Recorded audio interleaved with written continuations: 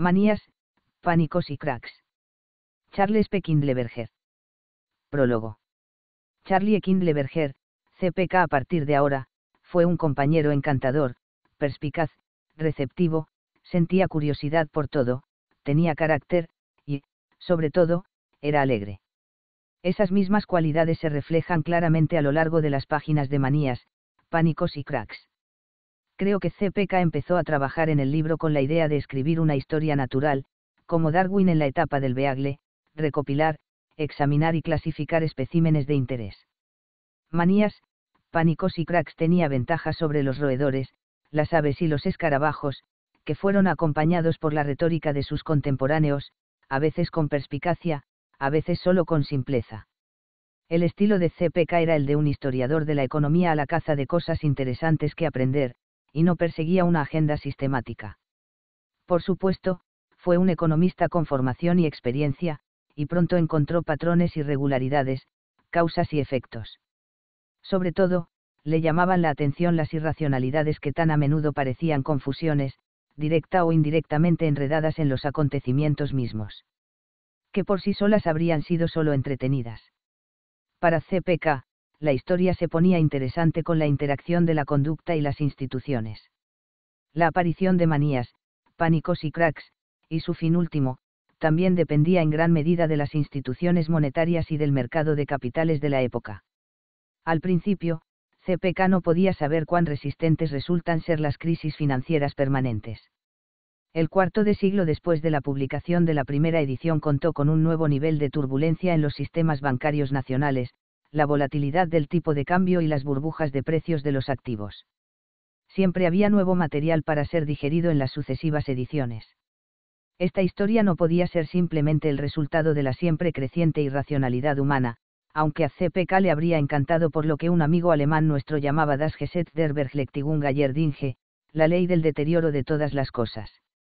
El aumento de la riqueza, la comunicación más rápida y barata, y la evolución de los sistemas financieros nacionales e internacionales también juega un papel indispensable, como se esboza en el capítulo 13, añadido a esta edición por Roberta Liber. El esfuerzo de CPK dio con un tema de la historia económica que no parece pasar de moda. La forma de una nueva arquitectura financiera y la posible utilidad de un prestamista de último recurso, nacional y barra o internacional, junto con las directrices que deben gobernarlo también se encontraban entre las preocupaciones de CPK los que se han comprometido con la reforma del sistema, o al menos con el cambio, harían bien en reflexionar sobre las lecciones que surgen de este libro. Una de esas lecciones es muy general, y es más aplicable en contextos en los que la irracionalidad puede estar por encima de cálculo sobrio. CPK era escéptico por naturaleza, todo lo contrario de doctrinario. Desconfiaba de los sistemas intelectuales férreos, fueran defensores del libre mercado o ingenieros sociales. De hecho, consideraba que aferrarse a unas creencias rígidas frente a las desconcertantes evidencias es una de las formas más peligrosas de la irracionalidad, sobre todo cuando son los responsables los que la practican. La economía internacional sería un lugar más seguro si el escepticismo tolerante de CPK fuera más común entre los poderes fácticos. Me refiero, en particular, a los debates actuales del llamado consenso de Washington, y los pros y los contras de los tipos de libre cambio flotante y de los mercados sin restricciones de capital cualquier lector de este libro tendrá la idea clara de que las grandes cantidades de capital líquido chapoteando por todo el mundo deberían plantear la posibilidad de que se desborde el recipiente. Un tema omitido en el libro, porque está fuera de su cometido, es el otro lado de la balanza, cuáles son los beneficios sociales del libre flujo de capitales en sus diversas formas, análogos a las ganancias del comercio. CPK, cuyas especialidades como economista incluían el comercio internacional, las finanzas internacionales y el desarrollo económico, fue sensible a la necesidad de llegar a un equilibrio pragmático entre riesgos y beneficios. Uno solo puede esperar que la continuación y actualización de este libro ayude a difundir los hábitos de su pensamiento libre y su mente abierta. Al llegar a esta sexta edición actualizada, Aliber hace hincapié en la probabilidad de que las burbujas de crédito más o menos simultáneas en varios países diferentes sean acontecimientos relacionados entre sí, posiblemente como respuestas a una perturbación común. Parece improbable que la aparición de burbujas de crédito inmobiliario con sede en Estados Unidos, Reino Unido, Irlanda y España respondan simplemente al azar. Aliber muestra cómo estos eventos se transmiten internacionalmente a través de los desequilibrios en cuenta corriente en un mundo en el que el capital se mueve fácilmente a través de las fronteras. CPK, como especialista en economía internacional, probablemente habría detectado esta relación. Una cuestión más complicada, también revelada por Aliber, es si existen sucesivas oleadas de burbujas de crédito relacionadas causalmente.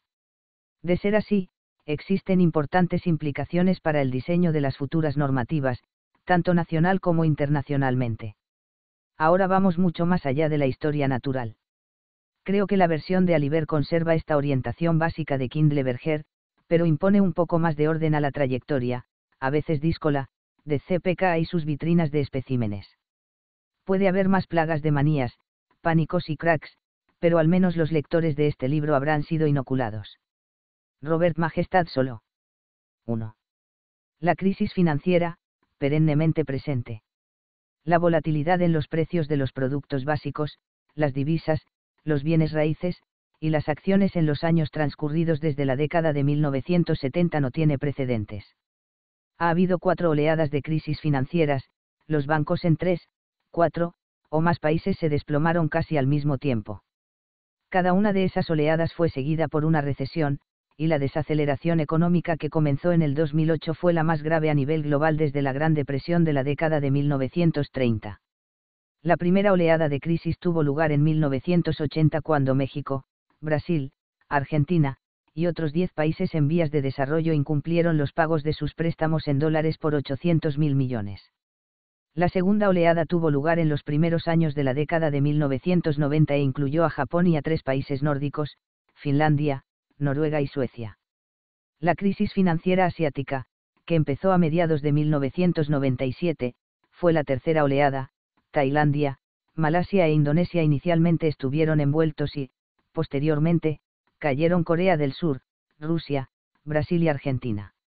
En retrospectiva, la crisis financiera que afectó a México durante la transición presidencial a finales de 1994 fue la precursora de la crisis en el sudeste asiático 30 meses después. La cuarta oleada comenzó en 2007 y fue provocada por la caída de los precios de los inmuebles en los Estados Unidos, Gran Bretaña, España, Irlanda e Islandia. Y luego por la caída de los precios de los bonos de los gobiernos griego, portugués y español.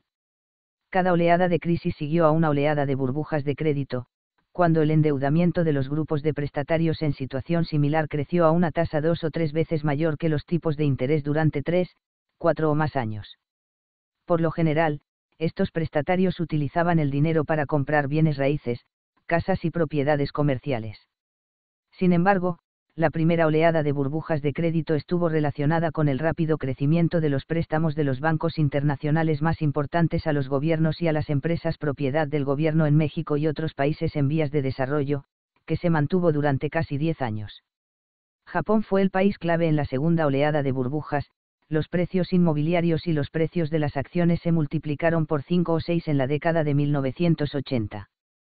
Casi al mismo tiempo los precios de ambos tipos de activos aumentaron en Finlandia, Noruega y Suecia. La tercera oleada de burbujas se centró inicialmente en Tailandia y algunos de sus vecinos del sudeste asiático. La cuarta oleada de burbujas se centró principalmente en los mercados inmobiliarios de los Estados Unidos, Gran Bretaña, España, Irlanda e Islandia. En cada una de estas oleadas de burbujas de crédito hubo flujos transfronterizos de dinero, que indujeron a grandes aumentos en los valores de las monedas y al aumento de los precios de los bienes raíces o acciones en los países que recibían el dinero. Las burbujas siempre implosionan, ya que por definición implican incrementos no sostenibles en el endeudamiento de un grupo de prestatarios o aumentos no sostenibles en los precios de las acciones.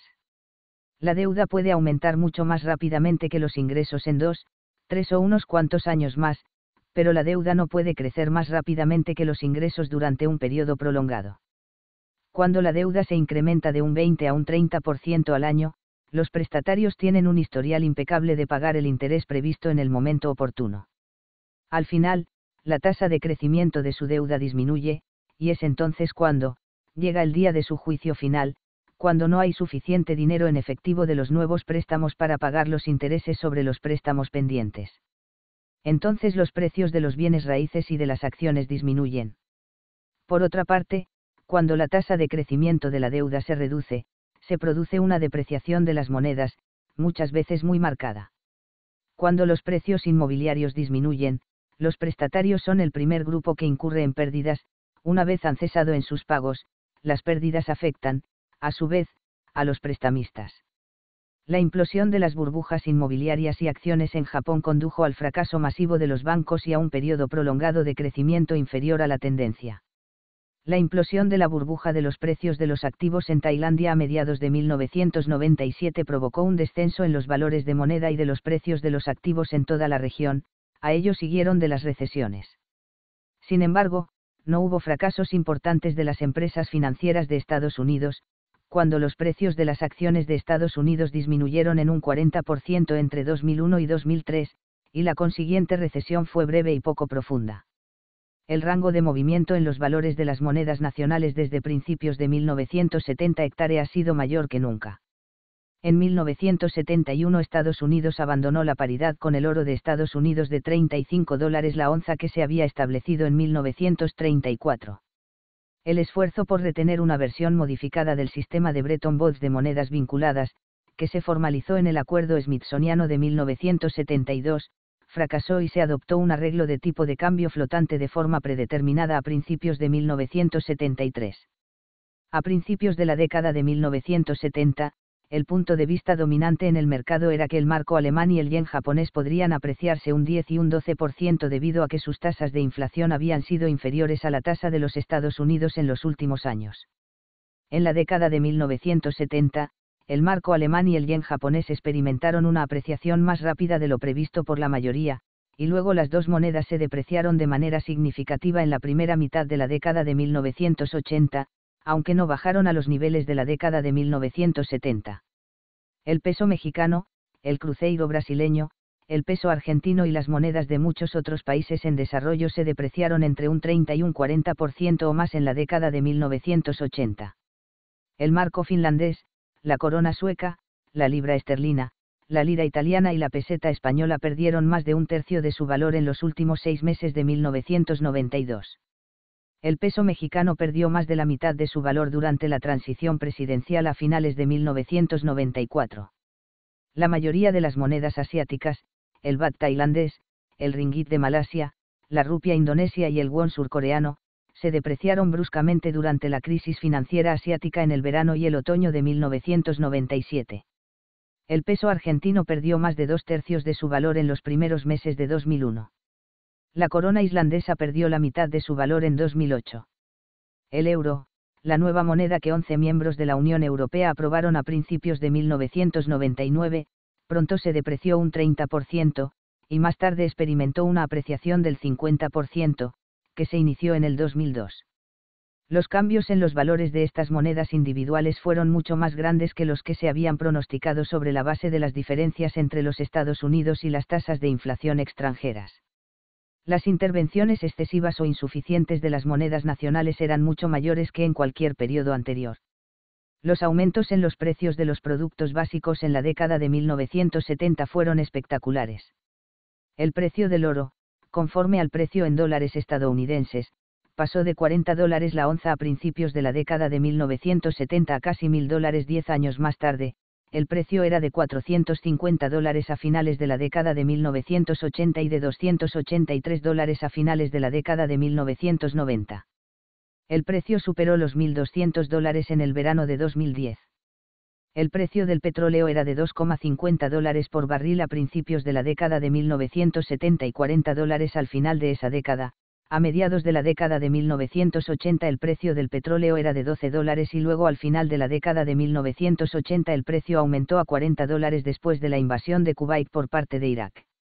El precio del petróleo casi alcanzó los 150 dólares en el verano de 2008, luego disminuyó por debajo de 50 y luego aumentó a 80 dólares. El número de quiebras bancarias durante los años 1980 y 1990 fue mucho, mucho mayor que en décadas anteriores. Varios de estos fracasos fueron hechos aislados, tanto el Franklin National Bank de Nueva York como el Erstadt Plata de Colonia, Alemania, habían hecho grandes apuestas sobre los cambios en los valores de moneda en la década de 1970, que posteriormente perdieron. Credit Lyonnais, empresa propiedad del gobierno que llegó a ser el banco más grande de Francia, aumentó rápidamente sus préstamos en un esfuerzo por convertirse en un banco de primer nivel internacional y sus malos préstamos finalmente costaron a los contribuyentes franceses el equivalente de más de 30 mil millones de dólares. Sin embargo, la mayoría de las quiebras de bancos y otras firmas financieras eran sistémicos, y reflejaban los cambios drásticos en el entorno financiero. 3.000 sociedades de ahorro y préstamo de los Estados Unidos y otras instituciones de ahorro fracasaron en la década de 1980, con pérdidas de más de 100.000 millones de dólares para los contribuyentes estadounidenses. Cuando las burbujas en bienes raíces y acciones japonesas implosionaron, las pérdidas sufridas por los bancos japoneses fueron varias veces más grandes que su capital y prácticamente todos los bancos japoneses implícitamente pasaron a estar bajo la tutela del gobierno. Del mismo modo, cuando el peso mexicano y las monedas de los otros países en desarrollo se depreciaron fuertemente en la década de 1980, la mayoría de los bancos de estos países tocó fondo debido a la combinación de las grandes pérdidas en préstamos sufridas por sus prestatarios nacionales, en parte a causa de las pérdidas masivas que la revaluación de la moneda habían producido. Prácticamente todos los bancos en Finlandia, Noruega y Suecia quebraron cuando las burbujas en sus bienes raíces y los mercados de valores se implosionaron en la primera mitad del decenio de 1990. La mayor parte de bancos mexicanos quebraron a finales de 1994, cuando el peso se depreció fuertemente. Del mismo modo la mayoría de los bancos de Tailandia y Malasia y Corea del Sur y varios de los otros países asiáticos, a excepción de Hong Kong y Singapur, quebraron después de la crisis financiera asiática a mediados de 1997. Las caídas de los precios de bienes raíces residenciales en los Estados Unidos, Gran Bretaña, Irlanda y otros países, que comenzaron a finales de 2006, dieron lugar a inversiones masivas del gobierno, a los rescates, de las instituciones financieras. En 2008 muchas de las firmas más importantes de la industria bancaria de inversión de los Estados Unidos fueron eliminadas o forzadas a buscar un socio más fuerte con el que fusionarse. El gobierno británico, nacionalizó, el Northern Rock, el mayor prestamista hipotecario del país, y se convirtió en el accionista dominante del Royal Bank Grados Fahrenheit Scotland. El gobierno irlandés hizo inversiones masivas en los seis bancos más grandes del país los tres grandes bancos de Islandia fueron tomados por el gobierno. Contribuide Financial, el mayor prestamista hipotecario de Estados Unidos, fue adquirido por Bank Grados Fahrenheit America, que posteriormente adquirió Merrill Lynch, uno de los mayores bancos de inversión estadounidenses, pero luego Bank Grados Fahrenheit America requirió una gran inyección de capital del Tesoro de los Estados Unidos. El gobierno de Estados Unidos hizo una gran inversión en el Citibank el gobierno holandés aportó capital a ING, el conglomerado de seguros y banca.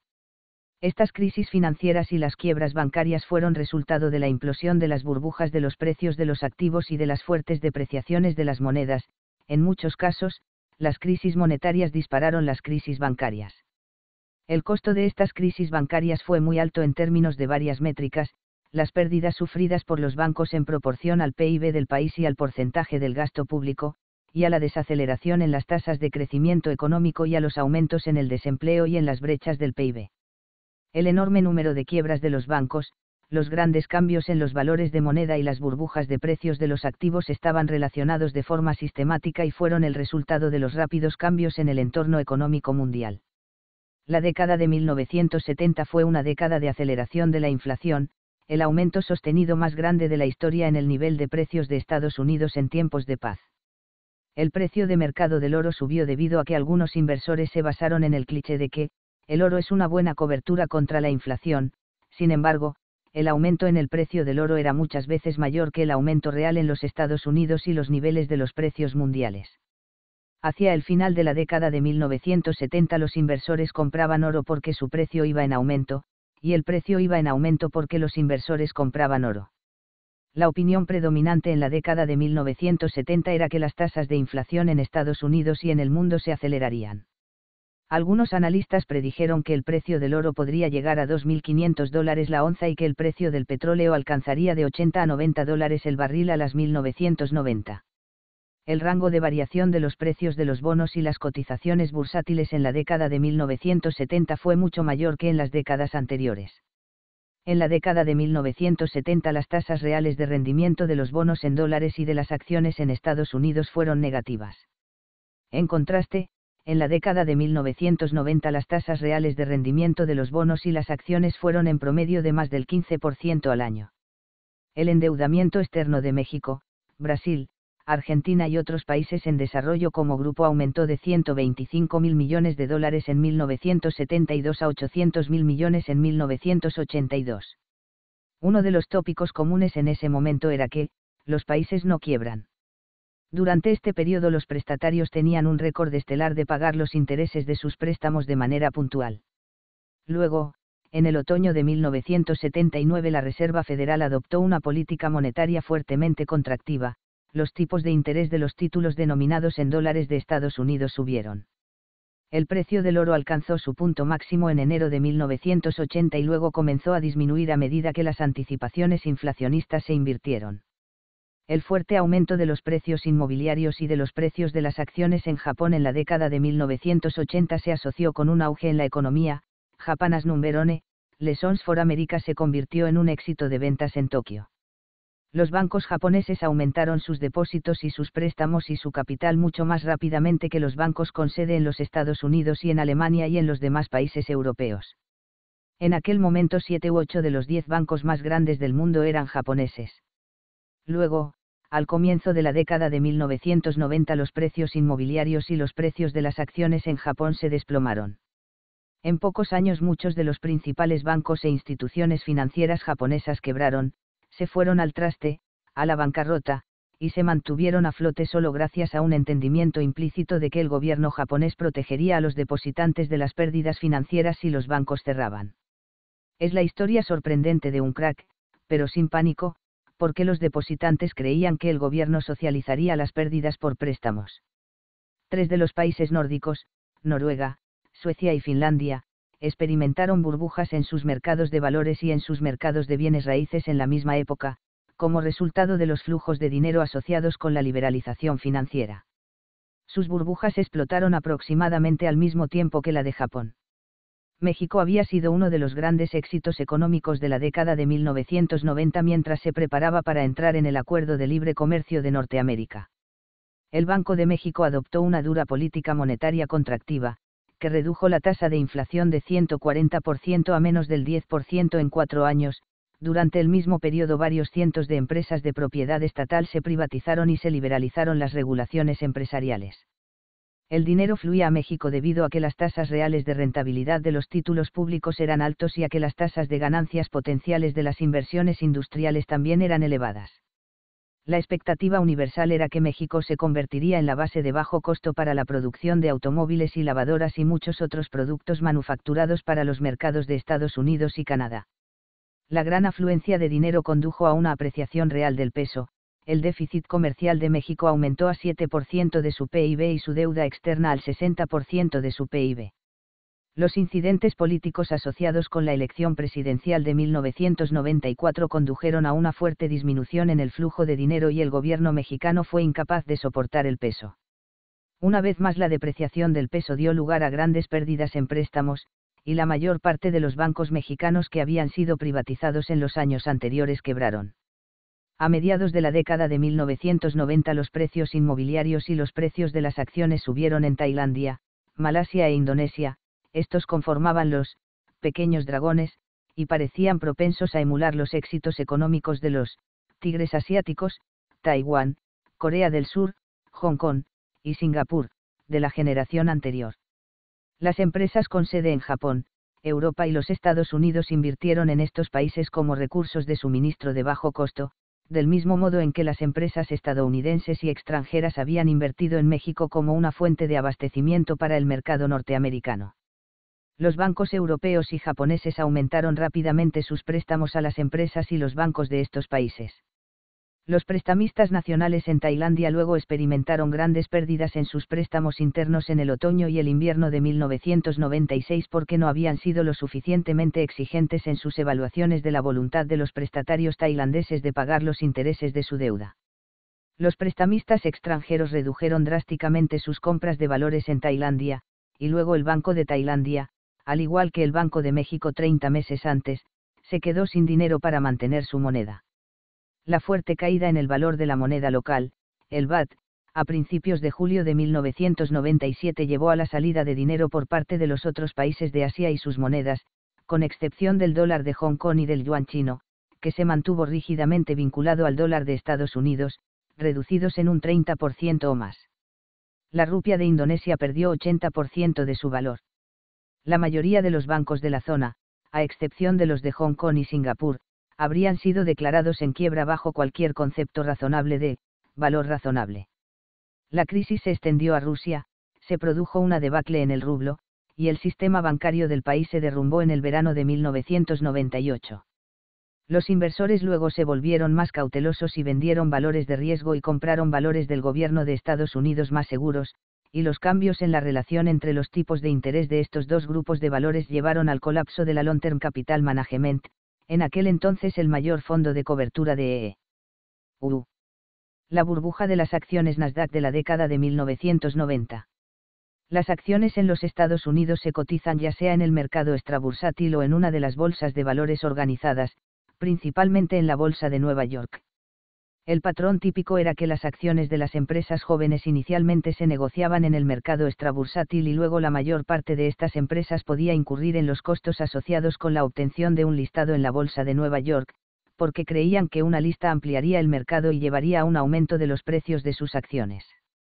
Algunas empresas nuevas asociadas con la revolución de tecnología de la información de la década de 1990 que tuvieron gran éxito, Microsoft, Cisco, Dell, Intel, fueron las excepciones a este patrón. Optaron por no obtener un listado en la Bolsa de Nueva York, porque creían que la compraventa de acciones por vía electrónica en el mercado over the counter era superior a la compraventa de acciones por coros utilizado en la Bolsa de Nueva York.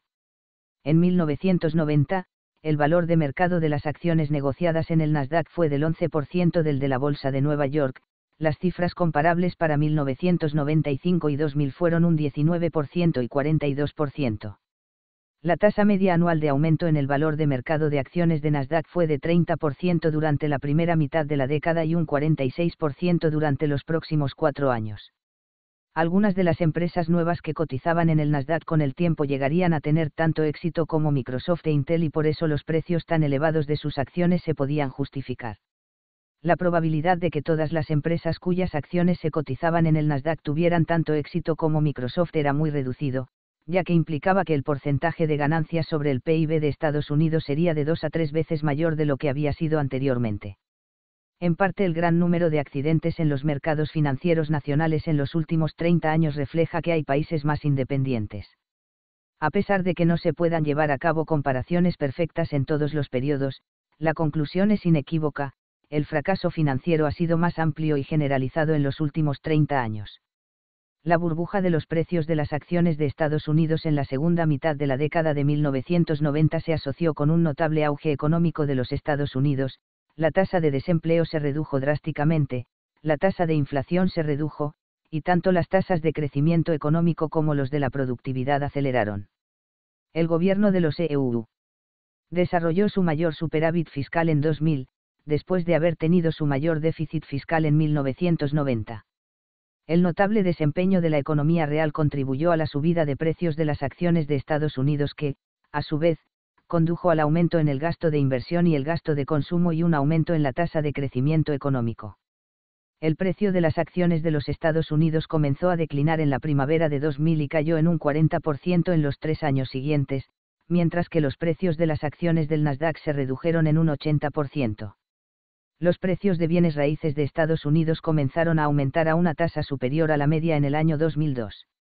Los precios inmobiliarios aumentan a largo plazo, en parte debido al aumento en el nivel general de precios y al aumento en el PIB nominal. Gran parte del aumento de los precios inmobiliarios se debe al incremento en el precio de la tierra. La Reserva Federal mantuvo tipos de interés bajos, en parte debido a la lentitud en la economía, y el precio de la vivienda se incrementó tres veces más rápidamente que el nivel general de precios.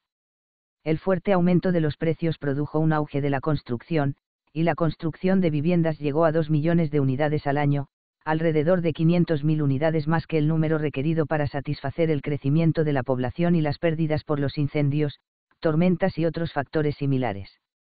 Parte del aumento de la demanda era de los inversores que buscaban beneficios de los continuos aumentos en los precios La fuerte caída en el precio de los bienes raíces residenciales y la debacle en los precios de los valores relacionados con hipotecas desde 2007 han llevado a muchos libros que se centran en los Estados Unidos, y que tratan de explicar la burbuja en términos del fracaso de la regulación o la codicia de los banqueros o el fracaso de los reguladores o los caprichos de los nuevos instrumentos financieros.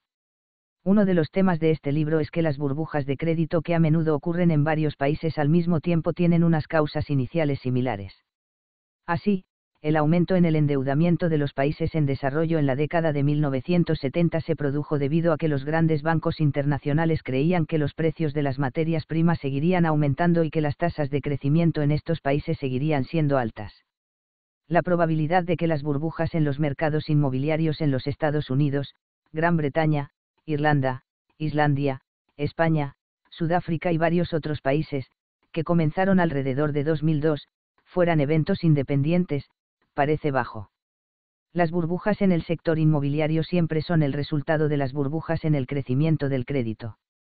Había aspectos idiosincrásicos únicos en estos diferentes mercados nacionales, el mercado de hipotecas de alto riesgo parece exclusivamente estadounidense el rápido crecimiento de la oferta de crédito dio lugar a un fuerte aumento en la demanda de hipotecas, que fue mayor que la oferta de préstamos con un tipo de interés preferencial, por lo que los corredores de hipotecas apostaron por un gran aumento en la oferta de hipotecas de alto riesgo.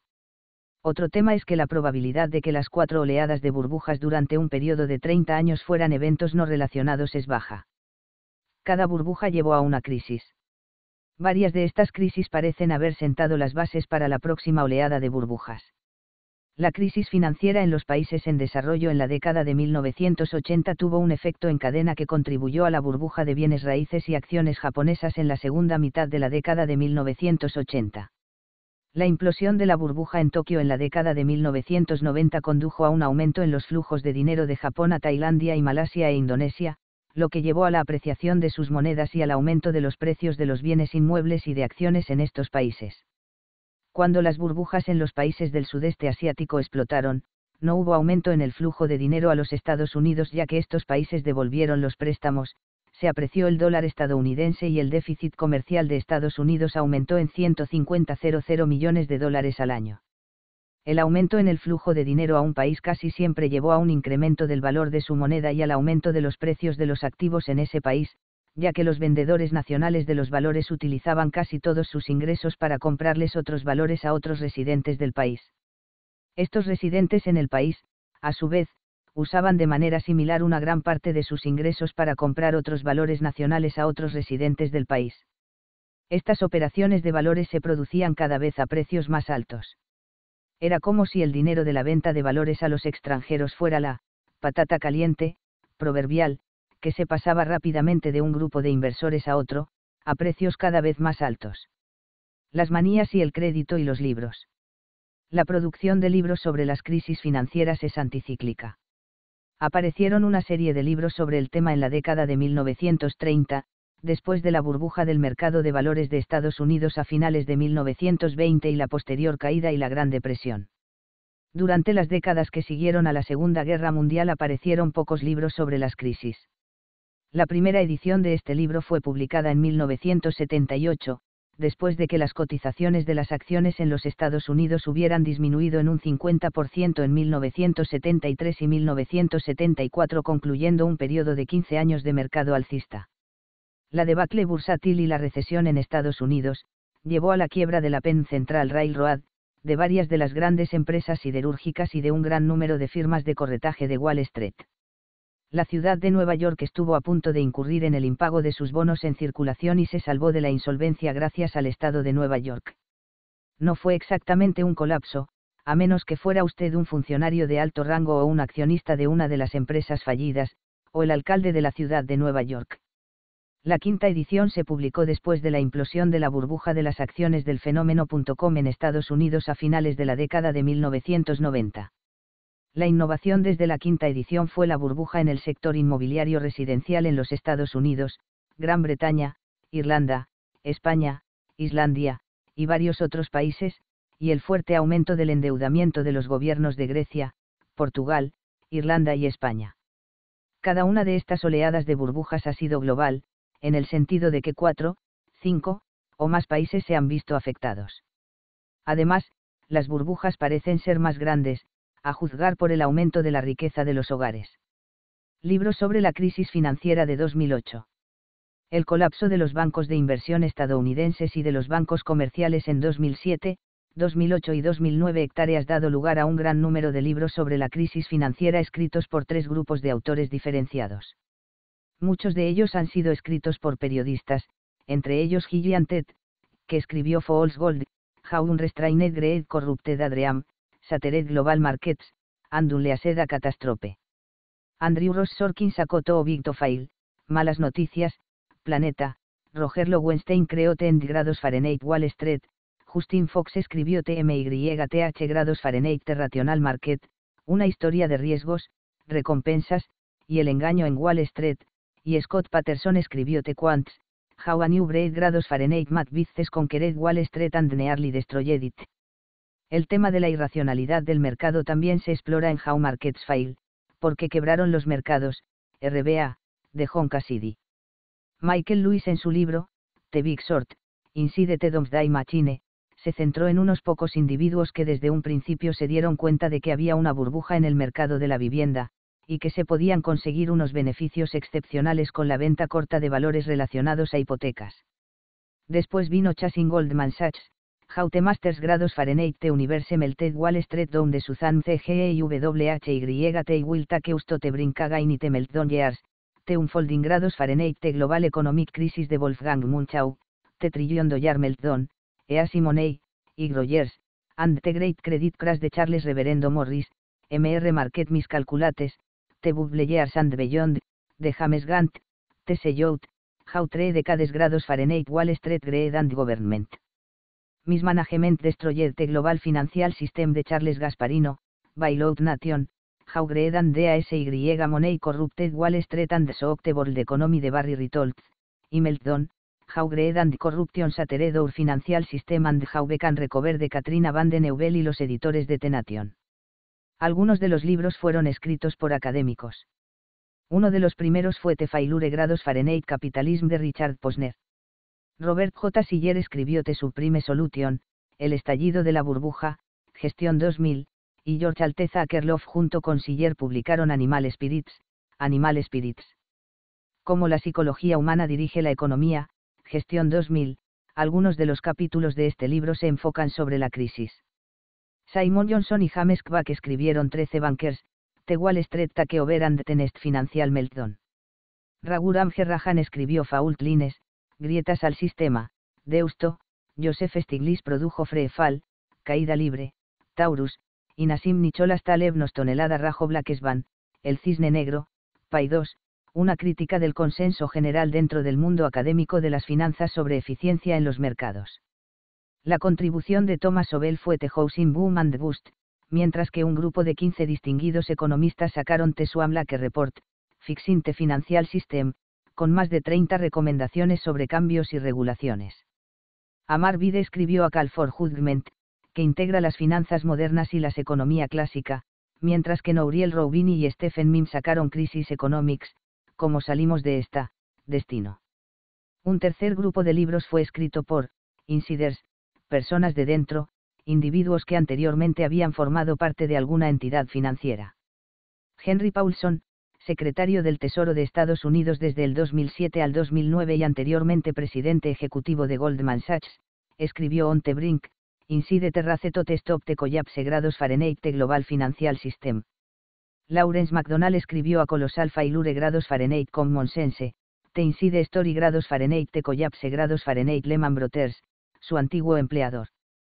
William Don Cohen, un ex banquero que se convirtió en periodista, SACO House grados Fahrenheit Cards, Atale grados Fahrenheit Ubris and Gureche de on Wall Street, mientras que Alex Pollock, otro ex banquero, publicó Boom and Bust, Financial Cycles and Doom and Prosperity. George Cooper, analista financiero, escribió The Origin Grados Fahrenheit Financial Crisis. La mayor parte de estos libros se centra en Estados Unidos e ignora o minimiza las burbujas en los mercados inmobiliarios de otros países. Sin embargo, ha habido tres libros sobre la crisis en Islandia, Meltdown y Celan, Lessons on the Financial Crisis from a Small Bankrupt Island, de Roger Boyes, un periodista británico, WHY y de Asgeir Johnson, un ex banquero senior de Kauptwin, una de las firmas caídas, y Frozen Assets, Jaun Olive dice Boom and Boost de Eftir Armand Thorvaldson, un antiguo jefe del mismo banco en el Reino Unido. Es más, el gobierno de Islandia que llegó al poder después de la caída creó una comisión especial de investigación de Islandia que produjo causes grados Fahrenheit te collapse grados Fahrenheit y Zelandic Banks Responsibility, Mistakes, and Negligence, cuyos autores fueron Paeller Einson, Tryggvi Gunnarsson y Sigridur Benediktsdottir. El Congreso de los Estados Unidos estableció la Financial Crisis Inquiry Commission, una comisión bipartidista de 10 miembros para investigar la crisis financiera, que ha celebrado audiencias y ha entrevistado a los testigos de las principales compañías financieras. Tanto el expresidente Alan Greenspan como el exsecretario del Tesoro Robert Rubin declararon ante la comisión. El informe de la FCIC se publicó en diciembre de 2010, y está disponible en www.fcic.gov barra report paréntesis derecha. Los títulos y subtítulos de estos libros expresan temas comunes, la avaricia, el mal funcionamiento de los mercados, la corrupción de Wall Street, y la captura de Washington y las entidades reguladoras por los banqueros. Y más codicia. El defecto de la mayoría de estos libros es que no contienen ninguna explicación de por qué la crisis ocurrió cuando lo hizo, ni tampoco tienen una explicación de por qué algunos países se vieron involucrados, pero otros no. Los problemas en Islandia fueron derivados de los Estados Unidos. O eran consecuencia de un factor común los problemas de los países más grandes y pequeños. Hubo un fuerte aumento de la codicia de los banqueros poco después del comienzo del nuevo milenio, o la codicia estuvo siempre ahí y fue liberado por algún otro evento. Por otra parte, el enfoque de estos libros suele ser micro, y se centra en el fracaso de la racionalidad y la incapacidad de los prestamistas para prever las consecuencias del aumento del endeudamiento de los prestatarios. Las burbujas de activos, la mayoría de las burbujas de activos, son un fenómeno monetario y son el resultado del rápido crecimiento de la oferta de crédito. La idea de que los aumentos excesivamente rápidos de los precios de bienes y servicios resultan del rápido crecimiento de la oferta monetaria es aceptada, el axioma es que, la inflación es siempre un fenómeno monetario. La contrapartida es que, las burbujas inmobiliarias siempre son un fenómeno de crédito. La sexta edición de este libro aparece 30 años después de la primera, y también después de 30 de los años más tumultuosos en los mercados financieros globales, un periodo sin un buen precedente histórico en términos de turbulencia monetaria. Las diez grandes burbujas financieras. 1. La burbuja holandesa de los bulbos de tulipán de 1636. 2. La Compañía de los Mares del Sur en 1720. 3. La burbuja de la Compañía del Mississippi de 1720. 4. La burbuja especulativa en activos y acciones de 1927-1929. 5. La crisis de deuda de México y otras naciones en desarrollo durante la década de 1970. 6. La burbuja inmobiliaria y de acciones de Japón durante 1985-1989. 7. La especulación desmedida en bienes inmuebles y en acciones de los países nórdicos como Finlandia, Noruega y Suecia de 1985-1989. 8. La burbuja inmobiliaria y de acciones asiáticas de Tailandia, Malasia, Indonesia y otros países y regiones del sudeste asiático durante 1992-1997 y el increíble aumento de la inversión extranjera en México de 1990-1999. 9. La burbuja sin precedentes sobre todo tipo de acciones y activos financieros estadounidenses de 1995-2000. 10. La burbuja en el sector inmobiliario en los Estados Unidos, Gran Bretaña, España, Irlanda e Islandia entre 2002 y 2007, y la deuda del gobierno de Grecia. La primera burbuja que se observa en el recuadro, es la de los bulbos de tulipán en los Países Bajos en el siglo XVII. Dos de las burbujas una en Gran Bretaña y una en Francia, se produjeron al final de las guerras napoleónicas. Hubo manías y crisis financieras en el siglo XIX que se asociaban, sobre todo, a los fracasos de los bancos, a menudo después de una inversión extendida en infraestructuras como canales y ferrocarriles. Las crisis monetarias y las crisis bancarias fueron frecuentes entre 1920 y 1940 los incrementos porcentuales de las cotizaciones bursátiles en los últimos 30 años han sido mayores que en periodos anteriores, y seis de las diez burbujas del recuadro se han producido en este periodo. Las burbujas en el sector inmobiliario y en las acciones a menudo han ocurrido a la vez, algunos países han experimentado una burbuja en el sector inmobiliario, pero no en acciones, mientras que los Estados Unidos tuvieron una burbuja de los precios de las acciones en la segunda mitad de la década de 1990, que no tenían homólogo en el mercado del sector inmobiliario. Las manías son espectaculares, pero han sido poco frecuentes, en 200 años solo se han producido dos en las acciones estadounidenses.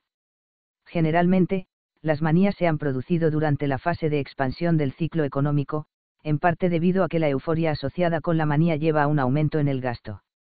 Durante la manías los aumentos en los precios de los bienes raíces o acciones, o en uno o varios productos básicos contribuyen a un aumento en el consumo y en el gasto de inversión que, a su vez, conduce a la aceleración del crecimiento económico.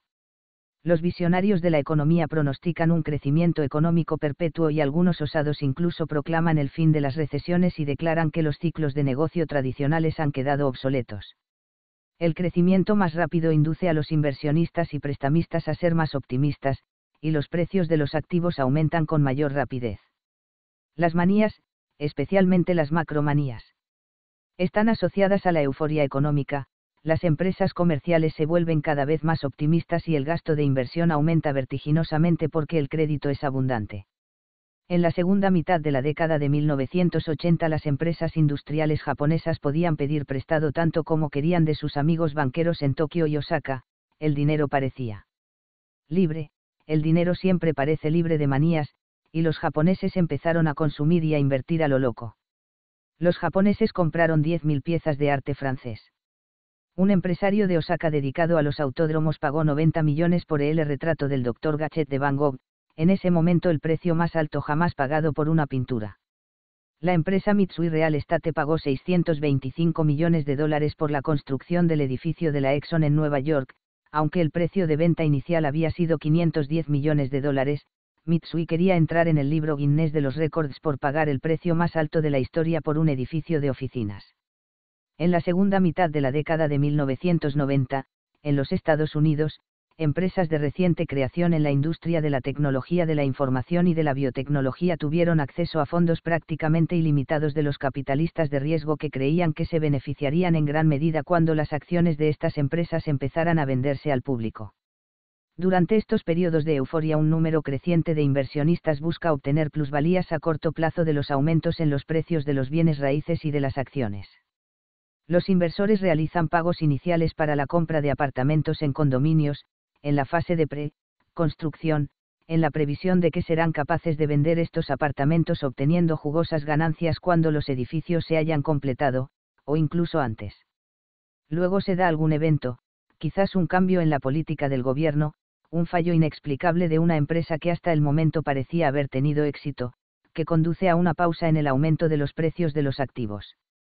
Pronto, algunos de los inversores que habían financiado la mayor parte de sus compras con dinero prestado pasan a ser vendedores en dificultades debido a que los pagos de los intereses sobre el dinero prestado para financiar sus compras son mayores que la renta de la inversión de los activos.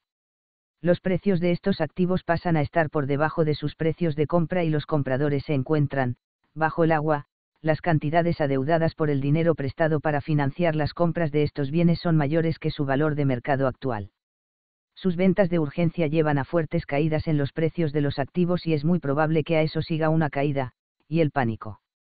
La situación económica en un país tras varios años de burbuja se asemeja al comportamiento de un joven en una bicicleta, el ciclista tiene que mantener el impulso hacia adelante o la bici se vuelve inestable. Durante la manía, los precios de los activos se reducirán de inmediato después de dejar de aumentar, no existe una nivelación, no hay un término medio el descenso de los precios de algunos activos conduce a la preocupación de que los precios de los activos se reducirán aún más y que el sistema financiero va a experimentar dificultades. La prisa por vender estos activos hace que se convierta en una profecía en sí misma, y tan precipitada que se asemeja a un ataque de pánico. Los precios de los productos, casas, edificios, terrenos, acciones, bonos, caen a unos niveles de solo el 30 grados 40% de sus precios máximos aumentan las quiebras, la actividad económica se desacelera y aumenta el desempleo. Aunque las características de estas manías no son idénticas, sí existe un patrón similar.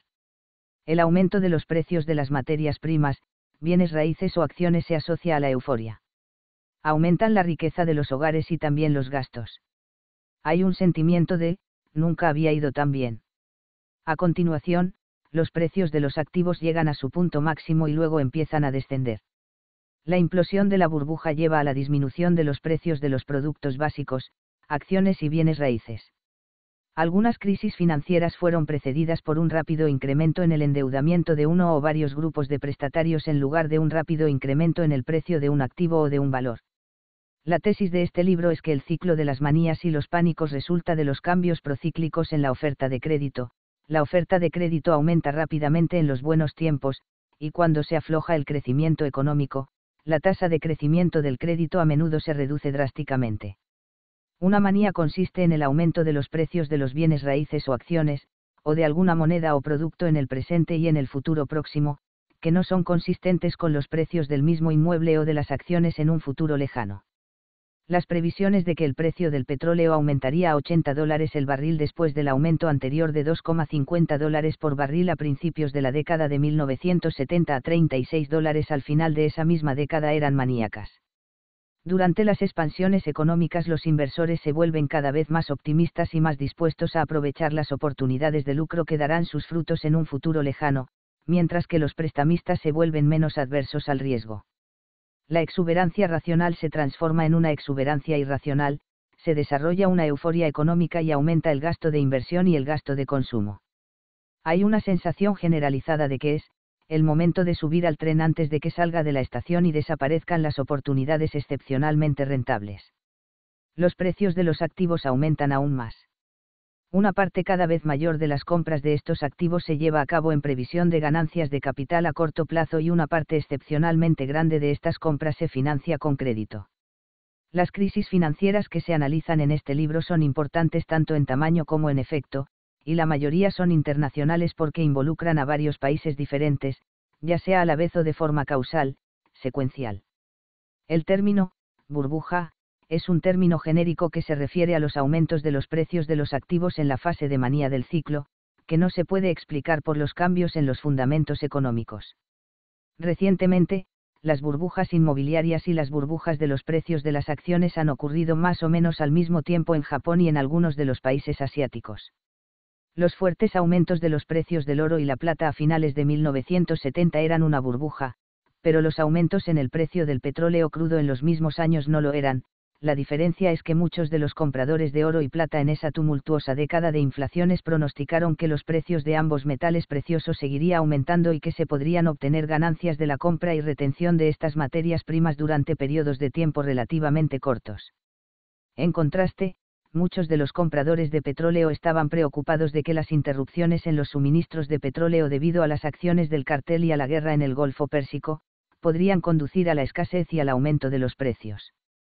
Esquemas piramidales, finanzas y manías son términos que de algún modo se solapan y que sirven para designar patrones de comportamiento financiero no sostenibles, en el sentido que los precios de los activos hoy en día no son consistentes con los precios de los activos en un futuro lejano. Los esquemas de Ponzi, por lo general incluyen promesas de pagar un tipo de interés de un 30 grados 40 grados 50% al mes. Los empresarios que desarrollan estos planes siempre dicen que han descubierto una nueva fórmula secreta para poder conseguir estos altos tipos de retorno. Durante los primeros meses, hacen los pagos de intereses prometidos con el dinero recibido de sus nuevos clientes, que han sido atraídos por los elevados porcentajes de ganancia prometidos. Pero al cuarto o quinto mes, el dinero que reciben de estos nuevos clientes es menor que las cantidades de dinero prometidas a los primeros grupos de clientes y los empresarios acaban en Brasil, o en la cárcel, o en ambos lugares. Una carta en cadena es una forma particular de acuerdo en forma de pirámide, el procedimiento es que los individuos reciben una carta pidiéndoles que envíen un dólar, o 10 grados 100, al nombre que se encuentra en la parte superior de la pirámide y que envíen la misma carta a cinco amigos o conocidos en un plazo de cinco días, la promesa es que dentro de los próximos 30 días, recibirán 64 dólares por cada dólar de inversión. Los acuerdos en pirámide a menudo implican que los ingresos de comisiones por la venta de valores o de cosméticos o suplementos alimenticios son compartidos por los que realmente hacen las ventas con aquellos que los han reclutado para convertirse en personal de ventas. La burbuja consiste en la compra de un activo, por lo general de bienes inmuebles o algún valor, no por la tasa de rentabilidad sobre la inversión, sino en previsión de que el activo o valor podrá ser vendido a otra persona a un precio aún más alto, el término, teoría del más tonto, se ha utilizado para sugerir que el comprador último siempre contó con encontrar a otra persona a la que podría vender las acciones o el apartamento en condominio o las tarjetas de béisbol. El término, manía, describe el desenfrenado patrón de compras, a menudo un aumento de los precios acompañado de un aumento en el volumen de intercambios comerciales, los individuos se muestran ansiosos de comprar antes de que los precios aumenten. El término, burbuja, sugiere que cuando los precios dejen de aumentar, lo más probable, casi con seguridad, es que empiecen a descender. Las cartas en cadena y esquemas piramidales rara vez tienen consecuencias macroeconómicas, más bien involucran a segmentos aislados de la economía y suponen la redistribución de los ingresos de los recién llegados a los que llegaron primero. Las burbujas en los precios de los activos se han asociado a menudo con la euforia económica y el aumento en el gasto empresarial y doméstico, ya que el futuro parece mucho más prometedor, por lo menos hasta que revienta la burbuja. Prácticamente todas las manías están asociadas a una expansión económica sólida, pero solo unas pocas expansiones económicas están asociadas con una manía. Sin embargo, la asociación entre las manías y las expansiones económicas es lo suficientemente frecuente y uniforme como para merecer un estudio renovado.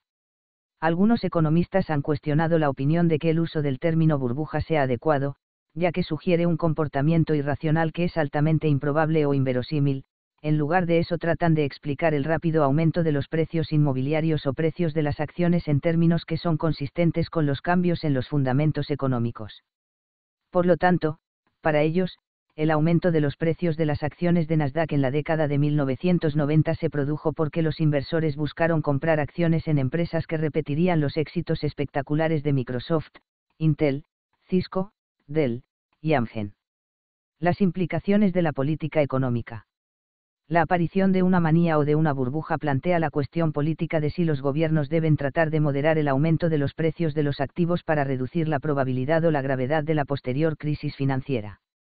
Prácticamente en todos los países grandes se ha establecido un banco central como, prestamista de último recurso, doméstico para reducir la probabilidad de que una escasez de liquidez desemboque en una crisis de solvencia la práctica lleva a preguntar sobre esa función para un prestamista de última instancia, internacional, que ayudaría a los países a estabilizar el valor de sus monedas y a reducir la probabilidad de que una fuerte depreciación de la moneda debido a la escasez de liquidez, diera lugar a un gran número de quiebras. Durante una crisis, muchas empresas que habían aparecido recientemente robustas van a la quiebra debido a que el fracaso de algunas empresas a menudo conduce a una disminución de los precios de los activos y a una desaceleración de la economía. Cuando los precios de los activos disminuyen de forma pronunciada, la intervención del gobierno puede ser aconsejable a fin de proporcionar el bien de la estabilidad al público. Durante las crisis financieras la disminución de los precios de los activos puede ser tan grande y abrupta que los cambios en los precios se auto justifican. Cuando los precios de activos caen bruscamente, el aumento de la demanda de liquidez puede conducir a muchas personas y empresas a la quiebra, y la venta de activos en estas circunstancias difíciles puede provocar mayores caídas en sus precios. En esos momentos, un prestamista de última instancia puede proporcionar estabilidad financiera o puede atenuar la inestabilidad financiera. El dilema es que si los inversores supieran de antemano que el apoyo gubernamental sería provechoso por las dispensaciones generosas que se darían cuando los precios de los activos cayeran drásticamente, tal vez los mercados caerían con más frecuencia porque los inversores serían menos cautelosos al comprar bienes y valores. El papel del prestamista de última instancia al hacer frente a un crack o pánico está lleno de ambigüedades y dilemas.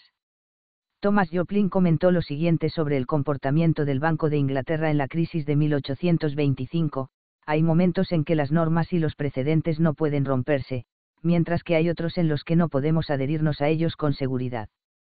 Romper la regla establece un precedente y una nueva regla que puede ser adherida o rota según demande la ocasión. En estas circunstancias, la intervención es más un arte que una ciencia. Las normas generales de que el Estado siempre debe intervenir o de que el Estado no debe intervenir nunca están equivocadas. Este mismo problema de la intervención volvió a aparecer con la cuestión de si el gobierno de EU debería haber rescatado a Chrysler en 1979, a la ciudad de Nueva York en 1975 y al Banco Continental Illinois en 1984. De hecho, Continental Illinois fracasó aunque los depositantes estuvieron cubiertos. Del mismo modo, debería el Banco de Inglaterra haber rescatado a Baring Brothers en 1995, después de que Nick Leeson, el comerciante deshonesto, hubiera agotado el capital de la empresa a través de transacciones ocultas en los contratos de opción en la sucursal de Singapur. La pregunta surge cuando un grupo de prestatarios o bancos u otras instituciones financieras incurren en pérdidas tan grandes que es probable que se vean obligados a cerrar, al menos bajo sus dueños actuales. Los Estados Unidos actuaron como prestamistas de último recurso durante la crisis financiera mexicana de fines de 1994 el Fondo Monetario Internacional actuó como prestamista de último recurso durante la crisis financiera rusa de 1998, sobre todo después de la insistencia de los gobiernos de Estados Unidos y Alemania. Ni Estados Unidos ni el Fondo Monetario Internacional estuvieron dispuestos a actuar como prestamista de último recurso durante la crisis financiera argentina a principios de 2001. Esta lista pone de relieve que hacer frente a la crisis financiera sigue siendo un problema importante. La conclusión de Tebor Indio Depresión, 1929-1939 fue que la depresión de 1930 fue amplia, profunda y prolongada porque no había ningún prestamista internacional de último recurso. Gran Bretaña fue incapaz de actuar como prestamista, ya que estaba agotada por la Primera Guerra Mundial, obsesionada con la fijación de la libra esterlina con el oro en su paridad pre-1914, y aturdida por la recuperación económica abortada la década de 1920. Los Estados Unidos no estaban dispuestos a actuar como prestamistas internacionales de última instancia, en ese momento pocos estadounidenses habían pensado en que Estados Unidos podría haber hecho ese papel. Este libro amplía el análisis de las responsabilidades de un prestamista internacional de último recurso, capítulo 12. Los aspectos monetarios de las manías y los pánicos son importantes y se examinan en detalle en varios capítulos. El punto de vista monetarista. Por lo menos el punto de vista de un monetarista. Es que la manía no se produciría si la tasa de crecimiento de la oferta monetaria se estabilizara o si fuera constante. Muchas de las manías están asociadas con el aumento en el crecimiento del crédito, pero algunas no lo son, una tasa de crecimiento de suministro constante de dinero tal vez podría reducir la frecuencia de las manías, pero es poco probable que los consigne a los cubos de basura de la historia. La tasa de aumento de los precios de las acciones de Estados Unidos en la segunda mitad de la década de 1920 fue excepcionalmente alta en relación con la tasa de crecimiento de la oferta monetaria, y de manera similar la tasa de aumento en los precios de las acciones de Nasdaq en la segunda mitad del decenio de 1990 era sumamente elevada en relación con el crecimiento del suministro de dinero de Estados Unidos. Algunos monetaristas distinguen entre las crisis financieras, reales, que son causadas por la contracción de la base monetaria o por dinero de alta potencia y las, pseudo, crisis, que no lo son. Las crisis financieras en las que la base monetaria cambia temprano o tarde en el proceso deben ser diferenciadas de aquellas en las que la oferta de dinero no aumenta significativamente. Las primeras manías que se discutieron en la primera edición de este libro fueron la burbuja de la compañía Sousea y la de Mississippi en 1719 y 1920. Las primeras manías analizadas en esta edición son el Kipper und Wipperzeit, una crisis monetaria, 1619-1622, que tuvo lugar en el estallido de la Guerra de los 30 años, y la muy discutida, tulipomanía, de 1636-37. La teoría de que el comercio de los bulbos de tulipán en la República Holandesa constituyó una burbuja tuvo un amplio reconocimiento, incluso en aquel mismo momento, de que los especímenes exóticos de los tulipanes son difíciles de criar, pero que una vez criados se propagan fácilmente, y que, por lo tanto, al final sus precios disminuirían drásticamente. El tratamiento precoce histórico se centra en las experiencias europeas. La crisis más reciente que se trata en esta edición se centra en los mercados inmobiliarios de los Estados Unidos, Gran Bretaña, Irlanda, España e Islandia. El hecho de que me concentre en las crisis financieras en Gran Bretaña en el siglo XIX refleja tanto la importancia crucial de Londres en los acuerdos financieros internacionales como los abundantes escritos de los analistas contemporáneos. Por el contrario, Ámsterdam fue el poder financiero dominante durante gran parte del siglo XVIII, pero doy poca importancia a los acontecimientos sucedidos allí debido a las dificultades con las que me he encontrado a la hora de acceder a la documentación holandesa. Las oleadas de burbujas de crédito y las crisis desde mediados de 1970 sugieren que estos acontecimientos en los mercados eran mucho más globales que en el pasado. La mayoría de los países que han experimentado burbujas de crédito, también han recibido una afluencia de dinero. Debido a que pocas monedas están vinculadas, las entradas han llevado a una apreciación de sus monedas y, ya que el dinero tiene que ir a alguna parte, a los aumentos de precios de los activos. Cada uno de estos países ha experimentado un auge económico, los tiempos no podían ser mejores. Tal vez debido a que las monedas se han apreciado, las presiones al alza sobre los precios de los bienes y servicios han sido menores de lo que hubieran sido si las monedas hubieran estado vinculadas. Aún así, los bancos centrales de muchos países aumentaron los tipos de interés, cosa que tuvo un impacto, atrajeron más dinero desde el extranjero. Una característica única de estos acontecimientos monetarios es que los vínculos entre los mercados globales significan que es más probable que el dinero se desplace al extranjero por un menor diferencial en los rendimientos previstos. La novedad es que hay una mayor cantidad de fondos líquidos denominados en el dólar estadounidense que los inversores pueden aprovechar cuando quieren comprar bienes y valores en los países cuyas perspectivas financieras y económicas de repente se ven mucho más halagüeñas. La historia capítulo a capítulo. En el capítulo 2 se presenta un modelo estilizado de especulación, de expansión del crédito, de problemas financieros, y de una crisis que acaba en crack. El modelo sigue las ideas de los primeros clásicos del overtrading, comercializar más de lo que se puede, seguido de rechazo y descrédito, términos desfasados utilizados por las primeras generaciones de economistas como Adam Smith, John Stuart Mill, Knut Wicksell e Irving Fisher. Estos conceptos fueron desarrollados por Iman Minsky, quien argumentó que el sistema financiero en una economía de mercado es inestable, frágil y propenso a las crisis. El modelo de Minsky tiene un gran poder explicativo de las crisis anteriores en los Estados Unidos y en Europa Occidental, de las burbujas de precios de los activos en Japón en la segunda mitad de la década de 1980, y, de las burbujas en el sector inmobiliario en los Estados Unidos, Gran Bretaña, Irlanda, España e Islandia entre 2002 y 2007. El tema del capítulo 3 es la fase de manía de la expansión económica.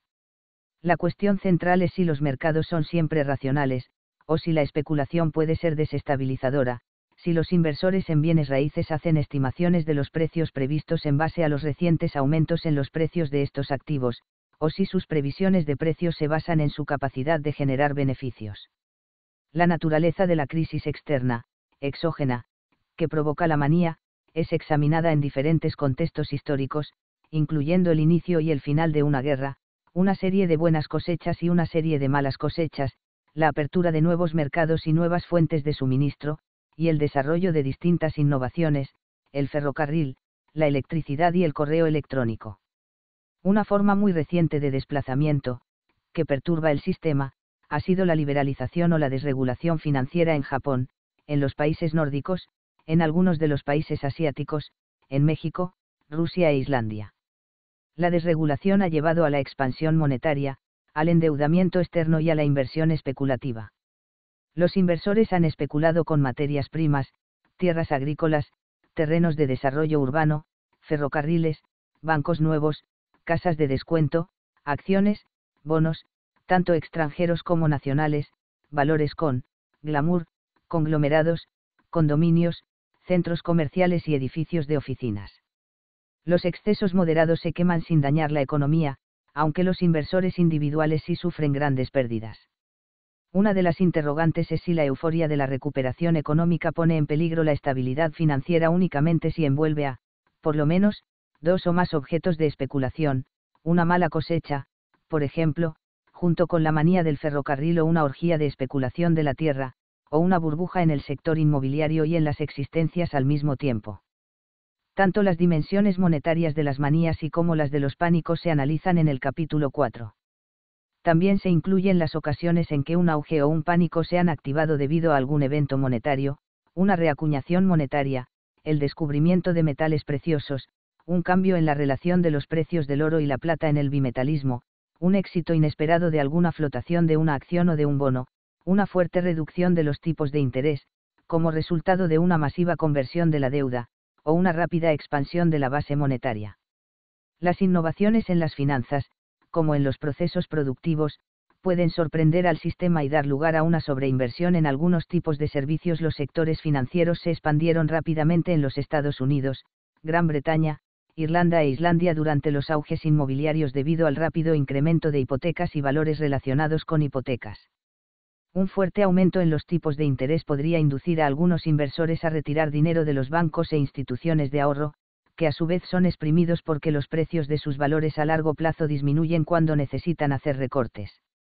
En esta edición se hace hincapié en los problemas asociados con la gestión del mecanismo monetario para evitar las manías y las burbujas. La mayoría de las burbujas, y especialmente aquellas que se dieron a partir de los años 70, han sido consecuencia del rápido aumento del crédito disponible a un determinado grupo de prestatarios, a menudo los compradores de bienes raíces. El control monetario de los bancos centrales limita el crecimiento del dinero y del crédito. El dinero es un bien público, pero los arreglos monetarios a menudo han sido explotados por particulares. La banca, por otra parte, es difícil de regular debido a las nuevas instituciones que se desarrollan para eludir la normativa. Muchos monetaristas insisten en que muchas, quizá la mayoría, de las dificultades cíclicas del pasado son el resultado de la mala gestión del mecanismo monetario. Estos errores eran frecuentes y graves. El argumento presentado en el capítulo 4, sin embargo, es que aun cuando la oferta monetaria se ajustó a las exigencias de una economía, el mecanismo monetario no se mantuvo estable mucho tiempo. Cuando el gobierno produce una cantidad de dinero, bien público, el público puede proceder a producir muchos sustitutos cercanos para el dinero, al igual que los abogados encuentran nuevos vacíos legales en las leyes fiscales casi con la misma rapidez en que los viejos vacíos se van cerrando. La evolución del dinero de monedas a billetes de banco, a letras de cambio, a depósitos bancarios y las finanzas de papel es un claro ejemplo. La Currenquichol, una escuela de pensamiento económico, puede haber tenido razón sobre la necesidad de tener una oferta de dinero fija, pero se equivocó al creer que la oferta de dinero podría ser fijada para siempre. Los aspectos internos de la crisis se revisan en el capítulo 5. Una de las preguntas es si las manías pueden ser detenidas por las advertencias oficiales, a través de la persuasión moral. La evidencia sugiere que no, o al menos que muchas de las crisis se produjeron después de las advertencias que estaban destinadas a atajarlas. Una observación que se tuvo mucho en cuenta fue la de Alan Greenspan, presidente de la Junta de la Reserva Federal, que declaró el 6 de diciembre de 1996, que pensaba que el mercado de valores de Estados Unidos era, irracionalmente exuberante. El promedio industrial Dow Jones se encontraba en 6.600, posteriormente, el Dow Jones alcanzó un máximo de 11.700. El Nasdaq se encontraba en 1300 en el momento de la observación de Greenspan y alcanzó un máximo de más de 5000 cuatro años después. Una advertencia similar se había publicado en febrero de 1929 por Paul Majestad Barbour, un banquero privado que fue uno de los padres de la Reserva Federal, sin disminuir la velocidad del alza del mercado de valores. Se discute la naturaleza del evento que a la larga produce un punto de inflexión, la revelación o rumor de alguna quiebra, desfalco o área con problemas, o un fuerte aumento en la tasa de descuento del Banco Central para detener la hemorragia de dinero en efectivo en circulación en el país o en el extranjero. Y luego está la interacción de los precios en descenso, el crack, y su impacto en la liquidez del sistema. Los impactos de la manía en el gasto interno y la euforia resultante se analizan en el capítulo 6. Las burbujas llevan a gastos extravagantes. Malasia, Dubái, y algunos otros lugares, han construido los edificios más altos del mundo, para demostrar que podían darse el lujo de hacerlo y pagarlo. Los japoneses importaron el arte francés en la década de 1980, debido a que otros japoneses estaban importando arte francés. El dinero parece, libre, como si las leyes fundamentales de la economía ya no se aplicaran.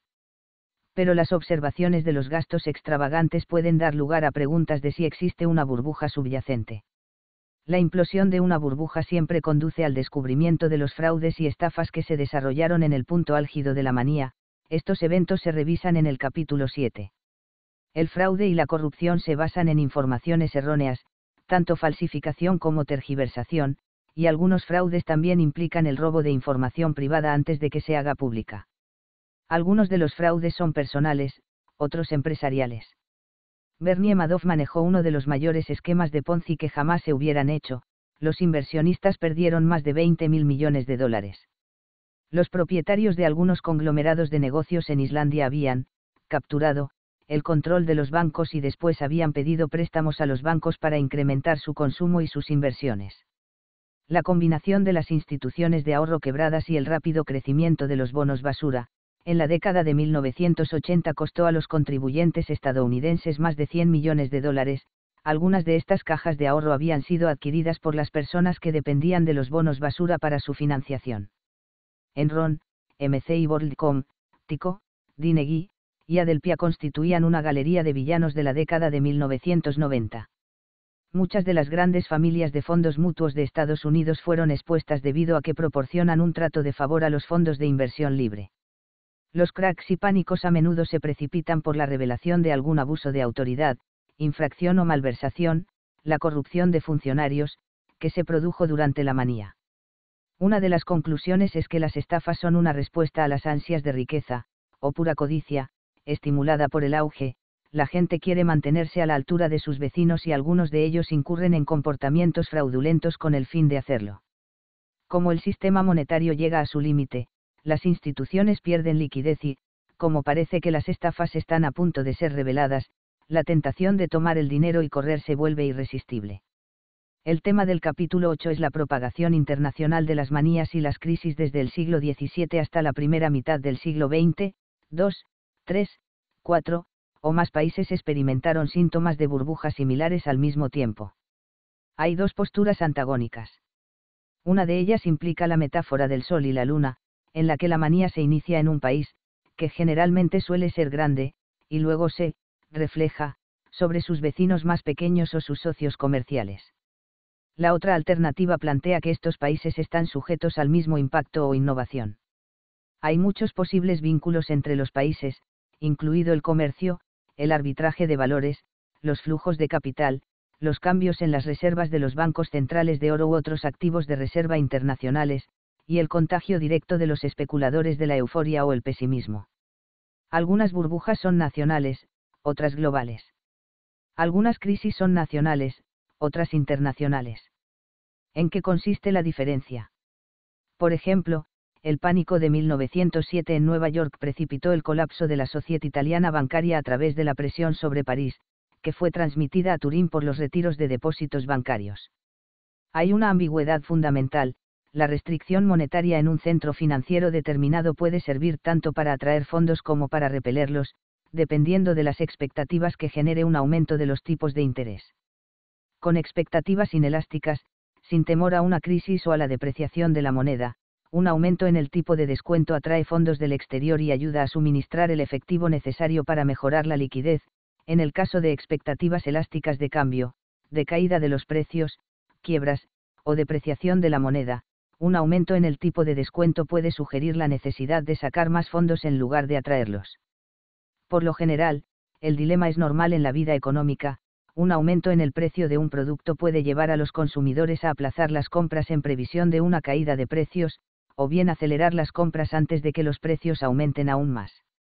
Y aun cuando las expectativas son inelásticas, y el aumento del tipo de descuento del Banco Central desencadene las reacciones correctas, los retrasos en las respuestas pueden ser tan prolongados que la crisis comience antes de que llegue el cuerpo de marines un desencadenante que lleva a la crisis financiera complejo, pero no inusual, es un frenazo a la concesión de préstamos extranjeros, quizás a causa de un auge interno, de ahí que el auge en Alemania y Austria en 1873 condujera a una disminución en los flujos de dinero y contribuyera a las dificultades de Jaikoke en los Estados Unidos.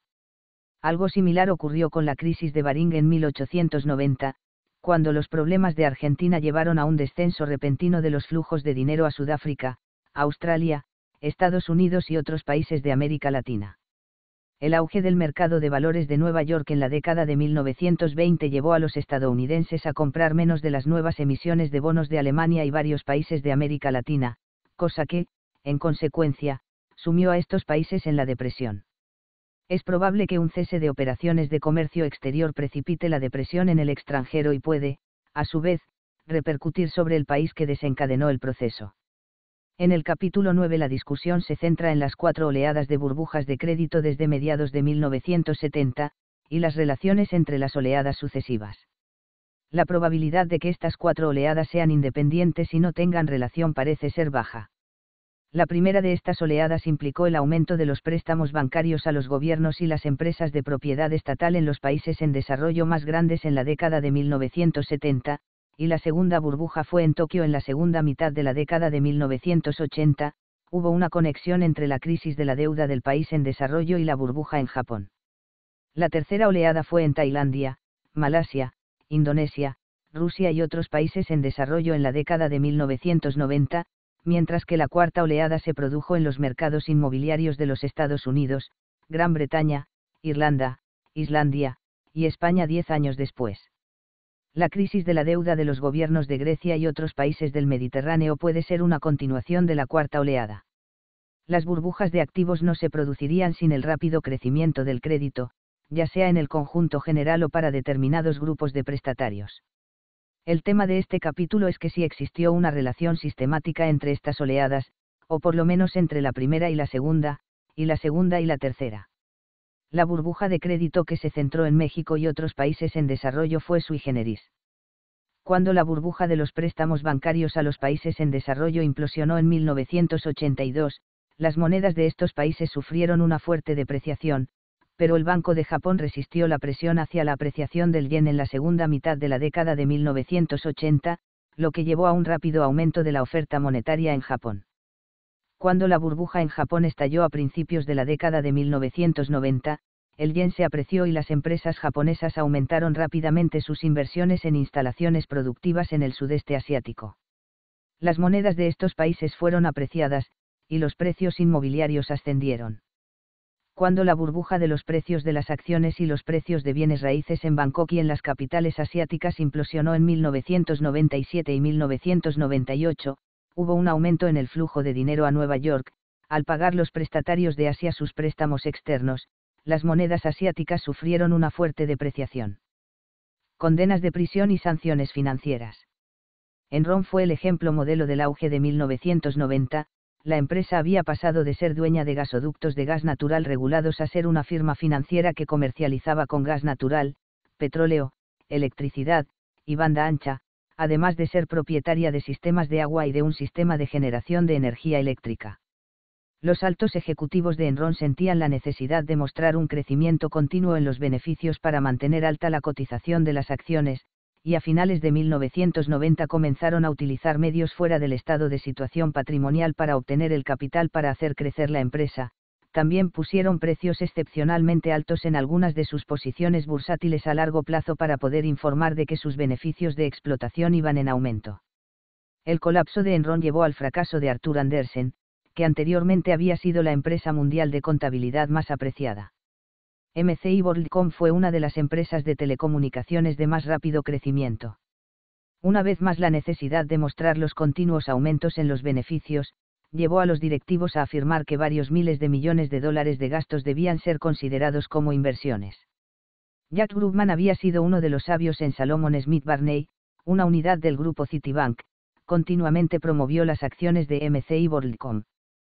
Henry Blodgett era un analista de seguridad de Merrill Lynch que, de manera privada, escribía mordaces emails acerca de las perspectivas económicas de algunas de las firmas que, al mismo tiempo, promovía a los inversionistas, Merrill Lynch pagó 100 millones de dólares para que la historia no apareciera en las portadas de la prensa. Diez firmas de banca de inversión pagaron 1.400 millones de dólares para evitar juicios. El presidente y director ejecutivo de la Bolsa de Nueva York renunció poco después de que saliera a la luz que tenía un paquete de compensación de más de 150 millones de dólares. La Bolsa de Nueva York sirvió a la vez de tienda para comprar y vender acciones y de regulador, y los gerentes de algunas de las empresas que estaban siendo reguladas sirvieron como directores de la bolsa y participaron en la toma de decisiones sobre los paquetes de compensación. A continuación, se dio a conocer que una serie de grandes fondos de inversión estadounidenses habían permitido que las empresas comerciaran con información que carecía de valor. Un número mayor de personas ya ha ido a la cárcel después de estos eventos que después de cualquier otra crisis anterior, y algunos aún están en espera de juicio. Seis directivos de Enron ya han sido encarcelados. Uno de los socios de Arthur Andersen, que trabajó en la cuenta de Enron, fue a la cárcel dos de los responsables financieros de MC y WorldCom han ido a la cárcel. Como muestra del alcance de esta crisis, Martha Stewart, la celebridad de la televisión, famosa por su negocio de estilo, y excorredora de bolsa, fue acusada por una transacción de acciones y declarada culpable de obstrucción a la justicia y encarcelada durante cinco meses. La gestión de la crisis nacional es revisada en los capítulos 10 y 11. En el primero de estos dos capítulos se examina la gama de respuestas nacionales a la crisis, en un extremo, el gobierno puede tomar una posición de no intervención, en el otro hay una serie de medidas diversas. Aquellos que creen que el mercado es racional a menudo prefieren el enfoque de no intervención, hay un fórmula que dice que es saludable que la economía pase por el fuego purgante de la deflación y la bancarrota para deshacerse de los errores y excesos del auge. Entre las diversas estrategias están las vacaciones, los días festivos, los días festivos nacionales, la emisión de script, sustituto de divisa que no es de curso legal y a veces se utiliza como un tipo de crédito, las garantías sobre los pasivos, la emisión de deuda pública, el seguro de garantía de depósitos y la formación de instituciones especializadas como la Reconstrucción Finance Corporation en Estados Unidos en 1932 y el Instituto per Ricostruzione Industriale, IRI, en Italia en 1933. Las publicaciones italianas denominan a este proceso el salvamento de los bancos y las empresas. En 1974-75 los británicos se refirieron al salvamento de los fringe banks o bancos marginales como una operación, bote salvavidas. Las cuestiones relacionadas con prestamistas de último recurso son el foco del capítulo 11, esencialmente si debe haber un prestamista, quién debe ser este prestamista y cómo debe operar. Un tema clave es el riesgo moral, si los inversores están seguros de que serán rescatados por un prestamista de última instancia, su autonomía se puede debilitar. Pero por otro lado, la prioridad puede ser la de detener el pánico, para salvar el sistema hoy, a pesar de los efectos adversos sobre los incentivos de los inversores. Si hay un prestamista de última instancia, sin embargo, ¿a quién debería salvar? A los insiders. A los outsiders. Solo a las empresas solventes aunque carezcan de liquidez. La distinción entre empresas solventes e insolventes depende del alcance y la duración del pánico. Estas son cuestiones políticas, y se plantean sobre todo cuando se hace necesario legislar a fin de aumentar el capital de la Federal Deposit Insurance Corporation, FDIC, o la Federal Savings and Loan Insurance Corporation, FSLIC, cuando uno o el otro se queda sin fondos para rescatar a los bancos de la quiebra. El problema fue especialmente grave en la década de 1990 en Japón, donde el colapso de la burbuja bursátil Nikkei en 1990 descubrió todo tipo de malos préstamos inmobiliarios de los bancos, cooperativas de crédito y otras firmas financieras, cargando al gobierno con la responsabilidad de decidir cuánta carga debían poner sobre el contribuyente. Si los contribuyentes no se lo cargaban, los dueños de bonos y acciones incurrirían en pérdidas muy grandes debido a que los precios de estos títulos se reducirían aún más. En este contexto fue especialmente preocupante el estado catatónico del gobierno en Japón en la década de 1990, lento para decidir cómo enfrentar la crisis y aún más para actuar. El tema central del capítulo 12 es el papel de un prestamista de última instancia a nivel internacional a la hora de promover la estabilidad monetaria mundial. El problema es que no hay ningún gobierno o agencia del gobierno que se responsabilice legalmente de la prestación de este bien público. El apoyo del gobierno de EU a México, por primera vez en 1982 y de nuevo en 1994, fue justificado porque los países del Tratado de Libre Comercio de América del Norte, TLCAN, debían permanecer unidos y que la asistencia a México amortiguaría o neutralizaría el efecto de contagio y prevendría el colapso de los préstamos a Brasil y Argentina y otros países en desarrollo. La fuerte depreciación del baht tailandés a comienzos del verano de 1997, desencadenó las crisis en los países asiáticos cercanos, como Indonesia, Malasia y Corea del Sur, así como en Singapur, Hong Kong y Taiwán. El objetivo del capítulo 13, un capítulo nuevo de la sexta edición, es la gravedad de la crisis crediticia que comenzó en septiembre de 2008, después de que el gobierno de los Estados Unidos decidiera no prestar la asistencia financiera que habría permitido a Lehman Brothers seguir siendo una empresa viable. En febrero, el Tesoro de los Estados Unidos y la Reserva Federal le hicieron un arreglo a JP Morgan Chase, acordando que Morgan podría poner hasta 29 mil millones de valores tóxicos, con la Reserva Federal. Los accionistas de Bear Stearns, recibieron 10 dólares por acción, muchos de los accionistas eran empleados de Bear y el precio fue visto como una prima de retención.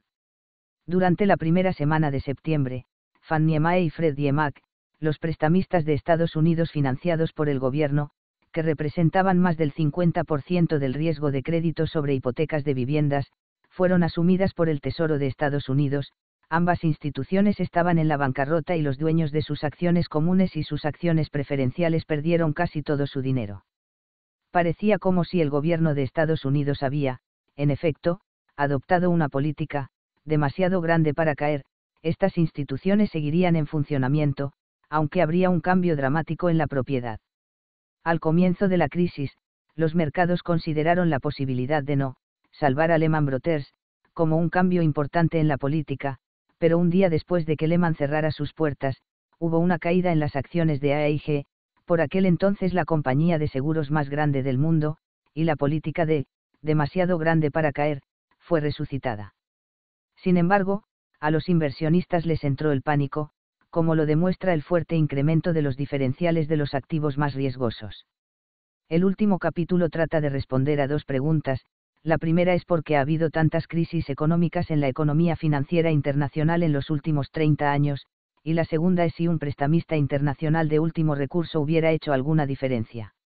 El Fondo Monetario Internacional se creó en la década de 1940 para actuar como prestamista internacional de último recurso y para llenar un vacío institucional, la teoría era que las crisis financieras en los años 1920 y 1930 habrían sido menos graves si hubiera habido un prestamista internacional de último recurso. El gran número de crisis en los últimos 30 años lleva a la pregunta de si la presencia del FMI como proveedor de monedas nacionales de los países con crisis financieras fomentó las políticas financieras nacionales de derroche. Los acuerdos financieros necesitan un prestamista de última instancia para evitar la escalada de los pánicos que están asociados con los cracks en los precios de los activos. Pero un compromiso con la opinión de que se necesita un prestamista debe ser diferenciado de la opinión de que los prestatarios individuales serán, rescatados, si se pasan del límite. Por ejemplo, la incertidumbre acerca de si la ciudad de Nueva York sería rescatada, y por quién, puede haber sido la política apropiada a largo plazo, siempre y cuando existiera la duda hasta el último momento de si la ayuda sería o no proporcionada. Este es un buen truco, siempre ir al rescate, con el fin de evitar la deflación innecesaria, pero siempre con la incerteza de si el rescate llegará a tiempo o si llegará en absoluto, con el fin de inculcar precaución en otros especuladores, bancos, ciudades o países. La implosión económica provocada por la quiebra de Lehman Brothers podría haberse evitado tanto si la empresa hubiera sido adquirida por otra empresa privada como por ejemplo Bear Stearns, o si el gobierno se hubiera hecho cargo de la propiedad de la empresa. En el Cándido de Voltaire, le cortan la cabeza a un general, para animar a los demás. Puede que un juego de manos sea necesario para, animar, a los demás, naturalmente, sin cortar cabezas, a participar en las actividades de prestamista de último recurso, porque la alternativa es probable que tenga consecuencias muy costosas para el sistema económico. Es la cuarta oleada de burbujas de precios de los activos desde mediados de 1970 la última de esta serie. O, en lugar de eso, es probable que la crisis que siguió al colapso de los precios inmobiliarios y las medidas adoptadas para amortiguar las dificultades asociadas con el fracaso de muchos bancos en varios países haya sentado las bases para una quinta oleada. Un epílogo resume algunas de las propuestas de reforma del sistema financiero de Estados Unidos y plantea la pregunta de si la burbuja y la crisis de 2002-08 habrían sido muy diferentes si la legislación adoptada en 2010 hubiera sido adoptada en el año 2000. 2. Anatomía de una crisis típica. Historia versus economía. Para los historiadores cada caso es único. Sin embargo, los economistas buscan patrones en los datos y relaciones sistemáticas entre un evento y sus antecedentes. La historia es particular, la economía, general. El ciclo económico es una característica estándar de las economías de mercado, los aumentos en el gasto de inversión conducirán a aumentos en los ingresos del hogar y al crecimiento del PIB. La macroeconomía se centra en las explicaciones de las variaciones cíclicas en el crecimiento del PIB con respecto a su tendencia a largo plazo. En este capítulo se presenta un modelo económico de crisis financiera general, y las diversas fases de las manías especulativas que llevan a la crisis se ilustran en los capítulos siguientes. Este modelo de crisis abarca el auge y la depresión posterior y se centra en la naturaleza episódica de la manía y los acontecimientos posteriores. Este modelo difiere de los que se centran en las variaciones y la periodicidad de las expansiones y contracciones económicas, incluyendo el ciclo de inventarios Kitchen de 39 meses, el ciclo de juglar de inversión en instalaciones y equipamiento que tiene una periodicidad de 7 u 8 años, y el ciclo de Kuznets, de 20 años, que pone de relieve el auge y caída en la construcción de viviendas.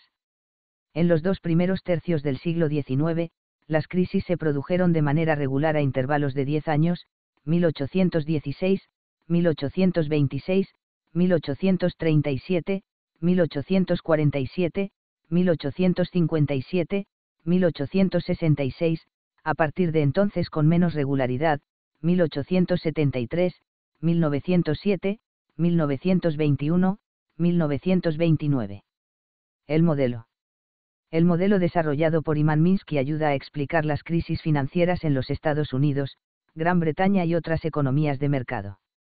Minsky destacó que los cambios en la oferta de crédito eran procíclicos y que aumentaban cuando la economía estaba en auge y disminuían durante la desaceleración. Durante las expansiones los inversores se volvían más optimistas y revisaban al alza sus estimaciones de la rentabilidad de una amplia gama de inversiones y se mostraban más dispuestos a pedir préstamos. Al mismo tiempo, tanto las evaluaciones de los riesgos de las inversiones individuales de los prestamistas como su aversión al riesgo se redujeron y se mostraron más dispuestos a hacer préstamos, incluyendo algunas de las inversiones que anteriormente les habían parecido demasiado arriesgadas. Cuando la economía se desaceleró, los inversores se volvieron menos optimistas y más prudentes. Los prestamistas también se volvieron más prudentes, ya que sus pérdidas crediticias aumentaron, sobre todo si las pérdidas llevaban a la disminución de su capital. Minsky creía que los aumentos en la oferta de crédito en tiempos de bonanza económica y la subsiguiente disminución de la oferta, llevaban a la fragilidad de los arreglos financieros y aumentaban la probabilidad de que hubiera una crisis. Su modelo se incluye en la tradición de los economistas clásicos, junto a John Stuart Mill, Alfred Marshall, Knut Wicksell e Irving Fischer, quien se centró en la variabilidad de la oferta de crédito. Minsky siguió a Fischer y concedió gran importancia al comportamiento de los prestatarios altamente endeudados, en particular los que aumentaron su endeudamiento para comprar bienes raíces o acciones o materias primas en busca de ganancias de capital a corto plazo. Su móvil eran los beneficios que sacarían del aumento en los precios de estos activos, ya que anticipaban que serían muy superiores al pago de los intereses sobre el dinero prestado. Cuando la economía se desaceleró, muchos de estos prestatarios empezaron a vender de manera desesperada, puesto que los precios de estos valores caerían. Minsky sugirió que los eventos que dan lugar a una crisis empiezan con un desplazamiento, o innovación, algún impacto exógeno que sacude al sistema macroeconómico si el impacto es lo suficientemente grande y generalizado, el panorama económico y las oportunidades de ganancias anticipadas mejorarían en, al menos, un sector importante de la economía. Tanto las empresas como los individuos pedirían préstamos para aprovechar el aumento de los beneficios previstos en este sector el crecimiento económico se aceleraría y, a su vez, podría haber una reacción que llevase a un optimismo aún mayor. Es como en, Japanas Numberone, o el, Stasian Miracle, o, The New American Economy, o, The Heiser Tiger, se trata de un optimismo mucho más profundo hacia la economía. Las palabras difieren de un país a otro, pero la melodía es la misma. El impacto varía de un auge especulativo a otro. La crisis en los Estados Unidos en la década de 1920 fue causada por la rápida expansión de la producción de automóviles y el desarrollo de carreteras, junto con la electrificación de gran parte del país y el gran aumento de hogares con teléfono. Las crisis en Japón en la década de 1980 fueron causadas por aumentos rápidos en las entregas de dinero y del crédito y la liberalización financiera que permitieron a los bancos aumentar sus préstamos inmobiliarios a un ritmo rápido. La crisis en los países nórdicos en la década de 1980 fue causada por la liberalización financiera, que permitió a los bancos locales endeudarse en el mercado extraterritorial.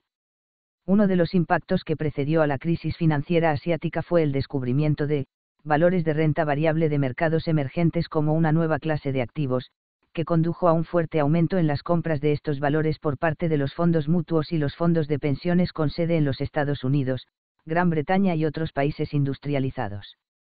La crisis en los Estados Unidos en la década de 1990 fue producida por la revolución en la tecnología de la información y las fuertes caídas en los costos de comunicación.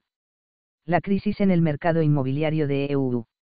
En el 2002 fue la titulización, donde se crearon paquetes hipotecarios con atributos similares, que proporcionaron la base para la emisión de obligaciones hipotecarias garantizadas, OCM, y obligaciones de deudas colaterizadas, ODC, la cantidad de dinero disponible para las compras de los hogares aumentó de forma pronunciada.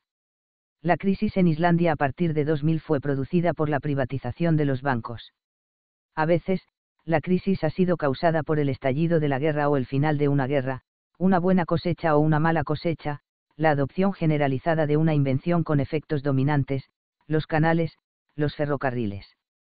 Los cambios de la política monetaria no anticipados, como la del otoño de 1979, también han dado lugar a grandes impactos. Si la crisis es lo suficientemente grande y generalizada, las oportunidades de obtener beneficios anticipados mejoran en al menos un sector importante de la economía, la participación en los beneficios de los aumentos del PIB. En la década de 1980, las ganancias de las empresas estadounidenses suponían un 3% del PIB, hacia el final de la década de 1990 esta proporción había aumentado al 10%. El aumento significativo de los precios de las acciones asociadas con el auge de las empresas, .com, a finales de la década de 1990, en parte se debió al aumento mucho más rápido de los beneficios empresariales del PIB.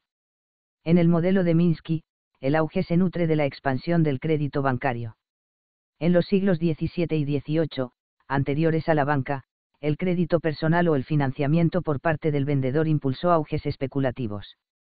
Una vez que los bancos se hubieron desarrollado se amplió la oferta de crédito, en las primeras décadas del siglo XIX, los bancos aumentaron los suministros de crédito mediante la emisión de más billetes y, posteriormente, se aumentó la oferta aumentando los saldos en los depósitos de los prestatarios. Además, se crearon los nuevos bancos y sus esfuerzos para aumentar la cuota de mercado condujeron a un rápido crecimiento del crédito debido a que los bancos establecidos, por lo general, se mostraron reacios a aceptar una disminución de la cuota de mercado. En la década de 1970, los bancos europeos comenzaron a meterse en el terreno de los bancos de Estados Unidos, concediendo préstamos a los gobiernos de América Latina. Una cuestión importante de la política se centra en el control de los créditos de los bancos y de otros proveedores de crédito. A menudo, las autoridades de un país han aplicado estrictos controles que limitan la capacidad de los bancos para hacer ciertos tipos de préstamos. Entonces los bancos crearon filiales que podían hacer estos préstamos, o eran sus compañías holding quienes hacían estos préstamos. Incluso si los créditos de las instituciones financieras estaban controlados, el aumento de la oferta de fuentes no bancarias podía llevar a un auge. Supongamos que hay un incremento en la demanda de productos y servicios. A la larga, el aumento en la demanda ejerce presión sobre la capacidad productiva, los precios aumentan y el aumento más rápido en los beneficios produce una mayor atracción tanto de inversionistas como de empresas. La retroalimentación positiva se desarrolla cuando el aumento en la inversión conduce a aumentos en la tasa de crecimiento, que a su vez inducen a la inversión adicional. Minsky señaló que en esta etapa podría darse un estado de euforia. Los inversores compran bienes y valores para beneficiarse de las ganancias de capital asociadas a los aumentos previstos de los precios. Las autoridades reconocen que está ocurriendo algo excepcional y aunque son conscientes de las manías anteriores, esta vez es diferente, y tienen un amplio abanico de explicaciones para justificar esa diferencia. El presidente de la Reserva Federal de Estados Unidos, Alan Greenspan, descubrió un aumento en la productividad de Estados Unidos en 1997, aproximadamente un año después de empezar a preocuparse de la posibilidad de que los precios de las acciones de Estados Unidos podrían ser demasiado altos, el aumento de la productividad significaba que los beneficios aumentarían a un ritmo más rápido, y el precio más alto de las acciones en relación con las ganancias corporativas podía acabar siendo razonable. Explotación de varias firmas y sus pagos de servicio de la deuda. Una empresa se encuentra en el grupo financiero de coberturas y sus beneficios de explotación previstos son más que suficientes para pagar tanto el interés como la reducción prevista en su endeudamiento. Una empresa está en el grupo financiero especulativo, si sus beneficios de explotación previstos son suficientes para pagar los intereses de su deuda, sin embargo, la empresa debe utilizar dinero en efectivo de los nuevos préstamos para pagar parte o la totalidad de los importes adeudados por los préstamos próximos a su vencimiento. Una empresa se encuentra en el grupo de Ponzi, si sus beneficios de explotación previstos son más que suficientes para pagar tanto el interés como la reducción prevista en su endeudamiento. Una empresa está en el grupo financiero especulativo si sus beneficios de explotación previstos son suficientes para pagar los intereses de su deuda, sin embargo, la empresa debe utilizar dinero en efectivo de los nuevos préstamos para pagar parte o la totalidad de los importes adeudados por los préstamos próximos a su vencimiento. Una empresa se encuentra en el grupo de Ponzi si sus beneficios de explotación previstos son menores que la cantidad necesaria para pagar la totalidad de los intereses de su deuda en las fechas previstas, por lo que la empresa debe aumentar su endeudamiento o vender algunos activos para obtener el dinero en efectivo para estos pagos. La hipótesis de Minsky es que cuando la economía se desacelera, algunas de las empresas que habían participado en la financiación de cobertura se desvían al grupo de las finanzas especulativas y que algunas de las empresas que habían formado parte de este grupo se trasladarían a las finanzas del grupo de Ponzi. Minsky usa el término, finanzas Ponzi, en honor a Carlo Ponzi, que operó una pequeña firma que aceptaba depósitos en un suburbio de Boston en la década de 1920. Ponzi prometía a sus depositantes que les pagaría un 30% de intereses al mes y realizó sus transacciones financieras sin problemas durante tres meses. Sin embargo, al cuarto mes, la afluencia de dinero de los depositantes nuevos fue menor que los pagos de intereses prometidos a los depositantes más antiguos, Ponzi había iniciado el camino que le llevaría a prisión.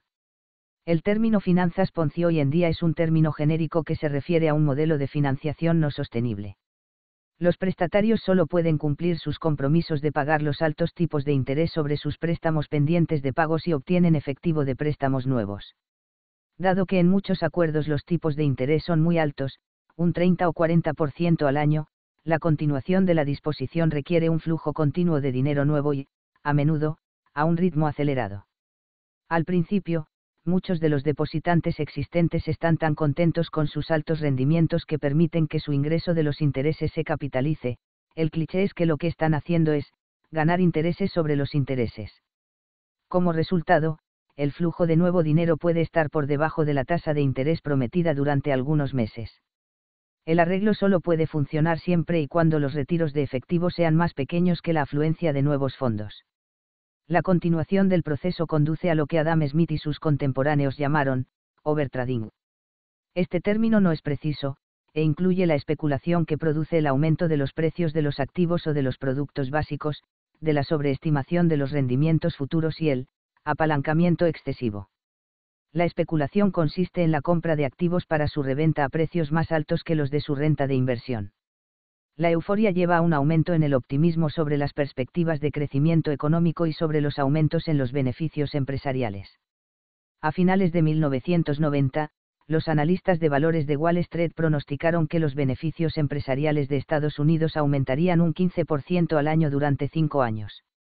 Si sus pronósticos hubieran sido correctos, entonces la proporción de las ganancias de las empresas estadounidenses sobre el PIB de Estados Unidos habría sido del 40% más alto que nunca al final del quinto año. Las pérdidas en los préstamos incurridas por los prestamistas disminuyen porque los precios de los activos aumentan y ellos se vuelven más optimistas y reducen los pagos iniciales mínimos y el requerimiento mínimo de margen.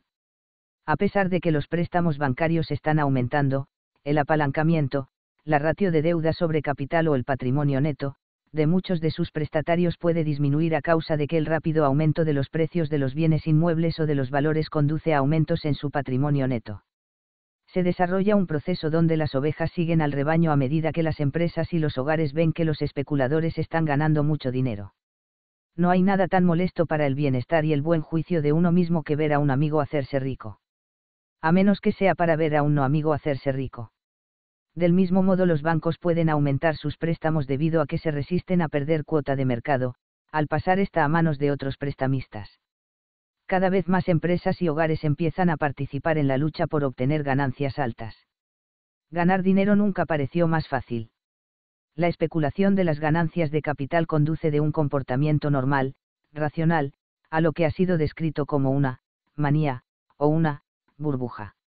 La palabra, manía, hace hincapié en la irracionalidad, la burbuja, presagia que algunos valores con el tiempo disminuyan, probablemente de forma drástica.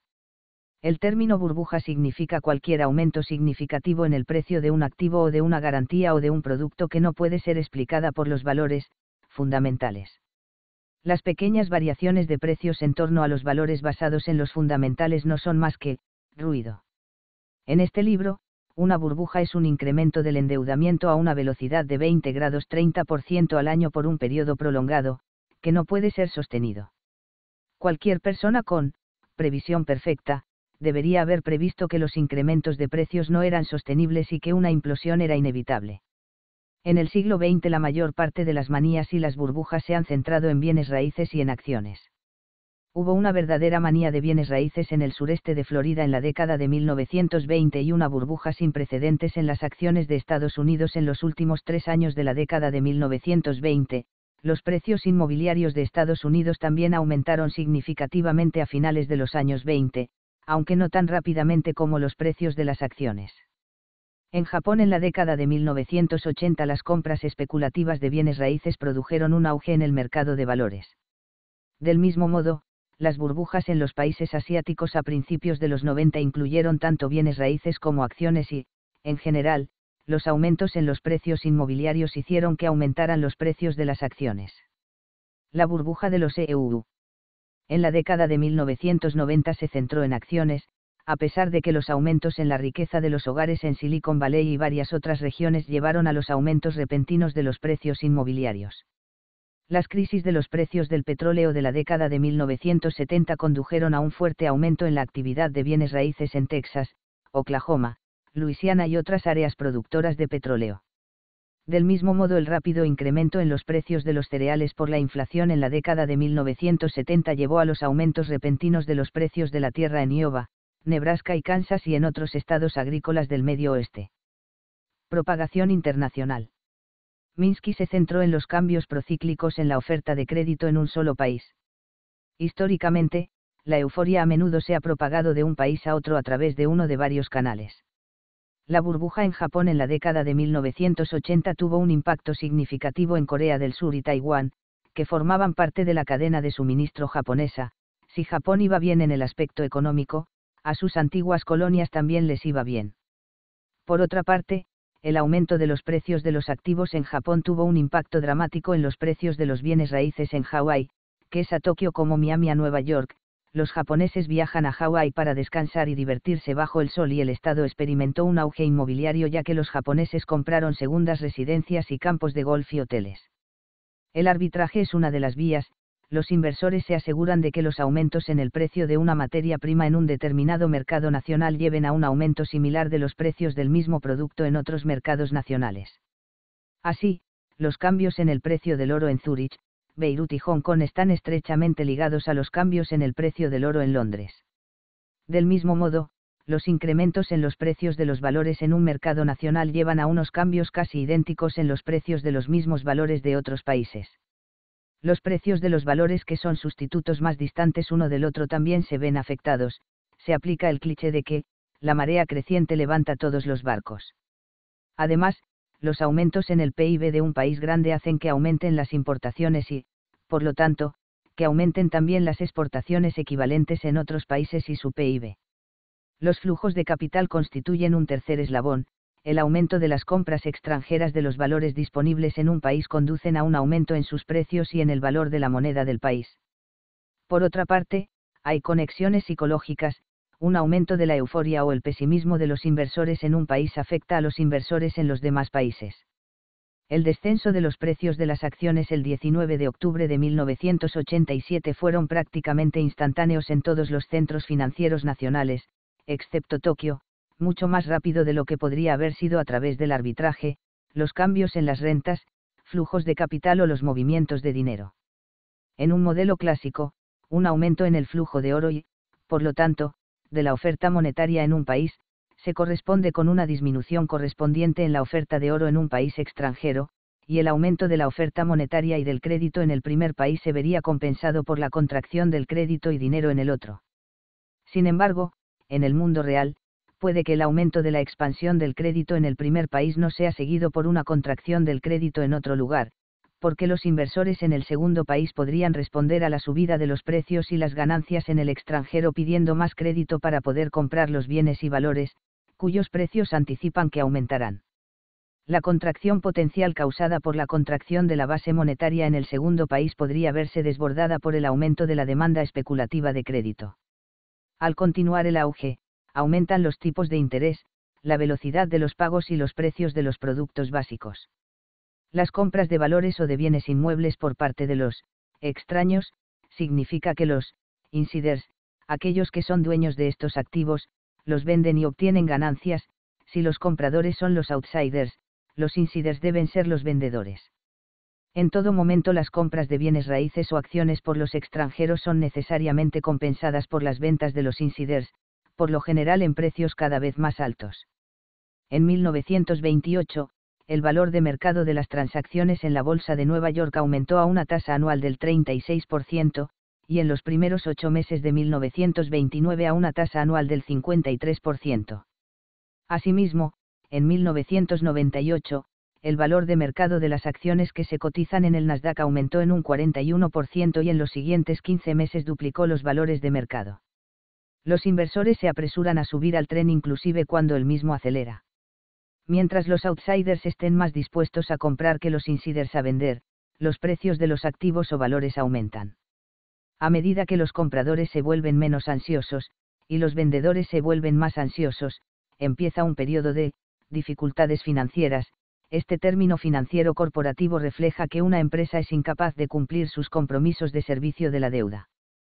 Para la economía en su conjunto, el equivalente es la conciencia de muchas empresas e inversionistas individuales de que ya es hora de tener más liquidez, para aumentar sus tenencias de efectivo.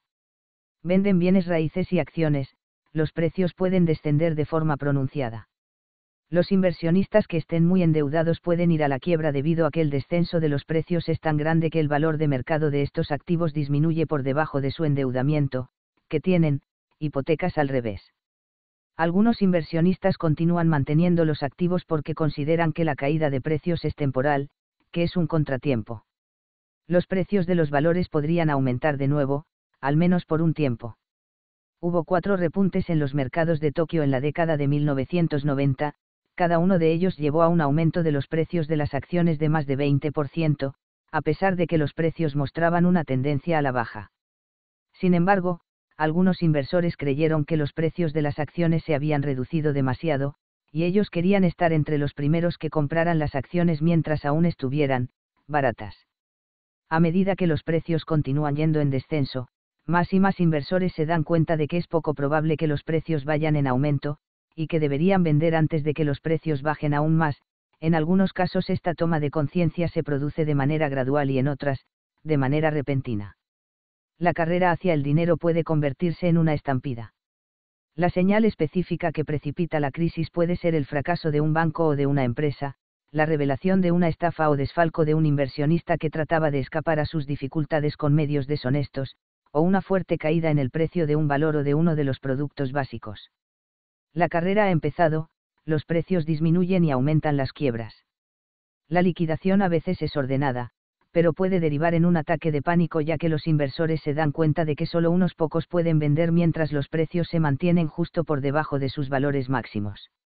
El término, revulsión, fue utilizado en el siglo XIX para describir este comportamiento los bancos se vuelven mucho más cautelosos a la hora de hacer nuevos préstamos basados en la garantía de los productos básicos y de valores y bienes raíces, porque sus valoraciones son más inciertas. En el siglo XIX esta condición se conocía como, descrédito.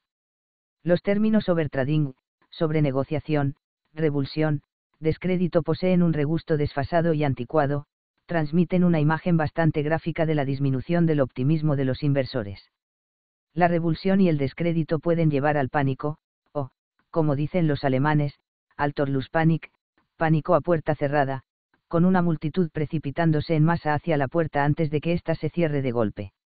El pánico se autoalimenta, hasta que los precios descienden a tal nivel que los inversores se sienten tentados a comprar los activos menos líquidos o hasta que la actividad comercial se detiene porque se han establecido límites máximos de caída de los precios diarios, o porque los intercambios se han cerrado, o porque un prestamista de última instancia tiene éxito en convencer a los inversores de que el dinero estará disponible para satisfacer la demanda de dinero en efectivo.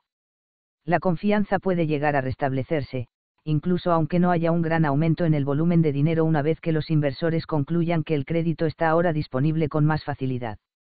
Se ha debatido durante más de 200 años si un prestamista de última instancia debería proveer de liquidez para evitar el pánico y la caída de los precios de bienes raíces y acciones Quienes se oponen a la provisión de liquidez de un prestamista de última instancia sostienen que el conocimiento de que tales créditos estarán disponibles fomenta la especulación. Los que quieren un prestamista de última instancia se preocupan más por hacer frente a la crisis actual y por reducir la probabilidad de que una crisis de liquidez se convierta en una crisis de solvencia y que provoque una grave recesión, como la que se inició en 2008. En el plano internacional, no hay ni un gobierno mundial ni ningún banco mundial adecuadamente equipado para servir como prestamista de última instancia. El Fondo Monetario Internacional no ha cumplido con las expectativas que tenían sus fundadores de que fuera un prestamista de última instancia. La validez del modelo. Se han hecho tres tipos de críticas al modelo de Minsky. Una de ellas es que cada crisis es única por lo que un modelo general estaría desfasado. La segunda es que este tipo de modelo ya no es relevante debido a los cambios en el entorno económico. La tercera es que las burbujas de los precios de los activos son altamente improbables, porque, toda la información está en el precio, el mantra de la visión del mercado eficiente de las finanzas. Cada crítica merece una respuesta. La primera crítica es que cada crisis es el producto de un conjunto único de circunstancias, o que las diferencias entre las crisis económicas son tan grandes que deberían ser clasificadas en varias especies, cada una con sus características particulares. Las crisis financieras eran frecuentes en los dos primeros tercios del siglo XIX y en el último tercio del siglo XX. Según este punto de vista, cada crisis única es producto de una serie específica de accidentes históricos, cosa que se dijo acerca de 1848 y sobre 1929, y puede ser inferida a partir de los relatos históricos de crisis separadas señaladas en este libro. Cada crisis tiene sus características individuales únicas, la naturaleza del impacto, el objeto de la especulación, la forma de la expansión del crédito, el ingenio de los estafadores y la naturaleza del incidente que desencadena la revulsión. Pero si me permiten tomar prestada una expresión del francés, cuanto más cambia una cosa, menos parece alterarse. Los detalles proliferan, la estructura permanece. La mayoría de estas crisis siguieron a la implosión de una burbuja de crédito. Resulta aún más convincente la sugerencia de que el género de las crisis se debe dividir en subespecies comerciales, industriales, monetarias, bancarias, fiscales y financieras, en el sentido de los mercados financieros, o en grupos locales, regionales, nacionales e internacionales. Abundan las taxonomías en esta línea.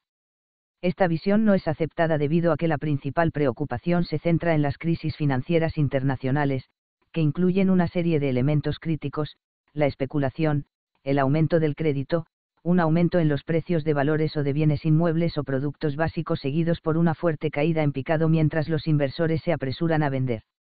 La prueba reside en si el modelo de Minsky proporciona información detallada sobre las características generales de las crisis. La segunda crítica es que el modelo de Minsky sobre la inestabilidad de la oferta de crédito ya no es relevante debido a los cambios estructurales en las características institucionales de la economía, incluyendo el surgimiento de las grandes corporaciones y de los grandes sindicatos y de los gobiernos grandes, de la banca moderna y de la agilización de las comunicaciones.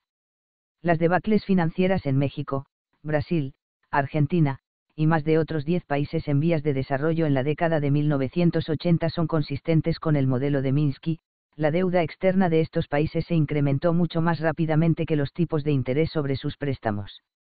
La burbuja de los precios inmobiliarios y los precios de las acciones en Japón en la segunda mitad de la década de 1980 y la implosión posterior de los precios de los activos es coherente con el modelo de Minsky, ya que los incrementos anuales en los precios de las acciones y de bienes raíces eran tres o cuatro veces mayores que los tipos de interés sobre el dinero que se había tomado prestado para comprar estos activos. Los auges y las caídas posteriores en la segunda mitad de la década de 1990, en Tailandia, Hong Kong e Indonesia y luego en Rusia, cuentan con el mismo patrón de flujo de caja. La tercera crítica es que las burbujas son imposibles porque los precios de mercado siempre reflejan los fundamentos económicos, y que las caídas en picado de los precios de los activos por lo general reflejan, cambios en la política, del gobierno o de los bancos centrales. Los que apoyan este punto de vista sugieren que la supuesta burbuja parece ser el resultado del comportamiento gregario, de la retroalimentación positiva o del efecto de, arrastra imbéciles, crédulos que imitan a los inteligentes insiders. Estos críticos sugieren que el modelo está, mal especificado, es decir, que algo estaba pasando y que no era tenido en cuenta por la teoría, y que se necesita más investigación. En este libro ofrecemos algunas de las investigaciones ignoradas por aquellos que tienen estas creencias. Alvin Hansen llevó a cabo un ataque más convincente al modelo de Minsky, afirmó que el modelo fue relevante antes de mediados del siglo XIX, pero dejó de serlo debido a los cambios en el entorno institucional. Desde luego las teorías basadas en la incertidumbre del mercado, en la especulación en productos básicos, en el overtrading, en los excesos del crédito bancario, en la psicología de los comerciantes y mercaderes, encajaba de manera lógica en la primera fase, mercantil, o comercial del capitalismo moderno. Pero a medida que iba avanzando el siglo XIX, los capitanes de la industria se convirtieron en las principales alternativas para los fondos que buscan una rentabilidad a través del ahorro y las inversiones. Hansen, que era uno de los exponentes más importantes del modelo keynesiano del ciclo económico y, especialmente, de los persistentes niveles elevados de desempleo, quiso restar importancia a la trascendencia de las explicaciones alternativas a la disminución de la actividad económica que no fueran un alto nivel de ahorro el énfasis de Hansen sobre la importancia de la relación entre el ahorro y la inversión no está supeditado al rechazo de la opinión de que los cambios en la oferta de crédito pueden tener un impacto importante en los precios de los valores y en la actividad económica. La relevancia actual del modelo. El modelo de Minsky puede aplicarse fácilmente al mercado de divisas y a los periodos de sobrevaloración y subvaloración del marco alemán, el franco suizo, el yen japonés, el euro y otras monedas nacionales que se asocian con sobrevaloración, e. Infravaloración.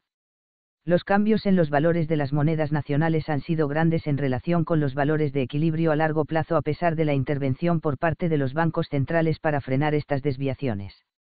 La especulación de las divisas se ha traducido en beneficios sustanciales para los grandes bancos internacionales, aunque algunos bancos y empresas industriales han sufrido grandes pérdidas.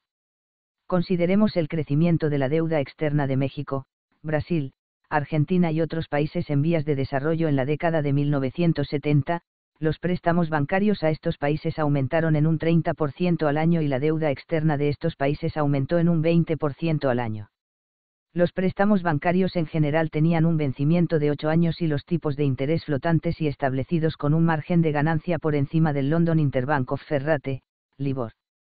Los tipos de interés giraban en torno al 8% a pesar de la tendencia al alza durante esa década puesto que el dinero que recibieron los prestatarios de los préstamos nuevos fue sustancialmente mayor que los pagos de intereses sobre sus préstamos pendientes de pago, no sufrieron la carga o la dificultad al hacer sus pagos de servicio de la deuda a tiempo. La entrada de fondos extranjeros condujo a una apreciación real de las monedas de los países receptores de dinero, que era necesaria para que el aumento de su déficit comercial y de cuenta corriente se correspondiera con el aumento de los excedentes de la cuenta de capital era inevitable y por lo tanto previsible que en un futuro próximo los ingresos monetarios de los nuevos préstamos se redujeran por debajo de los pagos de los intereses sobre los préstamos pendientes de pago, y que en ese momento el valor de sus monedas disminuiría, la contrapartida de la disminución de los flujos de dinero era que estos países necesitarían un superávit comercial para obtener parte del dinero necesario para pagar los intereses a sus acreedores extranjeros la mayoría de estos prestatarios eludieron su obligación de pagar estos préstamos cuando los prestamistas dejaron de hacer nuevos préstamos. Esos impagos costaron a los prestamistas 250 dólares millones en forma de reducción del valor nominal de los préstamos y lo que en efecto fue una reducción en los tipos de interés por debajo de los niveles del mercado. Los prestamistas no se habían parado a preguntarse. ¿De dónde sacarán los prestatarios el dinero para pagarnos los intereses, si dejamos de suministrarles el dinero en efectivo en forma de nuevos préstamos. Durante la década de 1980 los precios inmobiliarios y los precios de los valores en Japón aumentaron, el país experimentó un auge económico.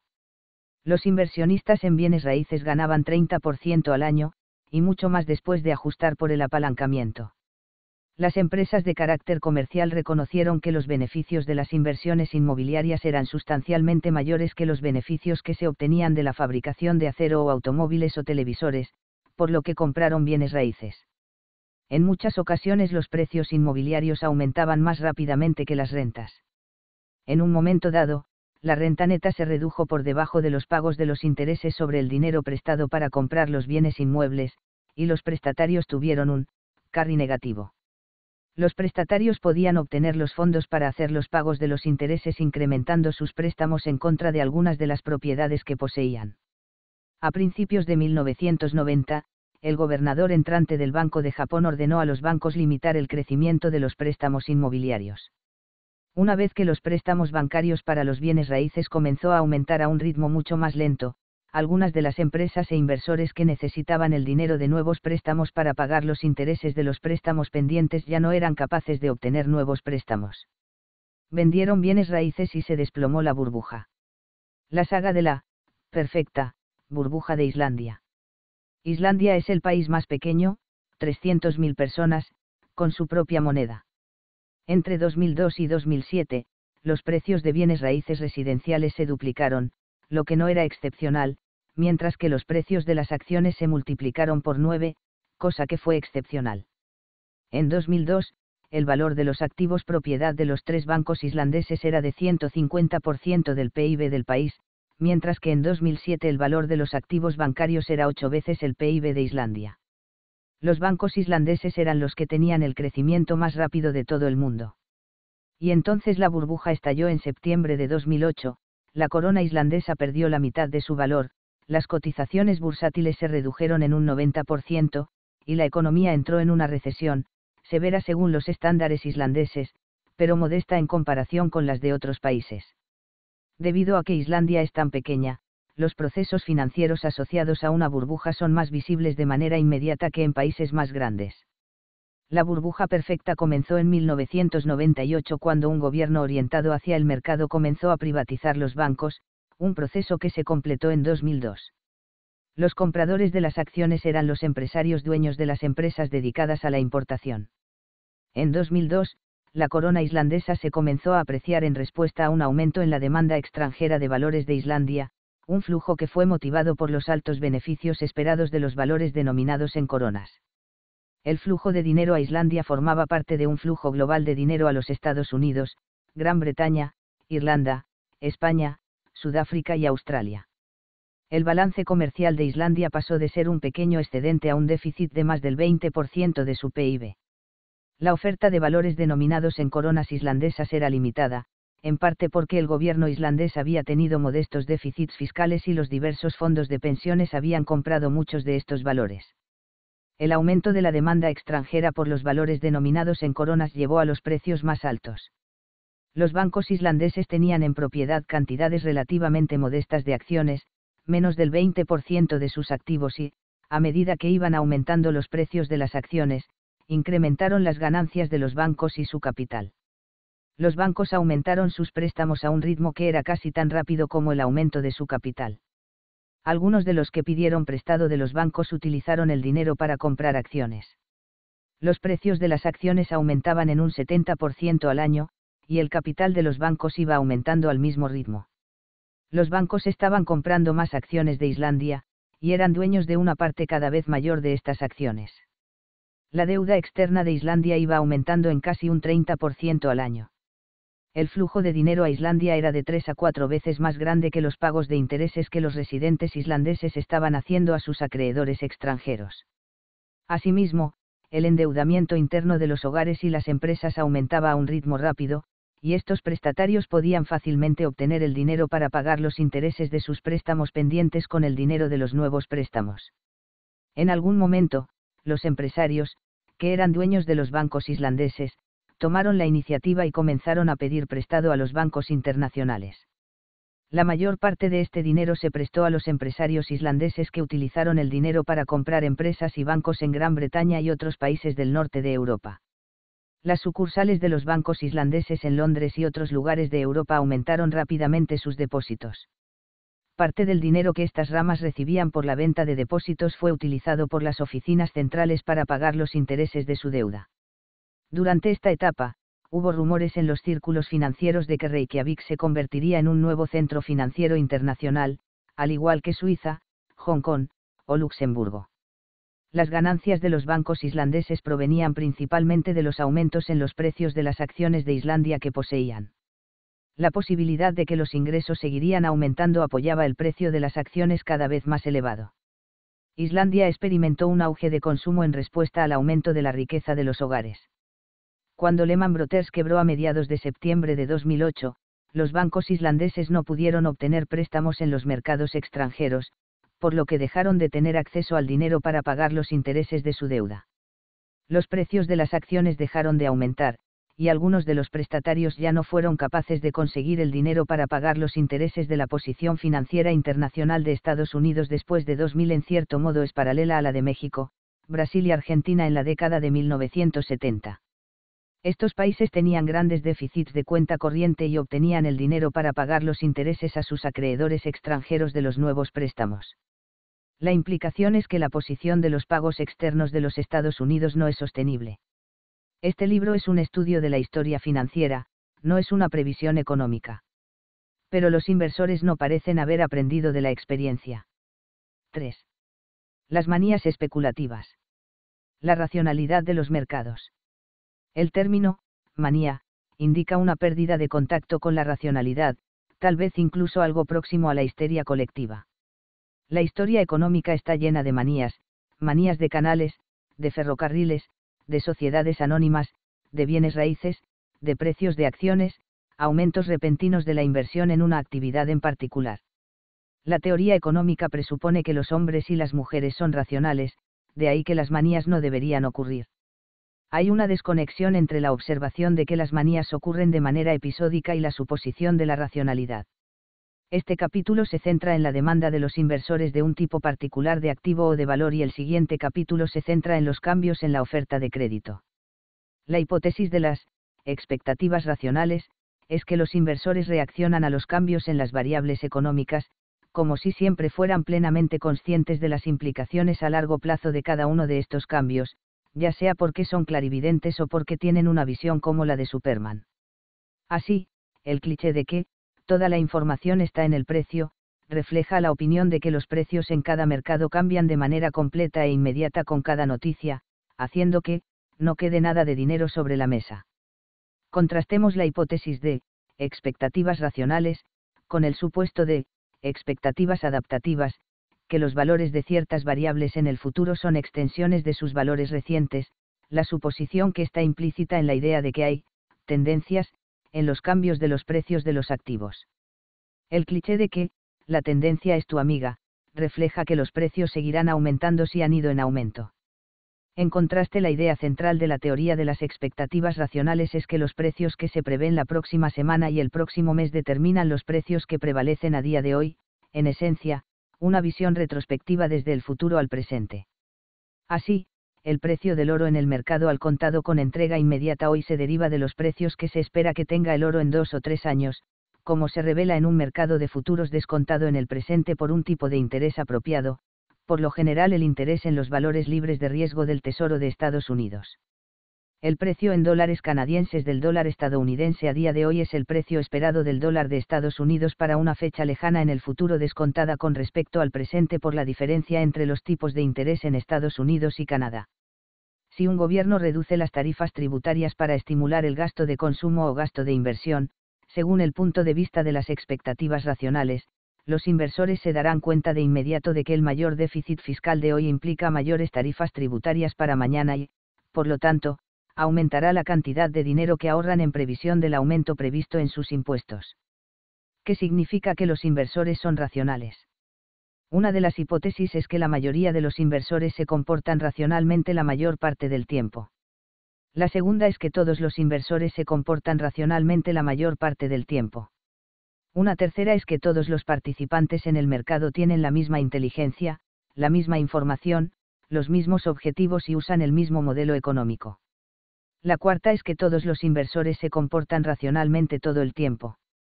Cada uno de estos supuestos tiene diferentes implicaciones para la forma en que los inversores se comportan.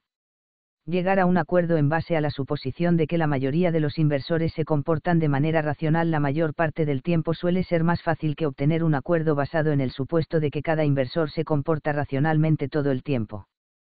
Con frecuencia, el argumento es entre dos posturas, una que sostiene que ningún inversor es siempre racional, mientras que la otra afirma que todos los inversores son siempre racionales. Harry G. Johnson ofreció esta descripción de la diferencia entre un grupo de economistas de más edad y un grupo más joven interesados en la reforma monetaria internacional. La diferencia puede resumirse en la proposición de que, mientras que la vieja generación de economistas se inclina a decir, el sistema de tipos flotantes no funciona como yo esperaba, por lo tanto, la teoría está equivocada, el mundo es irracional y solo podemos recuperar la racionalidad retornando a algún sistema de intereses fijos que se conseguirá con la cooperación entre los gobiernos de las naciones, la generación más joven se inclina a afirmar, el sistema de tipos flotantes es un sistema del que cabría esperar que funcionase de forma racional, como la mayoría de los mercados, si no parece comportarse racionalmente de acuerdo con mis criterios, mi comprensión de la forma en que debería funcionar es defectuosa, tengo que trabajar más sobre la teoría del comportamiento maximizador racional y sus consecuencias empíricas si quiero llegar a entenderlo. Este último planteamiento se está difundiendo, intelectualmente reforzado, a través de la red de expertos, más jóvenes. La racionalidad es una hipótesis a priori sobre la forma en que debería funcionar el mundo más que una descripción de cómo ha funcionado el mundo realmente. El asumir que los inversores son racionales a largo plazo es una hipótesis útil porque ayuda a entender los cambios en los precios de los distintos mercados, se trata de una hipótesis, preñada, por utilizar la terminología de Karl Popper. Por eso es útil suponer que los inversores, a largo plazo, son racionales y analizar las cuestiones económicas en base a esta suposición. Una de las interpretaciones de esta suposición racional es que los precios de un determinado mercado hoy deben ser consistentes con los precios de aquí a uno o dos meses y que de aquí a uno o dos años se deben haber ajustado a los costos de almacenamiento, de lo contrario sería una oportunidad de arbitraje rentable y relativamente carente de riesgo. Ragnar se resume su estudio de los cambios en los valores del franco francés y el marco alemán en la década de 1920 con la afirmación de que la especulación en el mercado de divisas había sido desestabilizadora.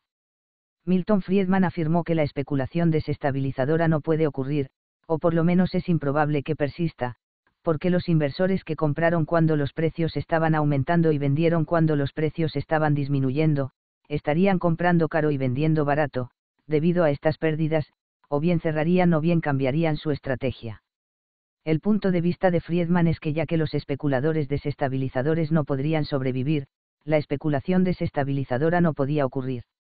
Una respuesta es que de vez en cuando algunos inversores siguen estrategias que conducen a pérdidas.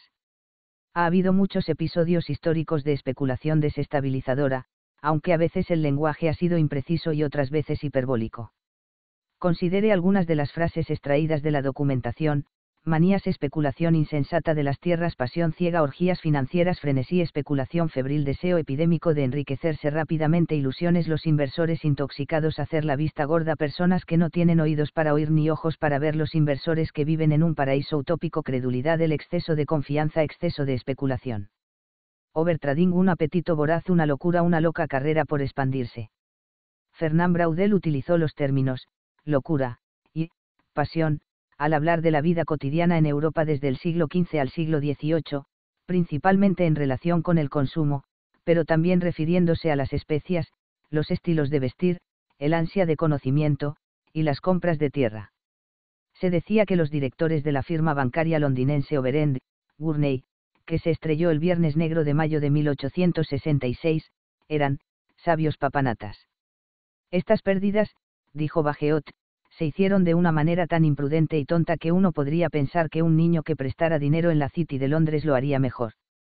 La descripción de Clapham de la firma Baring en 1890, es un típico eufemismo británico, no habían considerado a estas empresas o a los inversores previstos en ellas con la frialdad o la sabiduría suficiente, sino que habían, ido mucho más allá de los límites de la prudencia.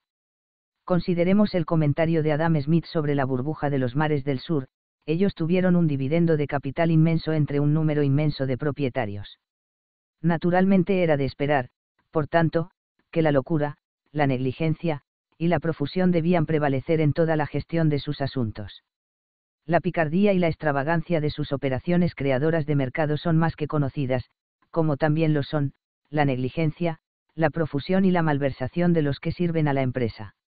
Y por último, una mención por parte del normalmente moderado Alfred Marshall. Los males de la negociación temeraria siempre tienden a extenderse más allá de las personas directamente afectadas cuando los rumores se atribuyen al crédito de un banco, crean una estampida salvaje para intercambiar cualquiera de sus valores que puedan tener en su posesión, su confianza ha sido ignorante, su desconfianza ignorante y feroz. Tal prisa a menudo ha causado que un banco se vea abocado al fracaso, cuando éste podría haberles pagado poco a poco El fracaso de uno causó desconfianza e hizo estragos en los demás, acabando hasta con los bancos más sólidos, del mismo modo en que un fuego se propaga de una casa de madera a otra hasta que incluso los edificios a prueba de fuego sucumben a las llamas de una gran conflagración. La racionalidad del individuo, la irracionalidad del mercado. Las manías en ocasiones se asocian con la irracionalidad, o psicología de masas. La relación entre individuos racionales y un grupo irracional de individuos puede ser compleja. Se pueden hacer una serie de distinciones.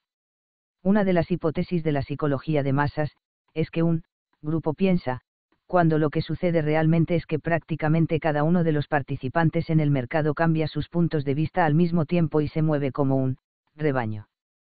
Como alternativa, varios individuos cambian sus opiniones sobre la evolución futura de los mercados en distintos momentos, como parte de un proceso continuo, la mayor parte de ellos empieza de manera racional y después un número cada vez mayor pierde el contacto con la realidad, poco a poco al principio y luego más rápidamente.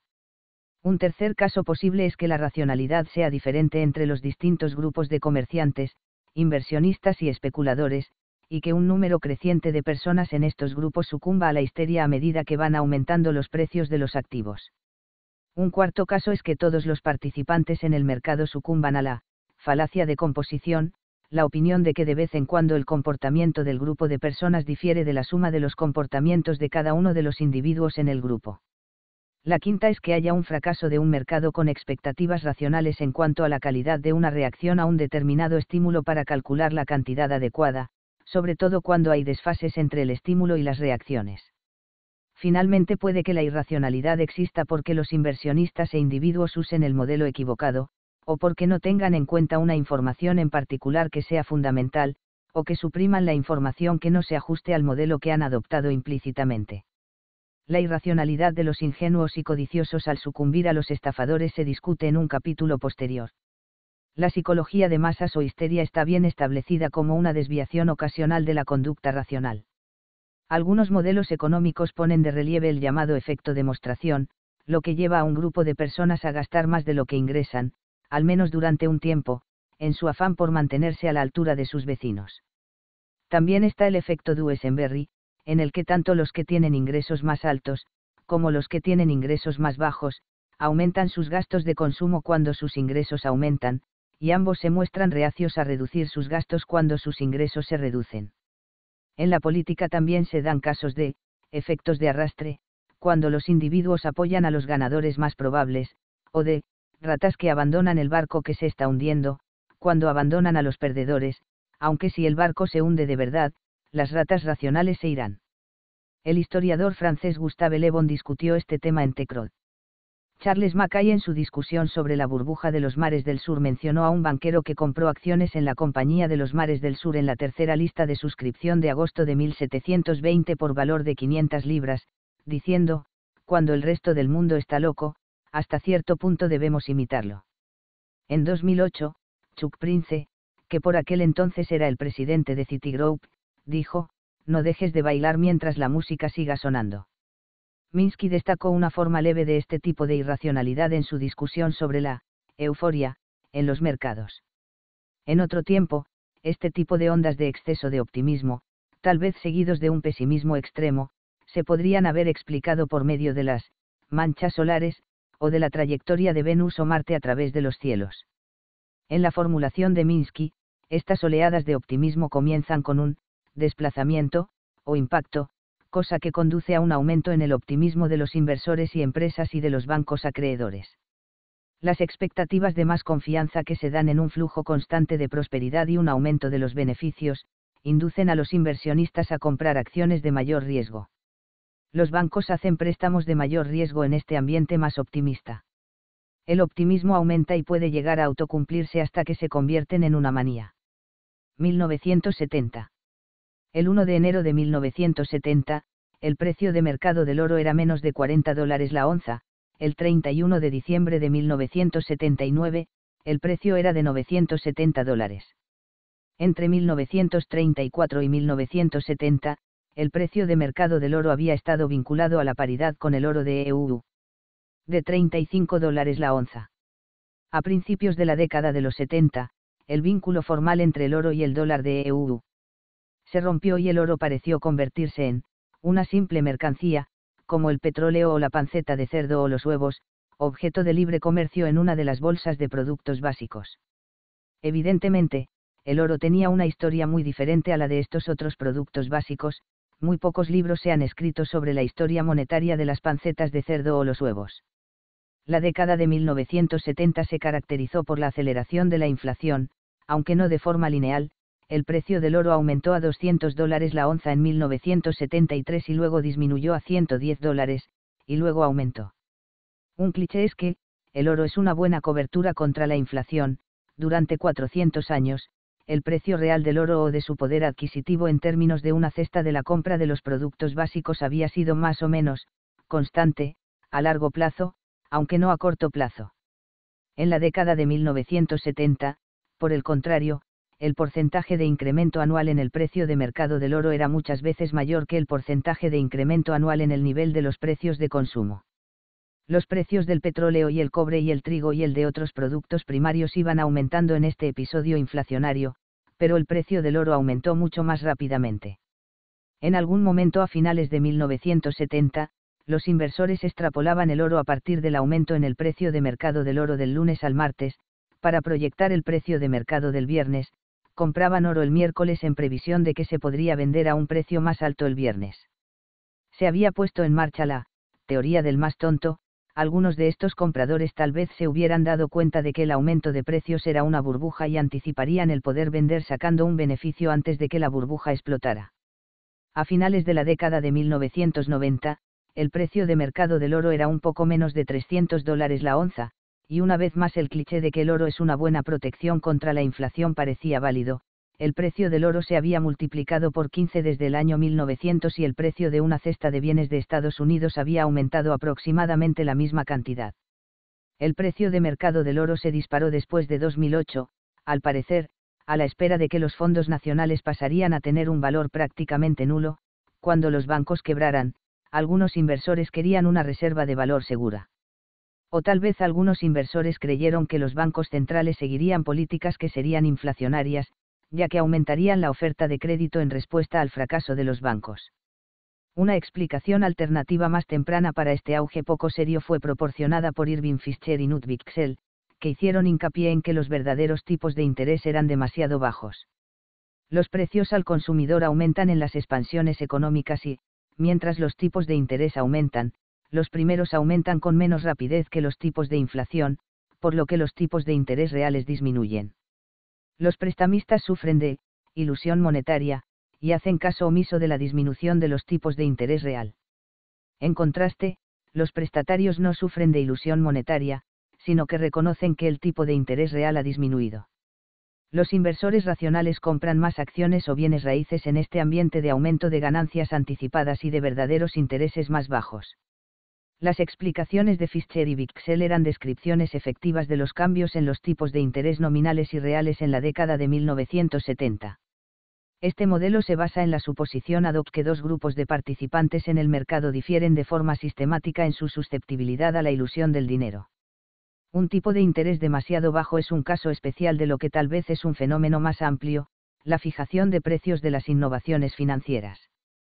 Inicialmente, estas innovaciones pueden ser subvaloradas como, líderes de la pérdida, para que sean más fácilmente aceptadas, pero el bajo precio también puede conducir a un exceso de demanda.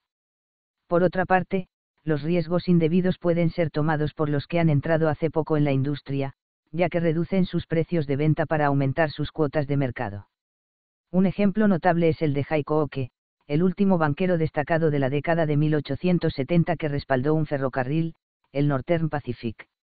Otros ejemplos serían los de Rogers Caldwell en el mercado de bonos municipales de fines de 1920, Bernard K. Marcus, del Banco de los Estados Unidos en las hipotecas en la misma época, y Michele Sindona del Franklin National Bank a principios de 1970. La especulación a menudo se desarrolla en dos etapas. En la primera etapa sobria, los hogares, las empresas y los inversores responden al impacto de manera limitada y racional, en el segundo, las previsiones de ganancias de capital juegan un papel cada vez más dominante.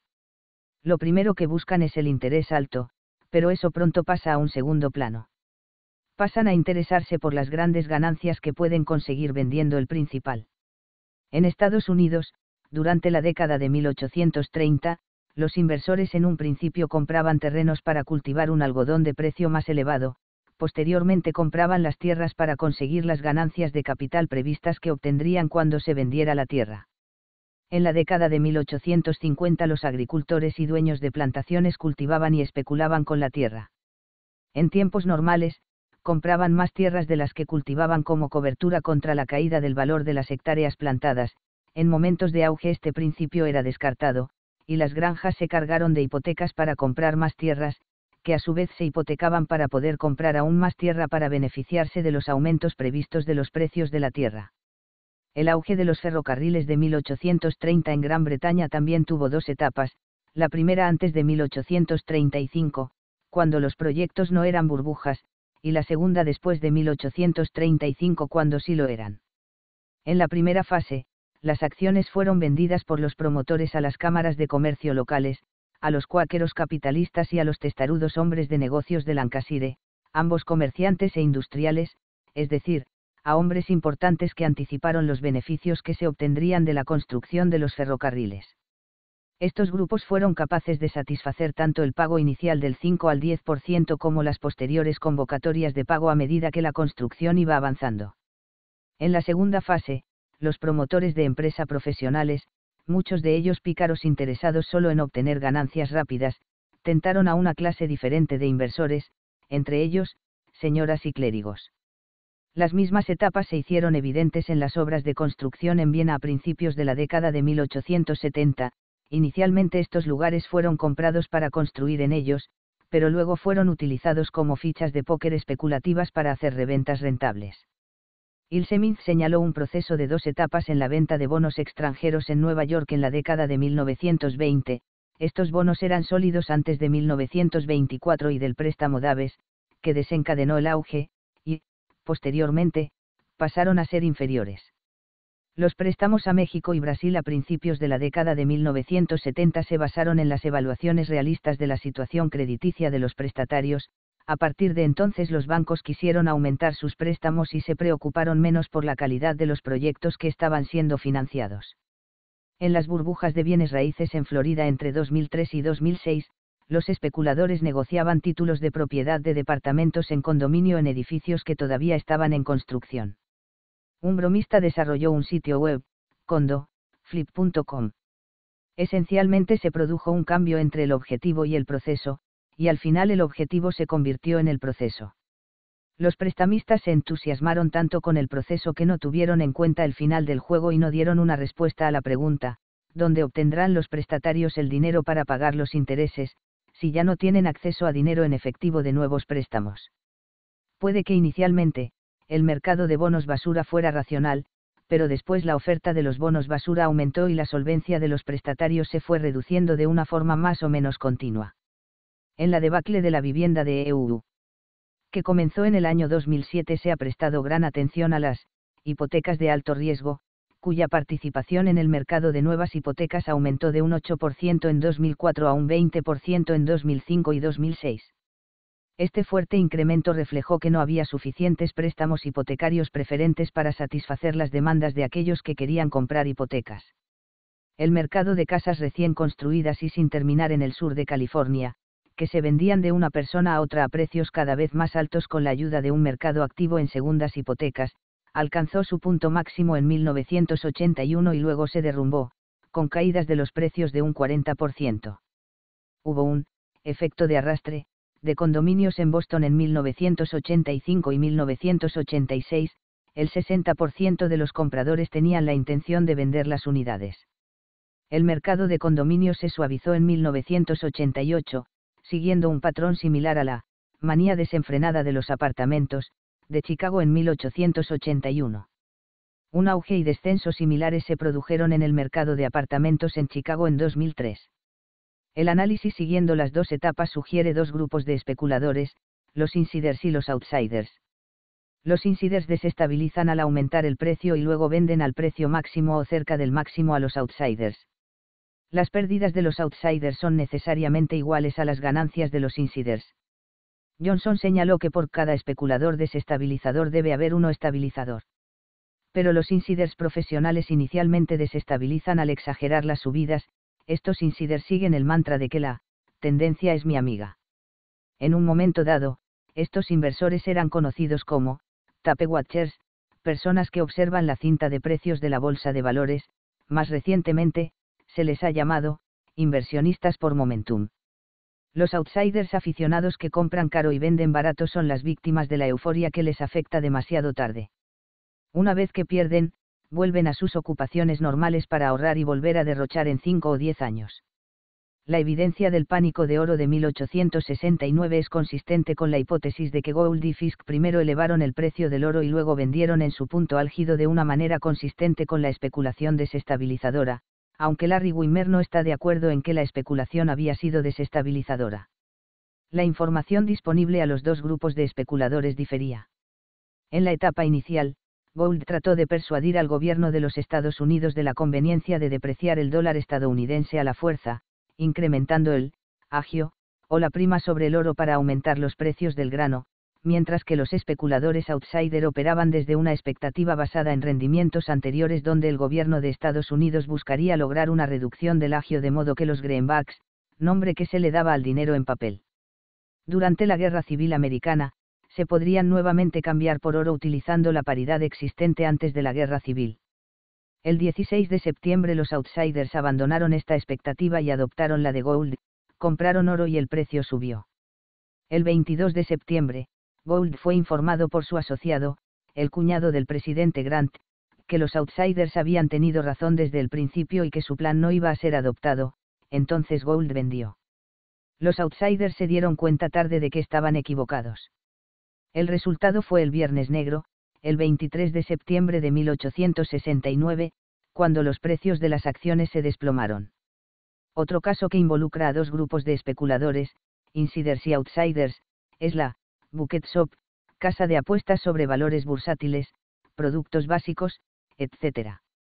Este término prácticamente ha desaparecido de la lengua desde que la Securities and Exchange Commission de los Estados Unidos la declaró práctica ilegal, pero los hombres y mujeres que dirigen las boiler shops, casas de bolsa ilegal, fraudulenta o de ventas de valores cuestionables, son los hijos de los que dirigieron las bucket shops.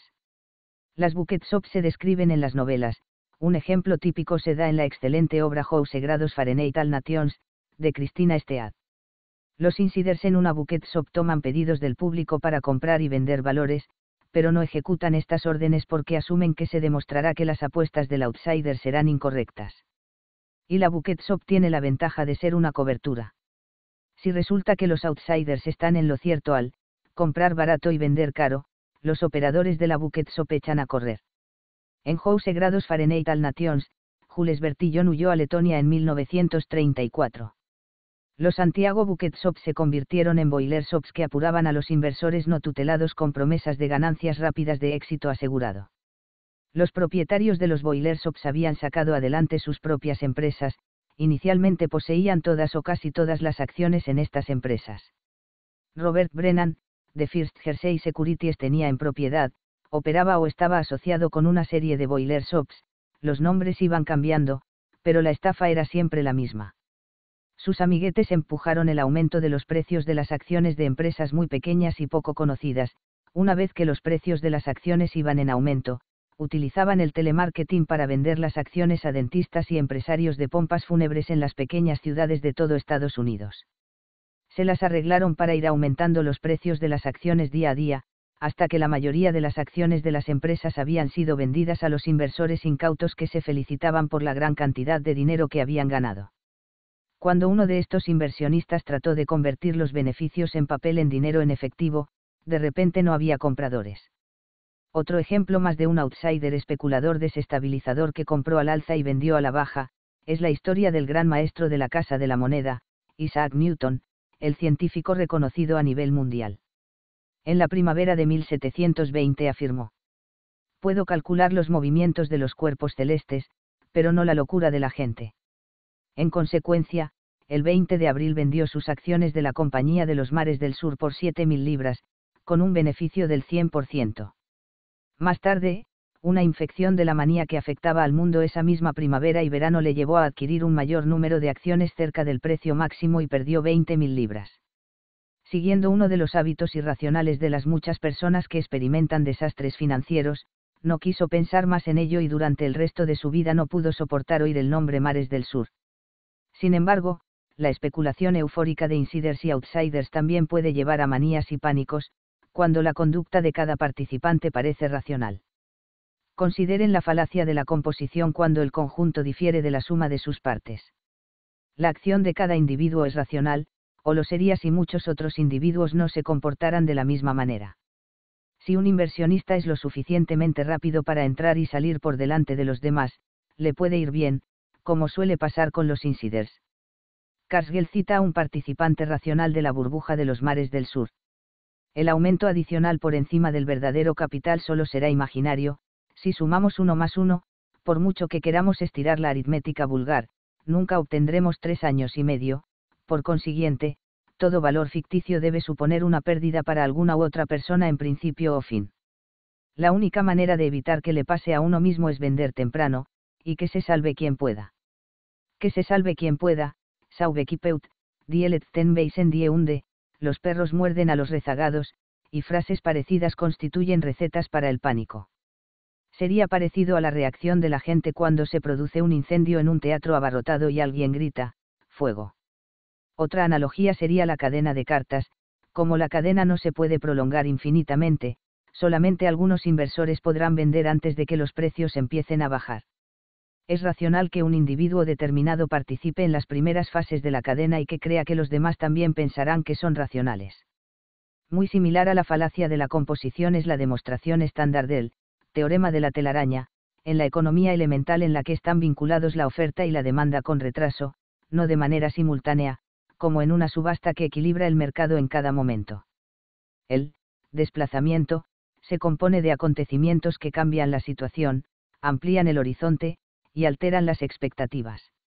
En estos casos, las expectativas de algunos inversionistas que de lo contrario serían racionales no llegan a reconocer la fuerza de respuestas similares que hayan tenido otros cuando parece que hay una escasez de físicos o matemáticos o maestros de escuela, muchos jóvenes entran a la escuela de posgrado para prepararse para una de estas profesiones, para cuando terminan sus estudios, puede haber un exceso de oferta, de personas capacitadas para las carreras de este campo. Después de la oleada tardía de oferta, las oportunidades de empleo de repente comienzan a escasear. Sin embargo, el exceso de oferta se da a conocer solo después del largo periodo de gestación. Las respuestas a la escasez de café, azúcar, algodón, o algún otro producto similar pueden ser de igual modo excesivas. El precio se incrementa considerablemente en respuesta a la oleada inicial de la demanda y luego disminuye aún más rápidamente a medida que hay cada vez más disponibilidad de nueva oferta. La historia de las manías y los pánicos está llena de ejemplos de respuestas de telaraña, desestabilizadora a impactos exógenos. Cuando Brasil se abrió como mercado de productos británicos en 1808, se enviaron más bienes de Manchester en un par de semanas que los que se habían consumido a lo largo de los últimos 20 años, incluyendo patines de hielo y calentadores de cama, como señaló Clapham, demostró ser la ilustración aceptada de la locura comercial entre los economistas del siglo XIX. En la década de 1820, la independencia de las colonias españolas provocó un auge al conceder préstamos a los nuevos gobiernos de América Latina, que invertían en acciones de minería y exportaban a la zona, el aumento de la inversión resultó excesivo. La demanda es repentina, y se detiene de repente. Pero demasiadas personas han actuado como si fuera probable que continuase. En la década de 1830 la fluctuación de telaraña tenía una periodicidad de dos años. Cada comerciante no tendría conocimiento de las cantidades que los demás comerciantes estarían trayendo en el momento en que su propia mercancía estuviera en el mercado. Lo mismo ocurrió en los Estados Unidos en la década de 1850, tras el descubrimiento del oro en California. Las expectativas extraordinarias e indebidas contempladas no solo en los Estados Unidos, sino también en este país, Gran Bretaña, en cuanto a la capacidad de California, después del descubrimiento del oro de 1849, sin duda, ayudaron a multiplicar y extender el desastre consecuente de la crisis estadounidense. Cuando se declaró una y otra vez, tanto en Londres como en Boston, en lo que se refería a todos los envíos a San Francisco, que seis, o, como máximo ocho cargos de tamaño moderado de colores mezclados al mes era lo único que les hacía falta o lo único que podría ser consumido, en lugar de eso, los transportistas de la costa este despachan entre 12 y 15 barcos de primera clase al mes, totalmente llenos. Una línea de razonamiento demasiado inverosímil para ser cierta condujo desde la filoxera que destruyó muchos viñedos y retrasó la producción de vino en Francia, hasta el auge de la década de 1880 de las acciones de las fábricas de cerveza en Gran Bretaña, a medida que una a una, las cervecerías privadas vendían por primera vez las acciones a inversores en la manía de las empresas que cotizan en bolsa. Entre ellos, se compró Arthur Guinness y compañía por 1,7 millones de dólares estadounidenses y se vendió por 3,2 millones de libras. El éxito de la emisión fue como el disparo de una pistola de partida. Para noviembre de 1890, otras 86 empresas cerveceras habían emitido nuevas acciones al público por primera vez. Hubo un auge en Gran Bretaña a finales de la Primera Guerra Mundial, cuando los hombres de negocios pensaron que la victoria aseguraría la eliminación de la competencia alemana en carbón, acero, transporte marítimo y textiles de algodón. Los precios de los activos industriales, barcos, acciones, e incluso los de las casas aumentaron. Las empresas se fusionaron, muchas de las fusiones se financiaron con grandes cantidades de crédito. Entonces comprendieron la seria realidad desde el verano de 1920 hasta la huelga del carbón en el segundo trimestre de 1921. Hay tres casos más que se encuentran en el límite de la racionalidad. La primera se centra en los trabajadores, por decirlo de alguna forma, las personas que se acostumbran a un determinado nivel de ingresos y que tienen dificultades para ajustar sus gastos a la baja cuando sus ingresos disminuyen. Según la teoría del consumo, este es el efecto Duesenberry que comentamos anteriormente. En la oferta de trabajo, constituye la curva de oferta atípica, lo que sugiere que el aumento de los sueldos o salarios no produce más trabajo sino menos y que la manera de aumentar el esfuerzo es reducir el salario por unidad de tiempo. En los libros de historia económica, este principio se conoce como, John Bull puede soportar muchas cosas, pero no puede soportar un 2%. John Stuart Mill lo expresó así. Este tipo de vicisitudes, que comienzan con una especulación irracional y acaban con una crisis comercial, hasta ahora no han sido menos frecuentes o menos violentas con el crecimiento del capital y la expansión de la industria. Más bien puede decirse que han ido a más, en consecuencia, se dice a menudo que han creado una mayor competencia, pero, como yo prefiero ponerlo, se deben a un índice de beneficios y a unos tipos de interés bajos, cosa que hace que los capitalistas estén insatisfechos con el curso ordinario de las ganancias mercantiles seguras. En Francia, a finales de la Restauración y el comienzo de la monarquía de Julio, es decir, entre 1826 y 1832, la especulación se extendió a pesar de la desconfianza que los franceses siempre sienten hacia el dinero obtenido por medio ilícitos. Los propietarios de tierras ganaban entre un 2,25 y un 3,75% con sus activos, los industriales intentaron obtener mayores beneficios que los que les daban los tipos de interés a largo plazo sobre sus inversiones fijas, entre el 2 y el 4%, para ganar entre un 7 y un 9% global. Los comerciantes y los especuladores en materias primas buscaban ganancias entre un 20 y un 25% sobre sus inversiones. Charles Wilson señala que anteriormente los holandeses pasaron de ser comerciantes a ser banqueros, acusados de ser holgazanes y codiciosos, desarrollaron hábitos de la especulación, debido al descenso de los tipos de interés en Ámsterdam al 2,5 y 3%. Las conversiones a gran escala de la deuda pública en 1822 y 1824 y de nuevo en 1888 condujeron a una disminución de los tipos de interés y estimularon el apetito de los inversores británicos por comprar más valores bursátiles extranjeros. Andreas observó que, cuando el interés cae, el mundo comercial inglés, incapaz de reducir su nivel de vida, abandona sus negocios habituales a favor de otros más rentables, pero por ese mismo motivo, tales empresas son más arriesgadas. La especulación conduce al desastre y, en último término, debe ser asumido por el Banco Central. El auge en los préstamos indicados del tercer mundo en la década de 1970 se dio después de una fuerte disminución en los tipos de interés sobre los valores en dólares estadounidenses durante la primavera de 1970, cuando la Reserva Federal adoptó una política más expansiva. Los bancos tenían una alta liquidez y buscaban prestatarios atractivos que encontraron en los gobiernos del tercer mundo y en las empresas de propiedad estatal, sobre todo en América Latina. La década de 1960 había sido una década de aceleración de la internacionalización de los grandes bancos estadounidenses y habían aumentado rápidamente el número de sus sucursales en el extranjero. Debido al fuerte aumento de los precios de los productos básicos, los ingresos nominales y reales en México, Brasil, y la mayoría de otros países en desarrollo se expandieron a tasas por encima de la tendencia los precios de los productos básicos se redujeron fuertemente en la década de 1980 en respuesta al aumento en los tipos de interés en Estados Unidos, y a continuación los ingresos nominales y reales se redujeron en estos países endeudados. Deberían haber previsto los bancos que el descenso de los precios de los productos básicos era inevitable.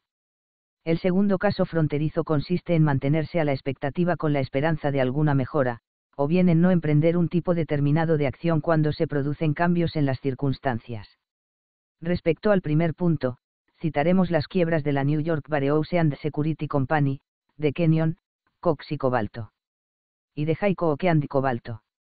Los días 8, 13 y 18 de septiembre de 1873, a causa de los anticipos proporcionados a compañías ferroviarias, respectivamente, a la de Missouri, Kansas y Texas, a la Canada Southern y a la Northern Pacific, con las que se hallaban asociados. Estos ferrocarriles fueron incapaces de vender bonos para obtener los fondos necesarios para completar la construcción debido a que Berlín y Viena habían dejado de conceder préstamos a los Estados Unidos. Del mismo modo, cuando los préstamos a largo plazo de los Estados Unidos a Alemania se detuvieron en 1928, ya que los inversores de Estados Unidos se centraron en las acciones y dejaron de comprar bonos, los bancos y casas de inversión de Nueva York continuaron haciendo préstamos a corto plazo a los prestatarios alemanes. Cuando uno monta un tigre o agarra un oso por la cola, lo más racional parece ser agarrarse a él, al menos por un tiempo. Como ejemplo de un error de omisión, veamos la crisis de algunos bancos de Hamburgo que abrieron grandes créditos durante la guerra de Crimea a favor de las casas suecas que estaban involucradas en el tráfico de mercancías a Rusia, pero no se preocuparon de cancelarlos cuando llegó la paz los suecos utilizaron los créditos para especular en la construcción naviera, las fábricas y la minería, lo que contribuyó a involucrar a Hamburgo en la crisis mundial de 1857. El tercer caso fronterizo es tener un modelo racional en la mente, pero que sea erróneo. El ejemplo más famoso, en otro campo, es la psicología de la línea Maginot, francesa, aunque puede pensarse que este ejemplo es menos un caso de expectativas irracionales que de retardo no distribuido. Cuando la visión de una persona se halla fija en una cosa, observó Ponzi, daría lo mismo que fuera ciega. O el comentario de Bajeot sobre Malthus, casi ningún hombre que haya desarrollado una concepción asombrosa y original consigue librarse de ella.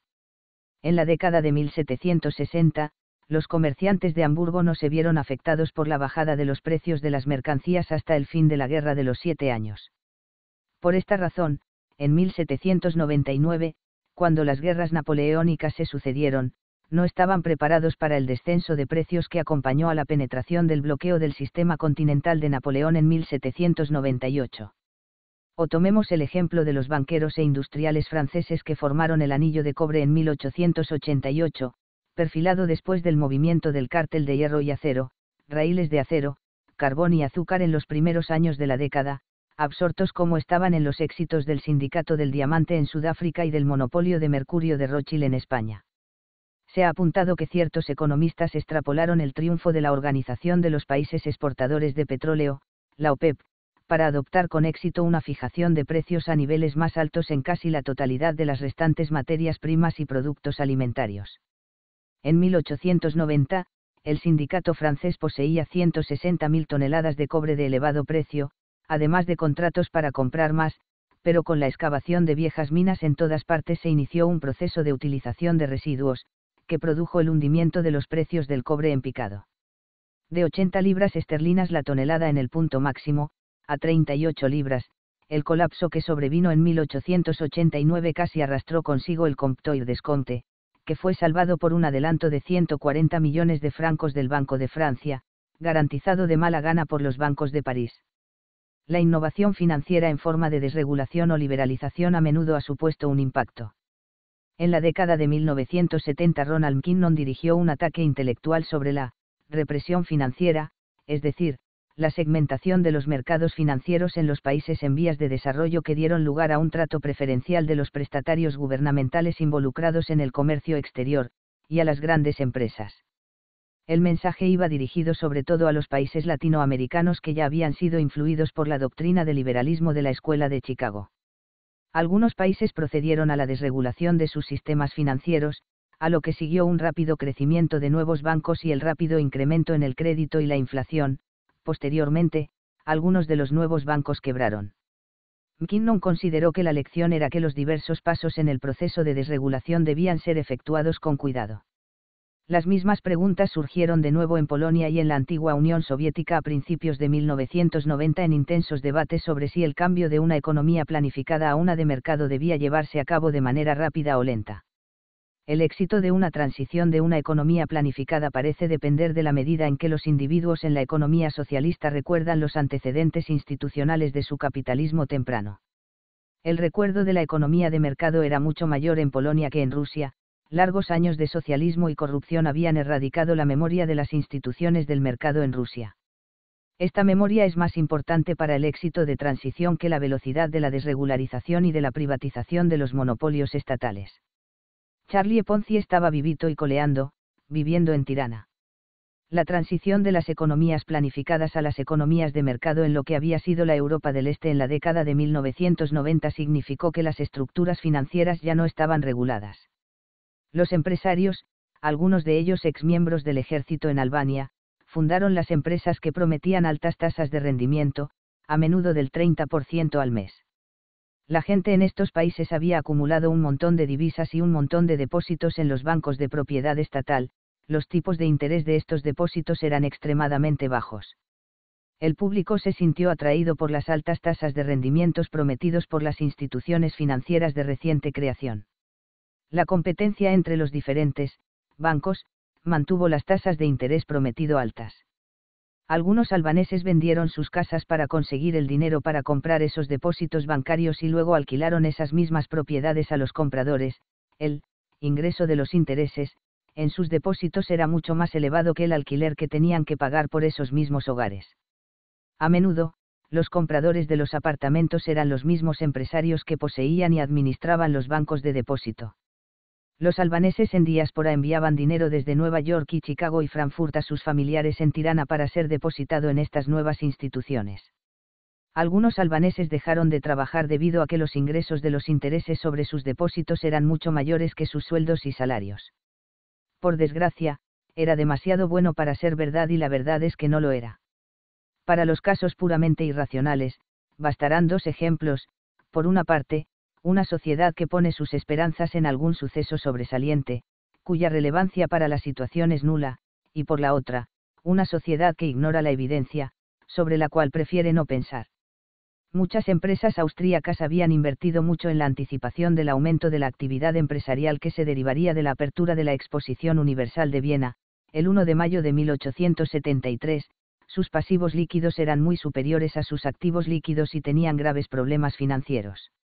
El objetivo de estas ferias internacionales es aumentar la actividad empresarial, por lo que se hace una importante inversión en instalaciones diseñadas para acomodar a los que asistirán a las ferias. El crédito en los bancos se estiró hasta el límite, se inició un movimiento desde los productos básicos, terrenos, acciones y deuda hacia el tener dinero nuevamente, y la cadena de letras de complacencia se extendió tanto como fue posible.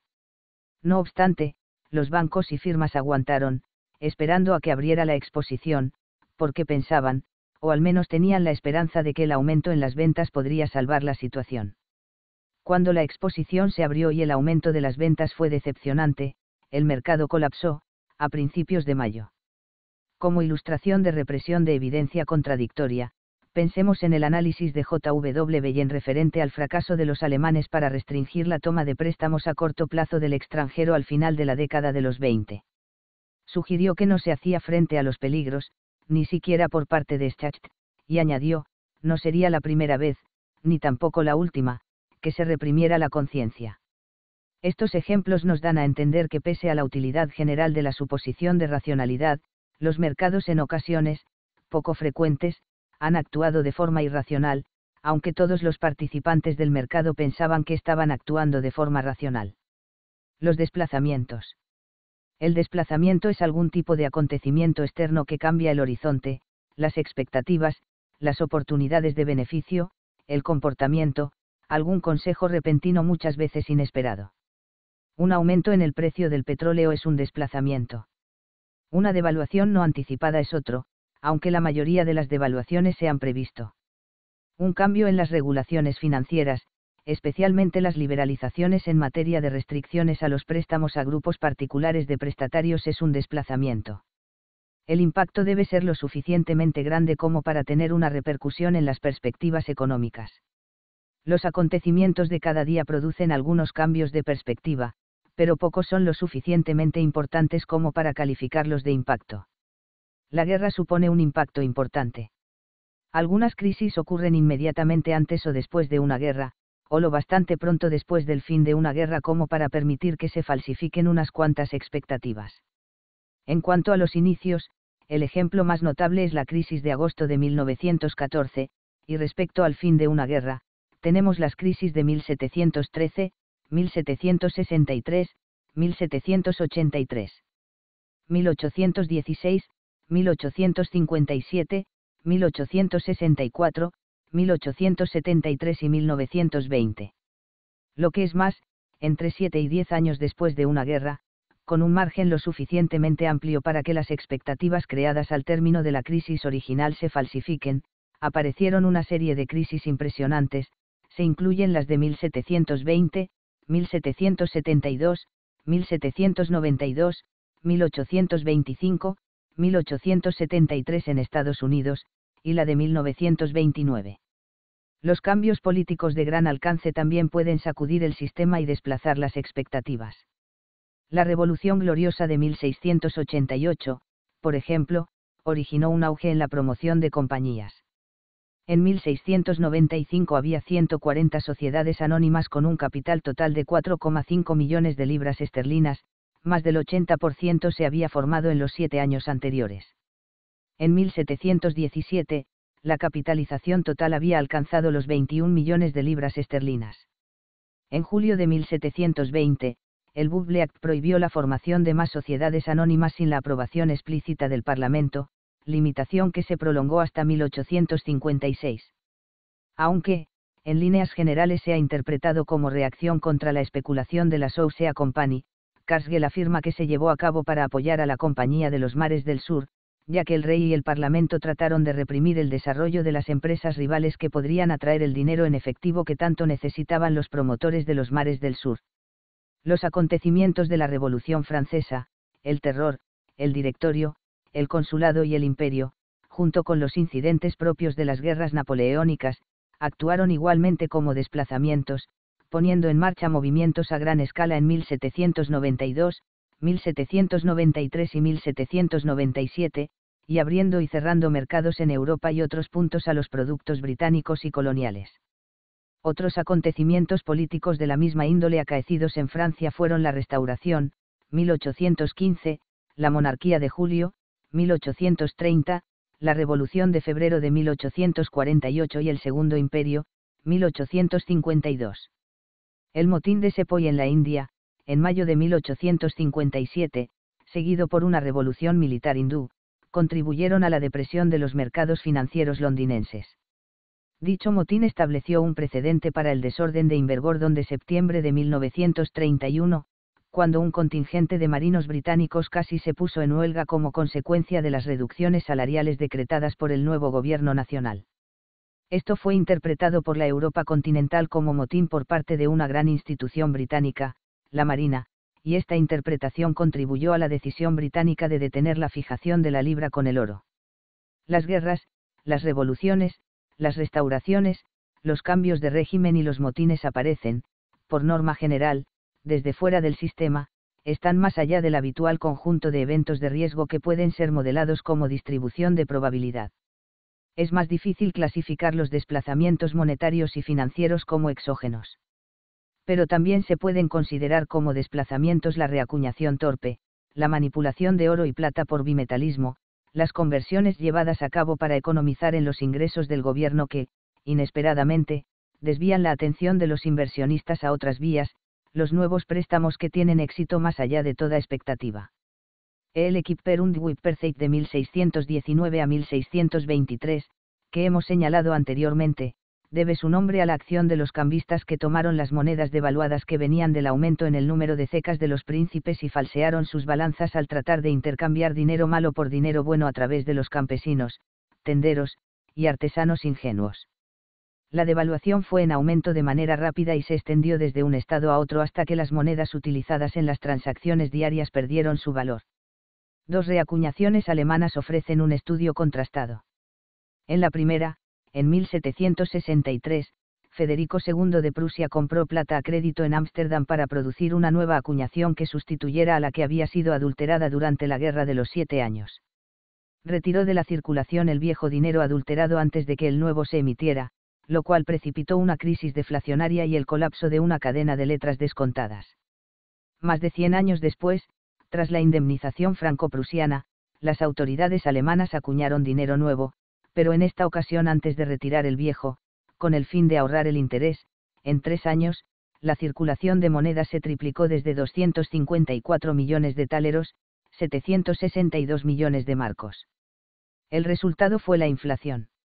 La crisis de 1893 en Estados Unidos, originada por la amenaza a la convertibilidad del oro a partir del Sherman Silver Act, sobre la compra de plata, de 1890, ya se ha comentado y también las conversiones británicas de la deuda de 1822, 1824, 1888 y 1932, aunque esta última se asoció con un auge en la construcción de viviendas que no desembocó en crisis. En Francia, la conversión del 5% de las obligaciones francesas, rentes, se discutió después de 1823 mientras la oferta monetaria se expandía, el tipo de interés habría caído de no haberse mostrado los inversores reticentes a comprar obligaciones francesas con prima. Cada uno de los tres banqueros tenía una idea diferente del propósito de la conversión, Rothschild quería vender más obligaciones, Greffule, y Obrar, esperaban poder atraer a los inversores hacia la compra de canales, Lafitte quería asegurar el desarrollo de la industria. En esta ocasión, los obstáculos políticos evitaron la aprobación de la legislación necesaria y, finalmente, el mercado renunció a mantener las obligaciones francesas con prima. Este agudo descenso de los tipos de interés desencadenó la especulación. El gobierno construyó canales con capital privado, y el débil resplandor del auge del ferrocarril se constató en Francia a lo largo del Loira, el Ródano y el Sena. Pero el objeto principal de la especulación era construir en el interior o en los alrededores de las principales ciudades, Toulouse, Lyon, Marsella, Le Havre. Esta experiencia inspiró a Honoré de Balzac para su novela César Viroteau, escrita en 1830, relata la triste historia de un perfumista a quien convencieron para que comprara lotes de edificios en las proximidades de la Madeleine con dinero prestado por, un cuarto del valor que con seguridad tendrían dentro de tres años. El éxito de los préstamos en el reciclaje de las compensaciones después de las guerras napoleónicas y franco-prusiana y de la Primera Guerra Mundial ya se ha comentado cualquier éxito sorprendente de una emisión de valores, con un múltiple exceso de peticiones de suscripción y una rápida prima para los suscriptores, atrae a aquellos que toman dinero a préstamo, a los prestamistas y especialmente a los banqueros de inversiones. El préstamo de Baring de 1819, el primer préstamo extranjero importante contratado por un banco británico, condujo rápidamente a una serie de emisiones para Francia, Prusia, Austria y, más tarde, tras la independencia de las colonias, para las repúblicas hispanoamericanas.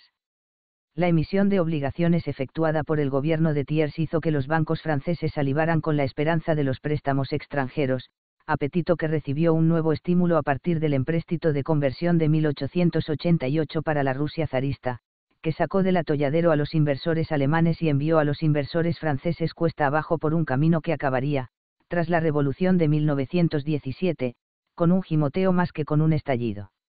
El préstamo Daves de 1924 abrió los ojos a los inversores americanos a las delicias de la concesión de préstamos al extranjero, a los que darían la espalda al cabo de media década. Las obligaciones de Tiers tuvieron un exceso de peticiones de suscripción por un importe 14 veces superior a la emisión, y el préstamo Daves 11 veces superior.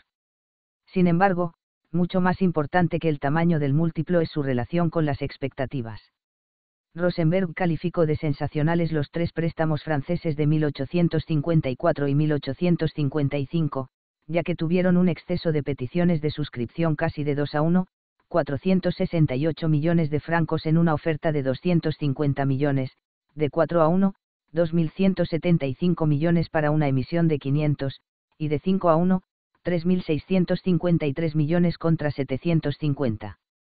No obstante, en Austria y Alemania, después de iniciarse el auge especulativo de la década de 1850, el comienzo de la venta de las acciones del Creditanstalt tuvo un exceso de peticiones de suscripción 43 veces superior al importe, en gran parte por gente que había hecho cola durante toda la noche, y cuando el Brunswick Bank quiso 2 millones de taleros en mayo de 1853, se le ofreció 112 veces esa cantidad en un espacio de tres horas. Entre los principales desplazamientos que se han dado recientemente, como señalamos anteriormente, se encuentran la desregulación de los bancos e instituciones financieras, las innovaciones tales como los derivados, que existían antes, pero solo en una escala modesta, los fondos mutuos y de cobertura, que ofrecen nuevas oportunidades de adquirir riqueza, aunque, sin embargo, presentan el riesgo de pérdida, los REITs, Real Estate Investment Trusts, la flotación, por parte de los bancos, de los préstamos e hipotecas como valores negociables, y las ofertas públicas de venta, OPV, iniciales de empresas privadas. La desregulación de las instituciones financieras fue un factor importante que contribuyó a la burbuja de precios de los activos en Japón en la década de 1980 y especialmente durante la segunda mitad de esa década. Todos los bancos japoneses estaban muy interesados en su posición en la lista de los éxitos de activos y depósitos, todos ellos querían estar situados en una posición más alta en la escala de las listas de éxitos, lo que significó que cada uno de ellos tenía que, hacer crecer sus préstamos más rápidamente, que los bancos que tenían posiciones más altas. La revolución tecnológica de la década de 1920, el fuerte incremento de la producción de automóviles, la electrificación de gran parte de América, la rápida expansión del sistema telefónico, el aumento en el número de salas de cine, y el comienzo de la radio, fue un gran impacto. La inversión aumentó. Del mismo modo, en la década de 1990, sobre todo en la segunda mitad de la década, hubo una gran revolución tecnológica de la información. Las entidades de capital riesgo, especialmente aquellas en el área de la Bahía de San Francisco, se convirtieron en proveedores deseosos de financiar a muchos de los ingenieros que tenían ideas. Luego, en una fase posterior, estas empresas recibieron, capital mezzanine. La siguiente etapa fue que las empresas tuvieron una OPV organizada por alguno de los principales bancos de inversión, como Merrill Lynch, Morgan Stanley o el Credit Suisse First Boston. Los bancos de inversión se harían cargo de los roadshows, giras por un número de ciudades donde los ejecutivos de una empresa se reúnen con los inversores potenciales antes de una OPV. Para estas empresas que estaban a punto de salir a bolsa, los empresarios visitaban los fondos mutuos y los fondos de pensiones y a los administradores de otros depósitos en efectivo. Sobre la base de la demanda, los bancos de inversión fijaban el precio de las acciones a 19, 23 grados 31 dólares y tal vez un 20% de las acciones en circulación de las empresas se llegaban a vender. A menudo, el precio de las acciones al final de la negociación del primer día sería de tres o cuatro veces el precio de la OPV. El PUM en el precio de las acciones tras el primer día de negociación anunciaba que los precios de las acciones aumentarían. Durante los últimos años de la década de 1990 una proporción extremadamente alta de nuevas emisiones de acciones experimentaron estos grandes, PUMS, de precios el primer día de cotización. Los, PUMS, en los precios dieron pie a muchas nuevas ofertas en acciones. Dow en 36.000, Dow en 40.000, Dow a 100.000 en 1999 se publicaron tres libros con títulos casi idénticos. Los temas que trataban eran casi idénticos, si los tipos de interés permanecían bajos y las ganancias corporativas seguían aumentando, entonces, finalmente, el índice Dow Jones de los precios de las acciones llegaría a niveles mucho más altos de los que nunca había llegado. La lógica era irrefutable, era más o menos una extensión del principio de Arquímedes que decía que podría mover el mundo si tuviera una palanca lo suficientemente grande. A largo plazo, el nivel de los precios de las acciones refleja tres factores, la tasa de crecimiento del PIB, el porcentaje de beneficios del PIB y la relación de los precios de las acciones con los beneficios corporativos o la relación precio-beneficio. El porcentaje que representan las ganancias dentro del PIB de Estados Unidos ha sido notablemente constante a largo plazo, en torno al 8, y la relación precio-beneficio ha estado en un promedio del 17. Los inversores continuamente eligen entre la compra de bonos y la compra de acciones. La tasa de interés de los bonos ha sido, en promedio, de un 5, los rendimientos de las ganancias de los bonos, la tasa de interés recíproco, por lo tanto, es 20. Los que pronosticaron el Dow a 36.000 creían que la relación precio-ganancia debería ser mucho mayor porque las acciones no eran mucho más arriesgadas que los bonos. Los objetos de la especulación. En las últimas décadas del siglo XX, los inversores especularon sobre todo en bienes raíces o acciones, en épocas anteriores los objetos de la especulación fueron más diversos. En el apéndice se puede encontrar una tabla detallada de los ciclos. La lista muestra la tendencia de estos objetos de pasar de unos pocos productos favorecidos, al inicio del periodo de observación, a una amplia variedad de activos y valores al final del mismo. La lista es parcial, pero da que pensar.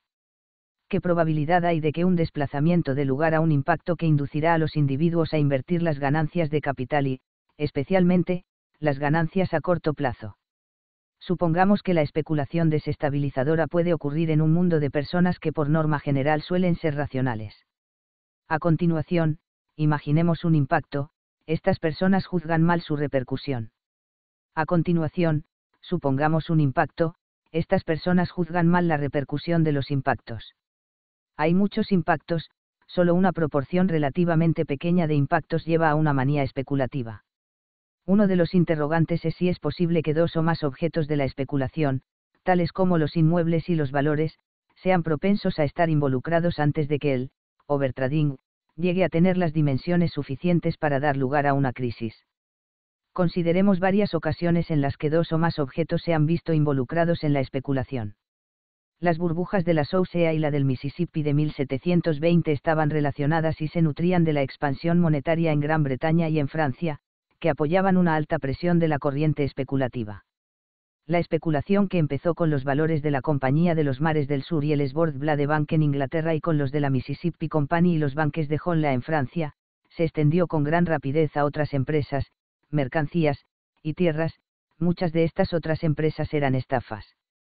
La Compañía de los Mares del Sur se vino abajo por su intento de eliminar las especulaciones rivales, entablando juicio bajo el Bubble Act de junio de 1720 contra la York Buildings, la Lustrins y la Bells Copper.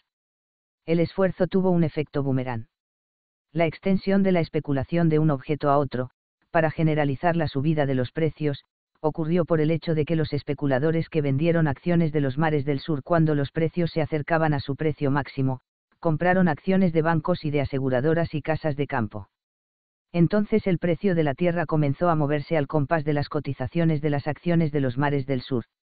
En el otoño de 1719 en Francia, los precios de las tierras subieron y los especuladores comenzaron a sacar sus beneficios de la burbuja de Mississippi. El auge de 1763 se basó exclusivamente en el gasto del gobierno durante la guerra y su financiación a través de cadenas de letras emitidas al descuento.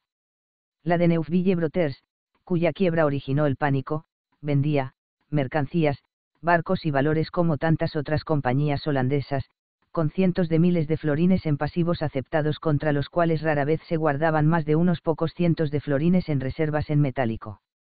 En cierta medida, lo que quizá contribuyó al descenso de las operaciones comerciales pudo ser una sequía sin precedentes en Inglaterra en 1762, con escasez de heno, carne, mantequilla y queso. La crisis de 1772 fue precipitada por la especulación, en Ámsterdam y Londres, sobre las acciones de la East India Company y por el colapso de la Airbank, Douglas, Heron y Cobalto.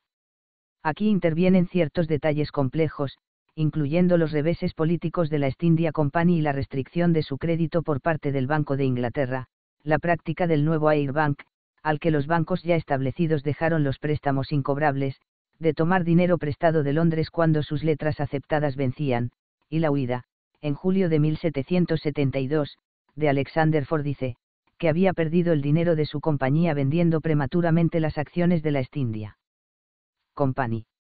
Cuando las acciones cayeron ese otoño, Clifford and Cobalto, el banco holandés que había encabezado un sindicato para intentar que aumentara el precio, se hundió.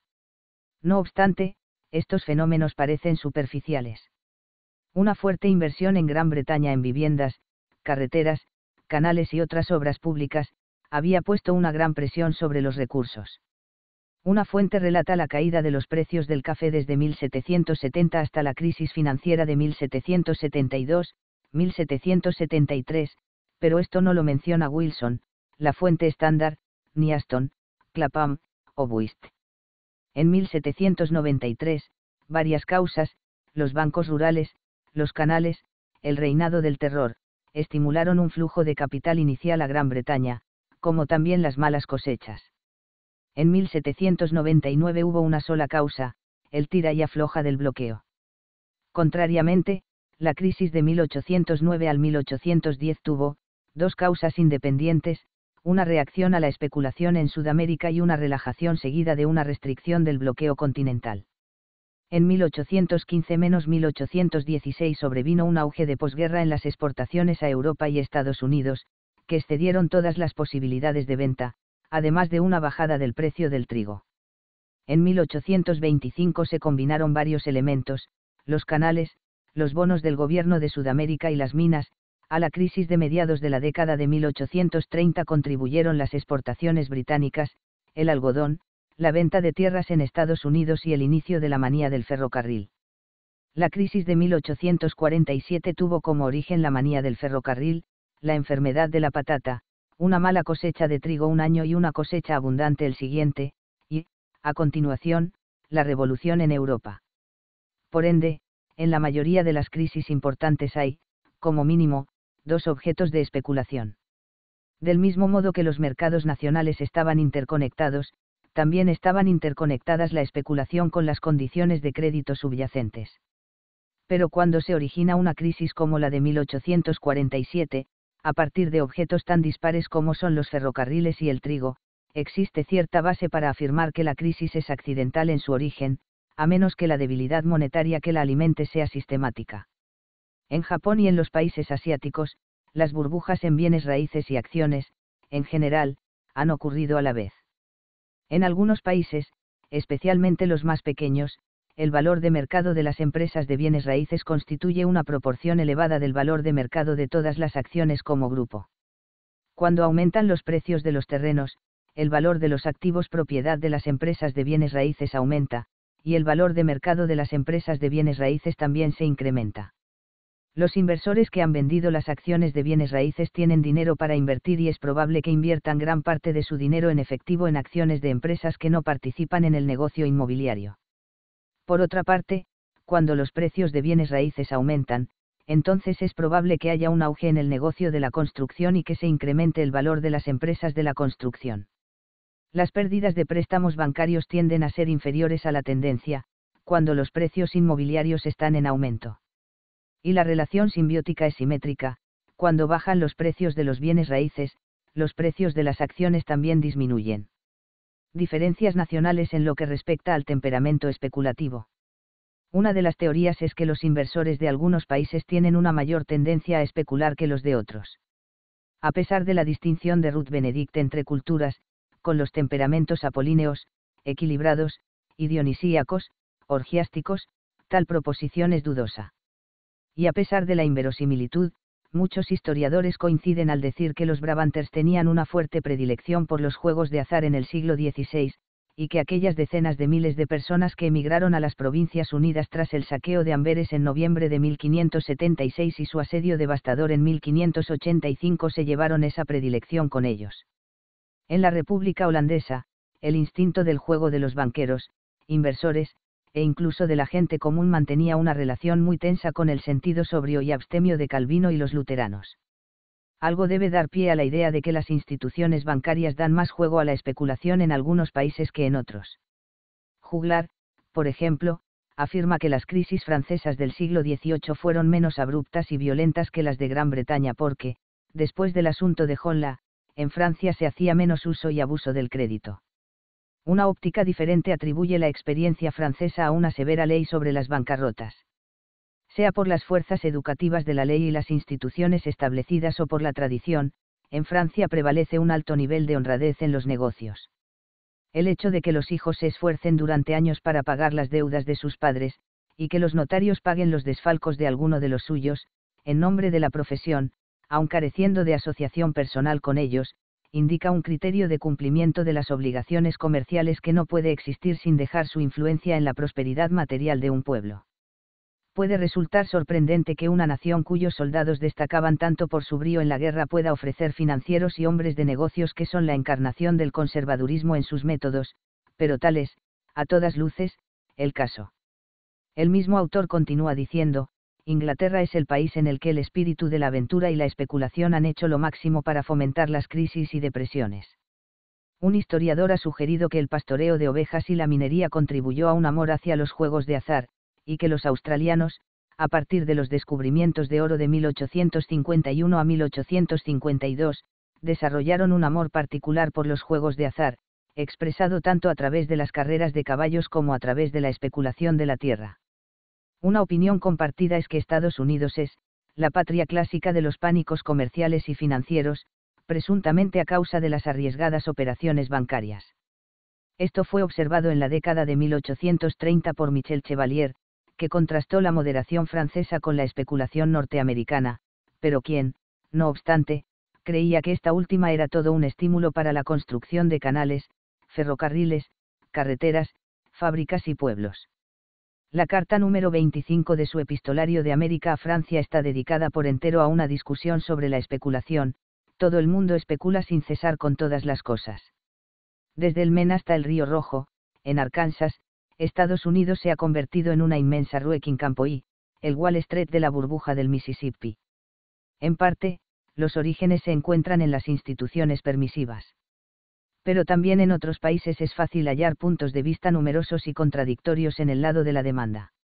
La nación francesa es prudente y económica, la inglesa es emprendedora y especulativa. Francia no ha dado, como Escocia, muestras de prudencia, sus nervios son extremadamente susceptibles e impresionables en materia de crédito. El carácter de esta nación, Gran Bretaña, reside en llevarlo todo al exceso la virtud, el vicio. Después de 1866, se dijo que los alemanes habían sido presas de una nueva arrogancia, aunque solo sobrepasaron a los franceses, en perpetrar estafas en la bolsa y en horrores especulativos. Morgenstern señala diez pánicos en Francia, excediendo en dos incluso a Estados Unidos, lo cual, no resulta sorprendente dado el carácter inestable de la política francesa. Con toda seguridad, esto se refiere más a los desplazamientos que al gusto por la especulación. Contrastemos, sin embargo, la opinión de un financiero francés que afirma que, los franceses aman el dinero no por las posibilidades de acción que abre, sino por las rentas que garantiza. O consideremos dos puntos de vista, a nivel de debate arbardiale, entre un francés novelesco y un inglés en 1931. William Bertillon, Inglaterra no es más que un árbol de Navidad para los que empujan valores los nobles lores se sentarían en el consejo de administración de cualquier compañía si les pagasen un par de libras por ocupar el asiento. ¿Y el público? ¿Loco o idiota? Dios mío, jamás oí hablar de gente así, a excepción quizá de algunos campesinos en Besarabia o los negros de Camerún, que creen en lo que creen. La magia. Emprende cualquier tipo de negocio que parezca totalmente imposible y se lo tragarán. Este Ward, Inglaterra es el banquero del mundo y aún no ha ido jamás a la quiebra, no señor. Mantiene su palabra, esa es la razón. Nada de, nada de esa especulación que se ve en la bolsa de acciones norteamericana. Todos los Tom, Dick y Harry tratando de amasar una fortuna, como en Francia. Hay un empate. El temperamento especulativo puede variar según los países. Los niveles de especulación también pueden variar en un país determinado según oscilen los estados de ánimo entre el júbilo o la depresión nacional. 4. Alimentando el fuego, la expansión del crédito. Axioma número 1, no puede haber inflación sin un rápido crecimiento del dinero. Axioma número 2, no puede haber una burbuja inmobiliaria sin el rápido crecimiento del crédito. Las manías especulativas crecen rápidamente a través de la expansión monetaria del crédito la mayoría de los aumentos en la oferta de crédito no dan lugar a una manía, pero prácticamente todas las manías se han asociado con un rápido crecimiento en la oferta de crédito a un determinado grupo de prestatarios. En los últimos 100 años, los aumentos en el suministro de crédito han sido proporcionados en parte por los bancos, y en parte por el desarrollo de nuevos instrumentos financieros. La manía de los bulbos de tulipán en el siglo XVII se produjo porque los vendedores de los bulbos concedieron créditos a los compradores. John tenía su Banque Generale, después, la Banque Royale, como su fuente de crédito, mientras que la Compañía de los Mares del Sur dependía del Sbord Bank. En 1763 la expansión del crédito en Holanda fue financiada por el Wieselruiterig, o cadenas de letras de complacencia, una especie de cheques de pago diferido, de un comerciante a otro. La manía del canal británico de 1793 fue alimentada por el gasto facilitado por los préstamos de muchos bancos rurales de reciente creación a los empresarios que estaban desarrollando los canales. En muchos casos, la expansión del crédito fue resultado del desarrollo de sustitutos para las formas tradicionales de dinero. En los Estados Unidos, en la primera parte del siglo XIX, la innovación fue que las letras de cambio, piensen una vez más en cheques postdatados, reemplazaron a la plata en el comercio triangular entre los Estados Unidos, China y Gran Bretaña. Estados Unidos tuvo un déficit comercial bilateral con China, y China tuvo un déficit comercial bilateral con Gran Bretaña. Anteriormente, los Estados Unidos compraban la plata de México, que era enviada a China para financiar el déficit comercial de Estados Unidos, a continuación, la plata era enviada a Gran Bretaña para financiar el déficit comercial de China. La innovación institucional consistió en que los comerciantes estadounidenses enviaban letras de cambio que especificaban que el pago de las importaciones de China se efectuarían en libras esterlinas, los chinos luego embarcarían estas letras a Gran Bretaña para financiar su déficit comercial. Los costos de transacción involucrados en los pagos transfronterizos mediante letras de cambio eran mucho más pequeños que los que debían efectuarse al enviar plata. El resultado de esta innovación fue que la plata se quedó en los Estados Unidos, de modo que el suministro de dinero estadounidense no se redujo. El auge de la década de 1850 se construyó sobre descubrimientos de oro, sobre la formación de bancos en Gran Bretaña, Francia, Alemania y Estados Unidos, y sobre la institución de una Cámara de Compensación en Nueva York y la extensión de la que ya existía en Londres. El incremento en el número de cámaras de compensación llevó a la mayor utilización de crédito en las transacciones entre los bancos que eran miembros de estas cámaras, los desequilibrios de pago entre ellos se resolvían mediante la transferencia de certificados de la Cámara de Compensación Bancaria, un nuevo tipo de dinero. La expansión del crédito en Gran Bretaña en 1866 fue resultado del aumento de préstamos por parte de las recién creadas sociedades anónimas de corredores de letras de cambio y pagares. El auge producido en Europa Central descansaba sobre los pagos en oro en la indemnización franco-prusiana, la creación del Maklerbanken, banco de brokers, en Alemania, que se extendió a continuación a Austria, y del Baubanken, bancos de construcción, en Austria, que lograron introducirse en Alemania.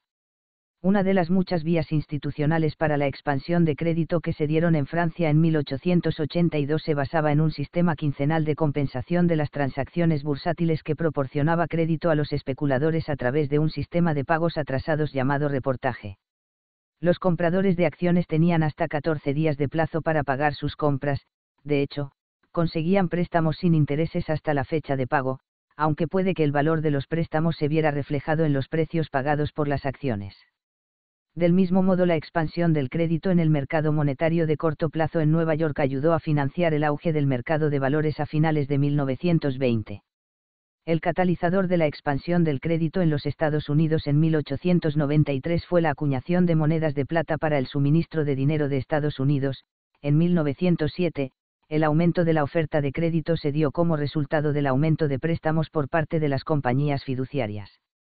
En los años anteriores y posteriores a la Primera Guerra Mundial, el desarrollo del patrón oro condujo a una expansión de la base de crédito internacional, de modo que un mayor volumen de comercio internacional podía ser financiado con la reserva existente de oro monetario. El rápido aumento de la cuota de crédito en los Estados Unidos en la década de 1920 contribuyó a que aumentara el número de personas que tenían en propiedad un automóvil, los aumentos dramáticos en el número de automóviles y otros bienes duraderos llevó a un rápido crecimiento de la demanda de arreglos de pagos escalonados. Después de la Segunda Guerra Mundial, el desarrollo de los certificados negociables de depósito, CDS, contribuyó a la expansión del crédito. En la década de 1870 los bancos austríacos habían desarrollado un nuevo instrumento financiero, el Kassenscheine, que pagaba intereses, la expansión de la demanda de estos instrumentos dio lugar a un aumento en la oferta de crédito y, por lo tanto, a un aumento en el gasto. En los años 1950 y 1960 los grandes bancos de Estados Unidos adoptaron la práctica de la gestión de la responsabilidad, que significaba que el crecimiento de sus préstamos ya no dependía de los incrementos en sus depósitos, sino que financiaban sus préstamos mediante el endeudamiento en el mercado monetario interbancario. La gestión de activos y pasivos permitió a los bancos ser mucho más agresivos en la gestión del crecimiento del crédito. Una forma excepcional de expansión del crédito bancario, se produjo en Kuwait entre 1977 y 1982 cuando las acciones y bienes raíces se compraban y vendían en el Souk Almanac, la bolsa, kuwaití con cheques posfechados. Finalmente, el valor de estos cheques en circulación aumentó a miles de millones de dinares, cerca de 100 millones de dólares estadounidenses. El valor de los cheques posfechados firmados por los compradores de las acciones y los bienes raíces era mucho, mucho más grande que sus depósitos bancarios los vendedores de las acciones y bienes raíces aumentaron su gasto a medida que iban incrementando su riqueza, tenían la esperanza de que habría dinero en las cuentas bancarias de los pagadores cuando llegaran las fechas de vencimiento de los cheques que habían recibido de la venta de acciones y bienes raíces. En julio de 1982 algunos vendedores trataron de cobrar los cheques cuando llegó la fecha y descubrieron que en las cuentas bancarias de los compradores no había fondos para pagar los cheques.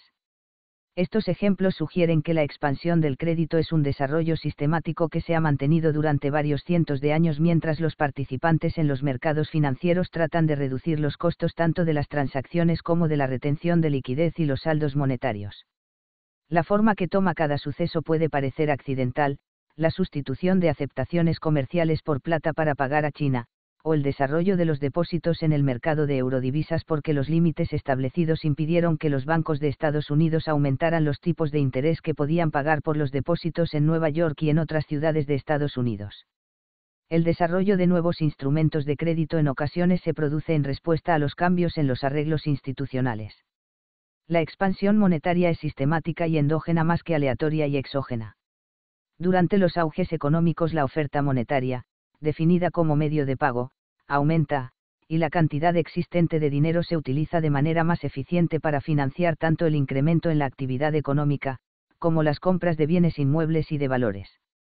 Los esfuerzos de los bancos centrales por limitar y controlar el crecimiento de la masa monetaria en parte se ven compensados por el desarrollo de nuevos y cercanos sustitutos para el dinero. Estos esfuerzos tienen una larga historia, incluyendo la reanudación de pagos en especie y la vuelta a la convertibilidad de las monedas nacionales en oro después del fin de las guerras.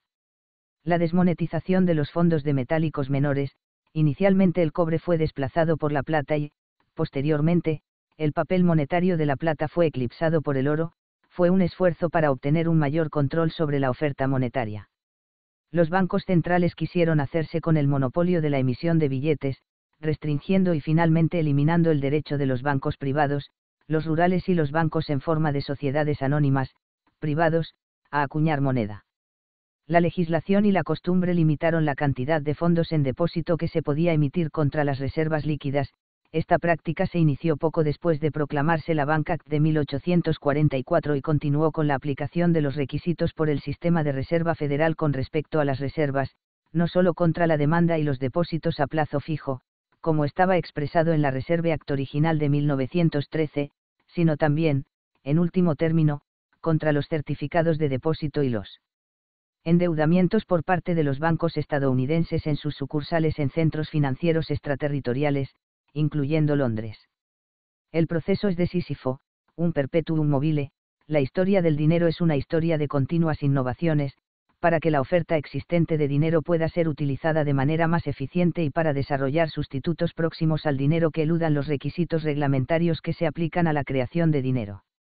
El mercado de depósitos de eurodivisas surgió en la década de 1960 como medio de acabar con las regulaciones impuestas a los bancos de Estados Unidos por la Reserva Federal y la Corporación Federal de Seguro de Depósitos, los depósitos en dólares estadounidenses producidos por las sucursales de los bancos de Estados Unidos en Londres y otros centros en el exterior no estaban sujetos a la fijación de tipos de interés máximos, a los requisitos de la reserva, ni a las primas de los seguros de depósitos.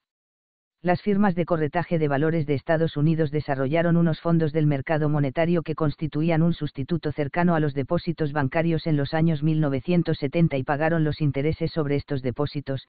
Los depósitos no estaban garantizados por ninguna agencia gubernamental de los Estados Unidos, por lo menos no lo estuvieron hasta la crisis financiera en el otoño de 2008. Escuela monetaria contra escuela bancaria. En la historia de la teoría monetaria, se ha librado una continua batalla entre dos corrientes distintas, la escuela monetaria y la escuela de banca, sobre cómo gestionar el crecimiento de la oferta monetaria. Los defensores de la escuela monetaria abogaron por un límite firme sobre la expansión monetaria para evitar la inflación. Los partidarios de la escuela de banca creían que el aumento de la oferta monetaria no daría lugar a la inflación, siempre y cuando correspondiera con un aumento en las transacciones comerciales. La misma distinción en la ideología y el análisis económico separaba a los que creían en una divisa fuerte de los populistas de la década de 1890, a los primeros les preocupaba la inflación, mientras que los últimos creían que los precios no iban a cambiar, siempre y cuando la actividad económica se incrementara.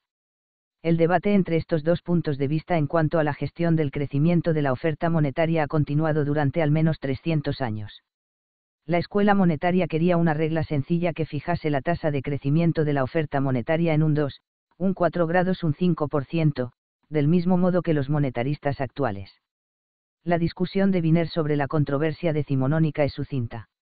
La escuela monetaria también tendía a minimizar o a negar la importancia del crédito bancario en otras formas que no fueran los billetes como factor que afecta los precios o, como en el caso de Torrens, a afirmar que las fluctuaciones en los depósitos estaban estrechamente gobernadas por las fluctuaciones de la emisión de billetes. Sentían un vehemente deseo de disponer de una sencilla regla automática y no pudieron hallar ninguna que fuera adecuada para gobernar las operaciones generales de crédito del banco. También tenían objeciones de carácter laissez-faire referentes a la ampliación del control legislativo del sistema bancario más allá de lo absolutamente imprescindible ni la escuela monetaria ni la escuela de banca prestaron mucha atención a la expansión de crédito no bancario. El Banco de Ámsterdam, fundado en 1609, emitió billetes contra los depósitos de metales preciosos, en efecto, estos billetes eran recibos de almacén y las cantidades de estos billetes fueron atados uno por uno a los depósitos en metal. Inicialmente, el Banco de Ámsterdam no expandió el crédito, posteriormente, en el siglo XVIII el banco aumentó sus préstamos en su esfuerzo por rescatar a la Compañía de las Indias Orientales Holandesas durante la Cuarta Guerra Anglo-Holandesa. El Banco de Ámsterdam fue también un Wisselbank, Wissel en holandés, Bechsel en alemán, donde se pagaban letras de cambio. Los comerciantes mantuvieron depósitos en el Banco de Ámsterdam, para cumplir con las letras presentadas para su cobro. Los depósitos de metales preciosos permitieron al Banco de Ámsterdam ganar señoreaje, un tipo de beneficios, cuando producían las monedas y pagaba un tipo de interés bajo sobre los depósitos. En 1614 el Ayuntamiento de Ámsterdam estableció un banco de préstamos, HUYAS Van Lenin, que permitió a los comerciantes establecer su propio crédito de manera eficiente, aunque no actuaba como prestamista activo. Este crédito creado por los comerciantes llevó a una expansión excesiva de la Wieselruiterig, cuando la cadena de letras de cambio se rompió en 1763 debido a que uno de los comerciantes no tenía el dinero para pagar una letra que iba a vencer, el banco de Neufville quebró. El Riksbank sueco, fundado en 1668, tenía dos departamentos, un banco de cambio perfilado a semejanza del Banco de Ámsterdam, Wisselbank, y un banco de préstamos, Linebank. Estos dos departamentos presagiaron la Bank Act de 1844 en Gran Bretaña, que fue un compromiso entre las dos escuelas, un departamento de emisión que emitía billetes de banco contra depósitos de monedas o lingotes, por encima de una emisión fiduciaria específica que representaba la deuda del gobierno, y un departamento de operaciones bancarias, que concedía préstamos y descuentos hasta un múltiplo de sus reservas de billetes de banco emitidos por el departamento de emisión. El establecimiento del departamento de emisión significó una victoria para la escuela monetaria, la cual había criticado la concesión de préstamos y la emisión de billetes del Banco de Inglaterra durante el periodo de suspensión del patrón oro después de 1797. La defensa del Banco de Inglaterra era que la concesión de estos préstamos no llevaba a un aumento de la inflación porque financiaban el comercio. El establecimiento del Departamento de Operaciones Bancarias constituyó una victoria para aquellos que estaban de acuerdo en que una expansión del crédito ayudaría a financiar la fase ascendente inicial en las primeras etapas de una recuperación. El punto de vista de la escuela monetaria que la expansión del crédito finalmente conduciría a la inflación, era correcto. La opinión de la escuela de banca de que se necesitaba un aumento en la oferta de crédito en el inicio de una expansión económica también era correcta la opinión de la escuela monetaria de que los descuentos debían estar limitados a las aceptaciones que tuvieran relación con las actuales transacciones comerciales pasó a conocerse como la doctrina de los real bills. Cuantas más oportunidades de hacer negocio había, mayor era el alcance para el descuento, y más aumentaba la oferta monetaria y, finalmente, mayor era la tasa de inflación. Las cuestiones políticas centrales, una vez ha empezada una expansión del crédito, se centran en si será posible decretar un punto límite, y si este límite podrá venir determinado por una regla automática. El problema es que es más fácil definir el dinero que medir la cantidad real de dinero. Walter Bagehot escribió, a los hombres de negocios ingleses no les gusta la cuestión del dinero. Se sienten perplejos a la hora de definir el dinero, saben cómo contar, pero no qué contar.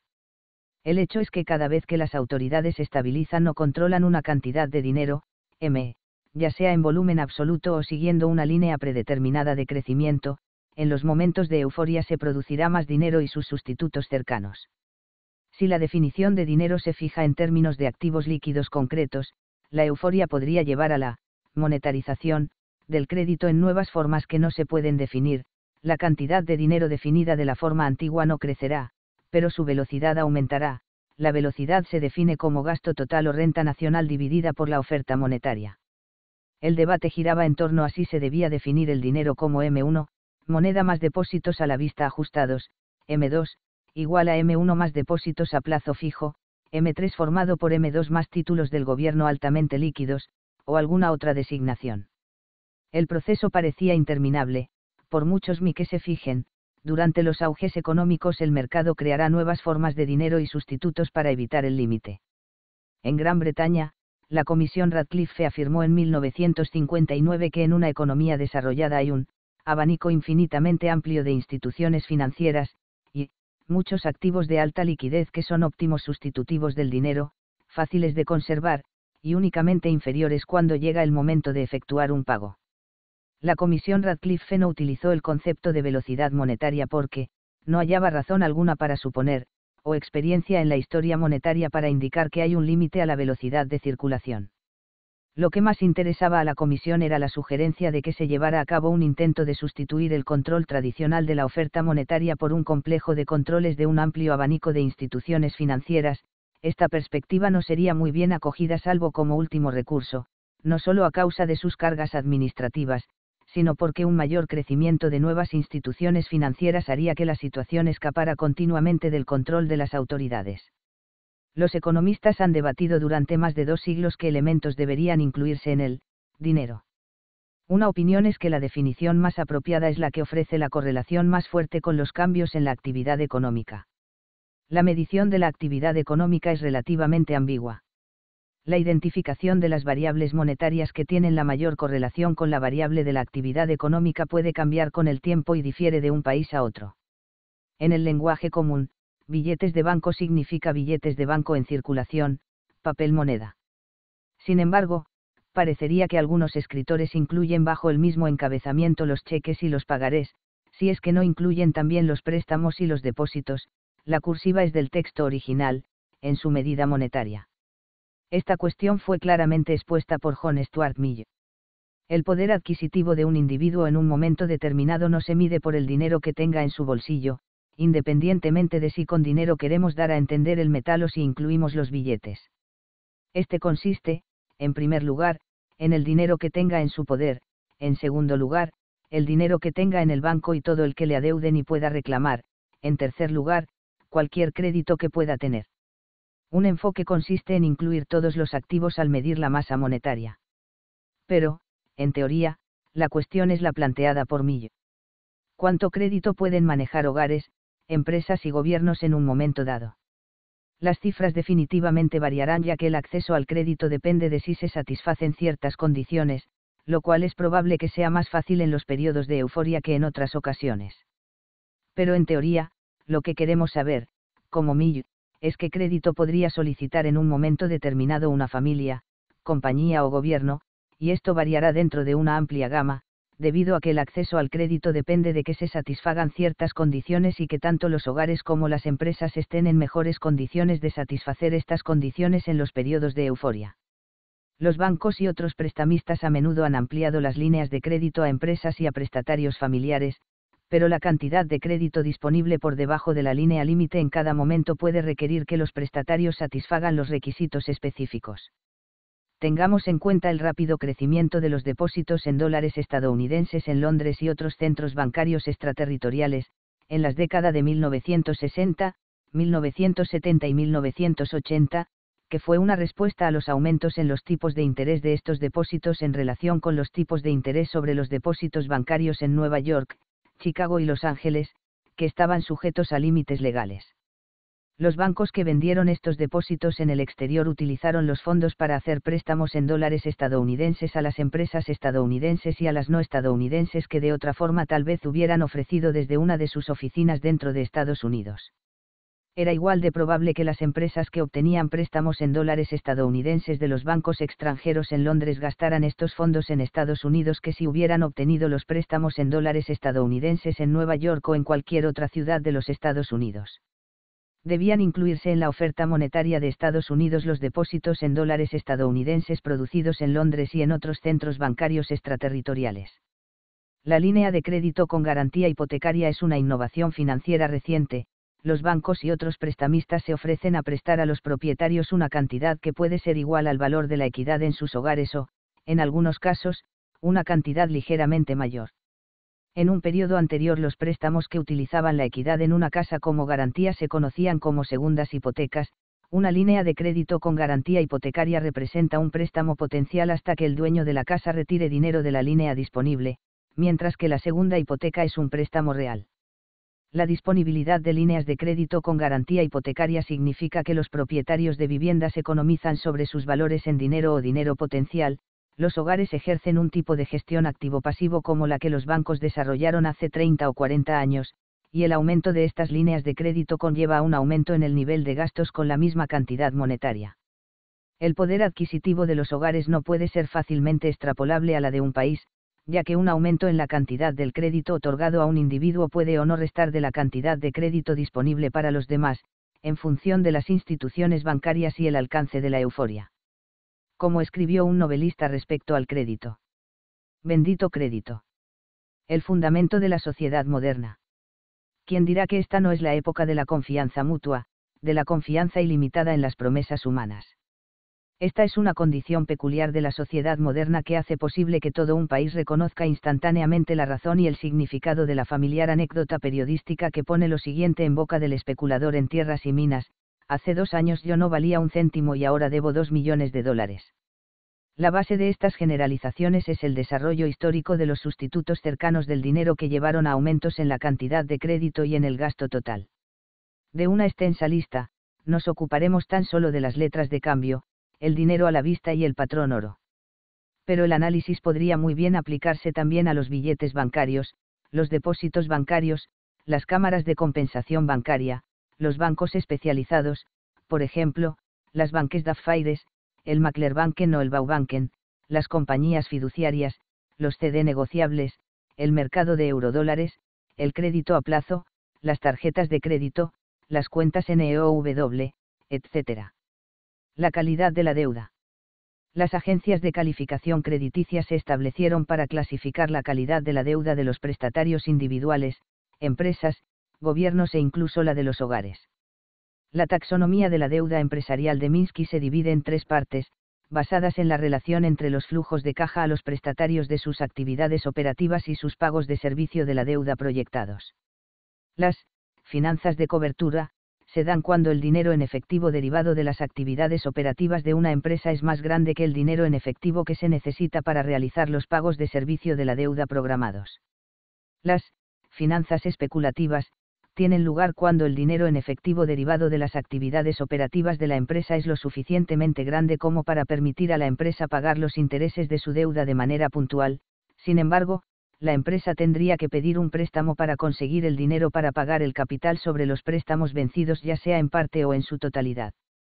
Las finanzas Ponzi se producen cuando el dinero en efectivo derivado de las actividades operativas de la empresa no es lo suficientemente grande como para pagar todos los intereses devengados por la deuda de manera puntual. Las empresas que participan en las finanzas Ponzi o bien tendrán que pedir prestado o bien tendrán que vender activos para obtener el dinero para pagar los intereses. Esta distinción entre finanzas Ponzi y finanzas especulativas es comparable a la utilizada en la documentación de las finanzas públicas entre un balance fiscal primario, que implica la relación entre el impuesto del gobierno y otros ingresos y sus pagos totales excluyendo los destinados a intereses. Un gobierno con un déficit fiscal primario no tiene suficiente dinero proveniente de sus ingresos fiscales para afrontar la totalidad de los pagos de interés que tenga programados en ese momento. Minsky enfatizó la calidad de la deuda al calibrar la fragilidad de una estructura financiera, los términos, especulativo, y, Ponzi, destacan por su fragilidad. Las implicaciones del término, finanzas Ponzi, son que la empresa tal vez no sea capaz de hacer sus pagos de servicio a deuda de forma puntual, a menos que se produzca un milagro. Una torre de deudas contraída para financiar operaciones de riesgo es inherentemente inestable. Los compradores de casas en California, Nevada y Arizona que usaron hipotecas de alto riesgo esperaban que el aumento de los precios de la propiedad sería suficiente para que pudieran pedir préstamos contra el aumento en el patrimonio neto de sus casas para conseguir el dinero para pagar los intereses. Y eso mismo esperaban sus prestamistas. El modelo expuesto en el capítulo anterior hace hincapié en que en periodos de euforia económica la cantidad de la deuda aumenta porque los prestamistas y los inversionistas se vuelven menos adversos al riesgo y más dispuestos, o menos no dispuestos, a hacer los préstamos que antes parecían demasiado arriesgados.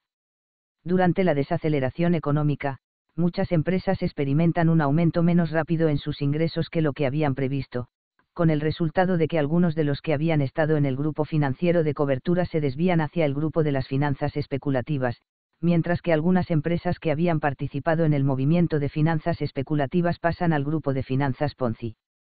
Los tipos de interés de estos bonos por lo general estaban entre 3 y 4 puntos porcentuales por encima de los tipos de interés de los bonos que habían sido calificados en una de estas calificaciones de inversiones. Muchos de los bonos basura habían sido, ángeles caídos, emitidos por las empresas cuando sus circunstancias económicas habían sido más favorables, por lo que tenían una calificación de crédito. Una serie de contratiempos llevaría a una reducción en la calificación de crédito y, finalmente, al grado de inversión más bajo, un contratiempo más y las agencias de calificación de riesgos moverían a la empresa al grado de no inversión o calificación especulativa. A muchas instituciones financieras las autoridades reguladoras les prohíben tener bonos que se encuentren debajo del grado de inversión, y una vez se cruza ese límite, estos bancos y compañías de seguros se ven obligados a vender todos esos bonos, acto seguido, los tipos de interés sobre estos bonos aumentaron de forma pronunciada. El discurso de venta era que los compradores de los bonos basura, por decir, de una cartera diversificada de estos bonos, tenían un chollo, porque el margen de intereses adicionales sería más que suficiente para cubrir las pérdidas cuando uno o varios de estos bonos se derrumbara debido a que los prestatarios se declararan en quiebra. La innovación en los años 1970 y 1980 fue que Drexel Burnham Lambert, en aquel momento un banco de inversión de tercer nivel, comenzó a emitir bonos basura, conocidos en los círculos más educados como bonos de alto rendimiento, el cerebro de esta innovación fue Michael Milken. Las empresas que emitieron estos bonos tenían que pagar altos tipos de interés para atraer compradores.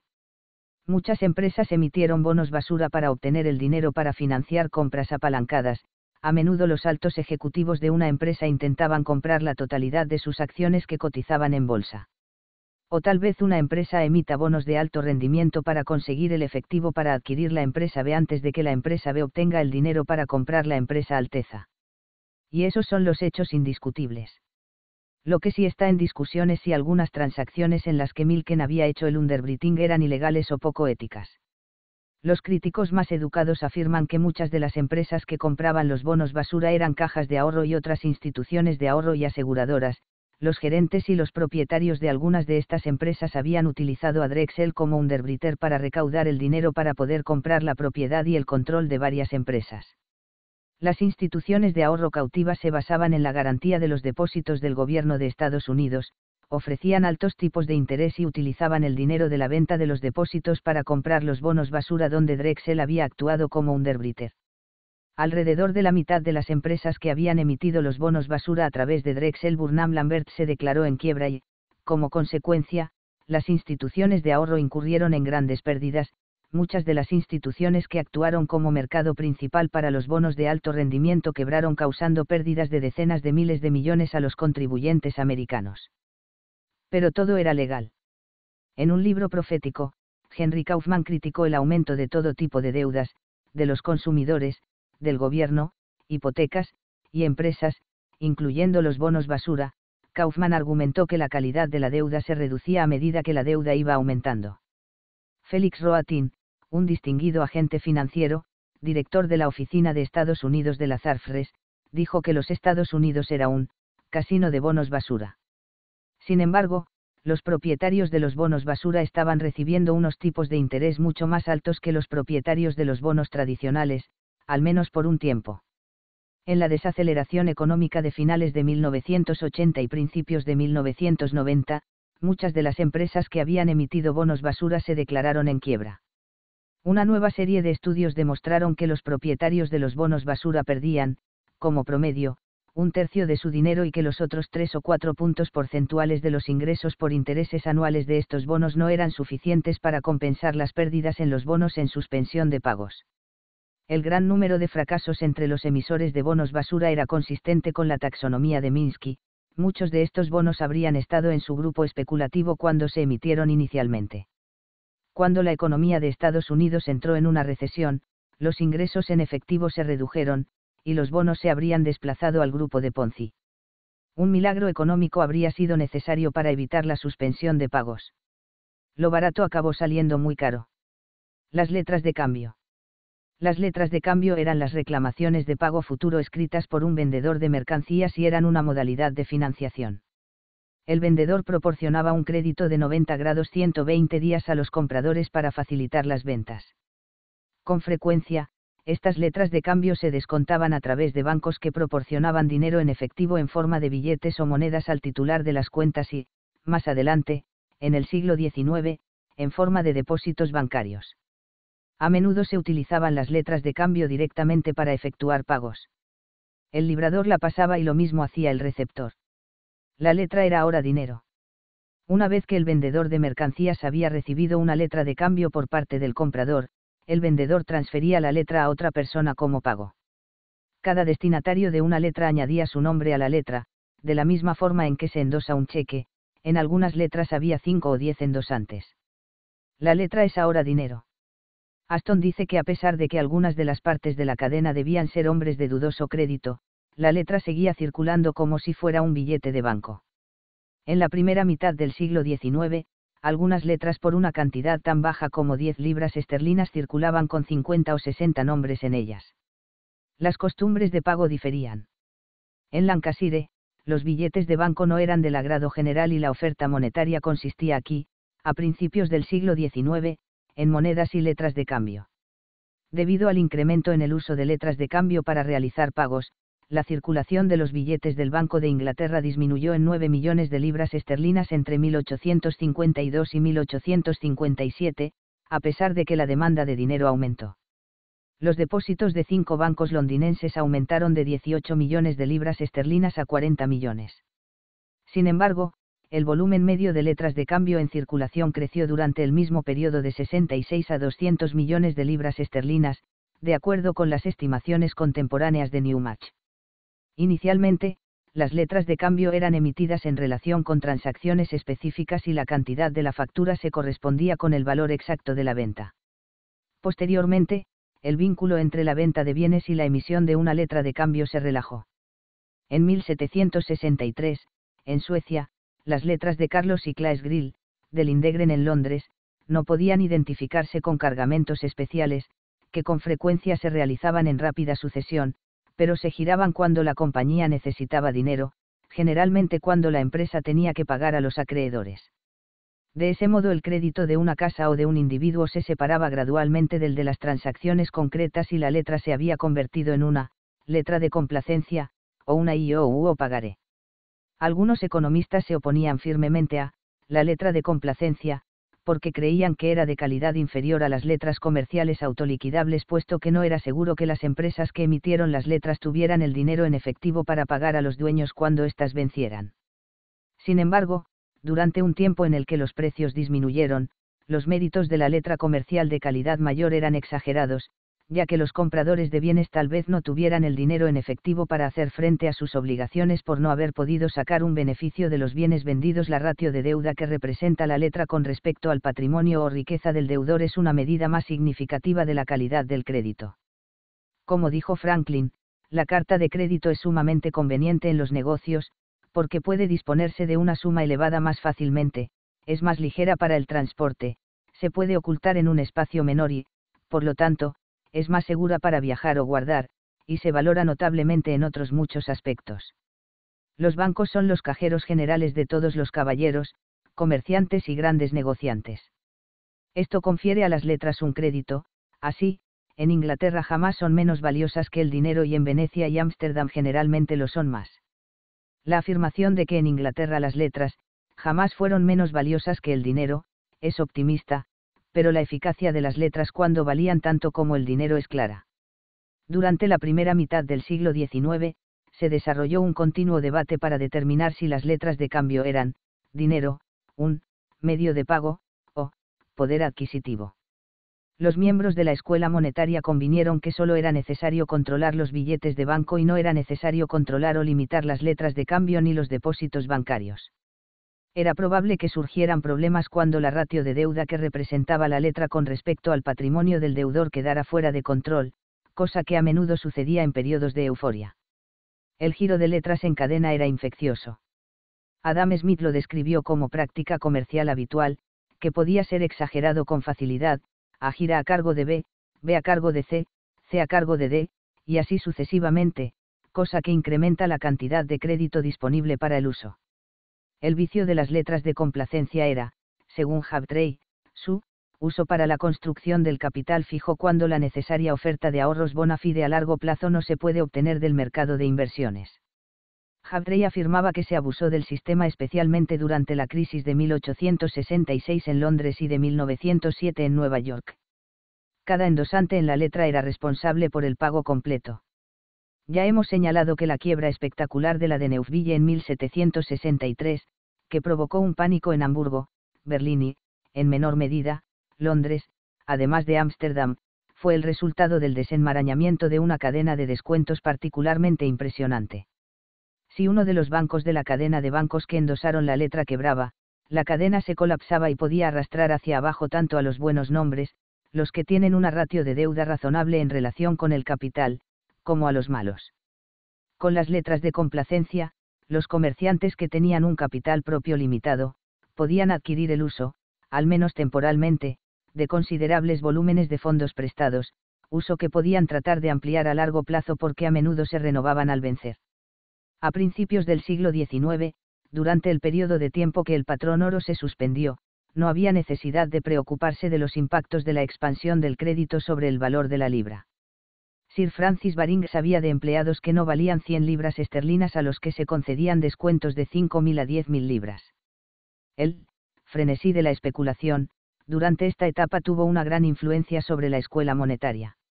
En 1857, John un contable londinense, informó tener conocimiento de la existencia de compañías con un capital inferior a 10.000 libras esterlinas y obligaciones de 900.000 libras y afirmó que aquello era un buen ejemplo.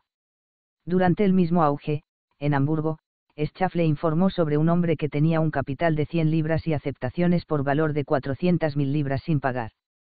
Long Term Capital Management pidió prestado más de 125.000 millones, su capital era de 5.000 millones. Su razón de apalancamiento de 25 a 1 era muy superior que los de casi todos los demás fondos de cobertura, que por norma general tenían una ratio de menos de 10 a 1. Sin embargo, en el siglo XVIII, según Wirth, muchas compañías especulaban por cantidades 10 o 20 veces superiores a su capital real durante el auge de 1763.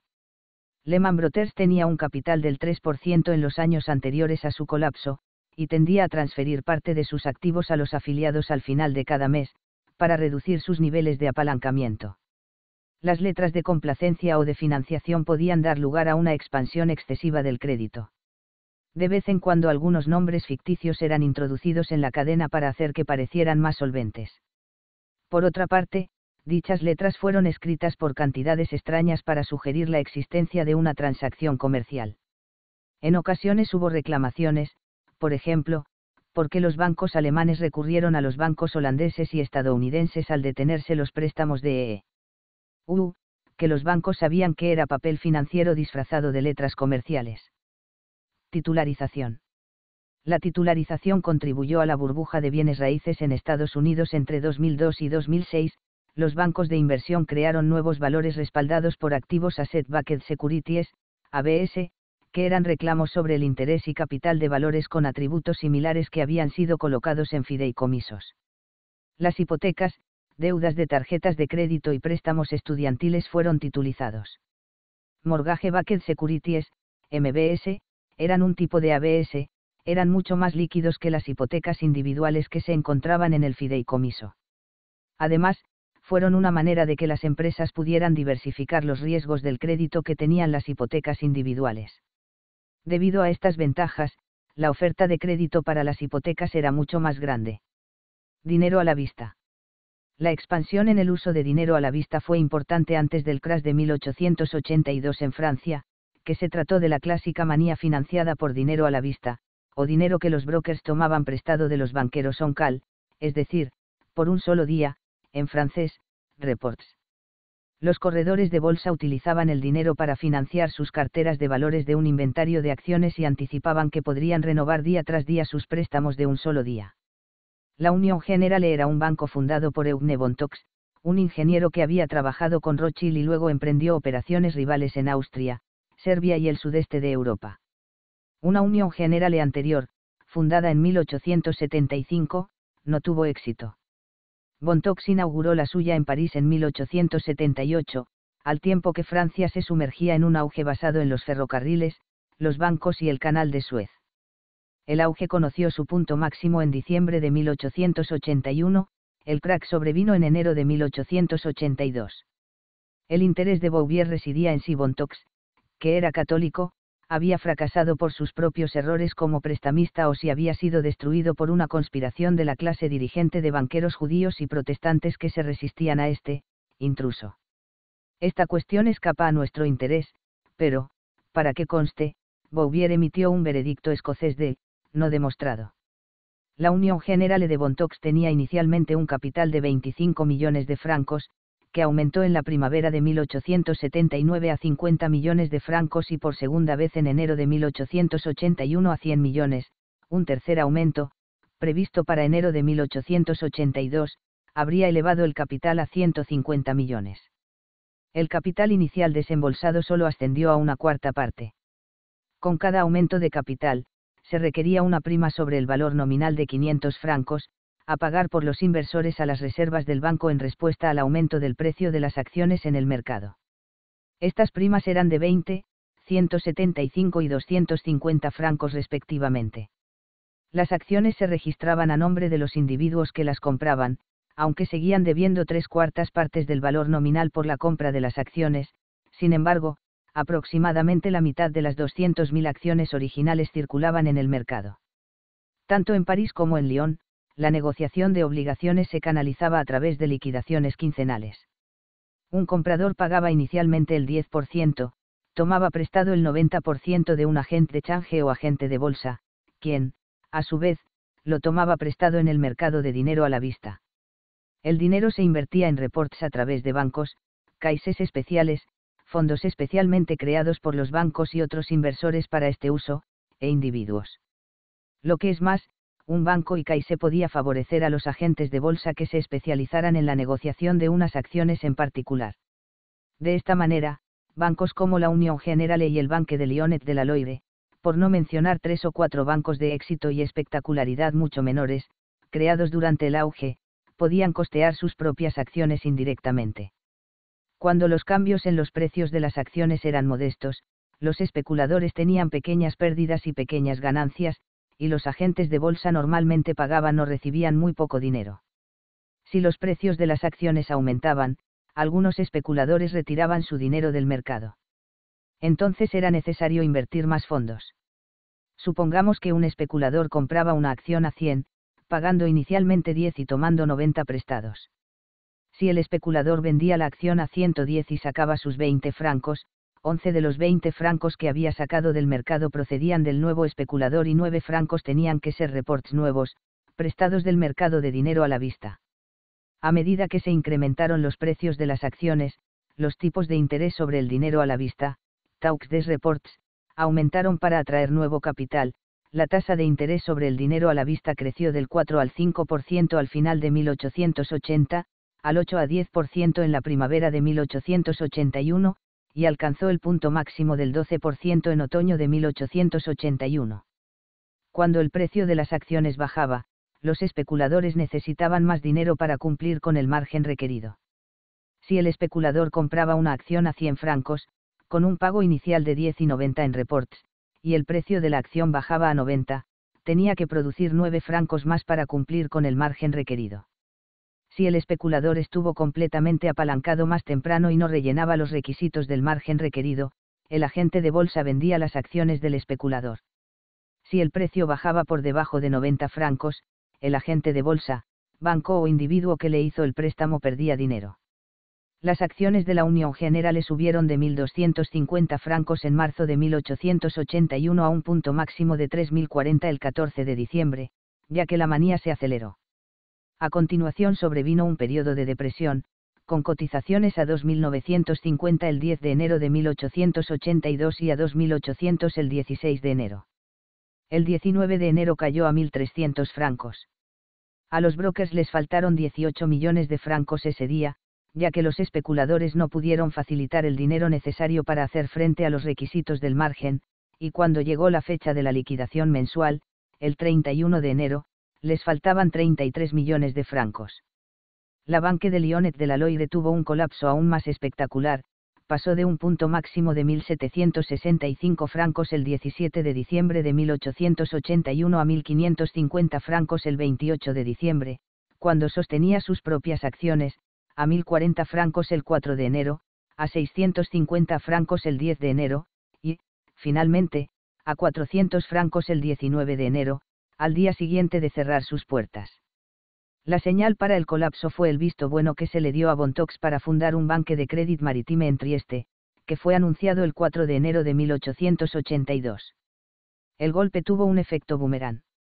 Los inversores que se encontraban con pérdidas en la Banque de Lyonet de la Loire vendieron sus acciones de la Unión Generale la combinación de una especulación muy activa y un mecanismo de crédito que descansaba sobre el crédito bancario y personal reciclado mediante el mercado de préstamos de dinero a la vista, extendió el colapso entre bancos, caixes, agentes de bolsa, individuos y negocios en cuestión de días. La actividad económica se vio afectada de manera negativa, antes del colapso de la bolsa, no a causa de un cambio en la oferta monetaria, sino porque en el punto máximo de la fiebre, el mundo comercial de Lyon se dedicó a especular con la Unión Generale. Comerciantes de la seda, manufactureros textiles, industriales, negociantes, comerciantes de mercerías, tenderos, carniceros, gente con ingresos fijos, porteros, zapateros. Un ingente capital se desvió de los negocios corrientes para su inversión en bolsa, bien en títulos, bien en dinero a la vista. Algunas de las características del crack del mercado de valores de Estados Unidos de 1929 fueron similares a los del colapso de los bancos franceses casi 50 años antes. La preocupación por la especulación y la disminución de la actividad económica al mismo tiempo que los precios de las acciones llegó a su punto máximo, se necesitaba más dinero para apoyar los precios de las acciones cada vez más altos, y había menos dinero disponible para la actividad económica. Otra similitud es que al alcanzar la bolsa su punto álgido, los préstamos a la vista de, todos los demás, como opuestos a los bancos neoyorquinos y los bancos de fuera de Nueva York, subieron de casi 2.000 millones de dólares a finales de 1926 a casi 4.000 millones de dólares dos años más tarde y a más de 6.600 millones de dólares el 4 de octubre de 1929. El crédito al margen era extenso. Las casas de corretaje podrían requerir que los compradores de acciones pagaran con una entrada del 10%, el 90% restante era prestado. Mientras tanto, los préstamos de los agentes de bolsa concedidos por los bancos de Nueva York disminuyeron de 1.600 millones de dólares en su punto máximo a finales de 1928 a 1.100 millones el 4 de octubre de 1929. Con el crack, todos los demás, y los bancos de fuera de Nueva York, sacaron fondos de dinero a la vista del mercado. Temían que la bolsa se cerrara como había sucedido en 1873, lo cual habría congelado los préstamos líquidos día a día que habían efectuado. En este punto, los bancos neoyorquinos aumentaron ligeramente sus préstamos a agentes de bolsa. Del mismo modo, en 1882, un consorcio de bancos de París, encabezado por la Banque de Paris et de Space Bas, Paris Bas, adelantó 18 millones de francos en cinco créditos a la Unión Generale directamente, mientras que otro grupo, encabezado por la banca Rothschild, prestó 80 millones de francos a la compañía de brokers para que consiguieran pasar la liquidación de final de enero y para darles tiempo de organizar sus pagos. En ambas crisis, se produjeron muchas bancarrotas de agentes de bolsa, de clientes y, en 1882, de bancos y sus caises. Los bancos del mercado monetario central facilitaron el ajuste, pero en París, en 1882, no salvaron a la Unión Generale. En los Estados Unidos, la compra de acciones mediante constitución de un depósito, sobre el margen, fue frenada en los años 30 por una norma de la Reserva Federal que fijaba finalmente los requisitos del margen en un 50%. Las instituciones financieras no tuvieron problemas en darle la vuelta a esta regulación. El reglamento se aplicaba a los intercambios organizados de acciones, incluyendo la Bolsa de Nueva York, aunque no al Chicago Mercantile Exchange, que operaba con futuros sobre índices accionarios del Standard Poor's 500, y donde el requisito del margen era del 10% sobre el valor de los futuros contratos. Los arbitrajistas vincularon los precios en dos mercados así que, a todos los efectos, eran un mercado. Un inversor que compraba un contrato de futuros sobre el S&P-500 en Chicago con un depósito del 10%, lo que en realidad estaba comprando eran acciones al contado en Nueva York con un depósito del 10%, cuando en Chicago subiera el precio de los futuros, los arbitrajistas venderían los futuros contratos y al mismo tiempo comprarían una cesta representativa de las acciones de las compañías que dominaban el índice. Entre las secuelas del colapso del 19 de octubre de 1987, hubo ciertas opiniones favorables a regular los mercados de Chicago y Nueva York a través de una única agencia, la Junta de Gobernadores del Sistema de Reserva Federal o la Securities and Exchange Commission, y también algunas ideas referentes a un mayor rigor en la regulación del depósito en el mercado de futuros, y otras partidarias de prohibir por completo la negociación de futuros sobre acciones. El patrón oro. Un tercer ejemplo de la expansión del crédito sobre una base monetaria fija es la representada por el patrón oro, que envolvía las reservas de los bancos centrales en activos líquidos denominados en libras británicas y en dólares estadounidenses. Esta práctica empezó antes de la Primera Guerra Mundial, aunque en ocasiones se ha pensado que estaba basada en las recomendaciones de Génova de 1922 y de la Delegación del Oro de la Liga de las Naciones. Esta innovación fue apoyada en gran medida por el gobernador Norman Montagu del Banco de Inglaterra, que pretendía ampliar las reservas de valores en el extranjero en libras británicas para proporcionar alivio a la balanza de pagos británica y especialmente a sus modestas reservas de oro. El auge en préstamos mundiales de 1913-1914 fue financiado por los incrementos en las reservas del Banco Central de Valores denominados en la libra británica, el franco francés y el marco alemán. De la misma forma en que es menos costoso utilizar billetes de banco y letras de cambio en lugar de monedas metálicas para hacer pagos, las carteras de oro monetario están dominadas por las posesiones de valores denominados en divisas de países con un mercado capital grande, siempre y cuando las condiciones financieras se mantengan estables. Estos activos son más fáciles de utilizar en transacciones, libres de la necesidad de transporte, protección y aquilatamiento, y de utilidad directa sin conversión en moneda nacional.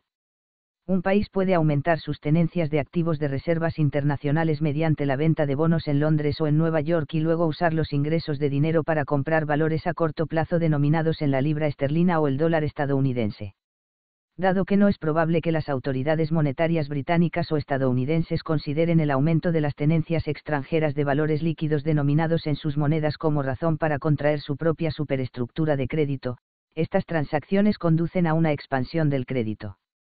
Los préstamos internacionales en el patrón oro pueden tener el mismo carácter inestable que aquellos en el patrón cambio oro. Antes de pedir dinero extranjero para utilizar como reserva para la expansión monetaria interna, los países pedían prestado oro.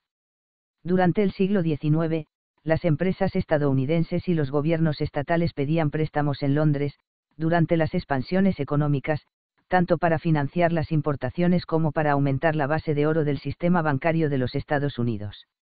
Las transacciones en oro ayudaron con la transferencia de bienes y servicios, los préstamos por oro permitieron a los prestatarios expandir el crédito sin inducir a contracciones del crédito en los países prestamistas la inestabilidad del crédito y la Gran Depresión.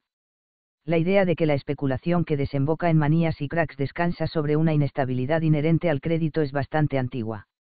Alvin Hansen, al escribir sobre los ciclos económicos, trata ampliamente de ella en un estudio general sobre, primeros conceptos, y en un capítulo sobre los economistas de mediados del siglo XIX, John Stuart Mill, John Mills y Alfred Marshall, titulado, Confianza y Crédito. A juicio de Hansen, estos puntos de vista son obsoletos porque ignoran las decisiones de inversión y ahorro de las grandes compañías. Tal vez. Pero las teorías que conceden importancia a la inestabilidad del crédito subsisten hasta bien entrado el siglo XX. Havtrey es un economista clásico en esta línea, como Alteza Calle Pigou, cuyo libro Industrial Fluctuations, 1927, incluye un capítulo que trata sobre cómo hacer frente a los pánicos. La paradoja es que el papel de la inestabilidad del crédito comenzó a ser relegado a un segundo plano con la Gran Depresión de los años 30. La perspectiva monetarista de la Gran Depresión queda recogida en una monumental obra de Milton Friedman y Anna Schwartz. Ellos sostenían que la caída en picado de la actividad económica en la primera mitad de la década de 1930 fue el resultado de errores en la política monetaria cometidos por el sistema de la Reserva Federal, se centraron en el declive de la oferta monetaria desde agosto de 1929 hasta marzo de 1933. Cuando se tercia la cuestión del inicio de la depresión, se afirma que la oferta monetaria no aumentó en los años 1928 a 1929, y que disminuyó en un 2,6% desde agosto de 1929 hasta octubre de 1930, cuando debería haber sido aumentada para contrarrestar la debilidad en la economía. Friedman y Schwartz afirman que el crack del mercado de valores de octubre de 1929 tuvo muy poco o nada que ver con la intensidad del declive de la producción y que la depresión fue la consecuencia de las políticas nacionales en Estados Unidos, y que tenía solo una conexión tangencial con los movimientos de capital internacional, los tipos de cambio o la deflación en el extranjero. Durante mucho tiempo, su opinión sobre la depresión ha sido la dominante en Estados Unidos. Peter Temin desafió esta visión monetarista desde una óptica keynesiana. Preguntó si el declive en el gasto había sido el resultado de una disminución de la oferta monetaria o si, en lugar de eso, la disminución de la oferta monetaria había sido resultado del declive en el gasto, trató de decir cuál de los dos puntos de vista era el correcto, sobre una base de econometría sofisticada. Una gran parte del argumento de Temin se centraba en la cantidad de consumo real que se desviaba de los pronósticos de los niveles basados en la relación entre consumo, rentas, patrimonio y variables similares, que habría que especificar al pronosticar una tendencia, normal, de consumo. Además, examinó la relación entre el momento en el que se producían los cambios en la oferta monetaria y los cambios en los tipos de interés, si el aumento en el gasto precedía al aumento de la oferta monetaria, entonces los tipos de interés se debían incrementar, mientras que si el aumento de la oferta monetaria precedía al aumento del gasto, los tipos de interés debían disminuir.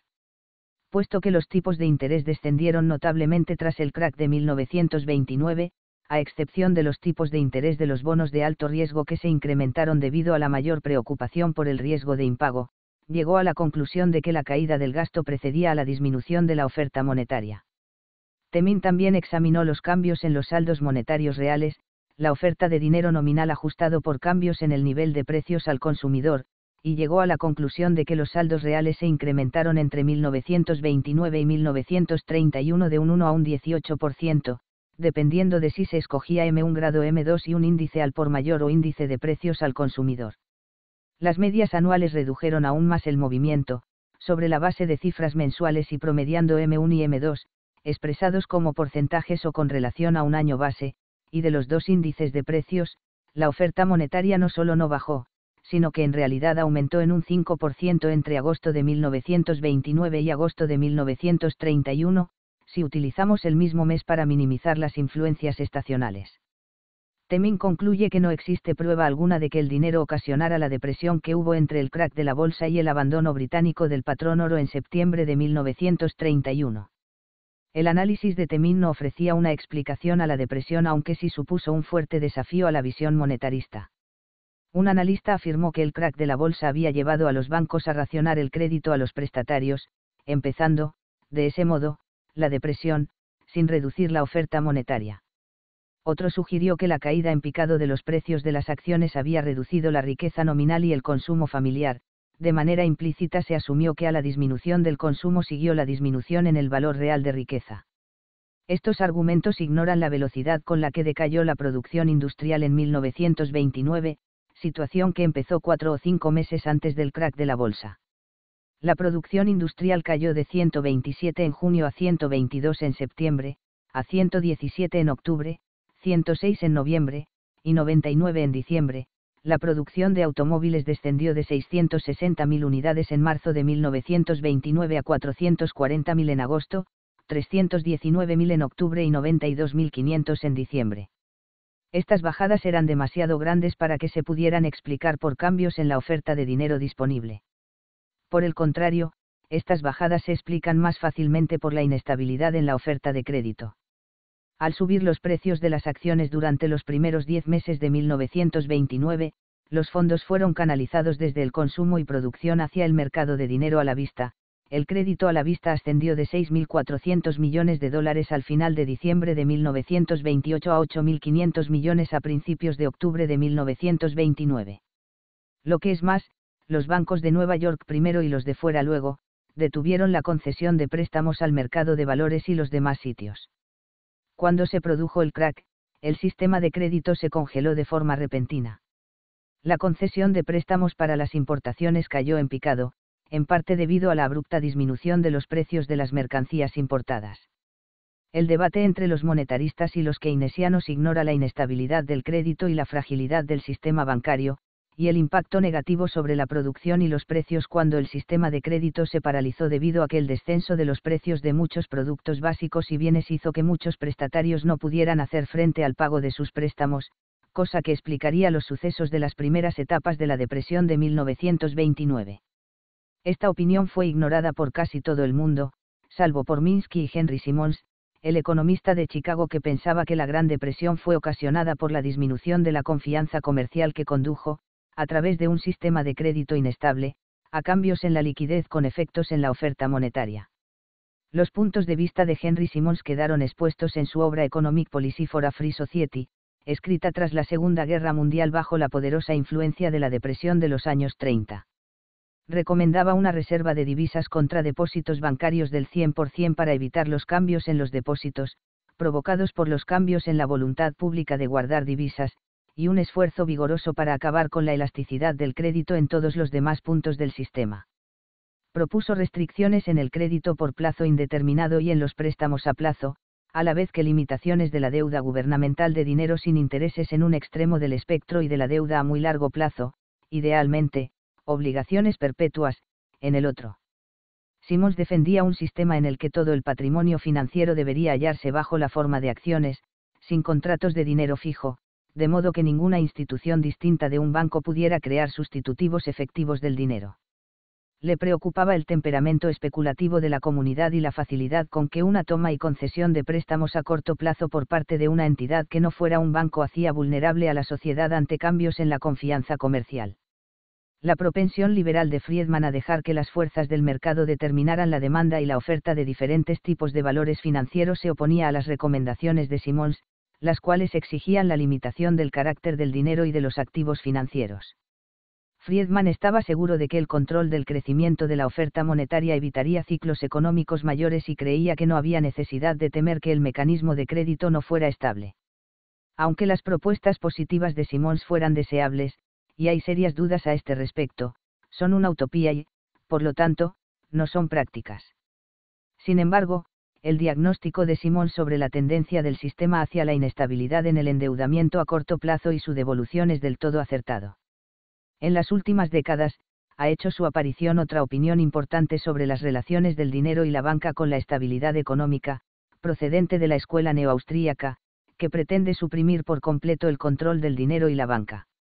Este grupo, encabezado por Friedrich Hayek en Gran Bretaña, Roland Baubel en Alemania, y Richard Timberlake, Leland Yeager, Lawrence Witte, y George Selgin en los Estados Unidos, busca abolir la política monetaria activa. Cualquier banco, compañía o persona podría emitir, dinero, creen que el mercado será el que decida quién emite dinero bueno. Cada empresa competirá para asegurarse de que su dinero sea aceptado, así que el dinero bueno expulsará al malo. Witte defiende esta postura en base a la experiencia de los bancos escoceses que estuvieron desregulados entre la quiebra de la Airbank en 1772 y la Bank Act de 1845, que aplicaba la Bank Act de 1844 a Escocia. Durante este periodo los principales bancos comerciales acumularon los billetes de los bancos menores, dispuestos a convertirlos en metálicos y creían que el suministro de billetes de banco emitidos por un banco determinado estaba aumentando con demasiada rapidez los grandes bancos actuaban como controladores informales de la oferta monetaria. Pero varias experiencias históricas, las cajas rurales en Inglaterra desde 1745 a 1835, la banca inestable de Michigan en la década de 1830 y la reciente experiencia de la desregulación bancaria en América Latina y especialmente en Asia Oriental, contradicen la opinión de que, el dinero bueno expulsa al malo. La inflación global de la década de 1970 fue el resultado de una combinación de la política monetaria expansiva de los Estados Unidos y de las políticas monetarias expansivas en Europa y Japón en el momento en que su gran superávit de la balanza de pagos llevó a un rápido crecimiento en sus tenencias de activos de reservas internacionales. Las tenencias de activos de reservas internacionales de los bancos centrales volvieron a aumentar rápidamente en la década de 1990 y finales de los años 90. Tres años más tarde, un economista francés, Pascal Blanquet, escribió sobre una burbuja de crédito estadounidense. En las mismas líneas, Graciela Kaminsky y Carmen Reinhardt culpan a los países extranjeros por la impresión de dinero y a los Estados Unidos por manejar una persistente balanza de pagos deficitaria. La cuestión principal es si un banco central puede frenar la inestabilidad del crédito y ralentizar la especulación para evitar su extensión peligrosa si las autoridades monetarias buscan algún sustituto para el suministro de dinero o de liquidez, o si se enfocan directamente en los tipos de interés, se pueden moderar o eliminar por completo el ascenso y el declive de la crisis. No hay una forma a priori de determinar si alguna política del Banco Central de mantener constante la oferta monetaria, de limitar la liquidez del mercado monetario, o de elevar la tasa de descuento a la primera señal de especulación eufórica, podría evitar las manías que conducen a las crisis los economistas no pueden llevar a cabo experimentos cuidadosamente controlados. Sin embargo, el peso de la evidencia histórica favorece la opinión de que una política monetaria algo diferente habría tenido auges moderados, aunque no los hubiera eliminado por completo. El Banco de Inglaterra fue severamente atacado por su ceguera ante una crisis que se avecinaba en 1839 y por su incapacidad para elevar los tipos de interés más pronto. De hecho, se dice que la opinión general de que había sido dilatoria, había sido la causa inmediata del Bank Act de 1844. En la década de 1850 el exceso de oro condujo a la disminución de los tipos de interés en 1852 y 1853. A partir de entonces los tipos de interés aumentaron, aunque no lo suficiente como para evitar la grave crisis de 1857. El número de letras de cambio en circulación siguió aumentando a medida que aumentaba el tipo de descuento, y se fue reduciendo a medida que iba cayendo, en lugar de responder a los cambios de política en la dirección contraria, la especulación basada en la creación de letras parece haber sido desinhibida por los aumentos en los tipos de descuento. Una proposición de mediados de 1850 fue que el Banco de Inglaterra debería variar su tipo de descuento a medida que sus reservas variaban, para que el público tuviera claro qué esperar, una sugerencia que, según el Merbod, no demuestra comprensión de las transacciones del Banco de Inglaterra. En 1863 y 1864 el Banco de Inglaterra elevó los tipos de interés a un 9% en dos ocasiones, cosa que tal vez retrasó, aunque no impidió, el crack de 1866. La liquidación se completó en Francia en 1864, hubo dos conmociones en Gran Bretaña ese año, pero la deflación principal se atrasó. En julio de 1869 el Banco Nacional Austrohúngaro elevó los tipos de interés, pero el aumento llegó demasiado tarde para prevenir un crack en el otoño de 1869, que fue un claro precursor del gran crack de 1873 en Viena. El banco elevó de nuevo su tipo de descuento en 1872, aunque Wirth dijo que el tipo de descuento era demasiado bajo. De forma similar, con la misma periodicidad y ausencia de resultados, a menos que precipitaran la crisis, el Banco de la Reserva Federal de Nueva York elevó su tipo de descuento del 5 al 6% el 9 de agosto de 1929. En 1873, el Banco de Inglaterra cambió su tipo de descuento 24 veces y evitó las crisis financieras que se abatieron sobre Austria y Alemania en mayo y sobre Estados Unidos en septiembre. En noviembre, el tipo de descuento subió al 9% para evitar que los alemanes sacaran las libras esterlinas acumuladas en Londres como resultado de la indemnización franco-prusiana.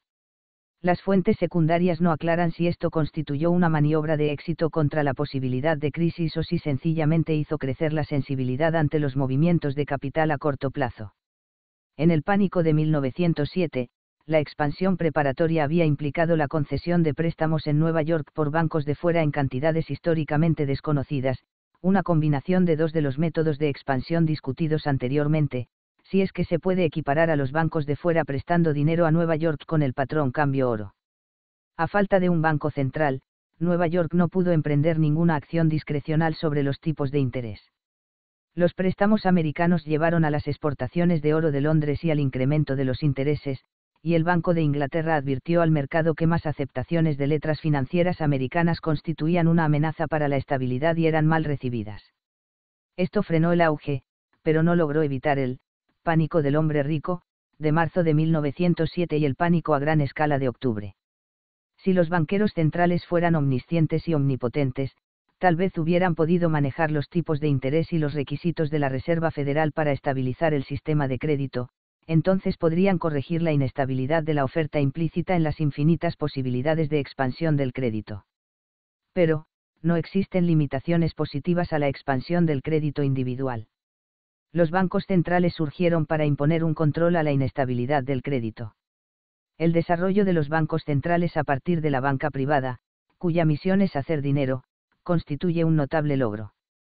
En 1825, hubo consenso acerca de la división del trabajo entre los bancos privados y el Banco Central, los banqueros privados de Londres y las provincias financiarían el auge, mientras que el Banco de Inglaterra, financiaría la crisis. De ese modo el Banco de Inglaterra no sería culpado por la crisis. En Estados Unidos, que no tenía Banco Central desde 1837, los principales bancos neoyorquinos se encontraron en un aprieto, habiendo de escoger entre su función lucrativa, que les convertía en contribuyentes a la inestabilidad del crédito, y su función de custodia de los depósitos de bancos fuera de la ciudad que podrían ser retirados y también contribuir a la inestabilidad. Había un conflicto de intereses entre la preocupación del corto plazo con respecto a la rentabilidad y la preocupación del largo plazo con respecto a la estabilidad financiera, y un conflicto de intereses entre el bien privado y el público. Nadie decretó que los bancos neoyorquinos debían actuar de forma responsable por el interés público, no estaba claro que fuera o no fuera ventajoso para ellos hacerlo. El problema es general en la política, en los negocios y en los centros que deberían mirar por el interés público. 5. El momento crucial, cuando la burbuja está a punto de estallar. Cambio de expectativas. El modelo estándar de la secuencia de eventos que conduce a las crisis financieras es la de un impacto que provoca una expansión económica que se transforma en un auge económico, y entonces es cuando se desencadena la euforia, los precios de los activos aumentan rápidamente, mucho más rápidamente que el PIB o que ninguna otra medida de ingresos. Luego hay una pausa en la el ritmo de esos aumentos. Unos pocos inversionistas inteligentes o afortunados venden algunos de sus activos para depositar sus ganancias especulativas en algo seguro. La desaceleración de la subida de los precios de los activos puede inducir a que los demás tengan un enfoque más cauteloso es probable que haya angustia después de que los precios de los activos empiecen a bajar. El patrón es biológico en su regularidad. Es probable que haya pánico y que después del pánico haya un crack. Lord Overstone, el banquero británico líder de mediados del siglo XIX, vio un patrón similar y Walter Bageot lo citó con aprobación, tranquilidad, mejora, confianza, prosperidad, excitación, sobrenegociación, convulsión, sic, presión, estancamiento y finalmente de nuevo tranquilidad. Overstone identificó cinco etapas de euforia antes de la crisis financiera, o, utilizando sus palabras, antes de la convulsión. Según la teoría de las expectativas racionales, las expectativas de los inversores cambian más o menos instantáneamente en respuesta a cada impacto, y los inversores inmediatamente ven más allá de las repercusiones de cada impacto, ven el equilibrio de precios de los bienes raíces y las acciones y de los productos básicos a largo plazo. En contraste, visto desde el punto de vista de la historia financiera, las expectativas en ocasiones cambian lentamente y en ocasiones cambian de manera rápida, a medida que los distintos grupos se van dando cuenta, a veces en momentos distintos y otras veces más o menos al mismo tiempo, que las previsiones de precios y valores actuales en un futuro lejano difieren de la opinión que se tenía anteriormente de esos mismos precios y valores. El cambio en las mentalidades de los inversores, que va de la confianza al pesimismo, es la fuente de inestabilidad en los mercados de crédito, ya que algunos prestatarios, individuos además de empresas, se dan cuenta de que su endeudamiento es demasiado grande en relación con sus ingresos. Estos prestatarios se ajustan a sus nuevas percepciones sobre el futuro mediante la reducción de sus gastos para poder tener el dinero en efectivo para reducir su deuda o para aumentar sus ahorros puede que algunas empresas vendan sus divisiones y unidades operativas para conseguir el dinero para devolver los préstamos.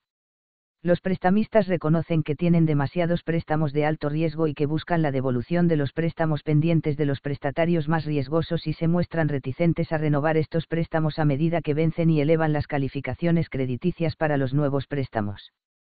El periodo de estrés financiero puede durar semanas, meses o incluso varios años, o puede estar concentrado en unos pocos días. La crisis económica que siguió al colapso del mercado de valores de Estados Unidos en 1929 se prolongó durante cuatro años, hasta que un nuevo gobierno, más intervencionista, llegó al poder. Japón estuvo sumido en problemas económicos durante más de diez años después de que las cotizaciones bursátiles y los precios de los bienes raíces comenzaran a declinar en enero de 1990. Por el contrario, Corea del Sur se recuperó de su crisis económica de 1998 a principios de 1999. La entrega de soberanía en Hong Kong a mediados de 1997 y su advenimiento como región económica especial de China coincidió con el inicio de la crisis financiera asiática, los precios de la propiedad disminuyeron de un 40 a un 50% durante los cinco años siguientes. La recesión que comenzó en los Estados Unidos en el año 2001 fue relativamente leve y breve, a pesar de que las cotizaciones bursátiles se redujeron en un 40% entre 2000 y 2003. Los Estados Unidos experimentaron una caída mucho mayor en la riqueza de los hogares en 2008 y 2009, los precios de los bienes raíces residenciales se redujeron en más del 30% y los precios de las acciones cayeron casi un 50%, antes de que tuviera lugar una recuperación parcial los precios de las propiedades comenzaron a declinar a finales de 2006 y el crecimiento económico fue positivo a lo largo de 2007 y en el primer semestre de 2008, el primer trimestre negativo fue el tercer trimestre de 2008, e incluso entonces el descenso fue moderado. Luego, el colapso de Lehman Brothers en septiembre de 2008 provocó un pánico y un crack. El sistema de crédito se congeló, los diferenciales de tasas de interés subieron, y la tasa Libor aumentó en 500 puntos básicos con respecto a la tasa de fondos federales, mientras que la propagación tradicional había sido de 10 a 20 puntos básicos. La combinación de una disponibilidad de crédito restringida y una cautela mayor en los hogares llevó a un descenso muy pronunciado en el PIB. Deberían los gobiernos intervenir para moderar el ciclo. Las políticas gubernamentales juegan un papel vital en la formación de expectativas puede un gobierno evitar una crisis financiera aguando las expectativas que llevan a la euforia. El gobierno debería tratar de moderar los impactos de la caída de los precios de las acciones y de los bienes raíces y de los productos básicos después de que la burbuja haya implosionado. Bear Stearns, Fannie Mae y Freddie Mac, y Lehman Brothers. Una de las primeras señales de ajuste en los Estados Unidos al aumento extraordinario de los precios de la vivienda y al exceso de oferta de viviendas que se inició en el año 2002 fue un aumento en las quiebras de los corredores de hipotecas, que se inició en los últimos meses de 2006. Estas empresas eran, intermediarios, y mayoristas que adquirían las hipotecas de los compradores de vivienda, después de indicar los términos de las hipotecas que iban a adquirir. Luego vendían las hipotecas a los bancos de inversión, que colocaban las hipotecas con términos similares en un fideicomiso que se utilizaría como garantía para la emisión de valores respaldados por hipotecas, MBS. Los bancos de inversión se reservaban el derecho de nuevamente, poner, estos préstamos a disposición de los corredores de hipotecas y los prestatarios dejaban de hacer sus pagos mensuales dentro de 12 grados 18 meses. A medida que los prestatarios se iban atrasando en sus pagos, los bancos de inversión devolvían estos préstamos hipotecarios a los corredores y pedían la devolución de su dinero, y las empresas que no pudieron pagar se declararon en quiebra.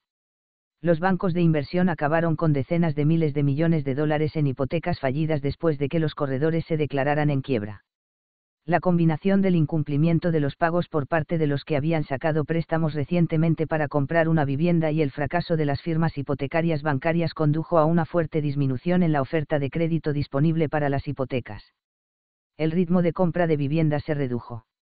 Los promotores inmobiliarios que habían construido sus hogares en previsión de futuras ventas experimentaron un aumento en sus inventarios de propiedades sin vender, a medida que los precios de la vivienda se iban reduciendo los precios de la vivienda en algunos de los mercados regionales alcanzaron su punto máximo hacia el final de 2005, y en el nivel nacional a finales de 2006. La disminución en 2007 de casi el 15% dio lugar a una disminución dramática en la construcción de viviendas nuevas. La primera víctima importante fue Bear Stearns, dos de los fondos de cobertura apalancados que manejaba se estrellaron, y los inversores en estos fondos perdieron la mayor parte de su dinero. Luego hubo una corrida bancaria sobre Countrywide Financial, el mayor prestamista hipotecario de los Estados Unidos, a mediados de agosto de 2007. Al mismo tiempo, hubo una corrida bancaria sobre Northern Rock, que era el mayor prestamista hipotecario de Gran Bretaña. Ambas empresas se habían mostrado agresivas en sus esfuerzos por aumentar su cuota de mercado, ambas habían dependido del mercado de papel comercial para más del 30% del dinero que utilizaron para comprar los créditos hipotecarios de hecho, habían estado vendiendo pagarés, IOU, a corto plazo a las empresas que tenían dinero extra, para conseguir el dinero para comprar más hipotecas. Contribuide Financial fue rescatado por el Bank Grados Fahrenheit America, que inicialmente hizo una inversión de capital a través de las compras de acciones preferentes y, posteriormente, adquirió Contribuide. Northern Rock fue rescatado por el Banco de Inglaterra, que inicialmente proporcionó liquidez, posteriormente, el gobierno británico adquirió acciones de la empresa y se convirtió en su accionista mayoritario.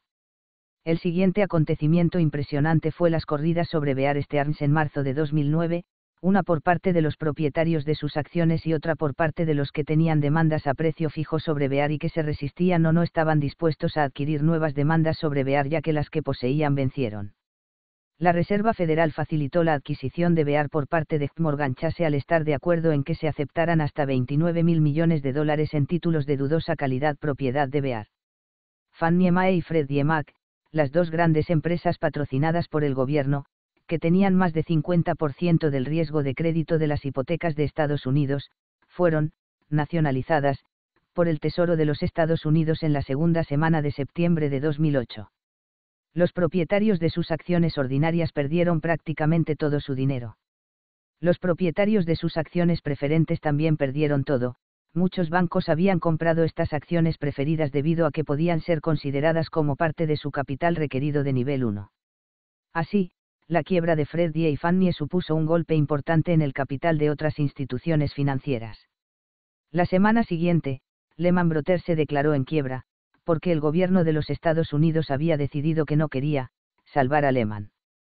Los funcionarios del gobierno dijeron que no tenían la autoridad para salvar a Lehman. Tal vez. O tal vez podrían haber encontrado la autoridad si realmente lo hubieran intentado. O podrían haber proporcionado algún tipo de asistencia financiera temporal para permitir que Lehman evitara la quiebra, mientras adquirían la autoridad legal para salvar a Lehman. La decisión de no, salvar a Lehman, desencadenó la crisis de crédito más masiva en los últimos 100 años, los diferenciales de crédito se dispararon. Un gran número de empresas diferentes dependían de la financiación a corto plazo para conseguir el dinero para comprar valores a largo plazo, y les resultó muy difícil, y costoso, refinanciar sus pagarés, y o vencidos. La decisión de no, salvar a Lehman, refleja que los funcionarios estaban preocupados por la indignación pública sobre el rescate de los banqueros ricos. Ellos, al igual que los funcionarios y los analistas en los últimos 200 años, creían que salvar a una gran empresa estimularía unos comportamientos de riesgo financiero en el futuro, en 10, 20 y 30 años. Entonces, el martes 14 de septiembre, el día después de la quiebra de Lehman, la Reserva Federal prestó 85 mil millones de dólares a AIG, el préstamo le dio a la Fed la opción de comprar el 79,9% de las acciones de AIG. La doctrina del, demasiado grande para quebrar, había sido resucitada. La preocupación era que si AIG se derrumbaba, habría corridas sobre muchas otras instituciones financieras, y esta dramática demanda por dinero en efectivo llevaría al colapso del sistema financiero. La interacción entre la disminución de los precios inmobiliarios y las pérdidas de préstamos bancarios fue inevitable y previsible, aunque la identidad de las empresas que se verían azotadas, no se podría haber predicho. Sin embargo, aquellas empresas que habían aumentado rápidamente su participación en el mercado, Countrywide, Northern Rock, Washington Mutual, lo habían hecho sobre una base de fondos a corto plazo prestados en los mercados mayoristas, y eran más vulnerables a las corridas que los prestamistas que dependían casi exclusivamente de los depósitos para el dinero para comprar hipotecas. Los fondos del mercado monetario, creados principalmente por casas de corretaje como una alternativa a los depósitos garantizados por el gobierno, estaban sujetos a corridas, y el Tesoro de los Estados Unidos extendió de manera precipitada su capa de cobertura de seguros de depósitos a estas empresas.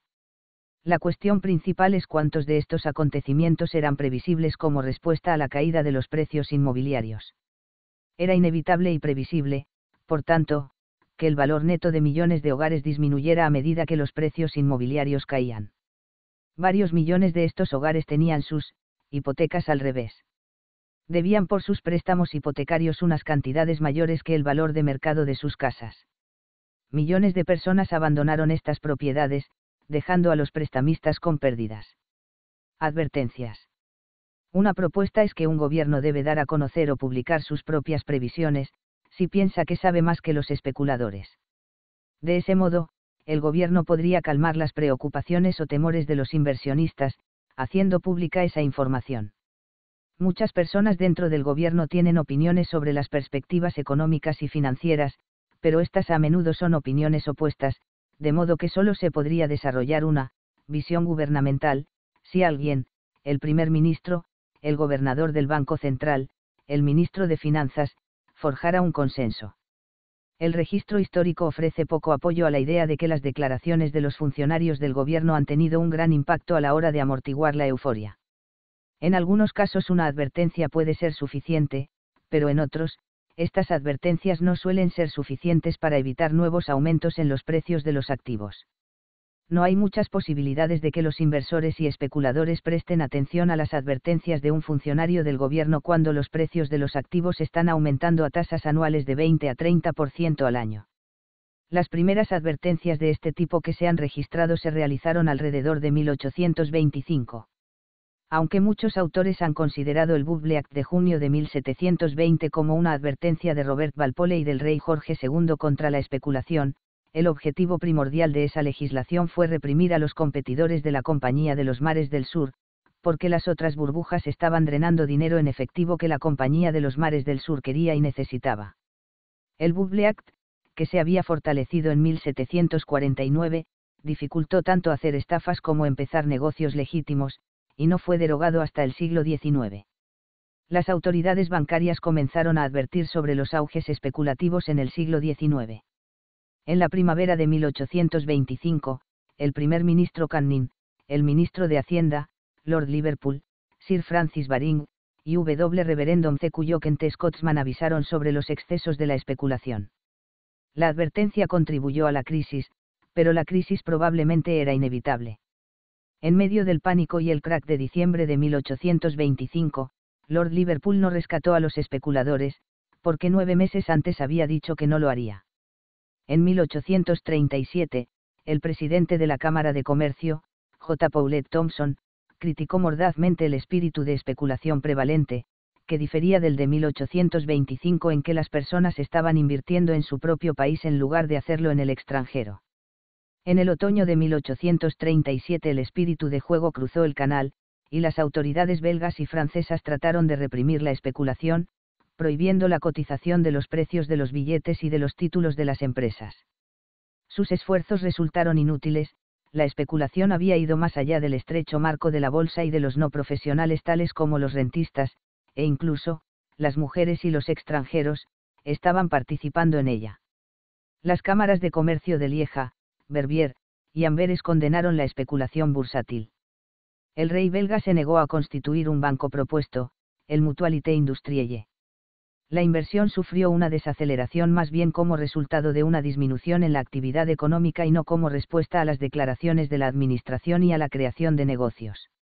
En julio de 1839, Lamartine en la Cámara de Diputados de Francia, habló en contra de la especulación y, especialmente, advirtió acerca de las garantías de los valores de ferrocarril. El único indicio de que la condena oficial de la especulación podría haber sido efectiva fue por parte de un observador francés, que comentó sobre la crisis de 1857. En marzo de 1856, el ministro del Interior inició una acción legal en contra de ciertos estafadores. El emperador Napoleón III felicitó a Audevalle, el autor de Les Manières d'Argent, que trataba las dudosas prácticas financieras con severidad. El Senado aprobó las leyes. El Banco de Francia subió la tasa de descuento al 10%. Napoleón III publicó una carta en el Moniteur, el 11 de diciembre, en la que indicaba que el gobierno prestaría apoyo solamente para las catástrofes que escaparan a la anticipación humana. Según Dormeson, la exuberancia especulativa disminuyó y la memoria de la crisis de 1857 refleja una cierta gloria en el comercio francés. Sin embargo, Rosenberg llegó a la conclusión de que las advertencias habían llegado demasiado tarde. Las restricciones por parte del Banco Nacional de Austria en 1869 produjeron una gran crisis, que resultó ser un mini crack en comparación con la que siguió en 1873. Las advertencias y las revelaciones de Edward Lasker, un miembro del Parlamento alemán, que en febrero de 1873 había expuesto las conexiones escandalosas entre el gobierno prusiano y su Ministerio de Comercio y los concesionarios ferroviarios, no tuvo un impacto significativo en la represión del sentimiento especulativo. Más oportunas fueron las advertencias emitidas por la revista The Economist en 1888 contra los compromisos de compra de cédulas, los bonos de los terrenos argentinos. En abril The Economist dijo que, los bonos podrían convertirse en un valor muy inadecuado. En la actualidad todos los bienes inmuebles de Río de la Plata han visto sus precios inflados, pero la aparición de dificultades financieras podría fácilmente hacerlos invendibles. Luego, en mayo, un colapso del auge en el sector inmobiliario, que es fácilmente concebible, seguramente deprimiría severamente el valor de las cédulas. Las advertencias demostraron ser ineficaces. Más memorable es la declaración profética de Paul Balburg, socio de Kuhn, Loeb y Cobalto. Y uno de los fundadores del sistema de la Reserva Federal, que en febrero de 1929 advirtió al público estadounidense de que los precios de las acciones estadounidenses eran demasiado altos y que mostraban síntomas parecidos a los del pánico de 1907, su declaración siguió a una declaración similar del presidente de la Junta de la Reserva Federal los inversores se detuvieron brevemente y luego volvieron a aumentar los precios de las acciones. La ineficacia de la declaración de Greenspan, presidente de la Reserva Federal, sobre la exuberancia irracional, en diciembre de 1996 por el alto nivel de los precios de las acciones de Estados Unidos se ha señalado anteriormente. En agosto de 1999, Greenspan informó de que la Fed consideraría el nivel de precios de las acciones cuando pusiera las tasas de interés después de que la tasa de descuento se hubiera incrementado en un 0,25% en agosto. Una vez más el mercado de valores apenas se dio cuenta. Si los precios de los bienes raíces y de las acciones continúan aumentando a pesar de estas advertencias, entonces parece que las advertencias carecen de credibilidad. Puede que los analistas económicos sepan, o al menos crean que saben, los valores de equilibrio a largo plazo de los bienes raíces y de las acciones, pero su capacidad de predecir cuándo los precios del mercado se moverán de vuelta hacia estos valores medios a largo plazo en lugar de alejarse de ellos es más bien modesta. Roger Babson vendió las acciones de sus clientes en 1928 y pareció hacer el ridículo durante más de un año, ya que los precios de las acciones seguían aumentando. El problema del tiempo es complejo. Si las autoridades gubernamentales quieren que sus advertencias sean eficaces, deben proporcionar sus declaraciones de precaución con suficiente antelación para evitar algunos de los excesos que se dan en la época de euforia, y lo suficientemente tarde como para que las declaraciones sean creíbles. Una metáfora de un expresidente de la Reserva Federal es que las autoridades se muestran reticentes a retirar la ponchera de la fiesta justamente cuando la fiesta está empezando, debido a las reacciones públicas adversas. La tradición moderna es que los bancos centrales desarrollan sus políticas monetarias para moderar los aumentos en el nivel de precios al consumidor u otro tipo de índice de nivel de precios, las metas de inflación, se convirtieron en su nuevo mantra. La cuestión de fondo es si los bancos centrales deberían ignorar los aumentos en los precios de los bienes raíces y de las acciones si están muy por encima de sus valores de equilibrio a largo plazo. Por lo general ha sido inútil intentar convencer a los especuladores únicamente a través de declaraciones. Dificultades financieras. Las dificultades son ampliamente discutidas en relación con las crisis financieras. El término es impreciso, uno de sus significados es un estado de sufrimiento y el otro es una situación peligrosa. La dificultad comercial refleja la primera definición, las dificultades o problemas financieros la segunda. La dificultad comercial implica que los precios, la actividad económica y la rentabilidad han disminuido, y que muchas empresas mercantiles e industriales se han ido a la quiebra, o están en camino de irse a la quiebra. Las dificultades financieras de una empresa individual significan que se está incurriendo en pérdidas significativas y que existe una probabilidad bastante seria de que no tengan suficiente dinero para pagar los intereses devengados por la deuda de acuerdo con un programa acordado. El pánico de crédito en los últimos meses de 2008 condujo a un fuerte descenso en las ventas de automóviles, y tanto General Motors como Chrysler se declararon en bancarrota. Las dificultades financieras para una economía también tienen un significado prospectivo e implican la necesidad de hacer ajustes económicos, puede que las empresas estén al borde de la quiebra y que los bancos puedan necesitar capital adicional para compensar la disminución de capital, que es el resultado de las pérdidas por préstamos excepcionalmente grandes. El gobierno de los Estados Unidos desarrolló un programa de más de 700 mil millones de dólares llamado el Troubled Assets Relief Program, Programa de Alivio de Activos Problemáticos o TARP por sus siglas en inglés, que pondría dinero a disposición de los bancos y de otras firmas financieras. Muchos proyectos de inversión se estancan debido a que los desarrolladores no pueden obtener el dinero necesario para completar la construcción otras palabras empleadas para designar el intervalo transcurrido entre el fin de una euforia y el inicio de lo que los escritores clásicos denominaron revulsión y descrédito, en otras palabras, crack pánico, son inquietud, aprensión, tensión, escasez, presión, incertidumbre, condiciones ominosas, fragilidad. Otras expresiones más coloridas son una fea caída del mercado o una atmósfera fragorosa. Las metáforas atmosféricas son especialmente utilizadas, uno se siente de nuevo inmerso en la opresiva atmósfera que precede a una tormenta. Y se han utilizado metáforas geológicas, dos años antes del pánico de 1847, Lord Overstone escribió a su amigo G.W. Norman, abuelo de Montagu Norman, el gobernador del Banco de Inglaterra a mediados de 1920. Actualmente no estamos viviendo un crack, tan solo un ligero movimiento de tierra premonitorio bajo nuestros pies. La metáfora sismológica también fue utilizada por Michel Chevalier, que escribía desde América sobre la guerra del presidente Jackson contra el Second Bank grados Fahrenheit y United States, un colapso general del crédito, por breve que sea, es más temible que el peor de los terremotos. Otro escritor francés señala el presentimiento de desastre. Una metáfora alemana habla del arco que tanto se doblaba en otoño de 1782, que amenazaba con quebrarse la dificultad no es una condición fácil de medir para una economía. Puede que los inversores se hayan mostrado preocupados cuando los valores de ciertas variables divergieron significativamente de los valores medios, algunas de estas variables incluyen las ratios de reservas de oro de los bancos centrales, la proporción de deuda a capital de un gran número de empresas o personas, las pérdidas de los bancos en relación con su capital, las ratios de pagos de servicio de la deuda externa de un país a los beneficios de sus exportaciones, y las ratios del precio.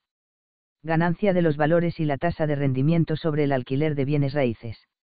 Puede que los inversores cada vez tengan una mayor conciencia de la aproximación a un límite determinado, como puede ser el límite de emisión de billetes del Banco de Inglaterra estipulada en la Bank Act de 1844, el requisito mínimo de oro de 100 millones de dólares que fue requerido al Tesoro de los Estados Unidos en 1893, el límite superior en los anticipos del Banco de Francia al Tesoro francés en 1924, la ratio de reservas de oro del Reichsbank con el Plan Daves en junio de 1931, o el oro desmonetizado disponible para el sistema de la Reserva Federal previo a la aprobación del Acta Glass-Steagall en febrero de 1932. Una proporción de la deuda externa y el PIB del 60% para un país ha sido vista como un indicador premonitorio por parte de los inversionistas, un país, se mueve sobre un terreno muy inestable, cuando esta ratio es mucho mayor. Del mismo modo, una ratio de deuda pública sobre el PIB de una cantidad significativamente mayor del 60% se considera demasiado alta. Como hizo notar un ministro de Hacienda en 1857, los límites excitan a la gente. Ahora cuando se impone un límite, queda fuera de toda duda que la existencia de ese límite, siempre que se haga notar en época de crisis, debe aumentar la alarma. En ese momento, la gente se siente acechada por un peligro, comienza a pensar cuánto queda de los fondos a los que recurre en busca de ayuda en tiempos de dificultades comerciales y, sea cual sea la forma en que se fije el límite, por ley parlamentaria o, como propuso M.R. Thomas Toque, un líder de la escuela bancaria, por un tipo de uso, o, como en Francia, por la discreción del gobierno al actuar en el Banco de Francia, no cabe la menor duda de que en momentos de crisis el límite tiene que agravar la alarma. La misma idea fue expresada por un oficial francés que, 20 años después, defendió la tradición de que el Banco de Francia mantuviera una reserva en metálico de una tercera parte de sus obligaciones de demanda, sin un riguroso e inmediato requisito legal, no se requiere una ratio fija. Eso no sería muy inteligente el terror de un límite fijo y absoluto. Rebasar el límite puede tener un significado más psicológico que objetivo. En marzo de 1924, aunque los banqueros sofisticados sabían que un modesto aumento de la oferta monetaria francesa no sería peligroso, el público había llegado a considerar el límite superior de los anticipos del Banco de Francia al Tesoro francés como un índice de la salud económica. Como dijo un ministro, los franceses estaban próximos a los límites de la elasticidad de la confianza en su propia moneda.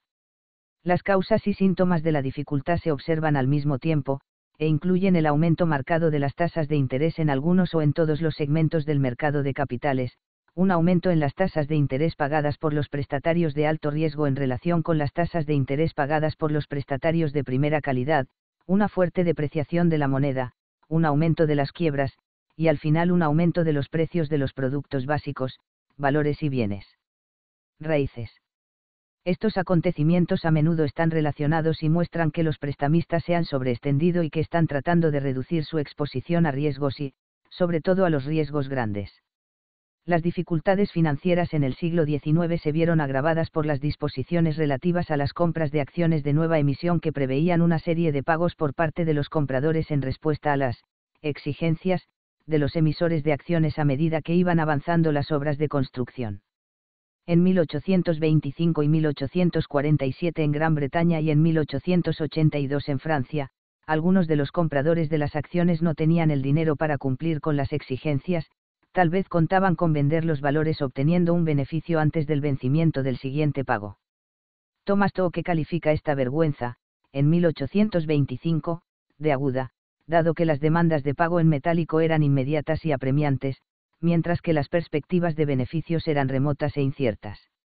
La dificultad financiera se desarrolló en febrero de 1847, cuando las demandas de pago de los ferrocarriles ascendieron a 6,5 millones de libras esterlinas en un solo mes. La apariencia de letra en cadena de las emisiones de valores comenzó a revelarse en las finanzas de la Compañía de los Mares del Sur en junio, julio y agosto de 1720, con repetidos intentos de obtener dinero en efectivo a través de nuevas emisiones de acciones. En 1881 se vendieron en París 125 nuevas emisiones con un valor en el mercado de 5.000 millones de francos, en una época en que los ahorros anuales de París se estimaban en 2.000 millones de francos.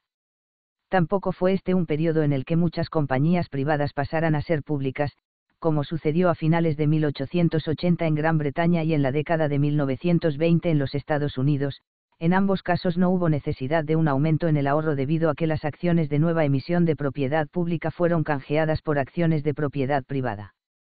El final de un periodo de aumento de los precios de los activos lleva a la dificultad cada vez que un número significativo de los inversores hayan basado sus compras de estos activos en la previsión de que estos precios seguirían aumentando. Puede que a continuación algunos de estos inversores tengan un efecto arrastre, debido a que las tasas de interés sobre los fondos tomados en préstamo para comprar los activos supere a los ingresos en efectivo sobre los activos, estos inversores anticiparon que serían capaces de utilizar el incremento en el valor de los activos como colateral para nuevos préstamos que les proporcionarían parte del dinero necesario para pagar los intereses. Cuando los precios de los activos dejan de aumentar, estos inversores entran en estado de dificultad financiera, ya que no tienen ninguna manera de obtener el efectivo que necesitan para pagar los intereses de su deuda. La dificultad financiera envolvió el mercado de hipotecas de alto riesgo hacia el final de 2006 y 2007, cuando los precios inmobiliarios comenzaron a caer. El sello distintivo de estas hipotecas es que el patrimonio de los compradores de vivienda a menudo era menos del 10%, cuando los precios comenzaron a caer, tenían entonces, hipotecas al revés, la deuda de su hipoteca era mayor que el valor de mercado de las propiedades. Una de las soluciones a esta dificultad financiera era enviar las llaves de las propiedades a los prestamistas. La dificultad financiera puede surgir de un aumento en el flujo de fondos desde el país, una mala cosecha puede requerir un aumento de las importaciones y un aumento en las tasas de interés en un importante centro financiero internacional puede atraer fondos de los mercados financieros nacionales. Podría pasar a haber menos disponibilidad de crédito en el mercado de crédito interno, podría ser más estricta, a causa de una reducción en las reservas del sistema bancario.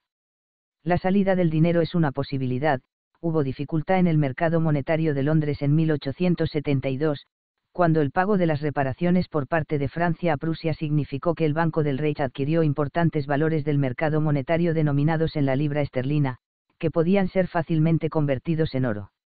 Del mismo modo se produjo un flujo de dinero a Londres antes de abril de 1925 en previsión de que la libra esterlina se apreciaría a su paridad con el oro antes de la guerra, una vez que la libra estuvo de nuevo vinculada al oro, los propietarios de estos depósitos tenían pocos incentivos para mantenerlos en Londres la política de tasas de interés del Banco de Inglaterra se vio limitada por la preocupación de que algunos de estos fondos podrían salir de Londres.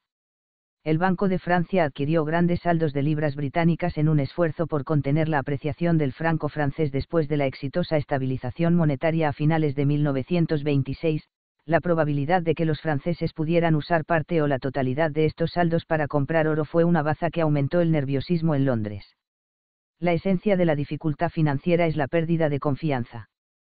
¿Qué viene a continuación? La confianza en el futuro a medida que los desequilibrios en la economía se corrigen, o las corridas bancarias, los pánicos y el colapso de los precios. James Siglo Gibbons plantea la cuestión de forma concisa. Los funcionarios de los bancos no siempre son insensibles ante la alarma cuando los comerciantes respetables, habiendo fracasado en sus más esforzados intentos, son acorralados y adoptan un aire de desesperación. Conocen el peligro que se cierne sobre el mercado. El crédito se amplía prodigiosamente, la excitación pública crece, pasando a un estado de tensión nerviosa y de aprensión, y solo hace falta que se produzca la quiebra de un gran banco, para que explote la poderosa burbuja. ¿Quién sabe que eso es una burbuja?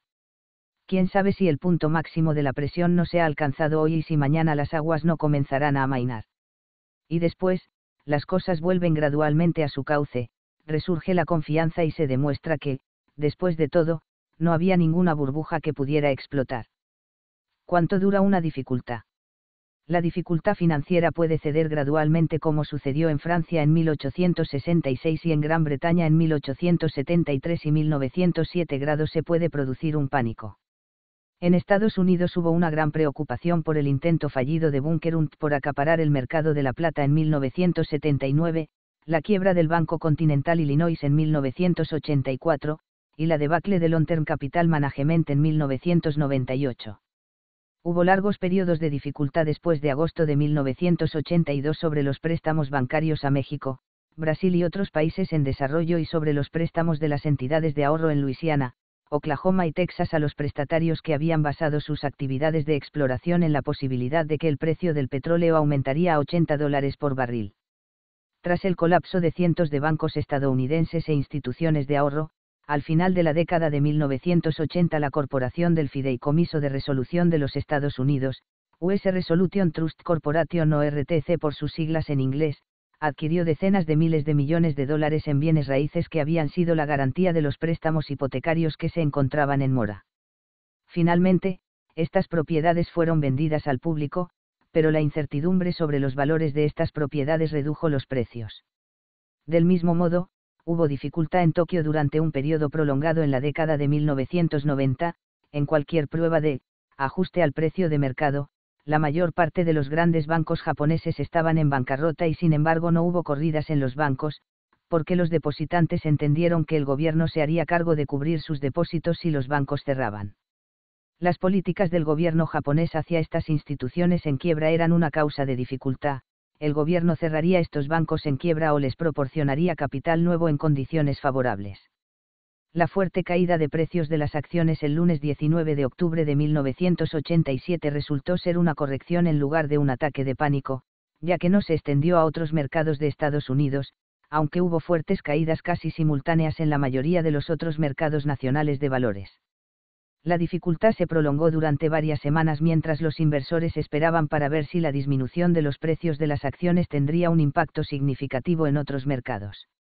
La debacle del Long Term Capital Management, LTCM, en el verano de 1998 se produjo al mismo tiempo que el colapso del sistema bancario ruso y del rublo. La perspectiva de un desastre inminente en Rusia indujo a cambios en la tasa de interés y a cambios en las relaciones de rendimiento que habían contribuido significativamente al colapso de LTCM. Este era un banco no regulado a pesar de que normalmente era considerado como fondo de cobertura. El ETCM se consideraba una institución financiera, muy inteligente, entre sus altos mandos había dos premios Nobel en finanzas. La empresa estaba mucho más altamente apalancada que los bancos tradicionales y que la mayoría de otros fondos de cobertura y además tenía decenas de miles de millones de dólares en contratos derivados como futuros y opciones. Inicialmente, el LTCM se había visto como una máquina de hacer dinero, y se le consideraba extremadamente hábil en el aprovechamiento de las pequeñas desviaciones de los precios de valores muy similares. Por ejemplo, el bono a 30 años del Tesoro de los Estados Unidos fue extensamente comerciado, pero el bono de 29 años era menos líquido y no tan comerciado, por lo que la tasa de interés del bono de 29 años era modestamente más alta que la del bono de 30 años. El ETCM compró cientos de millones de dólares de los bonos a 29 años y vendió al descubierto más o menos la misma cantidad de los bonos a 30 años para obtener beneficios del diferencial en tasas de interés. El exceso de las ganancias sobre la tasa de interés del bono que vencía en 29 años sobre la tasa de interés del bono con vencimiento de 30 años era modesto, pero el producto de este pequeño número y la posición con cientos de millones de dólares era muy grande, y muy lucrativo algunos de los principales bancos que eran grandes prestamistas de LTCM tendían a imitar algunas de las posiciones de su cartera. Las posiciones de los valores de LTCM y de estos bancos principales dominó el mercado de estos valores. En la primavera de 1998, LTCM tenía una posición larga en bonos de mercados emergentes la cual cubría vendiendo al descubierto los bonos del Tesoro de los Estados Unidos. Como los inversores estaban cada vez más preocupados por el futuro financiero de Rusia, los precios de los bonos de los mercados emergentes se redujeron, como efecto en cascada contagioso. La Reserva Federal respondió con una mayor relajación monetaria y los precios de los bonos del Tesoro estadounidense aumentaron. El ETCM perdió dinero en ambos lados de su cobertura, cosa que erosionó su base de capital. Como los precios de estos bonos de mercados emergentes se redujeron, el ETCM se encontró entre la proverbial, espada y la pared, si vendía alguna de sus tenencias de valores individuales, los precios caerían aún más y su patrimonio neto se reduciría más rápidamente. La Reserva Federal consideró que si el LTCM quebraba habría un largo periodo de incertidumbre, dificultad, en los mercados de capital, mientras que las posiciones de la empresa en futuros, opciones y otros derivados se liquidarían y los precios de los bonos caerían aún más. La Fed utilizó su fuerza, más precisamente, la amenaza de su fuerza reguladora, para inducir a los principales bancos prestamistas de LTCM a que invirtieran su propio dinero en LTCM, y que luego adquirieran el 90% de propiedad. La crisis, a 63,000 millones en el segundo trimestre de 2009, la mayor parte de este declive se produjo en el valor inmobiliario en el mercado. ¿De dónde vino el dinero antes de que desapareciera? La característica principal de una burbuja es la subida excepcional y no sostenible de los precios inmobiliarios y de los títulos. Los individuos compran las propiedades inmobiliarias con dinero prestado. Hay un vendedor para cada comprador inmobiliario, y de la misma manera hay un vendedor para cada comprador de títulos. Los vendedores de bienes raíces y de títulos depositan sus recibos de compra en los bancos y en bonos. El dinero no ha desaparecido, sino que simplemente ha pasado de una mano a otra.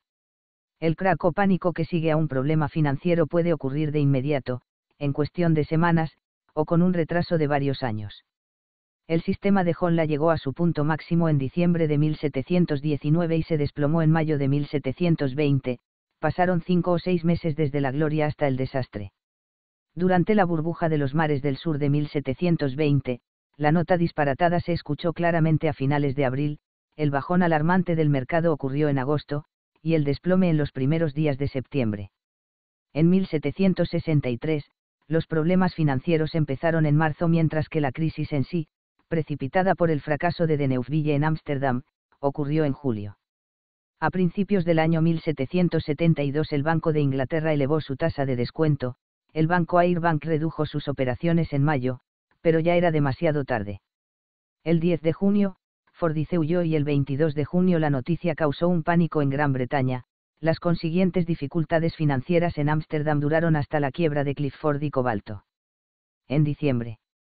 Las fechas de cada una de las crisis que se dieron entre 1789 y 1815 fueron dominadas por eventos apocalípticos independientes, incluyendo el guillotinamiento de Luis XVI en enero de 1793, perder la cabeza siempre es apocalíptico, el desembarque del ejército francés en Fisguard en la punta suroeste de Gales en febrero de 1797, y la penetración del bloqueo continental en 1799. Los periodos de dificultades financieras en estas ocasiones eran de corta duración porque el pánico era prácticamente inmediato. Entre 1809 y 1810, el contratiempo surgió porque el bloqueo continental se hizo más estricto y por el exceso de contratación de artículos de exportación a Brasil la presión fue aumentando lentamente desde mediados de 1809, y más rápido desde mediados de 1810 hasta el punto máximo de quiebras en enero de 1811. La llamada a realizar más pagos sobre las suscripciones de títulos de ferrocarriles en enero de 1847 creó un fondo de tensión, y sobre ese fondo la especulación sobre grano llegó a su punto máximo en mayo, se colapsó en agosto, y llevó al pánico en noviembre. La crisis de 1866 fue el resultado retrasado del colapso de los precios del algodón en 1864, que llevó a Francia un pánico ese mismo año. Gran Bretaña tuvo dos, momentos críticos, en 1864, uno en enero, la crisis real relacionada con el colapso de los precios de algodón, y otro en el último trimestre de ese mismo año. El tratamiento británico de esta situación suele echar la vista atrás, hacia la expansión especulativa que afectó a las sociedades intermediarias de descuento que comenzó durante el año anterior, y a una serie de empresas similares a Credit Mobilier, que estaban utilizando fondos recibidos de la venta de nuevas acciones para comprar sus propias acciones de vuelta y vigorizar a los inversores. W. Tonelada Calle quien escribió que un tal Albert Botheimer utilizó el nombre de Albert Grant para emitir acciones sobre la imponente Credit Foncier and Mobilier de Inglaterra, que en última instancia logró un pago entero o mejor dicho un capital pasivo de un millón de libras. La conversión a empresa pública de la Sociedad Intermediaria de Descuentos, Overend, Gurney y Cobalto. En julio de 1865 en el punto máximo del auge, y la, carrera por los dividendos, llevaron a una prima del 100% sobre el precio de la acción en octubre. El Banco de Inglaterra respondió subiendo su tasa de descuento del 3% al 7%, el crack no ocurrió hasta mayo de 1866. Las dificultades financieras en Gran Bretaña duraron siete meses, desde octubre de 1865 hasta mayo de 1866, mientras que los problemas en Francia duraron casi 30 meses. Ocurrieron periodos de estrechez financiera y crisis y pánico, en los Estados Unidos, durante el otoño, cuando los bancos en el área oeste de la nación sacaron grandes cantidades de dinero del área este para pagar por los envíos de cereales la demanda por el crédito llegó a su punto máximo en otoño cuando los bancos en las áreas del país que producían grano tomaron grandes cantidades de dinero prestadas de los bancos en el este, que utilizarían para pagar por las compras y envíos de los cereales. Sprague observó que la crisis de 1873 fue en septiembre a causa de que la cosecha llegó temprano, que el brote de una crisis invariablemente sorprendió a la comunidad empresarial y que la crisis de 1873 no fue una excepción. Las estrecheces de dinero que se producían cada temporada eran más que conocidas, lo curioso es que resultaran ser una sorpresa. Las estrecheces monetarias desde septiembre de 1872 a mayo de 1873 provocaron que los ferrocarriles tomaran prestados fondos a corto plazo en vez de emitir bonos, lo que pudo haber sido interpretado como una señal de problemas financieros, y luego el ajuste estacional precipitó el crack. Los problemas financieros pueden ser continuos o pueden oscilar a ritmo propio. El crack de la Unión General en enero de 1882 fue precedido por tres periodos de tensión separados, en julio, octubre, y diciembre de 1881. El pánico en octubre de 1907 fue anticipado, aunque Sprague indicó que su momento exacto no era previsible, y fue precedido por un pánico de hombre rico, en marzo cuando las acciones del Union Pacific, el valor más extensamente utilizado como colateral para financiar operaciones de billetes de banco, bajó 50 puntos los mercados se recuperaron de este golpe y del fracaso de una oferta de bonos al 4% de la ciudad de Nueva York en junio, solo se adquirieron 2 millones de dólares para una oferta de 29 millones de dólares en bonos al 4%, del colapso del mercado de cobre en julio, y de la multa de 29 millones de dólares impuesta sobre la Standard Oil Company por violaciones al derecho de la competencia en agosto, todo ello para de todas formas sucumbir a la quiebra de la Knickerbocker Trust Company en octubre. En 1929 los problemas financieros duraron desde junio hasta la última semana de octubre. Los problemas financieros en Japón comenzaron a principios de la década de 1990 y continuaron durante toda la década entrando en la próxima. Las empresas industriales japonesas estaban extremadamente reticentes a reducir sus tamaños y a hacer otros ajustes necesarios para reducir sus costos por debajo de sus ingresos actuales. Durante los últimos 40 años, estas empresas pudieron depender de los bancos para el dinero en efectivo necesario para financiar sus pérdidas de explotación y sus inversiones. Los bancos japoneses estaban extremadamente reticentes a dejar de hacer nuevos préstamos, inclusive a empresas que cualquier prueba de ajuste de valor consideraría en quiebra, y las autoridades reguladoras estaban reticentes a cerrar esos bancos que fueran considerados en bancarrota.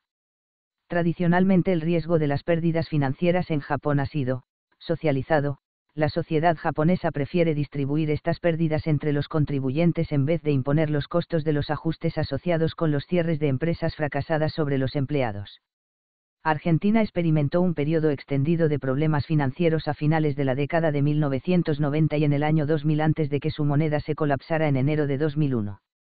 A finales de la década de 1980, Argentina había sufrido dos años de inflación desbordada el gobierno entrante del presidente Carlos Menem equiparó el nuevo peso argentino con el dólar estadounidense a razón de un peso argentino por un dólar estadounidense, al mismo tiempo, Argentina adoptó un arreglo de comité monetario, cosa que significó que su Banco Central solo podía incrementar sus pasivos en pesos si sus activos en dólares estadounidenses incrementaban, más o menos una aplicación muy estricta de la doctrina de la escuela monetaria. Durante la década de 1990, los ingresos de los impuestos recaudados por el gobierno argentino fueron menores que sus gastos, y parte de este exceso de gastos fue financiado con los ingresos de privatización y parte con dinero prestado al gobierno. La inflación desbordada de la década de 1980 había reducido el valor real de la deuda gubernamental argentina, por lo cual muchos inversores, pensando que el gobierno parecía ser un buen riesgo crediticio, compraron bonos del gobierno argentino denominados en dólares estadounidenses como la deuda gubernamental argentina aumentó frente al PIB del país, las tasas de interés que el gobierno argentino tenía que pagar para vender bonos nuevos incrementó. Hubo una recesión en Argentina hacia el final de la década, en parte porque el dólar estadounidense, al que el peso estaba equiparado, estaba aumentando en valor, y el déficit fiscal argentino aumentó ya que sus ingresos de impuestos disminuyeron frente a sus gastos. La recesión se intensificó a causa de la depreciación del real brasileño en enero de 1998. Brasil era el socio comercial principal de Argentina. La pregunta era si Argentina podía disminuir su déficit fiscal manteniendo la paridad establecida.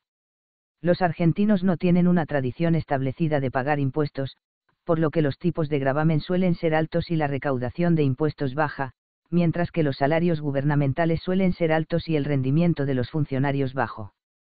Los esfuerzos para aumentar los impuestos y cortar los gastos gubernamentales llevaron a una serie de problemas políticos, los ciudadanos argentinos estaban extremadamente reticentes a pagar más impuestos cuando la economía no iba bien. El país se movía en cámara lenta hacia un desastre. Cuando acabó todo, Argentina había devaluado e incumplido con el pago de su deuda gubernamental. Supongamos que las autoridades monetarias limitaran el crédito para aumentar el costo de la especulación. Cuando los mercados de productos básicos y de activos se mueven al mismo paso, ya sea hacia arriba o hacia abajo, la dirección que la política monetaria debería tomar está clara. Pero cuando los precios de las acciones o de bienes raíces o de ambos se disparan hacia arriba mientras que los precios de los productos básicos se mantienen estables o disminuyen, las autoridades se enfrentan a un dilema. La Reserva Federal se encontró con este dilema durante la década de 1920, el presidente del Banco de la Reserva Federal de Nueva York, Benjamin Strong, había agonizado sobre qué política era la apropiada en 1925 y de nuevo lo había hecho en 1927. El dilema es que los legisladores no pueden matar dos pájaros de un tiro, o más precisamente, no pueden lograr dos metas políticas con un solo un instrumento político, o en lo que tal vez sea una mejor metáfora, es difícil dar en el blanco cuando tu objetivo está justo al lado de otro que no quieres tocar y el arma es una escopeta y no un rifle. Asimismo, cualquier limitación de crédito para desalentar el auge inmobiliario probablemente detendría una sorprendente expansión económica. El presidente del Sistema de Reserva Federal, Greenspan, estaba preocupado de que los precios de las acciones en Estados Unidos fueran demasiado altos o aumentaran demasiado rápido cuando comentó sobre la exuberancia irracional, en diciembre de 1996. La Fed probó ser reticente al momento de aumentar las tasas de interés para desalentar el incremento sobre los precios de las acciones por el impacto negativo sobre el crecimiento económico y el empleo. En 1999, la Fed se preocupó, obsesionó, con el problema del año 2000, la probabilidad de que los sistemas informáticos de los Estados Unidos se colapsaran porque muchos programas de software no habían sido diseñados para reconocer la transición al año 2000. En los últimos meses del año, la Fed aseguró una liquidez abundante al sistema monetario para prevenir los problemas asociados con la transición al fin del milenio y mientras tanto el dinero, que tenía que ir a algún sitio, alimentó la especulación en la bolsa de valores. El inicio de una crisis. Los estudiantes de lógica han discutido el petardo mojado que tiró A y aterrizó en los pies de B, quien entonces lo tiró de B a C y de C a D y así sucesivamente hasta que acabó explotándole en la cara a Z después de que Y se lo tirara. ¿Quién tiene la culpa? La causa remota. Hoy, la causa próxima. La causa remota de cualquier crisis es la expansión del crédito y de la especulación, mientras que la causa próxima es algún incidente que mina la confianza del sistema o induce a los inversores a vender productos básicos, acciones, bienes raíces, letras de cambio, o papel comercial y así aumentar sus tenencias de dinero en efectivo. La causa próxima puede ser trivial, una quiebra, un suicidio, un vuelo, la revelación de un fraude, la denegación de crédito a unos prestatarios, o algún cambio de punto de vista que lleve a alguno de los participantes significativos en el mercado a vender. Los precios caen. Las expectativas están al revés. El movimiento bajista de los precios se acelera. Hasta el punto de que los inversores han utilizado dinero prestado para financiar sus compras de acciones y de bienes raíces, es probable que la disminución de los precios lleve a pedir más colateral y dinero en efectivo y más liquidación de acciones y de bienes raíces. A medida que los precios siguen cayendo aún más, las pérdidas sobre los préstamos bancarios aumentan y una o más sociedades mercantiles, bancos, sociedades intermediarias de descuento, o casas de corretaje quiebran. El sistema de crédito parece ser poco firme y hay una carrera por conseguir dinero y liquidez. Identificar los vendedores originales es difícil. Abundan las teorías conspirativas.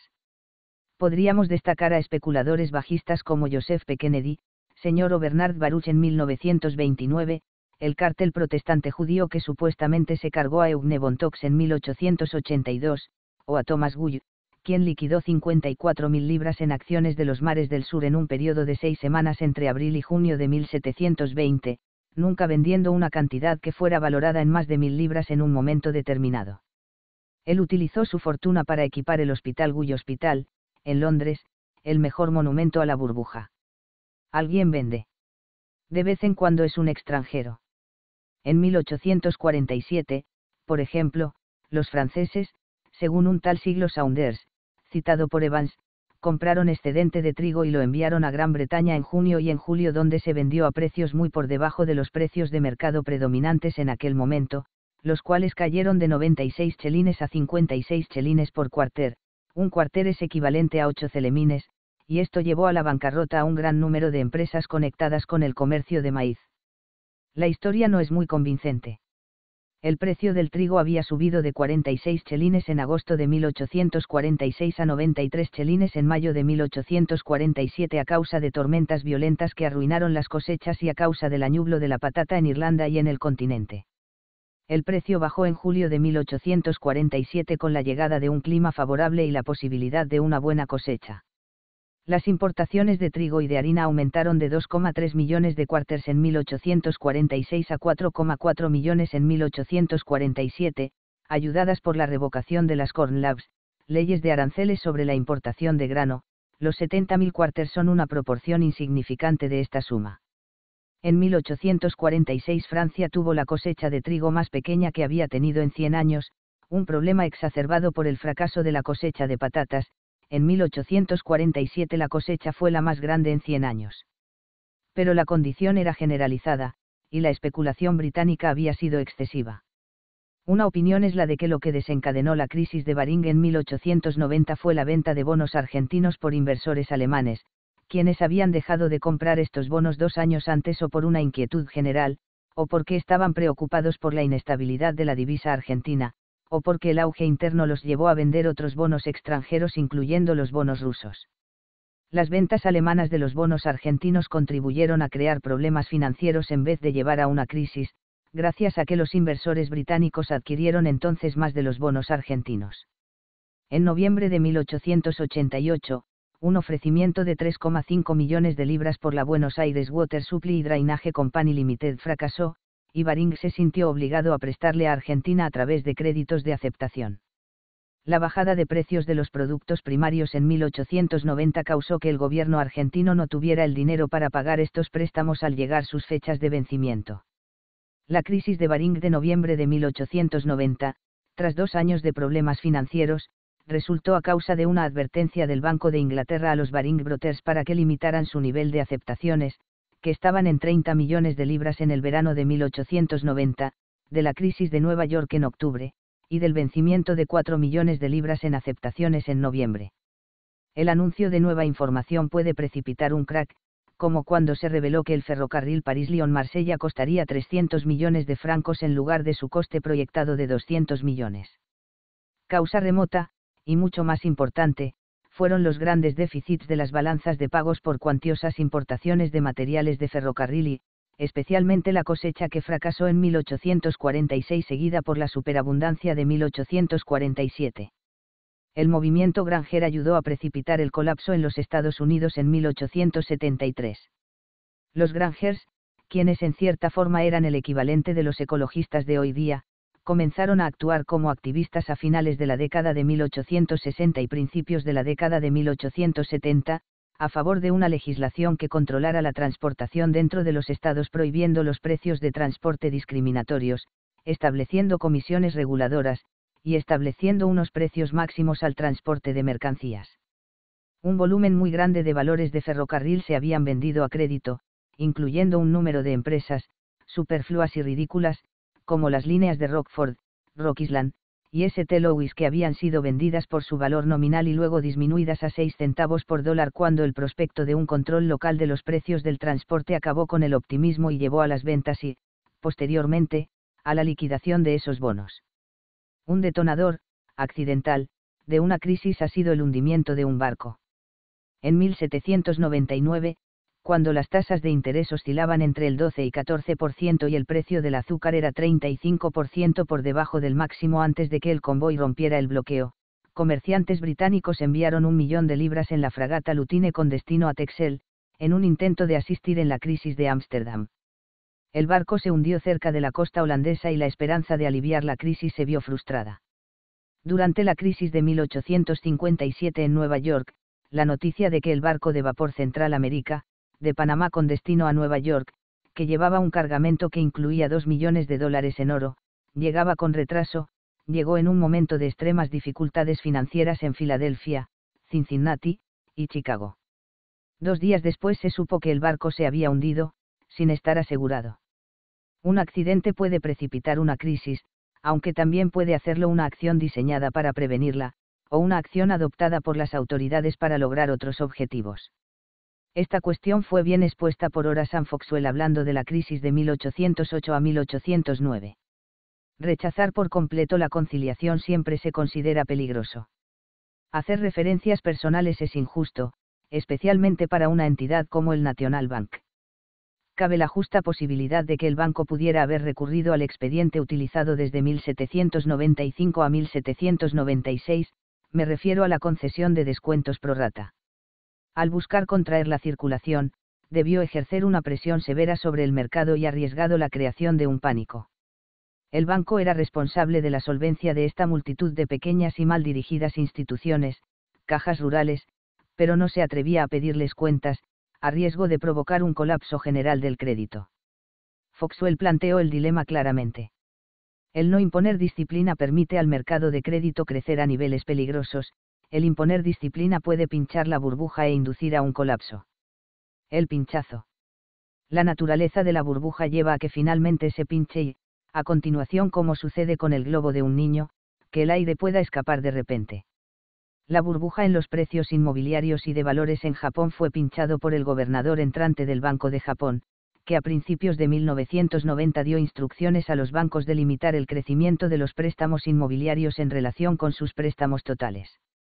La reducción en la tasa de crecimiento de los préstamos de bienes raíces supuso que algunos individuos y empresas ya no fueran capaces de conseguir suficiente dinero en efectivo de los nuevos préstamos para pagar los intereses de los préstamos viejos, y por lo tanto se vieron obligados a vender algunos bienes raíces.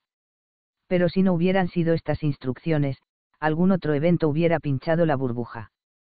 La burbuja de finales de 1990 en los precios de las acciones en Estados Unidos fue pinchada por la Reserva Federal en 2000 cuando trató de retirar una parte de la liquidez que había prestado en previsión del problema del año 2000. La inclinación de la Fed es adaptarse a los problemas previstos dotando al sistema de más liquidez. Las burbujas en muchos de los países asiáticos estallaron en 1997 por el efecto de contagio. La devaluación del baht tailandés el 2 de julio de 1997 fue como una llamada de atención, cada uno de los países de Asia, excepto Taiwán y Singapur, registraron déficits comerciales que se financiaron con dinero prestado en el extranjero. Las empresas asiáticas estaban ansiosas por obtener préstamos en dólares debido a que las tasas de interés por norma general, eran significativamente menores que las tasas de interés de los préstamos en sus propias monedas. Cuando el BAT se devaluó, los prestamistas extranjeros reconocieron que los países asiáticos ya no serían capaces de mantener el valor de sus monedas, si ya no podían pedir dinero prestado del exterior. La entrada de dinero disminuyó y provocó que se autocumpliera la profecía.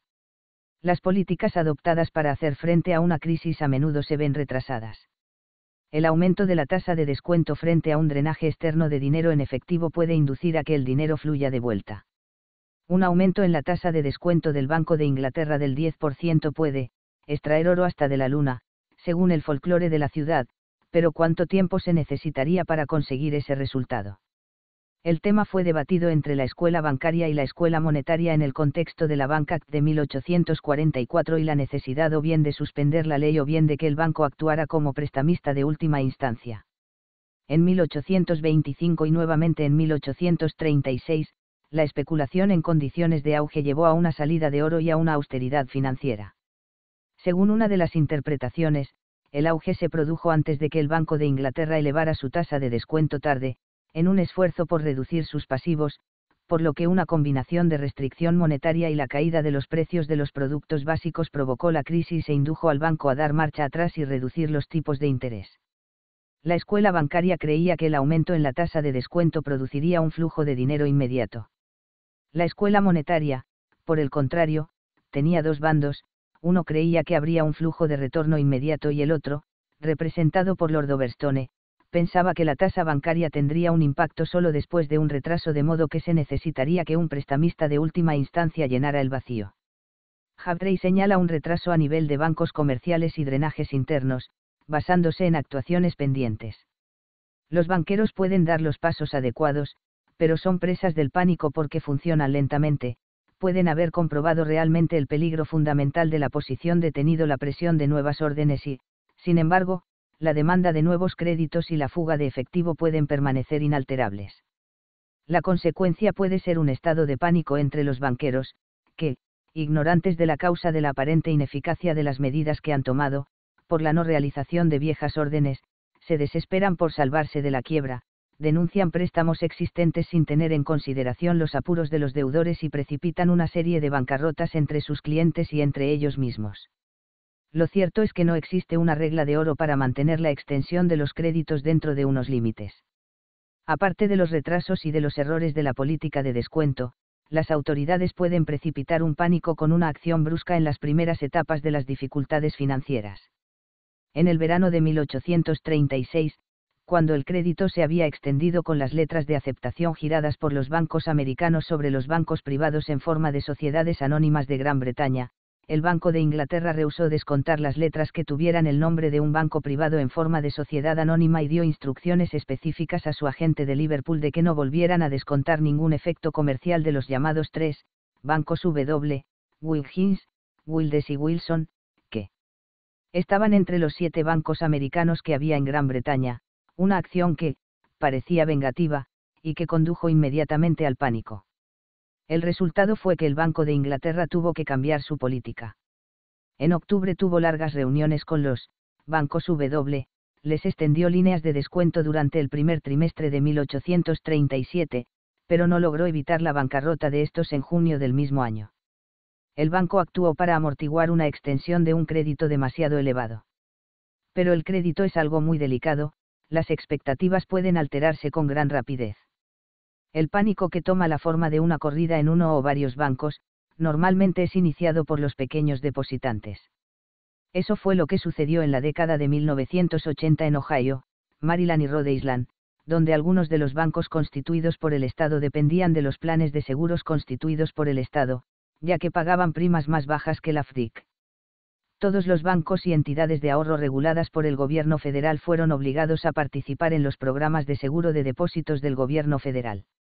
Por otra parte, se cree que los pánicos bursátiles normalmente son el resultado de la venta concentrada por parte de acaudalados especuladores profesionales o de inversores institucionales, como los fondos mutuos, los fondos de pensiones y las compañías aseguradoras, quizá por separado siguiendo modelos similares de contratación programada, program trading. Sin embargo, también se pueden hallar ejemplos opuestos. La retirada masiva de efectivo del Franklin National Bank fue llevada a cabo por otros bancos y, en especial, por los poderosos bancos de Nueva York, que rehusaron tomar la contrapartida de los contratos de entrega futura de divisas del Franklin, concederle en préstamo fondos federales o comprar los certificados de depósito, CD, de este banco, excepto a tipos de interés que reflejaban una profunda desconfianza. Asimismo, la corrida bancaria sobre el Banco Continental Illinois en 1984 fue provocada por la reticencia de los otros grandes bancos a renovar vencimientos de depósitos en los fondos federales y en el mercado de depósitos en el extranjero. Los pequeños depositantes estuvieron protegidos por el seguro de depósitos FDIC. Y en el hundimiento de la bolsa en octubre de 1987, el grupo Fidelity de fondos mutuos de Boston fue un fuerte vendedor en la bolsa de Londres antes del crack de la bolsa de Nueva York el día 19. Estas órdenes se comunicaron nuevamente a Nueva York, donde se fueron acumulando hasta formar una montaña de órdenes de venta disponibles cuando comenzó la negociación. Las ventas de Fidelity ocurrieron en respuesta a las ventas con pacto de retroventa por los titulares de sus fondos mutuos, más que por proteger su propia posición, aunque es posible que quisieran recaudar dinero en previsión de amortizaciones futuras, y antes de que los precios de las acciones cayeran aún más. La torpeza del Fondo Monetario Internacional desató corridas en muchos de los bancos en Indonesia durante los primeros días de la crisis asiática de 1997. El FMI indujo al gobierno de Indonesia a asumir el control y apoyar a 15 de los grandes bancos privados, de ese modo garantizando sus depósitos. Sin embargo, los aproximadamente 50 bancos privados restantes fueron entonces puestos en una posición tenebrosa y se vieron sujetos a corridas debido a que los depositantes corrieron a sacar sus fondos antes de que los bancos quebraran. Los cracks y los pánicos. Un crack es un colapso de los precios de los activos, o tal vez, el fracaso de una importante compañía o un banco. Un pánico es, un repentino miedo sin causa, palabra derivada del dios Pan, conocido por causar el terror, que puede tener lugar en los mercados de activos o acarrear una precipitación de activos poco líquidos a dinero o a valores del gobierno, por la creencia de que los gobiernos no pueden quebrar porque siempre pueden imprimir más dinero. Una crisis financiera puede implicar una o las dos cosas, y en cualquier orden. El colapso de las acciones de la Compañía de los Mares del Sur y del Sbord Bank estuvo a punto de hundir el Banco de Inglaterra. El crack y el pánico de 1929 en la Bolsa de Nueva York tuvieron consecuencias negativas, tanto en el mercado de productos básicos como en el mercado inmobiliario, y el embargo de los mercados de crédito llevó a fuertes caídas en los ingresos, el empleo y la producción. Pero no desembocó en un pánico en el mercado monetario, las tasas de interés no aumentaron debido a que la Reserva Federal estaba proporcionando liquidez al mercado. En 1893 la falta de confianza en la capacidad de los Estados Unidos para mantener el patrón oro bajo la presión de los intereses de la plata condujo a la presión del mercado monetario, a las quiebras bancarias, y a la presión a la baja sobre los precios de los valores. El sistema posee una retroalimentación positiva. Los ciclos de la deflación de la deuda implican una disminución de los precios de los activos y los productos básicos, que conduce a una reducción en el valor de las garantías e induce a los bancos a solicitar el reembolso de préstamos o a rechazar otros nuevos.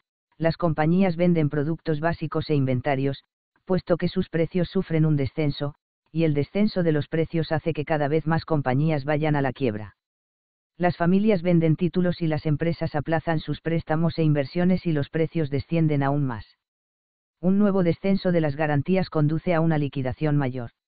Si las compañías se hunden, los préstamos bancarios van mal y los bancos van a la quiebra. Cuando los bancos quiebran, los depositantes retiran su dinero, esto fue particularmente cierto en los años anteriores a los seguros de depósito. La retirada de depósitos hace que sea necesario solicitar el reembolso de más préstamos, vender más títulos. Los bancos comerciales, las compañías industriales, los inversores, los bancos que precisan efectivo no pueden vender sus títulos más riesgosos a cualquier precio, por lo que se ven obligados a vender sus mejores títulos, de modo que los precios descienden. Puede que los bancos durante algún tiempo carguen con las firmas, las empresas, las familias que se encuentran en apuros, con la expectativa o la esperanza de que los precios se recuperen y que de nuevo pongan el crédito a flote. Indio extremis los inspectores pueden hacer la vista gorda cuando los bancos valoran los préstamos y los títulos al precio de coste en lugar de al precio de mercado, cuando extienden préstamos vencidos o aumentan los de prestatarios en apuros que les permitan pagar los intereses actuales. Pero cuando se produce la bancarrota, hay que agarrarse a la ortiga de los malos préstamos. Los precios, la solvencia, la liquidez y la demanda de efectivo, en alemán, Bargeld, en francés, Numeraire, están interrelacionados. No solo las instituciones bancarias, como afirma Sprague, sino las familias, las compañías y los bancos son, muy parecidos a una fila de ladrillos, en la que la caída de uno pone en peligro la estabilidad de los demás. La metáfora es un cliché, pero, no obstante, es apropiada. En pleno pánico, se dice que el dinero no está disponible. Las descripciones son, con frecuencia, exageradas y la de 1825 no podía ser menos. Los banqueros de Lombard Street acudieron al gobernador, del Banco de Inglaterra, el domingo, después de que el pánico de las cajas rurales hubiera alcanzado a Paul, Thornton y Cobalto el 12 de diciembre, para advertir que si permitía que un banco así, que trabajaba con 47 cajas rurales, suspendiera sus actividades, habría una retirada masiva de haberes de todos los bancos de Londres. Se le dejó suspender sus actividades. Un pánico nunca visto se apoderó del público, todo el mundo mendigaba dinero, dinero, pero el dinero era algo difícil de obtener en cualquier situación. No era el carácter del valor, señala el Times, lo que se consideraba, sino la imposibilidad de producir cualquier tipo de dinero. Esta fue la ocasión en que la quiebra de 73 bancos llevó a Gran Bretaña, según Uskison, a un periodo de 24 horas de trueque. Fue, como dijo el duque de Waterloo, la cosa más condenadamente hermosa e imprevista que se haya visto jamás. Se evitó el trueque cambiando plata por oro con el Banco de Francia y gracias al golpe de suerte del Banco de Inglaterra que encontró, justo cuando se quedó sin billetes de 5 y 10 libras, que era todo lo que se emitía por aquel entonces, un bloque de billetes de una libra guardado en la Cámara acorazada desde 1797. Con la aprobación del gobierno, se emitieron el 17 de diciembre e, hicieron maravillas. En 1857, las acciones del New York Central bajaron de 93 a 61, las del Reading, de 96 a 36. El precio de la carne de cerdo bajó de 24 dólares el barril a 13, la harina, de 10 a 5 grados a 6 dólares. Los tipos de interés subieron del 15 al 24% en septiembre, cuando 150 bancos de Pensilvania, Maryland, Rhode Island y Virginia quebraron durante los últimos días del mes. El pánico llegó a su punto máximo en octubre, cuando quebraron 1.415 bancos estadounidenses, y los tipos de interés subieron de 60 al 100% anual, para capitales tomados a préstamo durante unos cuantos días. A veces han existido tipos de interés muy elevados, como el 4% diario, se han cotizado a veces para algún tipo determinado de préstamo, como para el crédito a la vista en 1884, cuando los descuentos comerciales continuaron entre el 4,5 y el 5% diario para papel endosado de primera clase, o el 5% diario en el punto máximo, como prima por el efectivo en los comienzos del pánico de 1907. Quizá el apogeo de la restricción de la liquidez se verificó en 1907, cuando un banco pagó 48 dólares por cada mil dólares por las entradas del partido de fútbol Arbardiale que se vendían en puerta en metálico. La recesión suave y corta de 2001 después de la implosión masiva de los precios bursátiles de Estados Unidos fue el resultado del cambio brusco en la política de la Reserva Federal y su movimiento rápido y agresivo para reducir las tasas de interés. El resultado fue un auge de refinanciación de la hipoteca, millones de personas refinanciaron sus hipotecas a tasas de interés más bajas y utilizaron parte del dinero obtenido en la refinanciación para comprar automóviles y otros bienes duraderos de consumo y para ir de vacaciones la Fed redujo las tasas de interés a corto plazo al 1% y, ya que la tasa de inflación estaba más cerca de un 2%, las tasas de interés a corto plazo reales eran negativas. El mercado inmobiliario registró un auge, los precios de la vivienda aumentaron de forma pronunciada en Nueva York, Boston, Washington, Miami, Phoenix, Las Vegas y Los Ángeles los escépticos se preguntaban si los efectos deflacionarios de la implosión de la burbuja de precios de las acciones habían sido en gran parte compensados por una burbuja en el mercado de la vivienda. Amainará la tormenta y cederá la inundación después de alcanzar su punto álgido.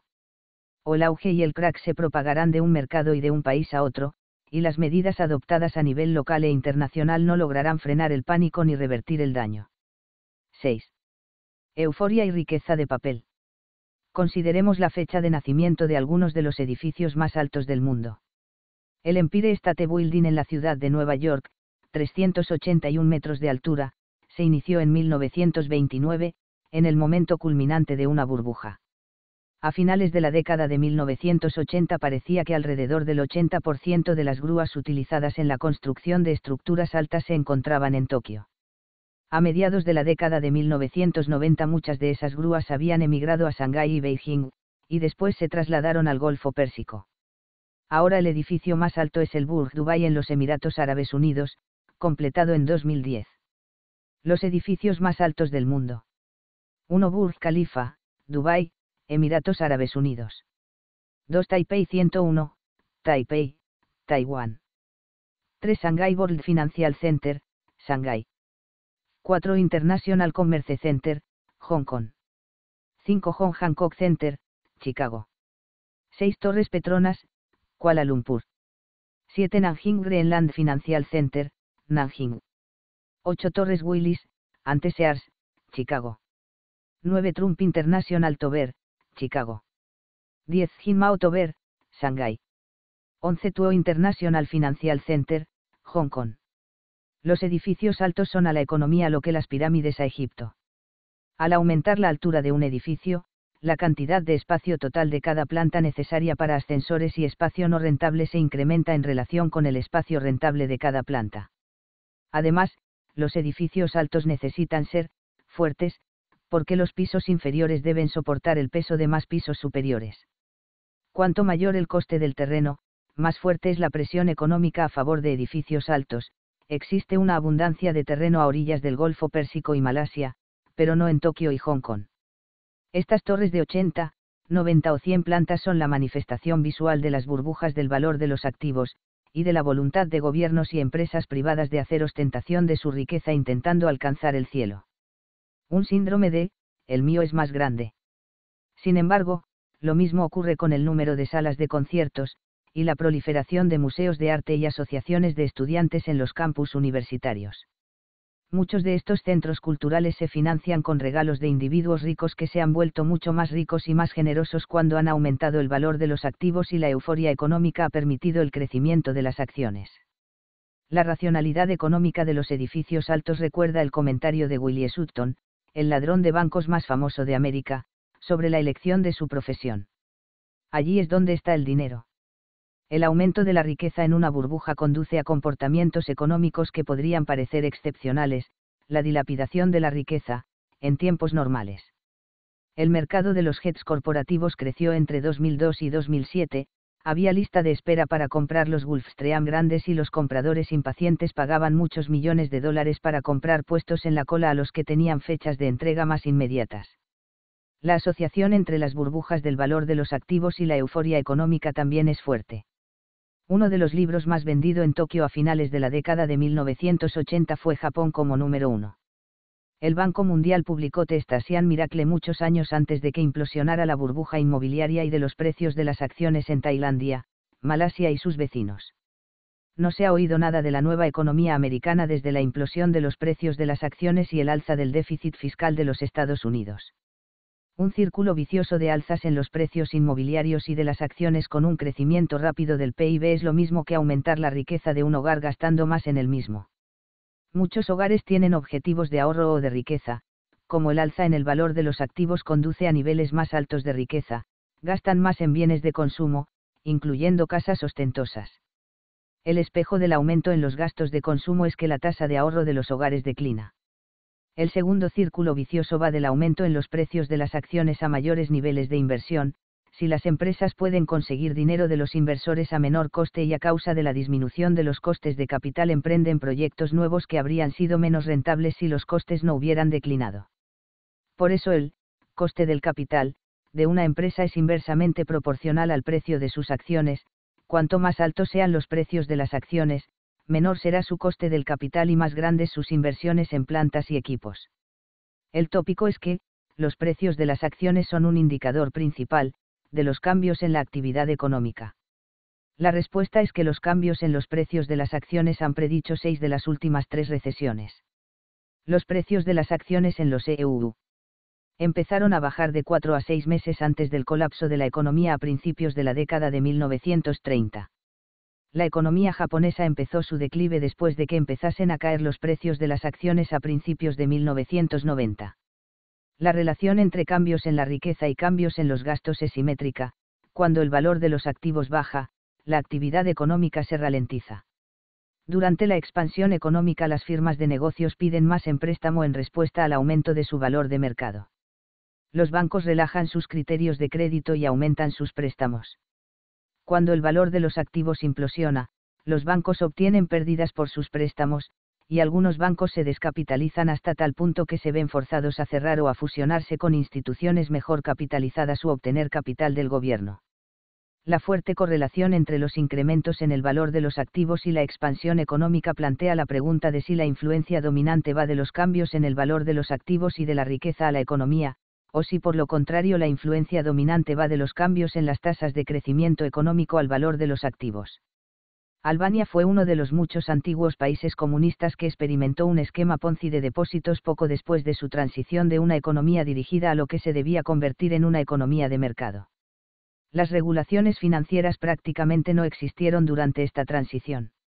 Los emprendedores prometían pagar intereses con tipos del 30 grados 40% al mes. Con tipos semejantes, la riqueza aumenta con rapidez, por ejemplo, si el tipo de interés es del 35% al mes, entonces mil lex depositados a principio de año se convertirán en 64.000 lex a finales de año. Los depositarios tenían todos los incentivos para contemplar cómo crecía su dinero en el banco, en lugar de retirar efectivo del banco.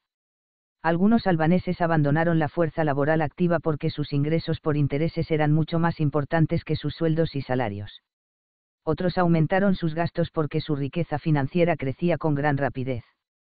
Los gestores de estos depósitos siempre necesitaban atraer dinero fresco para sustituir el dinero que se retiraba, con el objetivo de gestionar los depósitos, es decir, para cubrir los gastos cotidianos de los gestores.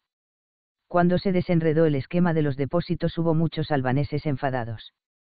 La actividad económica se ralentizó con rapidez porque los hogares se pasaron a una situación de ahorro para compensar el declive dramático de su riqueza. Las burbujas del valor de los activos, al menos las grandes, casi siempre van asociadas a la euforia económica. En contraste, el estallido de las burbujas conduce a una caída de la actividad económica y con frecuencia se asocia al fracaso de las instituciones financieras, casi siempre a una escala masiva. El fracaso de estas instituciones dificulta los canales de crédito y esto contribuye a la ralentización de la actividad económica y la atonía de la recuperación económica. La manía de los tulipanes el precio de los tulipanes holandeses aumentó varios centenares de veces durante el otoño de 1636, y los incrementos de precios de las especies más exóticas de bulbos fueron aún mayores. Algunos analistas, en especial aquellos con un gran compromiso con la racionalidad y la eficiencia de los mercados, han cuestionado si el uso del término burbuja es apropiado para describir el aumento del precio de los tulipanes.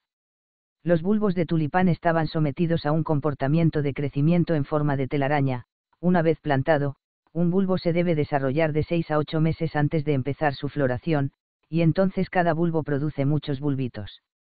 No solo se vieron afectadas las variedades exóticas de bulbos, variedades ordinarias de tulipanes de jardín como la gouda, la Switzer, o la corona blanca, que se vendían entre el pueblo común en las llamadas universidades o casas públicas, también aumentaron de precio. La excitación alrededor de los tulipanes empezó en serio después de septiembre de 1636, cuando los bulbos ya no estaban a disposición para su examen porque se habían plantado para florecer durante la primavera siguiente. Algunos de los compradores se comprometieron a pagar por la mercancía, que estaba enterrada en el suelo y que no podían ver en el momento de la compra. Las pujas excitadas de noviembre y diciembre de 1636 y enero de 1637 tuvieron lugar sin ningún espécimen a la vista. Las pagas y señal por la compra de los bulbos se entregaban frecuentemente con un sistema de trueque. El historiador Simon Schama ofrece algunos ejemplos, en un caso, por una libra de coronas blancas, Witte en holandés, vendida a peso porque era muy común, se entregaban cuatro vacas en el momento de la compra y después 525 florines a la entrega, presumiblemente el mes de junio siguiente. Otras pagas y señal consistían en parcelas de tierra, casas, muebles, vajillas de plata y oro, pinturas, un traje y un abrigo, una carreta y una pareja de caballos grises moteados, y por una sola viceroy, rara, valorada en 2.500 florines, dos lasts, una medida que variaba por costumbre y localidad, de trigo y cuatro de centeno, ocho cerdos, una docena de ovejas, dos odres de vino, cuatro toneladas de mantequilla, un millar de libras de queso, una cama, algo de ropa y una taza de plata. Los cambios en los precios de los tulipanes no estaban aislados del desarrollo de la economía. La economía holandesa había estado deprimida durante la década de 1620 cuando se reanudó la guerra con España después de 12 años de tregua, pero se recuperó de forma impresionante en la década de 1630.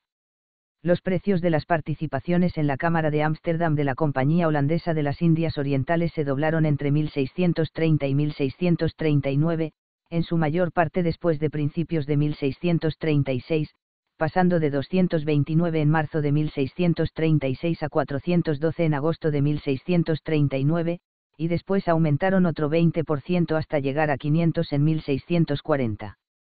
Los precios inmobiliarios habían caído a principios de la década de 1630 pero se, dispararon, a mediados de la década. Aumentaron las inversiones en los sistemas de drenaje, en la Compañía de las Indias Occidentales y en canales. Han de Bries escribió sobre el Trextuit, un sistema de barcazas de pasajeros tiradas por caballos en los canales, que se emprendió en 1636 y alcanzó su fiebre en 1640. Se emprendió su construcción entre ciudades para conseguir que el viaje de mercaderes y funcionarios fuera más fiable que en barcos a vela, que dependían del viento. Dos líneas desde Ámsterdam a ciudades menores se emprendieron en 1636, y otra entre Leiden y Delft.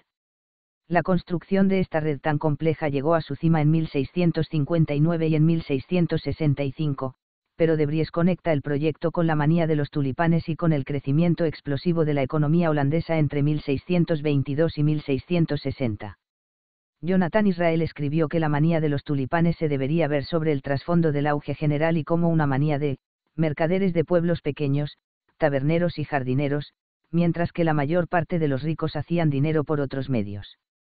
Esta perspectiva socava uno de los puntos de vista de Peter Garber de que no pudo existir una manía de los tulipanes porque no se produjo una depresión cuando declinó el precio de los bulbos. La economía holandesa se ralentizó en la década de 1640 antes de sufrir un crecimiento tremendo de 1650 a 1672, que incluyó casas de lujo, edificios cívicos y pinturas. Sin embargo, el mercado de las pinturas se colapsó con la invasión francesa de 1672 en el punto álgido del auge se produjo una, manía, por los relojes y las torres con reloj. En Leiden se instaló un reloj en la torre encima de la Puerta Blanca, ubicación de la estación del Treckstruit donde subían y bajaban los pasajeros, para asegurar la puntualidad del personal de las barcazas. El declive en los precios de los bulbos de tulipanes condujo a un declive en la actividad económica, y la conexión causal fue que los hogares estuvieron menos dispuestos a gastar cuando declinó su riqueza el mercado bursátil y el mercado inmobiliario.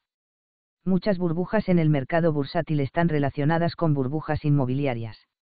Existen tres conexiones diferentes entre estos dos mercados. Una es que en muchos países, y en especial en los países pequeños y en aquellos que se encuentran en las primeras fases de la industrialización, el valor de mercado de las empresas inmobiliarias, de las constructoras y de empresas de otras industrias estrechamente conectadas con el mundo inmobiliario, incluidos los bancos, representa una parte relativamente grande del valor agregado de las acciones. Una segunda conexión es que los individuos que han visto cómo aumentaba enormemente su valor neto como resultado del incremento de los valores inmobiliarios, compran acciones para diversificar su riqueza, no existen muchas más formas de diversificar la riqueza. La tercera conexión es una imagen en el espejo de la segunda, los inversores individuales que se han beneficiado extensamente del aumento en los valores de las acciones, compran primeras residencias cada vez más grandes y caras, y también compran segundas residencias. Los cambios en los precios de los apartamentos en el mercado inmobiliario de Manhattan están estrechamente relacionados con las gratificaciones en Wall Street. One 100 years grados Fahrenheit Lambalo es indio Chicago de Homeroid traza cinco ciclos de crecimiento y caída en los precios inmobiliarios relacionados con la expansión de Chicago. El auge de la bolsa de los EU en 1928-1929 estuvo relacionado con el aumento de los precios del terreno, de los complejos residenciales y de los edificios comerciales tanto en los distritos de negocios centrales como en los suburbios. Hoy cita un editorial del Chicago Tribune de abril de 1890. En la ruina de todo auge colapsado se puede encontrar la obra de hombres que han comprado propiedades a precios que sabían perfectamente que eran ficticios, pero que estaban dispuestos a pagar dichos precios simplemente porque sabían que podían encontrar a alguien mucho más loco que ellos que les podía quitar la propiedad de las manos y dejarles un beneficio. La reputación de Chicago por sus auges inmobiliarios fue de tal magnitud que Berlín, muy indulgente con la especulación inmobiliaria por la euforia de la victoria sobre Francia en 1870-1871, fue llamado, Chicago en el, río, Esprit. Los auges en Berlín y Viena en 1873 estuvieron relacionados con los cambios en los precios en la Bolsa de Nueva York. Un autor aseguraba que en Chicago en 1871 uno de cada dos hombres y una de cada cuatro mujeres tenía inversiones inmobiliarias. Las burbujas se expandieron en paralelo hasta el verano de 1873.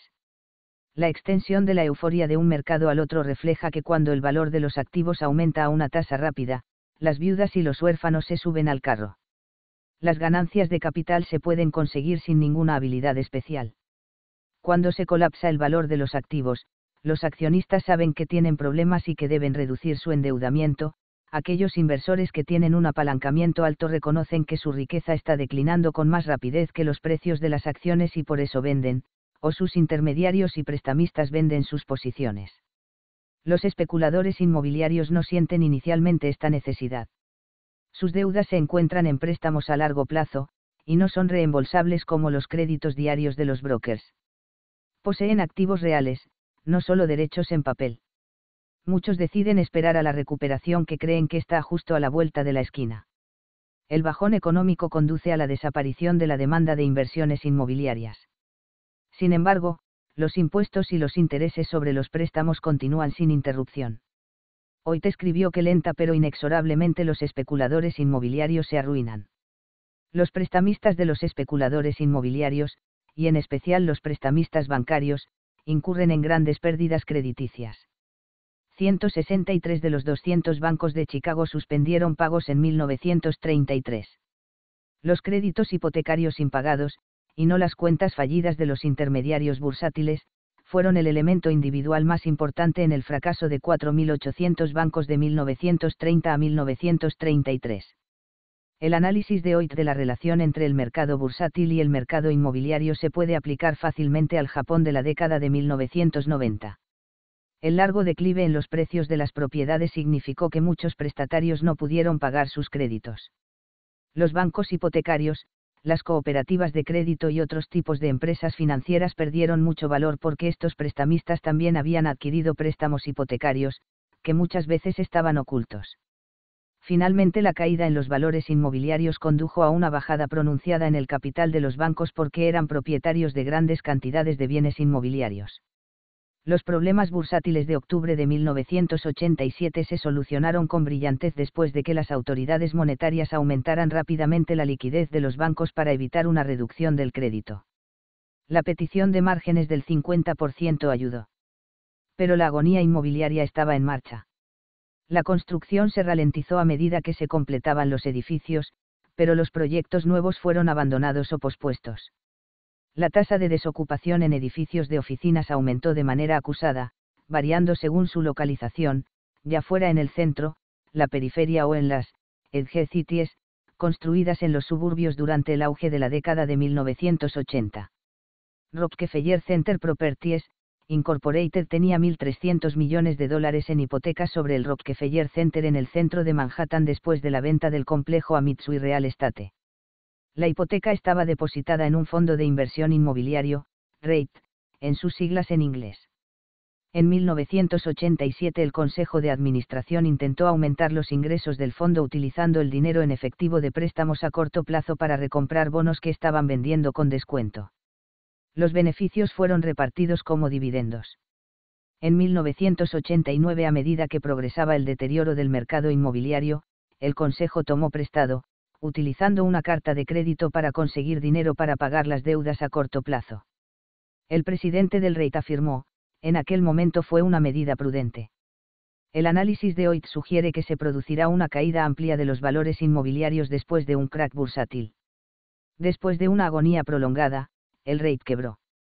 La historia del colapso de la burbuja en el mercado inmobiliario japonés en la década de 1990 empezó a principios de la década de 1950 cuando el PIB inició un aumento rápido tanto en términos nominales como reales desde los valores muy deprimidos inmediatamente después de la Segunda Guerra Mundial. El ingreso per cápita japonés volvió al nivel de 1940 en 1951. Las exportaciones aumentaron con rapidez, y la composición de dichas exportaciones pasó de juguetes y textiles baratos a bicicletas y motocicletas, y después a acero, automóviles y electrónica. El gobierno empezó a desregular los controles financieros durante la primera mitad de la década de 1980, y los esfuerzos extensivos por parte del Banco de Japón para limitar la apreciación del yen en la segunda mitad de la década de 1980 condujeron a un crecimiento rápido en la provisión de dinero y crédito los precios inmobiliarios aumentaron a ritmo constante, aunque con variaciones sustanciales de año a año. A causa de la regulación financiera, el interés nominal había estado por debajo de las tasas de inflación en las décadas de 1950, 1960 y 1970, el tipo de interés real en los depósitos bancarios y otros activos de precio fijo con frecuencia era negativo el índice de precios de las propiedades residenciales en seis grandes ciudades empezaron en 100 en 1955 y alcanzaron 4.100 a mediados de la década de 1975-1800 en 1980, los propietarios inmobiliarios eran uno de los pocos grupos con una tasa de interés real positiva. Durante la década de 1980 los precios inmobiliarios crecieron con un factor de 5 a 6. En su punto culminante, el valor inmobiliario en Japón era dos veces el valor inmobiliario en los Estados Unidos, y la relación del valor inmobiliario respecto al PIB en Japón era cuatro veces más alta. El índice bursátil Nikkei, que empezó a 100 en mayo de 1949, alcanzó 6.000 a principios de la década de 1980. Los precios de las acciones crecieron en la segunda mitad de la década de 1980 y casi alcanzaron los 40.000 a finales de 1989. El volumen de acciones negociadas no siguió el mismo ritmo, pasando de los 120.000 millones de acciones en 1983 a los 280.000 millones en 1989. El aumento en los precios inmobiliarios alimentó el auge en los precios de las acciones. Muchas de las empresas presentes en la Bolsa de Tokio eran compañías inmobiliarias que tenían propiedades importantes en el centro de Tokio, Osaka, Nagoya y otras ciudades importantes el auge de los precios inmobiliarios y la desregulación financiera provocó un aumento en la actividad de la construcción. Los bancos poseían grandes cantidades de propiedades inmobiliarias y de acciones, de manera que los incrementos de valor condujeron al aumento en el valor de las acciones de los bancos. Normalmente los banqueros obligaban a que los prestatarios presentasen las propiedades inmobiliarias como garantía, el aumento en el valor inmobiliario significaba un aumento en el valor de las garantías, y los bancos estaban ansiosos por dar más créditos porque querían aumentar su tamaño, su base total, relativo con respecto a otros bancos japoneses y con los bancos en los Estados Unidos y Europa. Las empresas industriales estaban cada vez más ansiosas de tomar prestado para comprar propiedades inmobiliarias, debido a que las tasas de beneficio en las inversiones inmobiliarias eran muchas veces más altas que las tasas de beneficio en la producción de acero, automóviles y televisores la rápida expansión de los créditos bancarios se vio facilitada por la desregulación financiera, que en parte era una respuesta a las presiones del gobierno de los EU. Los funcionarios en los EU encontraban su motivación en la desigualdad del marco regulatorio, puesto que las empresas americanas se enfrentaban a muchas reglas que impedían su expansión en los mercados de Tokio, mientras que a las empresas japonesas les resultaba mucho más fácil su expansión en los Estados Unidos. Además, el Tesoro de los EU. Quería que las instituciones financieras japonesas compraran bonos del gobierno americano al ir aumentando el déficit fiscal de los EU. La desregulación se desplegó de forma lenta y deliberada. La desregulación de los tipos de interés pagados por los bancos por grandes depósitos se congelaron, con el mínimo reducido por tramos desde mil millones de yenes, para plazos de tres meses a dos años, a 500 millones de yenes y 300 millones de yenes en 1986, a 100 millones de yenes, y un mes, en 1987, 50 millones de yenes y después 30 millones de yenes en 1988, y 10 millones de yenes en 1989. En las fases iniciales de este proceso, el Banco de Japón redujo su tipo de descuento del 5,5% en 1982 al 5% en 1983, al 3,5% a principios de 1986 y al 2,5% un año más tarde. En 1986 la reducción fue simultánea, con acciones similares de la Reserva Federal y el Bundesbank. Sin embargo, por el contrario, primero los Estados Unidos a mediados de 1987 y después Alemania en 1988 empezaron a aumentar sus tipos de interés. El Banco de Japón esperó hasta que el nuevo gobernador, Yasuki Mieno, tomó posesión en diciembre de 1989, y después restringió los incrementos de créditos para las propiedades inmobiliarias. El crack se inició en enero de 1990 y se volvió más intenso cuando se supo que algunos grandes bancos sufrían bastantes pérdidas en créditos a clientes preferentes y habían escondido estas transacciones con una contabilidad imaginativa. La euforia en Japón fue evidente en muchos aspectos. Se produjo un auge en las inversiones empresariales en plantas y equipos. La visión en The Emerging Japanese Superstate, Challenge and Response de Herman Kahn, publicado en 1970, parecía que se hacía realidad. Las empresas japonesas se estaban preparando para un futuro global glorioso. A esto siguió un auge de la construcción, se produjo un auge de la construcción inmobiliaria, se construyeron varios centenares de campos de golf. Un nuevo edificio de oficinas cerca de la estación de ferrocarriles de Tokio recibió el nombre de Pacific Century Building. Los precios de las acciones llegaron a su cenit en el último día hábil de 1989 y cayeron un 30% en 1990. El suelo de los precios de las acciones llegó en 2002 a un nivel que era un poco más del 20% de su valor más alto. Los precios inmobiliarios cayeron con más lentitud pero de manera casi tan intensa. El resultado de la caída en el valor de los activos fue que muchas instituciones financieras quedaron descapitalizadas y solo siguieron en el negocio por el apoyo implícito del gobierno. Se permitió, o forzó, el cierre de algunas, aunque ninguno de los depositarios tuvo pérdidas. Los bancos se convirtieron en propietarios de miles de pinturas francesas. Varios centenares de campos de golf quebraron. El crecimiento económico cayó en picado. La tasa de inflación empezó a caer y después, diez años más tarde, empezó a caer el nivel de precios. No había manera de recuperar la hoja de oro que se había perdido en el desierto. La quiebra de las empresas significaba que los bancos tomaron posesión de las propiedades y las vendieron, lo que presionó aún más a la baja los precios inmobiliarios, lo que complicó los planes de negocio de otras empresas. Se produjo una espiral bajista y aumentó la preocupación por la trampa deflacionista de la deuda. Las empresas comerciales e industriales quebraron a un ritmo constante de mil al mes. Tres grandes cooperativas de crédito fueron rescatadas por el gobierno. Los problemas de adecuación del capital de bancos y compañías de seguros se compensaron con las pérdidas en su cartera de activos en el extranjero. Dos expertos económicos del Japón caracterizaron los problemas del país durante la década siguiente como, deuda, deflación, impago, demografía y desregulación los precios de las materias primas, el valor de los activos y la política monetaria. La reducción de la tasa de descuento en el Banco de Japón, en especial después de 1986, que desencadenó la burbuja se vio estimulada por las presiones desde los Estados Unidos y otros países industrializados y racionalizados porque el nivel de precios en Japón era estable. La apreciación del yen desde los 240 respecto al dólar americano en 1985 hasta los 130 en 1988, provocó una presión a la baja sobre los precios de bienes y servicios. Una cuestión importante es si los bancos centrales se deberían preocupar por el valor de los activos. La mayor parte de los bancos centrales abogan por la estabilidad del nivel de precios de los bienes como objetivo de la política monetaria, ya se trate de los precios al por mayor, del índice de precios al consumo, o del deflactor del Producto Interior Bruto, no tiene mayor importancia. Muy recientemente el mantra de dicha política ha sido el control de la inflación, los bancos centrales quieren conseguir una tasa de inflación que no supere el 2%. Sin embargo, si la implosión de una burbuja de acciones y barra o inmobiliaria conduce a un declive significativo en la solvencia bancaria, los bancos centrales se deberían preocupar por el valor de los activos.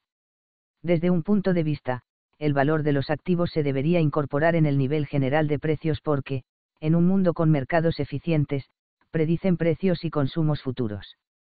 Pero este punto de vista asume que el valor de los activos viene determinado por los fundamentos económicos y no se ve afectado por el comportamiento de manada que conduce a una burbuja. Tradicionalmente los bancos centrales no han mostrado reticencias en elevar los tipos de interés para prevenir un incremento en la tasa de inflación son tremendamente reticentes a ocuparse de las burbujas del valor de los activos o incluso a reconocer que existen o han podido existir, aunque después de 2008 son fácilmente reconocibles. La caída del 40% en los precios de las acciones en los EU. De 2000 a 2003 es una prueba de que había existido una burbuja bursátil.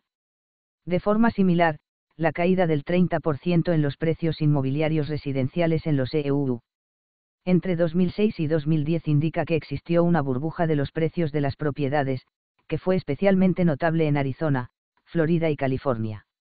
Una pregunta es por qué a los que se encontraban fuera de la Reserva Federal les fue más fácil reconocer que el aumento del valor de los activos en ambos episodios era insostenible.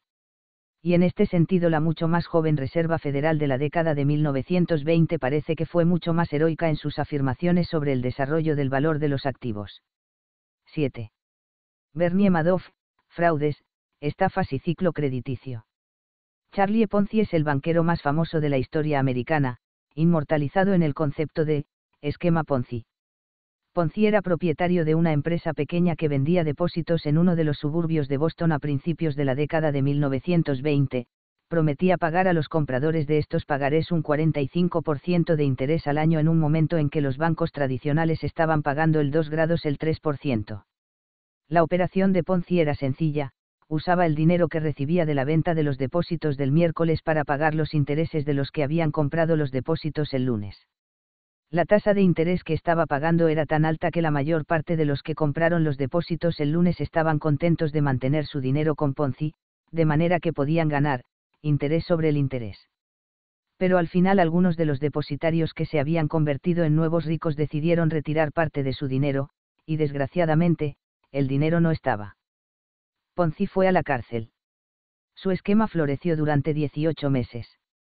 Bernie Madoff gestionó el esquema Ponzi más grande en la historia de América, en el momento de su colapso en diciembre de 2008, se informó que el pasivo ascendía de 50 a 64 mil millones de dólares, aunque las estimaciones más recientes sugieren que las pérdidas se situarán probablemente al nivel de los 20 a los 25 mil millones de dólares.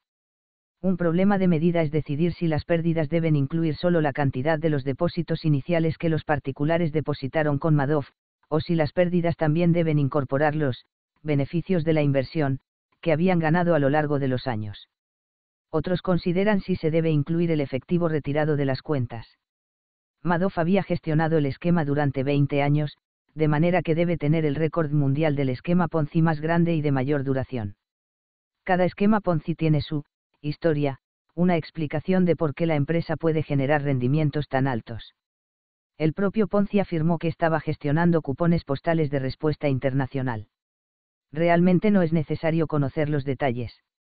Madoff dijo que tenía una estrategia de división de opciones. El esquema de Madoff difería del de Ponzi en otra dimensión importante, la tipo de interés en los fondos confiados a Madoff estaba en el rango del 10 al 12% al año, algo más alto que las acciones, y mucho más alto que otros bonos los rendimientos de Madoff eran constantes pero no espectaculares. Ponzi fue exuberante. Por el contrario, Madoff fue sobrio, y dio la impresión de que solo aceptaba para invertir dinero de unos pocos amigos íntimos y de sus amigos íntimos. Investigaciones posteriores mostraron que tenía algo más de 4.500 amigos íntimos, y que se apoyaba al menos en cuatro o cinco, fondos de inversión subordinados, para atraerle dinero. Los acuerdos de pago con estos fondos subordinados variaban, pero parecía que iban del 1% del dinero inicial y después otro 1% por cada año que el dinero se quedase con Madoff.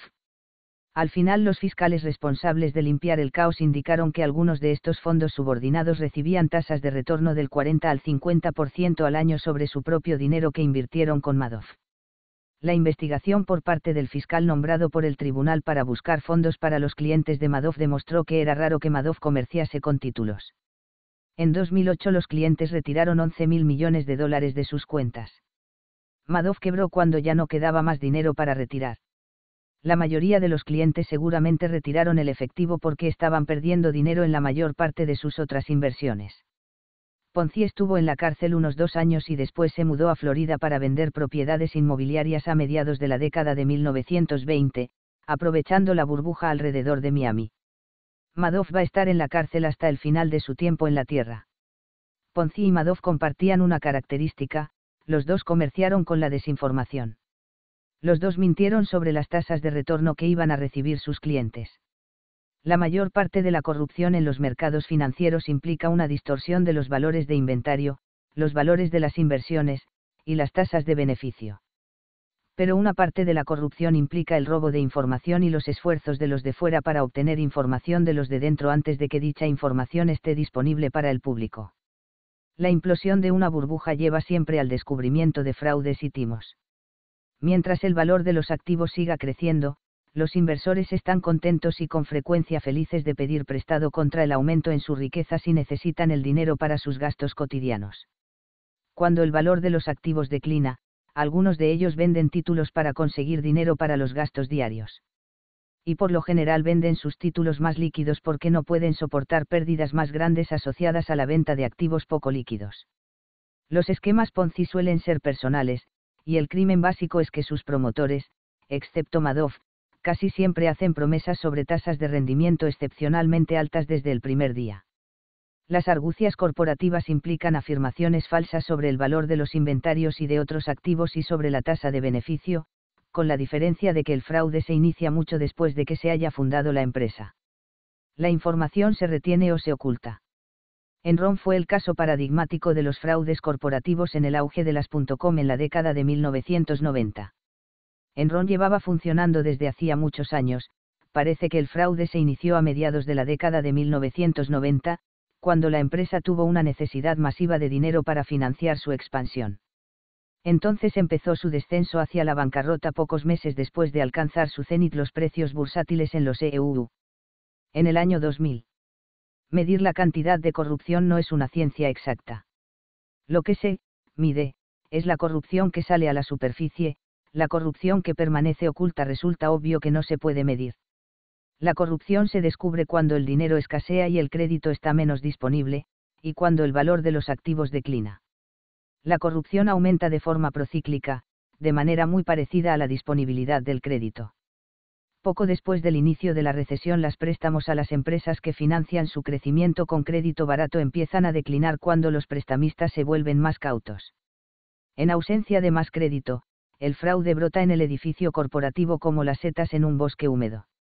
La mayor parte de los comportamientos fraudulentos son ilegales, pero algunos se mueven sobre una difusa frontera legal. Las gratificaciones en opciones a los altos ejecutivos y a los empleados se deben considerar un coste, como los salarios, o estas recompensas se deben enterrar en una nota a pie de página para que no se vean afectados los costes ni los beneficios. La respuesta afecta a la rapidez en el aumento de los beneficios y presumiblemente en la velocidad con la que se incrementarán los precios de las acciones. Se debió obligar a Henry Blodgett, Mary Meeker y Jack Grubman, los gurús de las empresas de telecomunicaciones y .com en la década de 1990, a informar a la investigación pública sobre los fundamentos de sus previsiones sobre el aumento en los precios de las acciones individuales, o fue suficiente que anunciasen los objetivos de precio para cada empresa al final de los siguientes seis o doce meses, más o menos como apostadores en el hipódromo. Véase, charlatanes, apostadores y ladrones, más abajo, P207 las autoridades gubernamentales deberían establecer, políticas de la verdad, para impedir que se engañe al público inversor, o este público se quedará solo para determinar que afirmaciones de los vendedores de acciones no son estrictamente ciertas. Ciertas prácticas de negocios son legales, aunque las personas implicadas en dichas actividades tendrían reticencias o se sentirían avergonzadas si se informase de sus transacciones en la portada del New York Times, del Wall Street Journal, del Chicago Tribune o del Daily Telegraph, porque la luz despertaría a las víctimas del timo. Consideremos Enron, MC y WorldCom, Adelpia, Tico, Haltzows, Global Crossing, las estrellas de algunos de los excesos financieros de la burbuja de precios bursátiles en la década de 1990. La mayor parte del comportamiento fraudulento inicial ocurrió durante la fase de manía cuando los precios de las acciones iban aumentando, pero quedó oscurecido por el estallido de la burbuja, los prestatarios de alto riesgo eran capaces de refinanciar sus créditos más antiguos porque los prestamistas estaban ansiosos por aumentar sus préstamos totales. Los bancos de inversión creían en el caveat según su punto de vista, los clientes con edad suficiente para votar debían ser capaces de ocuparse de sus propios intereses financieros. El robo de información y la información privilegiada. La información es valiosa porque altera los precios relativos después de la Segunda Guerra Mundial muchos congresistas de los EU se hicieron ricos, o al menos más ricos, porque simplemente por casualidad compraron parcelas de tierra cerca de los lugares donde se iban a construir nuevas rampas de entrada y salida para el sistema de autopistas interestatales. La información sobre el tamaño de la cosecha de trigo, en realidad, proyecciones de la información, provoca cambios en el precio del trigo, de manera que será valioso tener acceso a estas proyecciones antes de que estén a disposición del público. La información sobre los beneficios trimestrales de las empresas, en especial. La corrupción tiene muchas facetas. Una forma implica actuar contra las leyes, quizá con la connivencia de funcionarios gubernamentales.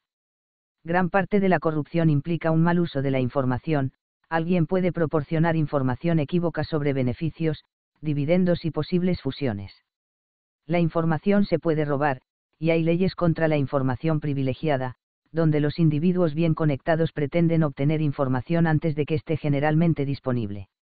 En este contexto, Goldman Sachs debía haber informado a algunos de los compradores de los títulos relacionados con las hipotecas en 2006 y 2007 que las sugerencias para el diseño de estos títulos procedía de la empresa que quería venderlos, o se consideraba que los compradores estaban suficientemente informados para concluir que alguien podía creer que los precios de esos bonos podían declinar, Goldman acordó pagar más de 500 millones de dólares a la SEC, Comisión del Mercado de Valores.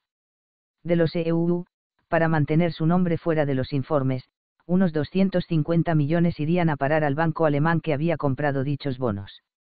Las grandes empresas de auditoría se establecieron para proteger a los inversores de los recuentos erróneos en el número de alubias y garbanzos que informaban las corporaciones, las auditoras están ahí para verificar la cuenta de las alubias.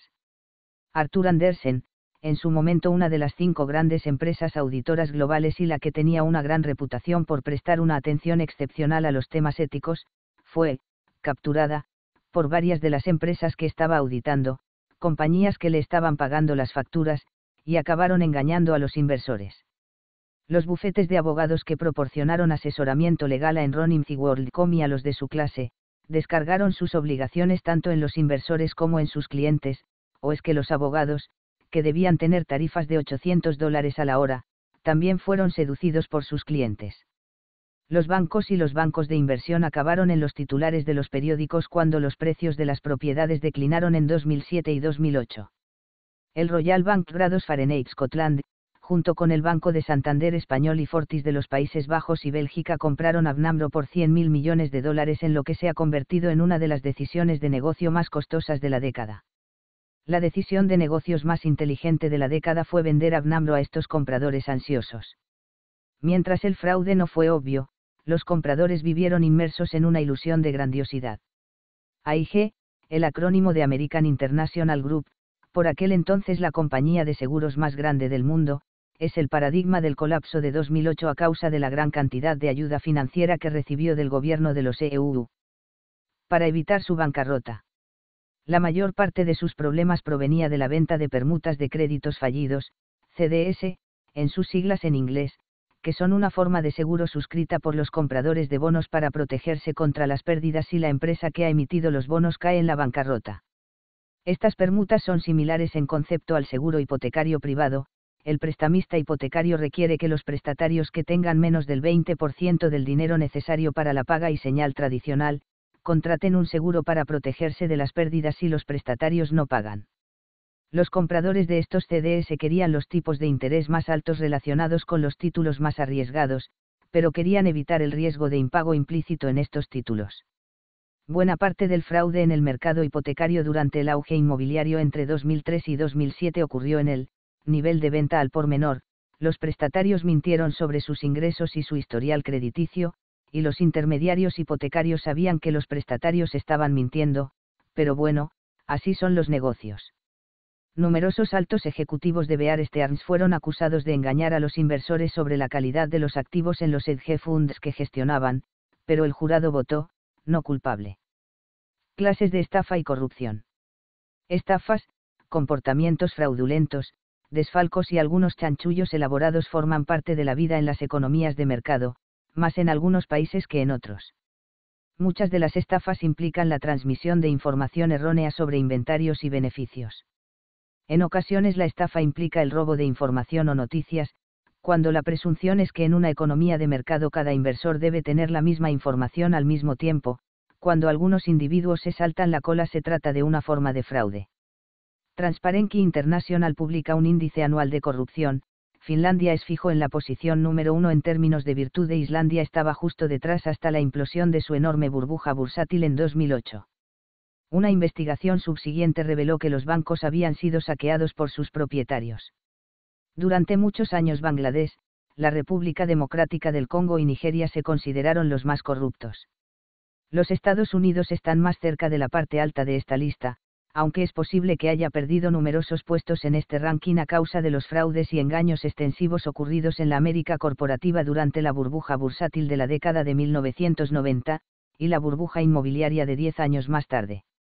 Una forma tradicional de fraude implica la sobrevaloración de los inventarios. El escándalo son Robbins de finales de la década de 1930 implicó el uso de albaranes de almacén falsificados como avales para los préstamos. Villiers Solestes, el apostador tejano de la década de 1960, falsificó el número de tanques de fertilizante que tenía en arrendamiento y pidió prestado contra este número ficticio que era mucho más grande. Tino de Angelis engañó a American Express y a otros grandes prestamistas mediante el uso de tanques de aceite para ensaladas, en la década de 1960 como aval para los préstamos, Tino sabía que el aceite es menos denso que el agua y dejó flotar 15 centímetros de aceite comestible sobre 6 metros de agua. Las estafas que implican afirmaciones falsas sobre el valor de los inventarios se pueden comprobar cuando se revisan las promesas. Al final los prestamistas fueron prudentes con billetes solestes, alguien salió y contó los tanques de fertilizantes. Los prestamistas pueden creer en los valores falsificados de los avales ofrecidos por los prestatarios, e inicialmente los contables de los prestamistas no se dan cuenta del engaño. Las estafas en los mercados financieros pueden implicar afirmaciones sobre el crecimiento de los beneficios corporativos o sobre los precios, garantizados, de las acciones de empresas individuales.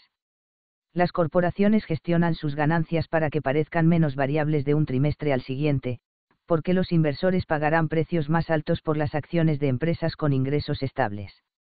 Una afirmación típica es que el precio de las acciones de Amazon subirá a 400 dólares por acción hacia el 4 de julio, o quizás se debería decir, nuestro objetivo de precio son los 400 dólares por acción. Otra afirmación puede ser, los beneficios corporativos aumentarán a razón del 15% anual durante los próximos cinco años. Algunas de las estafas en los mercados financieros implican, un optimismo excesivo, sobre las ganancias de empresas o precios futuros de las acciones que los que realizan las afirmaciones saben que no es probable que ocurran. Wall Street gana un montón de su dinero vendiendo acciones, y prospera teniendo, estrellas, a las que pagan, y pagan muy bien, para que afirmen que los precios de las acciones de empresas individuales van a aumentar, son como los charlatanes a la entrada de los espectáculos de feria que persuaden al público para que compre entradas para ver al tragasables y al hermafrodita. Las acciones aumentan de precio dos veces más que caen, de manera que la probabilidad es que los estrategas del mercado, tengan razón dos veces más de las que se equivocan, aunque tener razón en la dirección es algo diferente a realizar las predicciones correctas en los precios de las acciones. Lo más típico es que los estrategas del mercado sean reticentes a indicar que los precios de las acciones en su conjunto bajarán y es muy raro que sugieran que los precios de las acciones de empresas individuales van a bajar, porque los altos ejecutivos de dichas firmas estarán furiosos y amenazarán con no llevar nunca ninguna emisión de acciones al banco de inversión si bajan los precios de las acciones cuando la previsión era que subirían y los apostadores se convierten en una vergüenza para sus jefes, pues bueno les han pagado bien y son prescindibles y, bueno, así son los negocios. No resulta difícil encontrar sustitutos. La corrupción no se puede medir al menos que una economía o una sociedad tenga leyes, normas o reglas que distingan comportamientos permisibles de otros ilegales o inmorales. Todo será permisible o aceptable en una sociedad sin reglas o normas, no habrá corrupción porque no habrá una relación perceptible entre los comportamientos aceptables y los no aceptables. Prácticamente todas las sociedades tienen reglas o normas, estos códigos sobre lo que es y lo que no es aceptable se adoptan para reducir los costes de hacer negocios. Las leyes varían entre los países, prácticas que son legales en algunos países pueden ser ilegales en otros. Además, las leyes y las normas sobre comportamientos no aceptables dentro de un país cambian a lo largo del tiempo, algunas prácticas financieras que eran legales en los Estados Unidos en la década de 1870 eran ilegales 100 años más tarde. A pesar de estas diferencias entre los países y a lo largo de los años, existe un sentido más amplio y universal sobre el comportamiento financiero aceptable que se basa en el octavo mandamiento, no robarás. El comportamiento corrupto forma parte prácticamente de toda economía. El número de transacciones que parece que sobrepasan tanto las normas morales como las legales aumenta en los periodos de euforia como en la década de 1990. Paradójicamente, el aumento en la riqueza personal cuando los precios de acciones, inmobiliarios y materias primas se incrementan al 30 grados 40% anual durante muchos años parece que dispara un aumento en el comportamiento fraudulento por parte de aquellos que quieren un incremento aún más rápido de su riqueza. Algunos individuos no quieren ser menos que los vecinos y es posible que emborronen la verdad y tomen algunos atajos.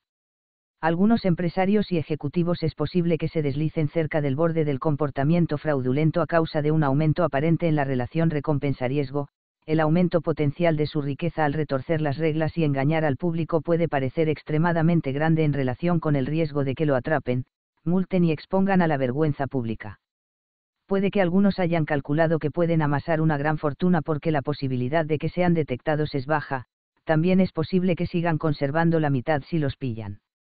Las probabilidades de ir a la cárcel son bajas, y las penas por crímenes de cuello blanco son como clubs de campo modestos con vestimenta modesta y pistas de tenis de superficie dura. El crack y el pánico, con su lema de Saubeck induce a muchos a engañar en su esfuerzo por evitar la bancarrota u otro desastre financiero. Un engaño pequeño hoy puede evitar una catástrofe mañana. Cuando termina el auge y las pérdidas se vuelven evidentes, algunos individuos apostarán fuerte a que un resultado exitoso proporcionará una huida de lo que de otra manera podría ser un desastre. Nick Leeson era un empleado modesto, uno de cinco o seis trabajadores, en la oficina de Singapur de Baring Brothers, un venerable banco comercial de Londres. Leeson negociaba con opciones de acciones y en especial con opciones en el Nikkei, el índice principal en Tokio.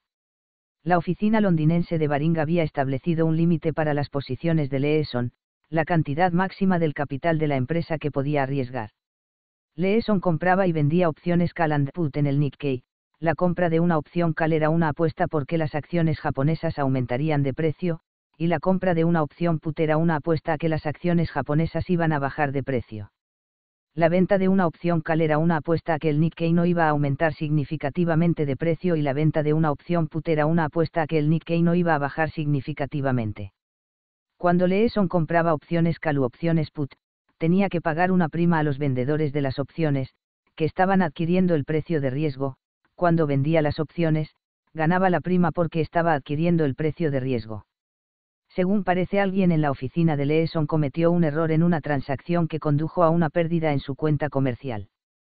En lugar de reconocer el error al jefe de la delegación de Baring, Leeson vendió algunas opciones put en el Nikkei, su plan era utilizar los ingresos extra para cubrir la pérdida por el error comercial.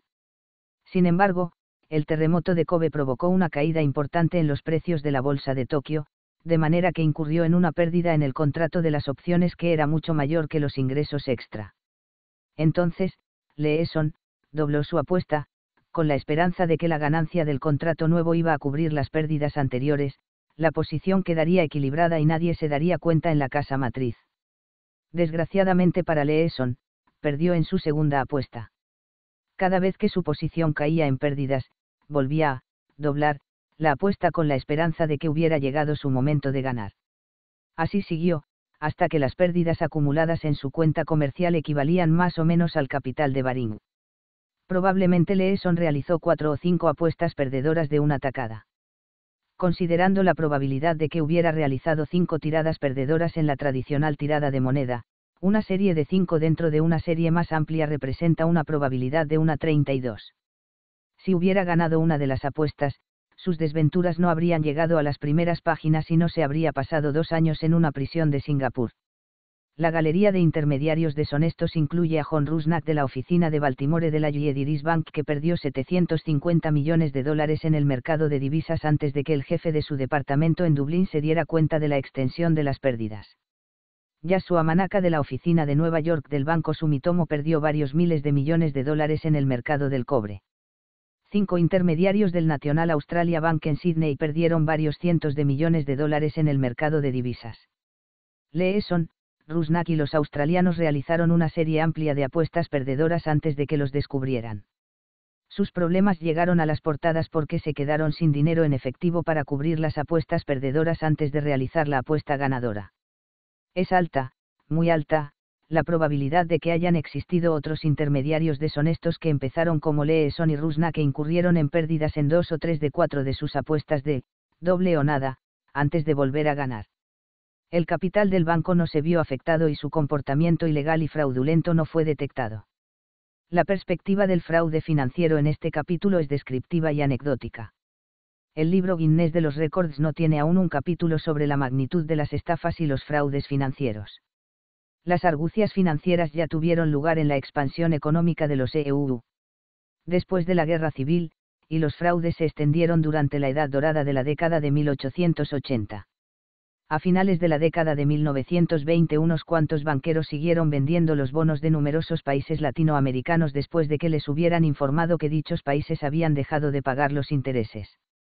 El BCCI, el Bank Grados Fahrenheit Credit and Commerce International, fue uno de los grandes beneficiarios de la crisis de los precios del petróleo en la década de 1970.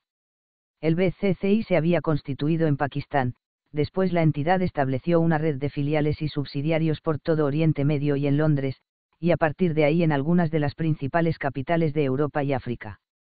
El BCCI prosperó a raíz del aumento de los precios del petróleo en la década de 1970, Oriente Medio se inundó de dinero y una parte de sus primeros depositarios fueron jeques ricos del Golfo Pérsico. El BCCI se orientó sutilmente hacia los depositarios musulmanes. El BCCI concedió préstamos grandes a los gobernantes por razones políticas, que facilitaron sus problemas con las regulaciones y ayudaron a su expansión. Es posible que el BCCI haya sido uno de los esquemas Ponzi más grandes en la época anterior a Madoff. Los créditos fallidos fueron refinanciados, de hecho retrasando el reconocimiento de las pérdidas. Algunos de los créditos del BCCI a un magnate naviero quedaron impagados, y el banco utilizó una contabilidad fraudulenta para esconder las pérdidas, sobornaron a los auditores. El BCCI negociaba extensamente con opciones para cubrir las pérdidas de los créditos, y la entidad reconocía opciones, Indio Temoney, a su valor de mercado y valoraba a cero las opciones, outgrados Fahrenheit Temoney, en las que tenía pérdidas el BCCI se siguió expandiendo mientras pudo vender sus depósitos a su clientela cautiva. Cuando la burbuja implosionó en Japón a principios de la década de 1990, los grandes bancos con sede en Tokio y Osaka incurrieron en grandes pérdidas con sus créditos concedidos para financiar las compras inmobiliarias y bursátiles. Algunos de los bancos regionales en Japón habían incurrido en pérdidas aún más grandes en sus créditos. Muchos de sus préstamos para campos de golf, hoteles y parques de atracciones se concedieron para promocionar las economías locales. La tradición de que había que devolver los préstamos no estaba bien establecida en Japón, en su lugar la práctica era que los prestatarios utilizarían el dinero de nuevos préstamos para pagar los intereses de los créditos ya concedidos de manera que su deuda aumentaba al ritmo del tipo de interés.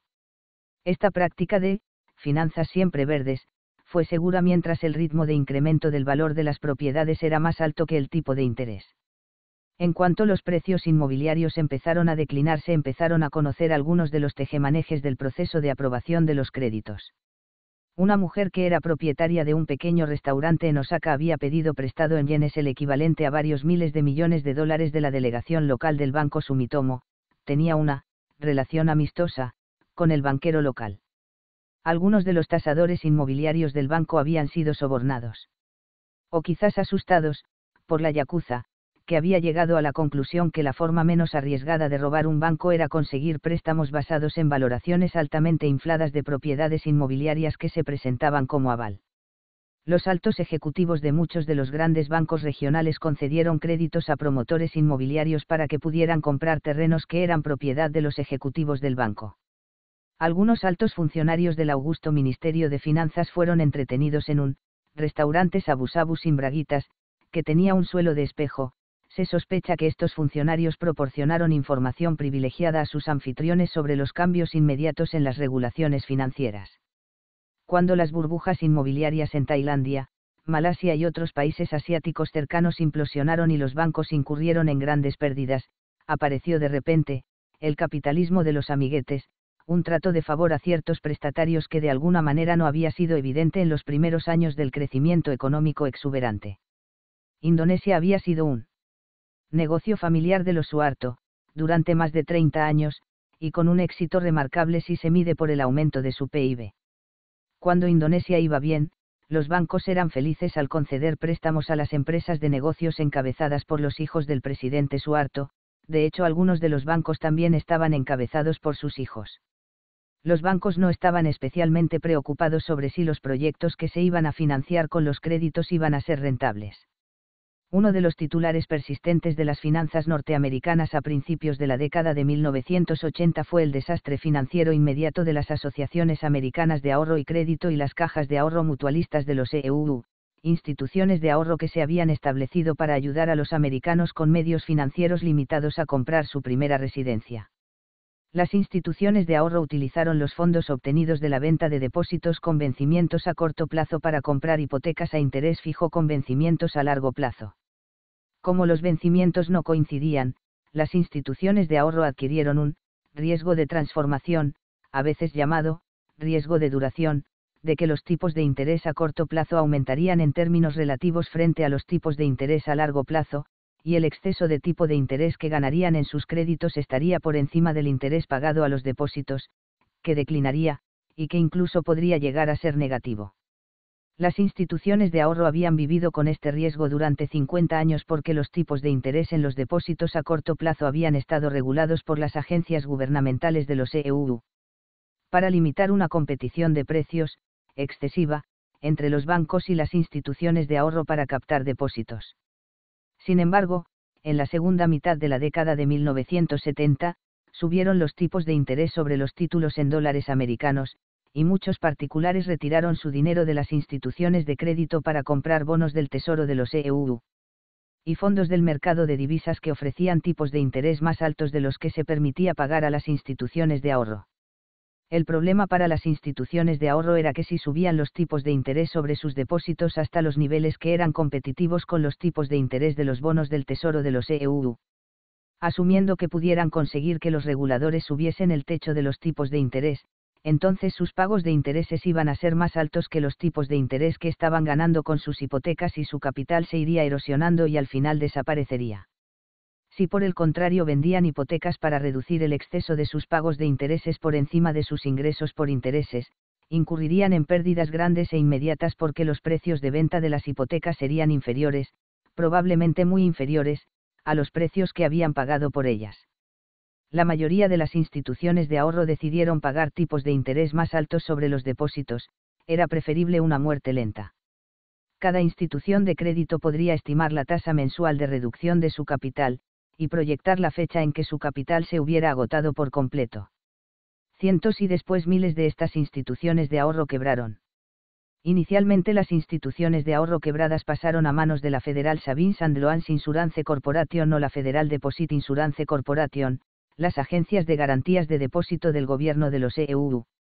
Estas agencias gubernamentales venderían los préstamos buenos de las instituciones de ahorro quebradas y utilizarían el dinero de la venta de dichos créditos y sus reservas acumulados para pagar a los depositarios el 100% de cada dólar depositado. Las reservas acumuladas y el capital del FLIC y el FDIC, que se habían acumulado a lo largo de casi 50 años, quedaron rápidamente exhaustos entonces las agencias de garantía de depósitos no pudieron seguir haciendo frente al cierre de estas instituciones de crédito con valor neto negativo porque no tenían suficiente dinero para hacer frente a sus garantías de depósito, necesitaban un subterfugio para permitir que las instituciones de ahorro quebradas siguieran abiertas. Descubrieron la política de tolerancia, que permitía a estas instituciones de ahorro en bancarrota seguir en el negocio. Inevitablemente las pérdidas del FSLIC y del FDIC se habrían tenido que cubrir, ya fuera mediante una transferencia de dinero de los contribuyentes desde el Tesoro de los EU, o por el aumento en la prima del seguro de depósitos que se cargaba sobre los bancos e instituciones de ahorro supervivientes. Estos bancos e instituciones de ahorro se opusieron vehementemente a pagar primas más altas para cubrir las pérdidas de sus competidores quebrados. Numerosos miembros del Congreso de los EU paralizaron los esfuerzos para obtener fondos del Tesoro de los EU para que el FSLIC y el FDIC pudieran compensar a los depositarios y cerrar las instituciones quebradas, estos cargos electos querían usar el desastre financiero para forzar una desregulación de la industria de los servicios financieros. Algunas de las instituciones de ahorro quebradas fueron, recapitalizadas, como, instituciones Fénix, una institución de ahorro quebrada compraba a otra y la parte de los activos del balance de la institución compradora se incrementaba con una gran aportación de, fondo de comercio, y se producía el aumento correspondiente en su capital. La idea, con mayor precisión, la esperanza, era que durante los siguientes 20 o 30 años los beneficios de las instituciones compradoras serían suficientes de manera que podrían amortizar el fondo de comercio y su valor neto negativo algunos empresarios tuvieron la brillante idea de que la manera de salvar a las instituciones de ahorro quebradas era ayudarlas a aumentar rápidamente sus depósitos y créditos de manera que sus beneficios sobre las hipotecas y los préstamos nuevos serían mayores que sus pérdidas con las antiguas hipotecas a tipos de interés bajo. En 1982 el Congreso de los EU redujo las regulaciones aplicadas a las instituciones de ahorro, lo que significaba que se les permitiría comprar títulos de casi cualquier tipo al mismo tiempo el techo de los depósitos máximos garantizados que tuviera cualquier particular en una institución de ahorro concreta aumentó de los 40.000 a los 100.000 dólares. Sin embargo, los particulares se podían saltar con facilidad este techo mediante la adquisición de depósitos bajo versiones ligeramente diferentes del mismo nombre. Es posible que el señor Jones tuviera un depósito garantizado de 100 mil dólares, la señora Jones un depósito garantizado de 100 mil dólares, y el señor y la señora Jones juntos podían tener un tercer depósito garantizado de 100 mil dólares. Y la familia Jones podía comprar por separado depósitos garantizados para cada uno de sus hijos, al igual que una serie de depósitos en cuentas conjuntas de los niños. Estas instituciones de ahorro quebradas estaban ansiosas por comprar cualquier préstamo o título que ofreciese tipos de interés relativamente altos, y así se convirtieron en uno de los mercados naturales, para los bonos basura. Inicialmente el suministro de bonos basura se había limitado a estos, ángeles caídos, eran bonos que habían perdido su grado de calificación de inversión porque las empresas que los habían emitido estaban pasando por un mal momento. La pérdida del grado de calificación de inversión significaba que algunas instituciones financieras no podían seguir manteniendo estos bonos, de manera que los tipos de interés aumentaron de forma acusada. Michal Milken de Drexel Burnham Lambert desarrolló algunas innovaciones mercantiles que incrementaron enormemente tanto la demanda como el suministro de bonos basura la bajada de los tipos de interés y el aumento en la tasa del crecimiento económico en la década de 1980 provocó un ambiente propicio para el crecimiento del mercado de bonos basura. El argumento de venta era que el exceso de los tipos de interés en los bonos basura por encima de los tipos de interés en los bonos con calificación de inversión era mucho más grande que las pérdidas en las que podían incurrir los propietarios de los bonos si quebraba uno de estos prestatarios. Milken proporcionó financiación a algunos de sus amigos y asociados para conseguir el control de instituciones de ahorro, compañías de ahorro y otras firmas que podrían ser compradores naturales, de los bonos basura. Milken proporcionaba, cartas de conformidad, a empresarios que estaban estudiando la toma del control de empresas establecidas, asegurándoles que Drexel podía conseguir todo el dinero que necesitasen. Una vez que sus amigos conseguían la propiedad de estas empresas industriales, las firmas emitirían bonos basuras que serían comercializados por Drexel, y Milken colocaría estos bonos en las instituciones de ahorro y compañías de seguros que estaban controladas por sus amigos. Drexel estableció sus propios fondos mutualistas que comprarían los bonos basura que había comercializado. Milken tenía una máquina de fabricar dinero.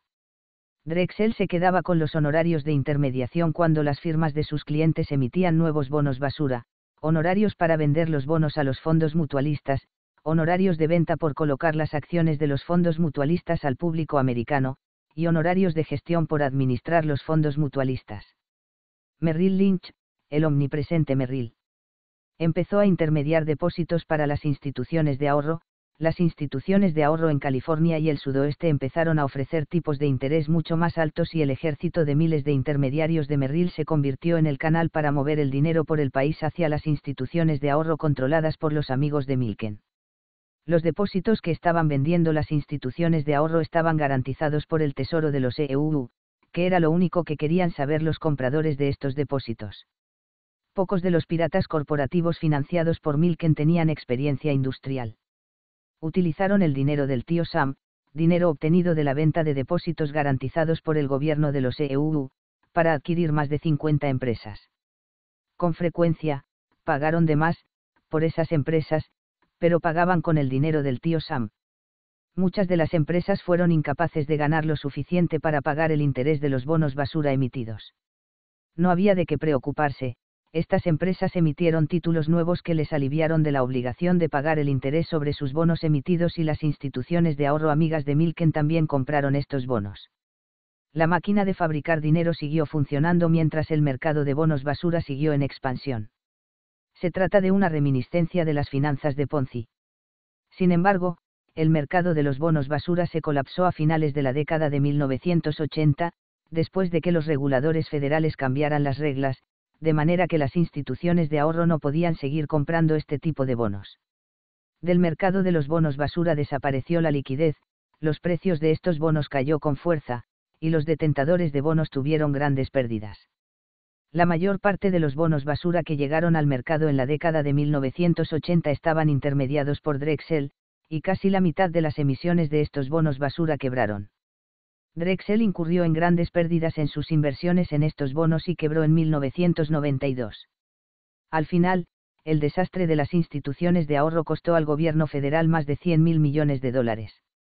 Si el Congreso de los EU hubiera suministrado a las agencias de garantías de depósito el dinero para cerrar las instituciones de ahorro quebradas a principios de la década de 1980, cuando desapareció su capital, el coste para el contribuyente americano se habría situado entre los 20 y los 30 mil millones de dólares. Gran parte del exceso del coste real sobre el coste probable en que habrían incurrido si las instituciones de ahorro quebradas se hubieran cerrado de manera adecuada y en su momento, fue consecuencia del coste de cerrar las instituciones de ahorro quebradas que se habían convertido en grandes compradoras de bonos basura. Milken y su familia se convirtieron en multimillonarios y seguramente lo siguieron siendo después de pagar una multa o penalización de 550 millones de dólares y pasar 30 meses en un club de campo federal, prisión de mínima seguridad. Hechos y leyendas sobre los bonos basura. Las adquisiciones corporativas y los bonos basura han dado lugar a una literatura interesante. Consideremos tanto los títulos de ficción como los de no ficción. La hoguera de las vanidades de Tom Wolfe es una descripción destacable de los valores de la élite financiera de Nueva York. Predators Ball de Connie Brook es una descripción de una fiesta anual de compradores y vendedores de bonos basura. Nabisco, La caída de un imperio es una historia sobre la toma de control de RJR Nabisco, resulta difícil decidir quiénes son menos atractivos, los compradores potenciales o el objetivo a comprar. El título de James Stewart de En grados Fahrenheit Tieves ofrece las claves de la historia de Milken y sus amigos. A fraudes y robos en la década de 1990. En la segunda mitad de la década de 1990 en los Estados Unidos se produjo una cosecha récord de chanchullos, estafas y fraudes. Como se ha esbozado antes, Enron se encontraba a la cabeza de esta lista de las empresas envueltas en el fraude y las argucias asociadas con el auge del mercado bursátil, la empresa había nacido de la fusión de dos gasoductos regulados. Enron tenía dos brazos, Enron Heavy, realizaba grandes inversiones en plantas de generación de electricidad en la India y en sistemas de suministro de agua en Gran Bretaña y México. Enron Light, inició una rápida expansión en la producción y comercialización de electricidad, gas natural, banda ancha y cualquier otra cosa con la que se pudiera comerciar en el mercado al por mayor, la prensa jaleó a Enron como la empresa más importante en el proceso de desregularización del mercado de la electricidad. La rápida expansión de los dos brazos de Enron requería grandes cantidades de dinero para invertir en plantas y equipos, para comerciar con títulos, y para software. Enron vendió un montón de bonos y proporcionó beneficios sustanciales a sus bancos de inversión primarios, Merrill Lynch y Salomon Smith Barney. En su punto más alto, la capitalización bursátil de la empresa era de 250 mil millones de dólares, el valor de mercado de sus acciones a 100 dólares se encontraba por encima de los 200 mil millones y el valor de mercado de su cartera pública de bonos era de 40 mil millones de dólares. Poco después de iniciarse la caída aguda de los precios bursátiles de los EU. En el año 2000, Enron, en su momento presentada, por sus propias acciones de relaciones públicas, como la séptima empresa más grande en los Estados Unidos y descrita por la revista Fortune como una de las empresas más innovadoras del país, se declaró en bancarrota. El valor de mercado de las acciones era cero, y el valor de mercado de los bonos cayó en picado. Un tema intrigante es en qué momento los principales ejecutivos de Enron llegaron al proverbial, desvío en el camino, e iniciaron su camino sinuoso hacia el chanchulleo financiero. Una gran parte de la compensación total de los altos ejecutivos de Enron vendría de la venta de las opciones sobre acciones que habían recibido de la compañía como incentivo. Cuanto más rápida la tasa de crecimiento de los beneficios de Enron, mayor el precio de las acciones de Enron, a mayor valor de las opciones, más ricos los propietarios de las opciones. Los altos ejecutivos de Enron tenían una razón muy poderosa para mantener el crecimiento de los beneficios, puesto que su riqueza personal se veía impulsada por el valor de las acciones. Enron estaba respondiendo a los desafíos presentados por los analistas bursátiles en Wall Street. Trimestre a trimestre, los analistas predecían al céntimo los beneficios por acción. Había muchos ejemplos de empresas que habían fracasado en alcanzar las estimaciones de beneficios, el valor de sus acciones cayó de un 10 a un 20%. Los directivos financieros de Enron, así como los de otras empresas, tenían grandes incentivos para, homogeneizar, los beneficios para alcanzar las estimaciones de los analistas de Wall Street. Enron había entrado en acuerdos de venta y leasing con Merrill Lynch y JP Morgan para algunas barcazas de generación eléctrica en Nigeria. Merrill y Morgan pagaron por encima de los precios de mercado por las barcazas de manera que Enron pudo obtener un beneficio con su venta, que contribuiría al beneficio declarado por Enron para ese año. Merrill y Morgan no son instituciones de beneficencia, como habían pagado por las barcazas por encima de los precios de mercado, los pagos anuales que les estaban cargando por el leasing eran correspondientemente más altos. Desde el punto de vista de Enron, el aumento de los beneficios en el año 1 sería a costa de los beneficios de los años siguientes. Enron estaba rebuscando para aumentar los beneficios de este año sin tener en cuenta el impacto negativo en los beneficios del año siguiente.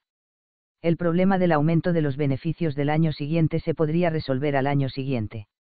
Enron había otorgado un valor muy alto en algunos esotéricos contratos futuros que estaban pensados para madurar en 5 o 10 años y que no tenían precios de mercado inmediatos.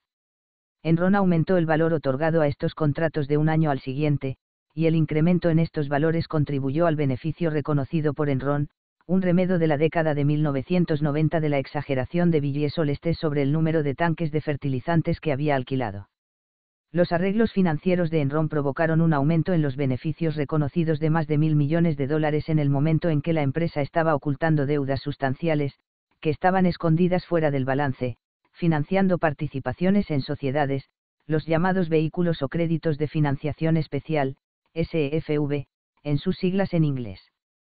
Muchos bancos y empresas industriales utilizaban estos SEFV para eliminar deuda de sus balances, de manera que tenían una posición más ventajosa para aumentar las cantidades que podían pedir prestadas.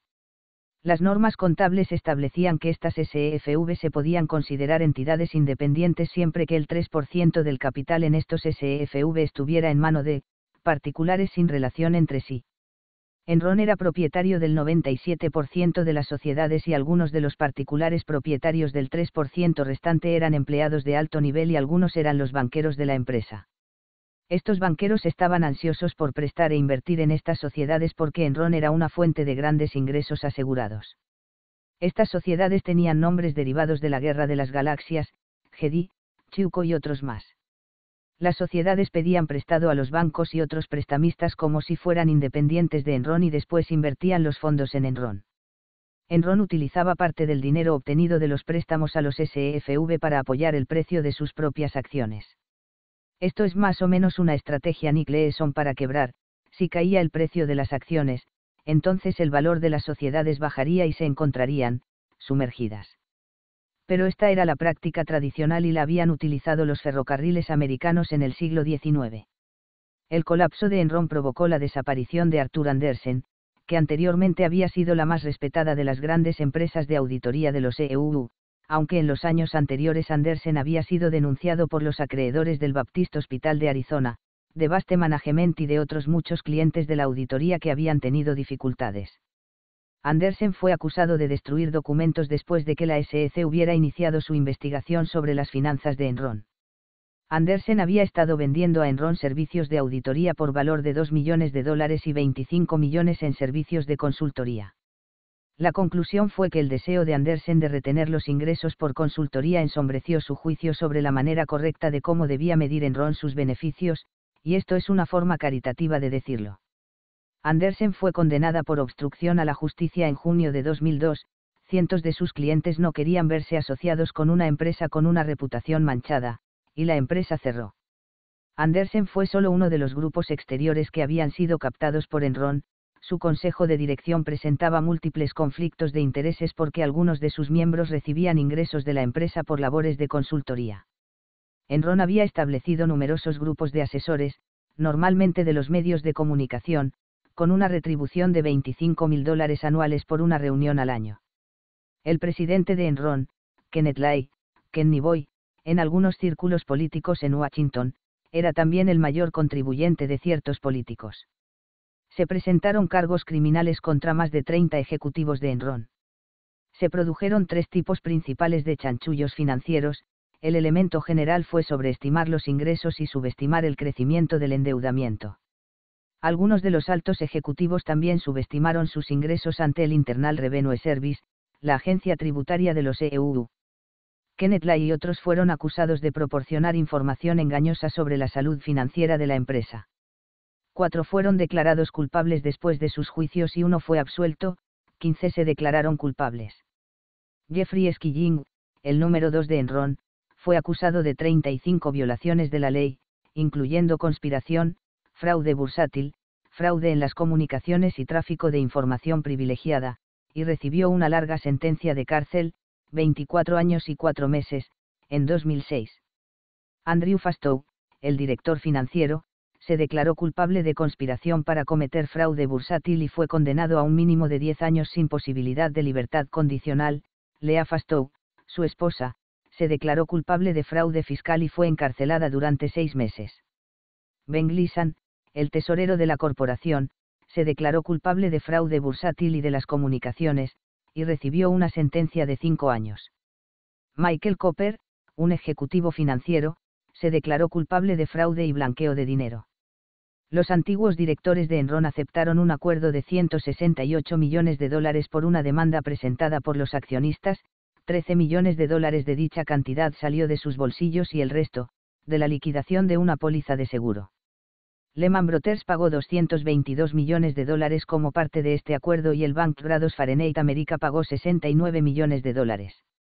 WorldCom había sido una de las empresas de telecomunicaciones de crecimiento más rápido en la década de 1990, con más de 60 adquisiciones. Bernie Evers, de origen canadiense, antiguo profesor de gimnasia en el instituto y entrenador de baloncesto en Jackson, Mississippi, fue el genio de esta expansión rápida. Los ingresos por acción de WorldCom aumentaron a un ritmo tan rápido que la relación del precio de sus acciones respecto a sus beneficios era mayor que el valor de las acciones que se estaban adquiriendo. WorldCom pagó por sus adquisiciones mediante el intercambio de las acciones recién emitidas de WorldCom por las acciones de las empresas que estaban adquiriendo. Los ingresos por acción de WorldCom estaban aumentando a un ritmo rápido porque estaba, comprando, los ingresos de las empresas que tenían un precio inferior de sus acciones. WorldCom no se podía permitir la compra de una empresa con un valor de su acción más alto que el suyo porque esto conduciría a una caída en la tasa de crecimiento de sus ingresos. Evers estaba cabalgando sobre el tigre proverbial, para mantener alto el precio de las acciones de WorldCom, la empresa tenía que seguir comprando otras empresas que tenían menor valor bursátil. Como estas adquisiciones provocaron un aumento en el tamaño de WorldCom, la única forma para que pudiera mantener el crecimiento rápido de los ingresos era adquirir empresas cada vez más grandes. El problema, el problema genérico de los que incrementan sus ingresos por acción mediante adquisiciones, era que el número de empresas que seguían siendo objetivos atractivos se estaba reduciendo a medida que WorldCom se hacía más grande. La última adquisición de WorldCom fue MCI, una de las empresas más innovadoras en la industria de las telecomunicaciones en los EU, a través del uso de sus torres de microondas había roto el monopolio de atmósfera técnica y tonelada en los servicios de telefonía a larga distancia. MCI era tan grande que la empresa resultante fue rebautizada como MC WorldCom. En el esfuerzo por mantener el crecimiento de sus ingresos, MC WorldCom intentó una fusión con US Print, pero la propuesta fue bloqueada por las autoridades reguladoras de los EU. Poco después MC WorldCom quebró, en aquel momento la bancarrota más grande en la historia de los EU. Investigaciones posteriores revelaron que los directores financieros de la empresa habían sobreestimado los ingresos al declarar que 4.800 millones de dólares de gastos diarios eran, inversiones, al final los números escamoteados ascendían a 10.000 millones de dólares. La razón principal para este fraude contable era mantener el crecimiento de los ingresos para apoyar el precio de las acciones. Dos de los altos ejecutivos de WorldCom fueron arrestados y acusados, se declararon culpables y acabaron en la cárcel. Después se supo que MCI había prestado a Bernie Evers más de 400 millones de dólares en créditos que no figuraban en los libros. Evers había utilizado sus acciones de WorldCom como aval para el préstamo, y usó parte del dinero obtenido mediante el crédito para comprar más acciones de WorldCom. Evers se saltó la primera lección inversora, diversificar los activos. Enron y WorldCom se convirtieron en víctimas de su propio éxito. Los analistas bursátiles en Wall Street han desarrollado la práctica de pronosticar los ingresos trimestrales de cada empresa. Si la empresa no alcanza los objetivos de ingresos, el valor de las acciones baja del 15 al 20%. Un golpe duro. Por eso los altos ejecutivos financieros empezaron a entrar en el juego, siguiendo dos caminos. Si los beneficios pronosticados iban a ser mucho más altos de lo anticipado, tenían un incentivo para adelantar gastos o retrasar facturas, es decir, posponer el reconocimiento de ingresos. La razón era que los analistas de Wall Street iban a elevar el nivel, y lo que podía ser un incremento puntual de los ingresos se podía convertir en un punto de referencia nuevo y más alto. Por el contrario, si los ingresos comunicados por la empresa eran menores de los estimados, tenían un gran incentivo para, tomar prestados, ingresos del futuro al retrasar pagos o adelantar facturas. El problema se agudizaría al trimestre siguiente. El juicio de Bernie Evers, acusado de engañar al público sobre la situación financiera de la empresa, se inició en enero de 2005. Sus abogados alegaron que fue engañado por Scott Sullivan, el director financiero de WorldCom, y Sullivan declaró que Evers dirigió el fraude para obtener una reducción en su condena. Diez de los antiguos directores de WorldCom aceptaron pagar 18 millones de dólares de su bolsillo como parte de un acuerdo de 54 millones de dólares con los accionistas. Evers fue condenado a 25 años de cárcel. Denis Kozlowski, presidente de Tico, un conglomerado de 200 mil millones de dólares, y Mark Schwartz, su director financiero, fueron acusados por el gobierno federal de saquear cientos de millones de dólares de Tico de dos formas, se gratificaron con opciones para comprar acciones de Tico sin la aprobación de los directores de Tico, y cargaron sobre la tesorería de Tico sus gastos personales. Los federales armaron mucho revuelo con la cortina de baño de 6 mil dólares y la fiesta de cumpleaños de 2 millones de dólares de la segunda señora Kozlowski en Cerdeña, Tico asumió el 50% del coste de la fiesta la prensa informó que una de las estrellas de la fiesta fue una escultura de hielo del David de Miguel Ángel, que dispensaba vodka desde una parte vital de la parte inferior de su cuerpo. Tico había adquirido varios centenares de empresas de una gran variedad de industrias, que pagó en su mayor parte con acciones, pero de vez en cuando con dinero obtenido con la venta de bonos y préstamos de los bancos. Tico manipuló los ingresos de estas empresas que estaba a punto de adquirir. Después de que hubieran aceptado la compra, sus ingresos serían drenados o reducidos temporalmente, después los ingresos aumentarían cuando se integrasen en la familia Tico, con lo que contribuirían al rápido crecimiento de los ingresos de Tico. Tico también estaba preocupado por sus costes y en especial por los impuestos, el cuartel general operativo de la empresa se encontraba en New Hampshire, un estado sin impuestos sobre la renta ni sobre el consumo, y su cuartel general legal se encontraba en las Bermudas, lo que permitía a la empresa evitar el impuesto de sociedades de los EU. El Estado de Nueva York alegó que Kozlowski no había pagado el impuesto al consumo de un millón de dólares por pinturas que había comprado en la ciudad de Nueva York al declarar que las pinturas serían enviadas a New Hampshire. Las cajas vacías que habían contenido las pinturas fueron enviadas allí después de que los cuadros acabasen en el apartamento neoyorquino de Kozlowski. Kozlowski fue declarado culpable en un segundo juicio, porque el primero había acabado con un jurado incapaz de llegar a un veredicto. Tico, a diferencia de Enron y WorldCom, no quebró, el fraude fue personal, no corporativo. La familia Rigas fue acusada por el gobierno federal de saquear 2.300 millones de dólares de Adelphi Communications, el sexto sistema de cable más grande de los Estados Unidos. Las transgresiones de la familia combinaron elementos de las malas conductas de Enron y WorldCom la familia recogió más de 3.000 millones de dólares en préstamos fuera del balance, la compañía infló gastos de capital y escondió deudas. Adelphi había empezado como una pequeña empresa familiar, y en estas situaciones las fronteras entre las cuentas personales y las cuentas de la empresa son con frecuencia borrosas. Muchos de los préstamos pedidos por la empresa estaban avalados por la familia, y muchos de los créditos pedidos por la familia Rigas estaban garantizados por la empresa la familia pedía prestado en su mayor parte para utilizar el dinero para apoyar las acciones de la empresa. El antiguo director financiero y el antiguo vicepresidente se declararon culpables. Dos de los miembros de la familia Rigas fueron condenados. El fundador y presidente de Haltzows, Richard Scrusy, fue acusado por un fraude contable de cerca de 3.000 millones de dólares. El juicio se inició en enero de 2005, en el que fue absuelto, aunque se reconoció que había cometido un fraude. Scrusy declaró que el fraude fue cometido por sus subordinados y estos alegaron que él había ideado el fraude para reducir su condena. En el segundo juicio fue declarado culpable de una serie de cargos y encarcelado, más tarde, en un juicio civil, se le ordenó pagar una multa de 2.860 millones de dólares, quizá la más alta en la historia de los EU, según la información del Wall Street Journal. Sam Baxal, fundador y promotor de Implone, acabó en una prisión federal después de declararse culpable de seis acusaciones federales.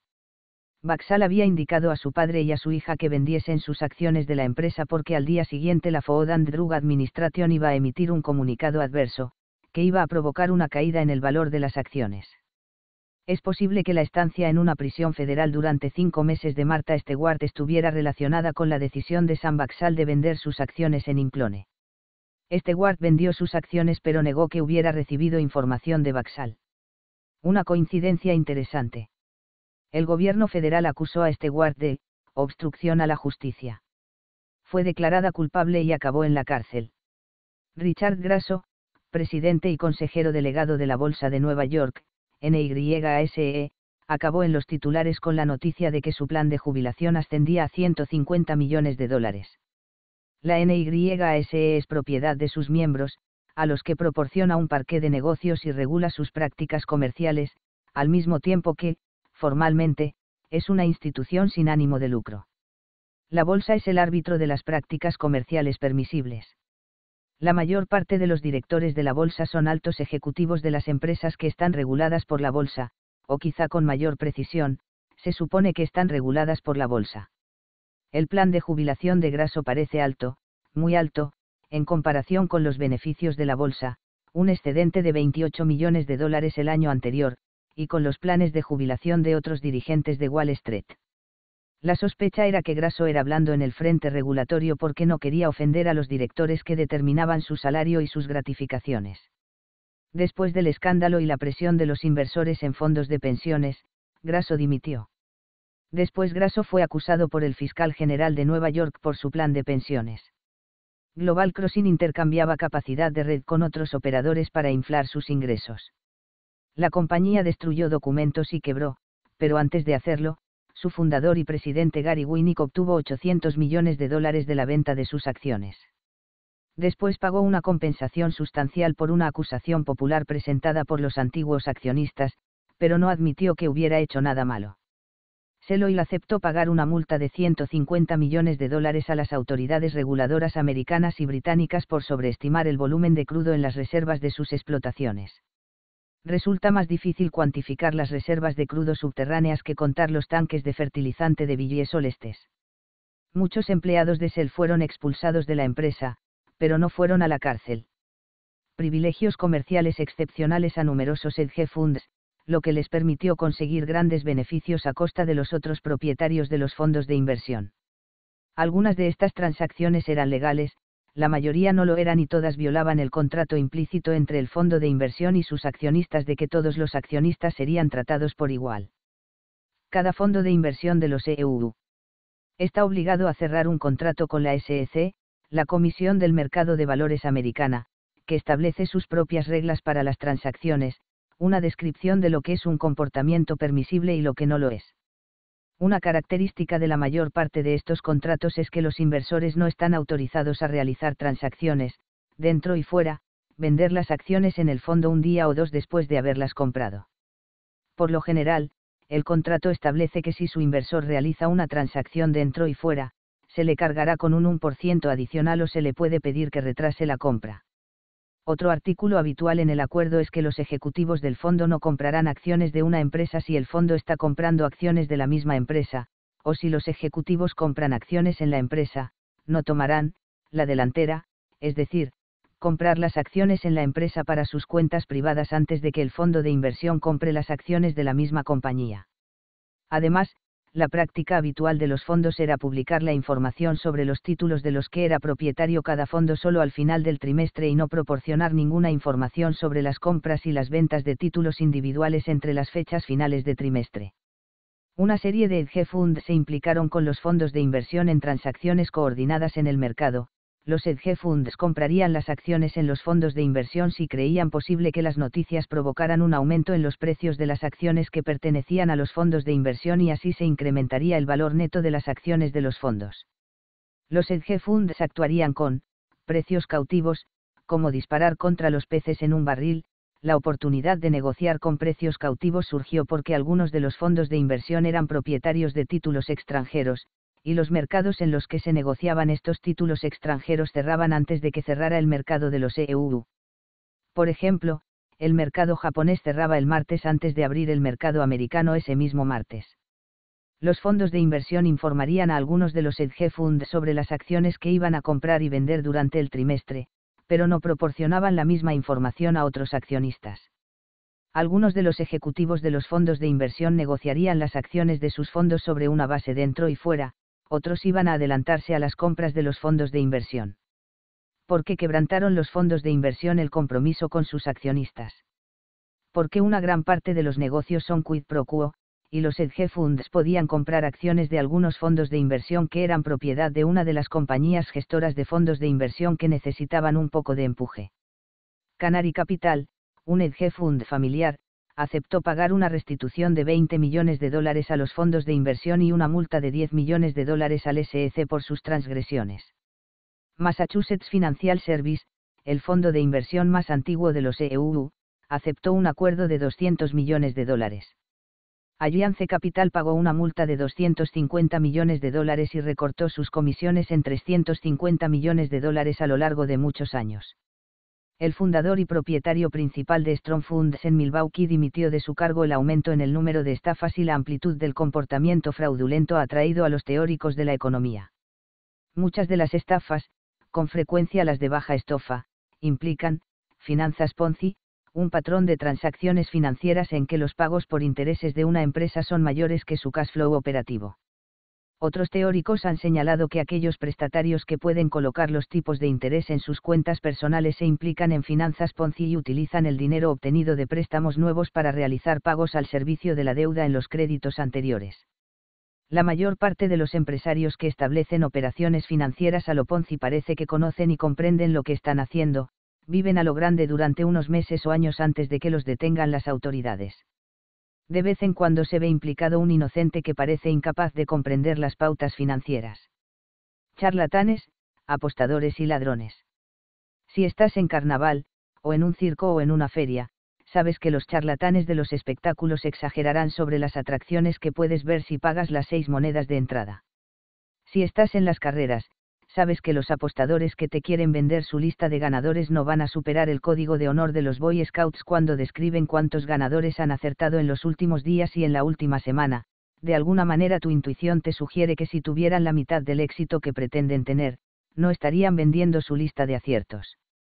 Pero ¿cómo interpretarías las afirmaciones de los apostadores de Merrill, Morgan Stanley y Credit Suisse cuando indican sus objetivos de precio para las acciones de empresas concretas? En un buen año a finales de la década de 1990, Henry Blodgett ganó 10 millones de dólares, Mary Meeker 15 millones y Jack Grubman 20 millones. Henry, Mary y Jack fueron los apóstoles de las .com y de las empresas de telecomunicaciones en los años de la burbuja de la década de 1990. Obtuvieron estos ingresos de estrellas de rock porque llevaron un montón de seguros y negocios bursátiles a sus jefes de Wall Street no existe ninguna regla segura que relacione sus ingresos con los beneficios que generaron a sus jefes, pero es una apuesta segura que sus jefes calcularon que los beneficios que produjeron eran al menos de tres a cinco veces más grandes que sus salarios. Henry Blodgett de Merrill Lynch adquirió fama por fijar objetivos de precio sobre las acciones de empresas.com concretas, y que se alcanzasen algunos de estos objetivos. En el caos del mercado de ganado estos logros se pueden ver como un testimonio de su éxito como analista, o como una profecía autocumplida. Henry obtuvo mucha atención porque en algunos correos electrónicos internos de Merrill estaba desdeñando el atractivo de algunas de las acciones que estaba promocionando entre el público americano.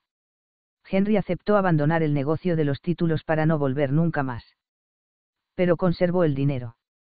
Jack Grubman de Salomon Smith Barney, que entonces formaba parte de la familia de Citigroup, adquirió mala fama porque cambió su recomendación sobre las acciones de atmósfera técnica y tonelada después de una petición cortés de su jefe Sandy Bale.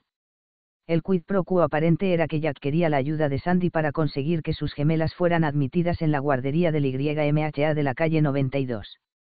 Casi al mismo tiempo Citigroup realizó una donación de un millón de dólares a la 92 y, Jack abandonó Salomon Smith Barney con un apretón de manos dorado de 20 millones de dólares. Jack pagó una multa de 20 millones de dólares y aceptó no volver a trabajar en el negocio de los títulos.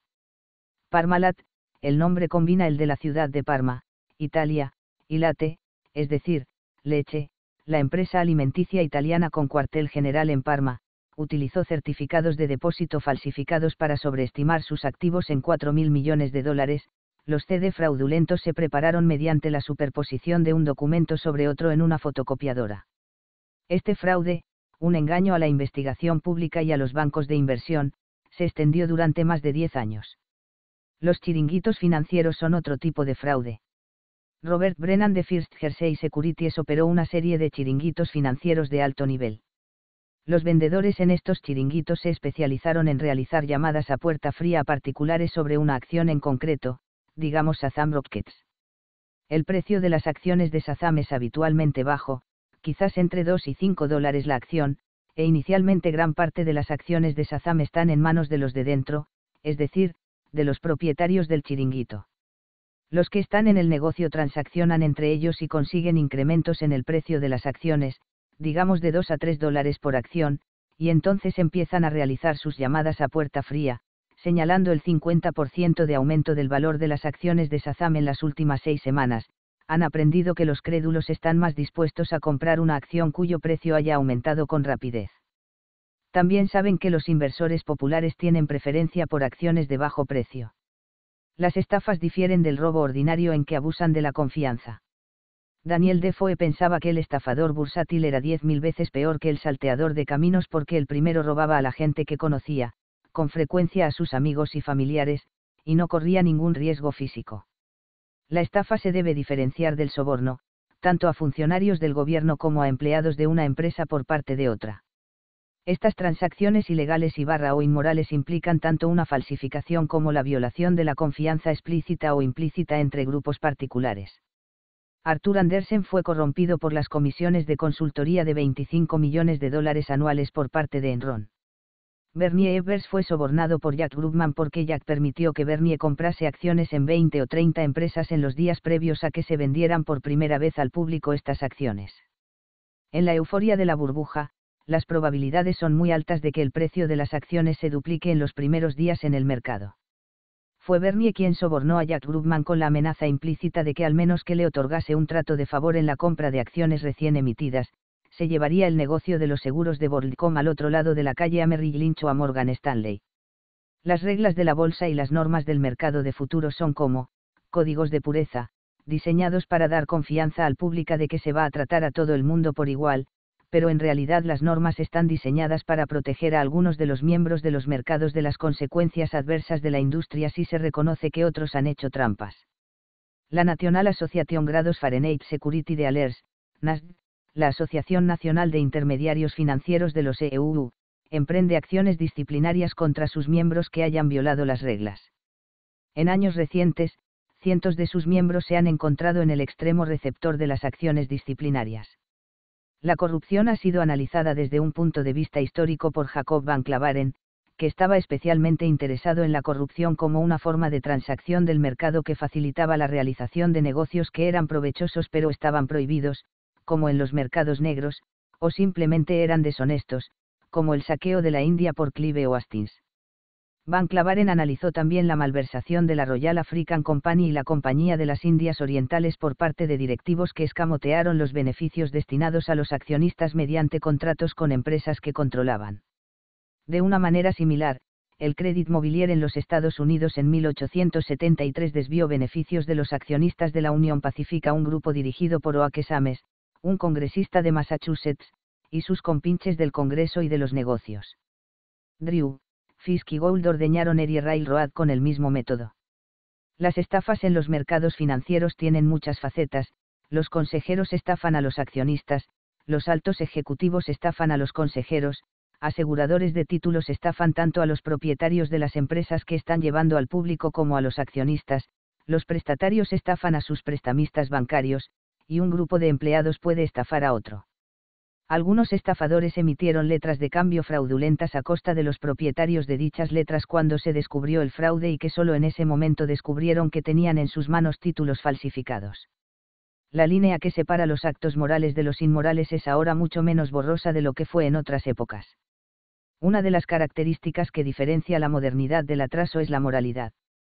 En las fases iniciales del desarrollo económico, los códigos solo proporcionan honor y confianza dentro de la familia. El nepotismo era eficiente en esas circunstancias porque los extraños prácticamente tenían permiso para robar. En 1720 una empresa podía comprar el servicio de un hombre pero no su lealtad, convertirse en oficinista era una invitación para iniciar un negocio nuevo y competitivo en una época en que la malversación y la conversión fraudulenta no se consideraban un crimen. Las líneas entre negocio y robo, comercio y piratería, no eran precisas.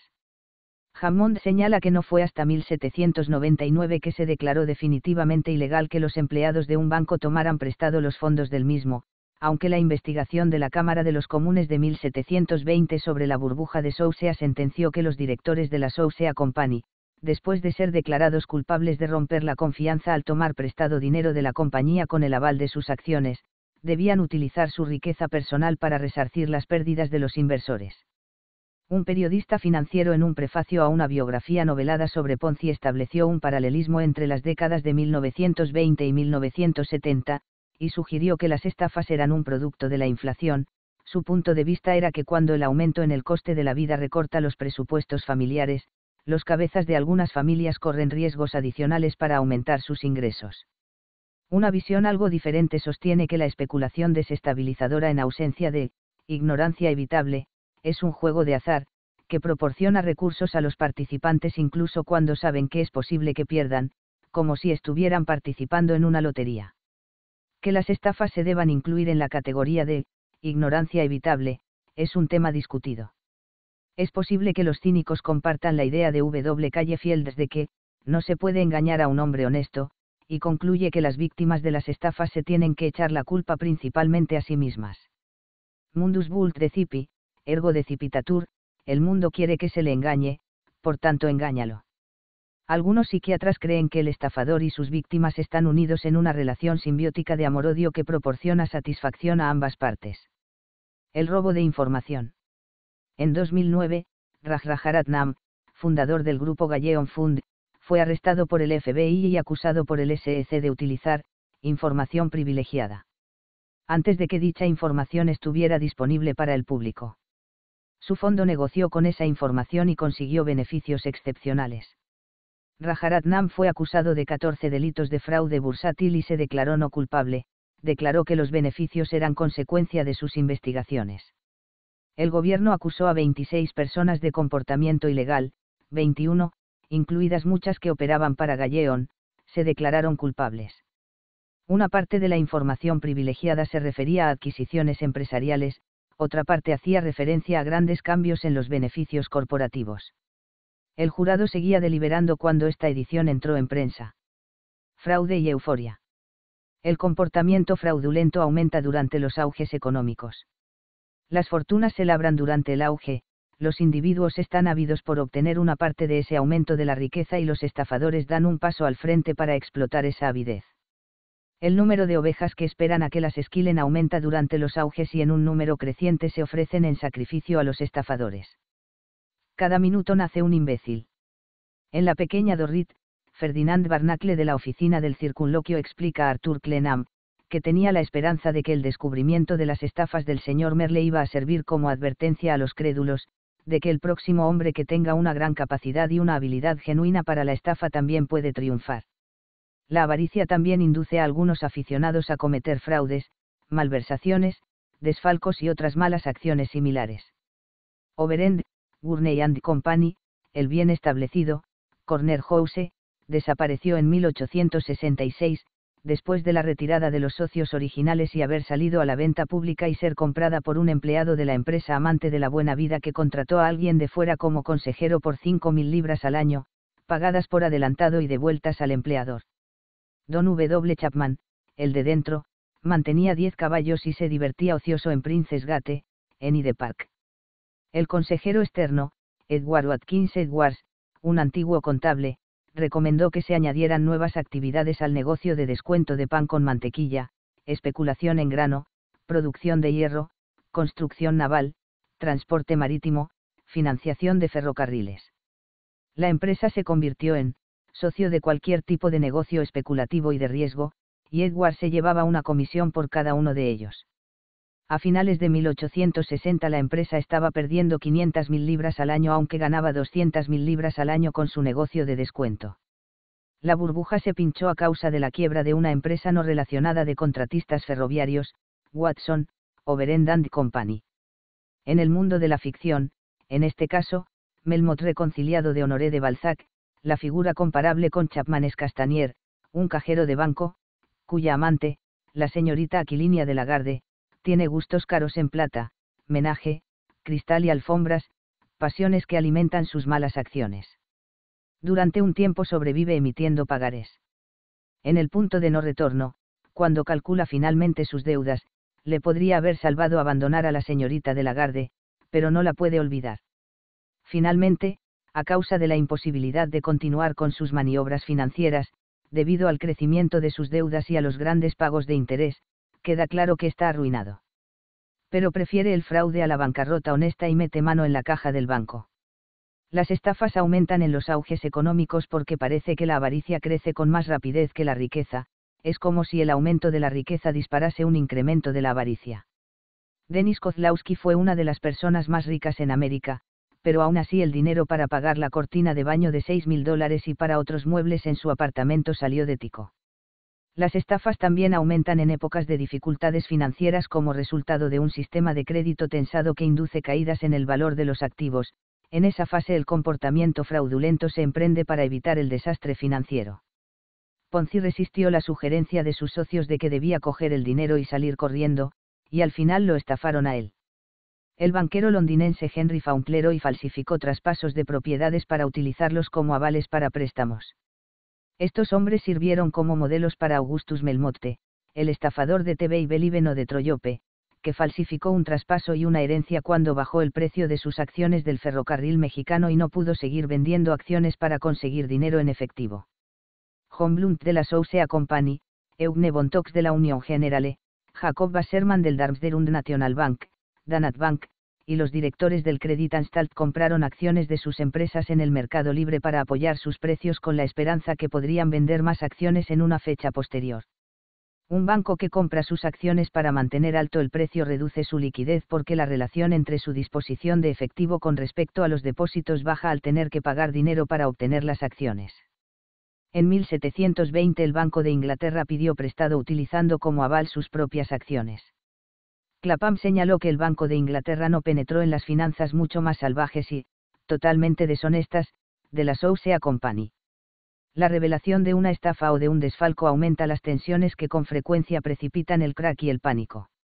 En 1772 Alexander Fordice se fugó de Londres al continente, dejando que sus socios se enfrentasen a las obligaciones de 550.000 libras, en su mayor parte pagarés dudosos de la Airbank, si es que podían, que no pudieron. Fordice en persona se había quedado corto de acciones de las Indias Orientales, cuyo precio había subido lo suficiente para eliminarlo del juego.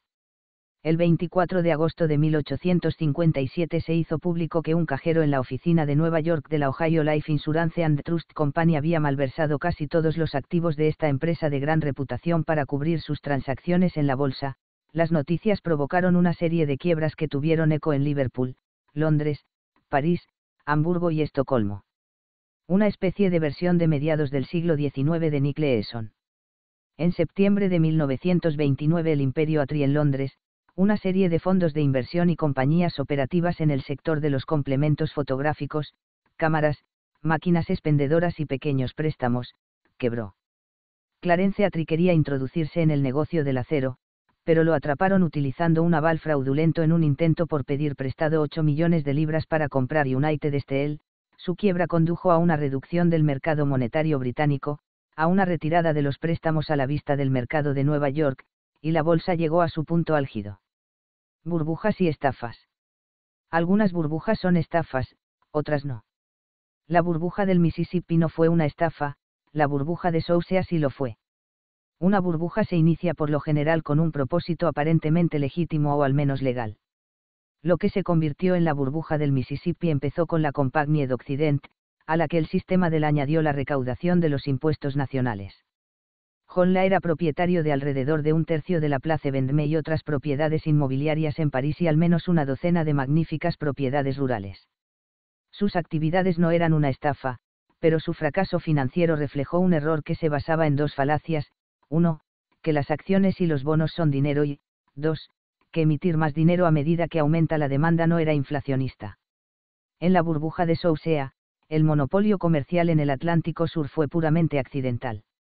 Con gran rapidez la consolidación de la deuda del gobierno británico sobrepasó la faceta comercial en el Atlántico Sur de la empresa, y poco después la negociación de las acciones sobrepasó la deuda gubernamental. John Blunt y sus socios intentaron beneficiarse de las acciones emitidas por ellos gracias a préstamos avalados por las acciones cuando realizaron los beneficios de capital por el incremento en el valor de las acciones, utilizaron el dinero para comprar propiedades inmobiliarias.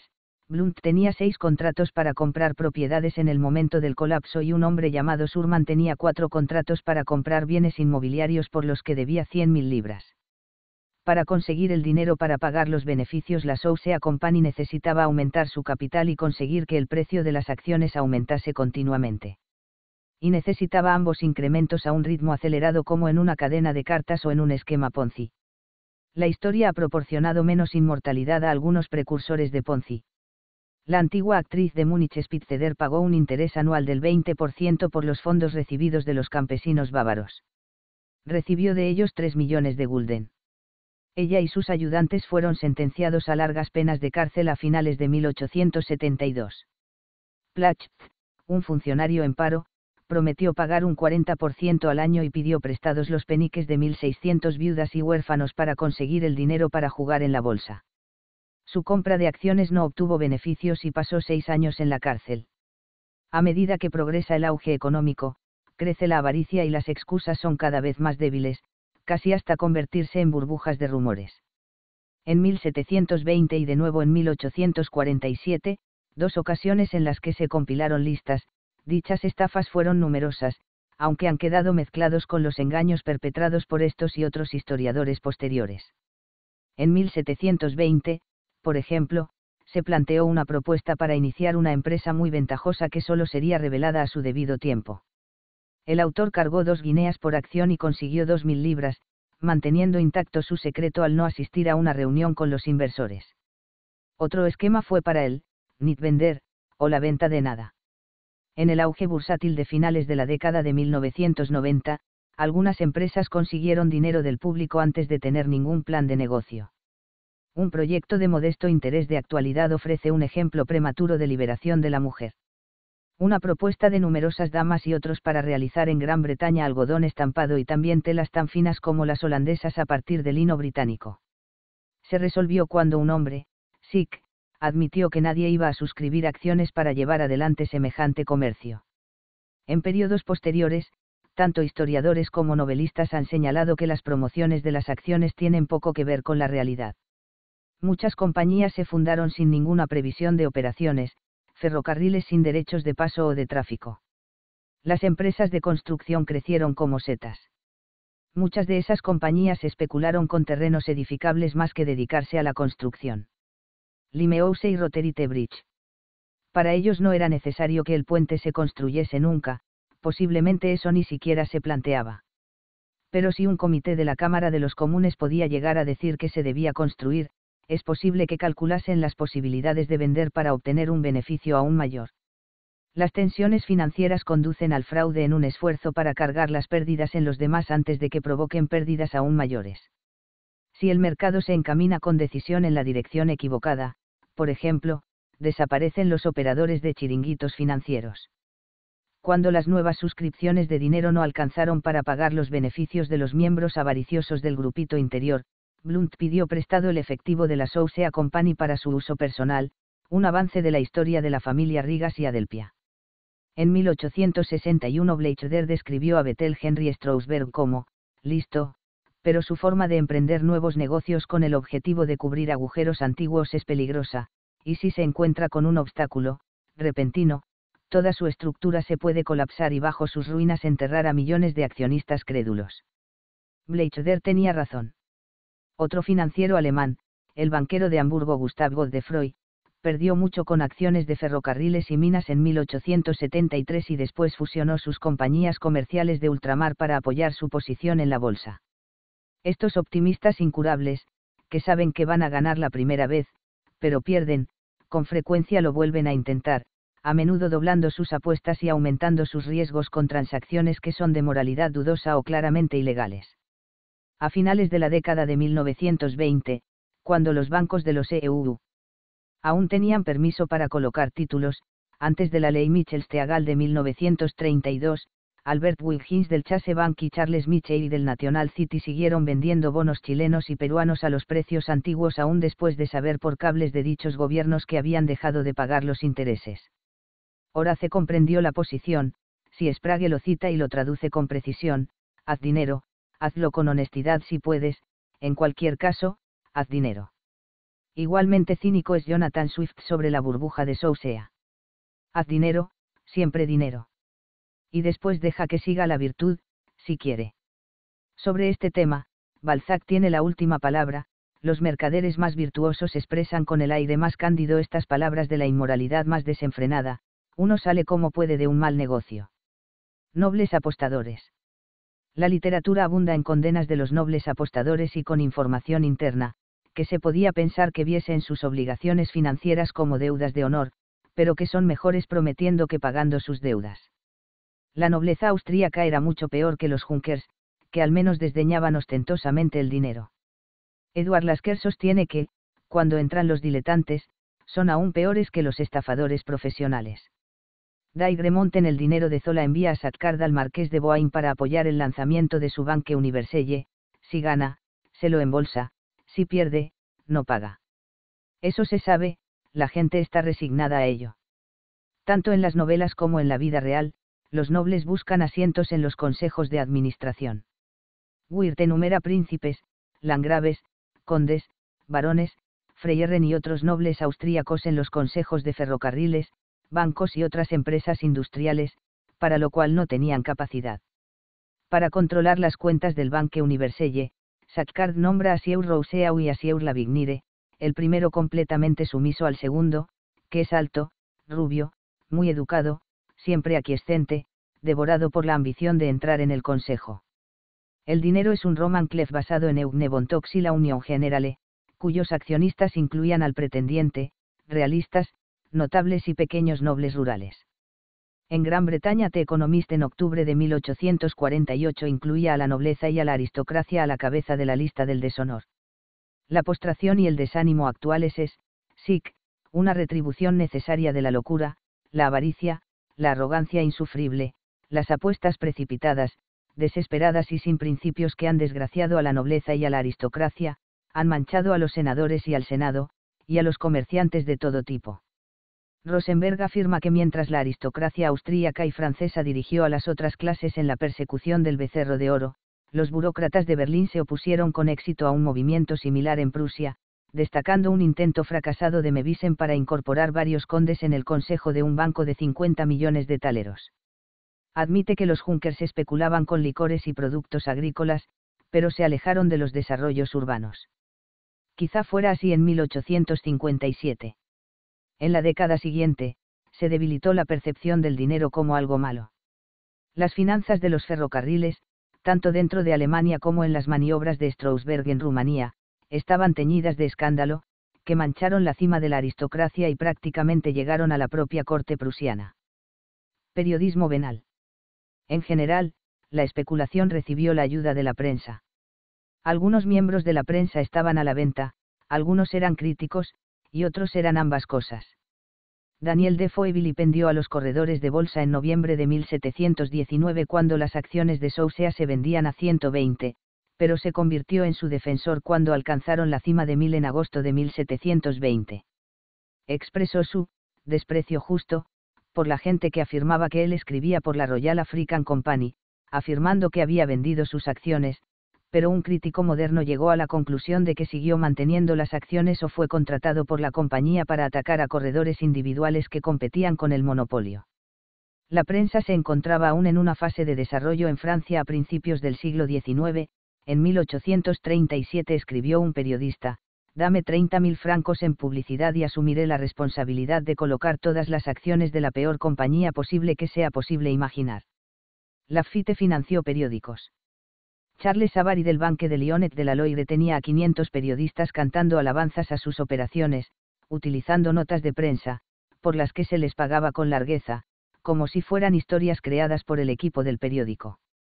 Los periódicos buscaban con frecuencia el favor de bancos, de la bolsa y del público animando la fiebre especulativa. Bleichder tuvo cuidado en evitar la especulación y el falseamiento evidente, pero era propietario de periódicos de información general y económicos, y utilizó a los periodistas para difundir sus intereses financieros. En 1890-1891 financió un viaje a México de Paul Lindau, que escribió 34 artículos y un libro sobre el país sin mencionar su conexión con Bleichder que en aquel momento estaba vendiendo bonos mexicanos en el mercado berlinés. La prensa crítica se desarrolló con lentitud durante el siglo XIX en el continente.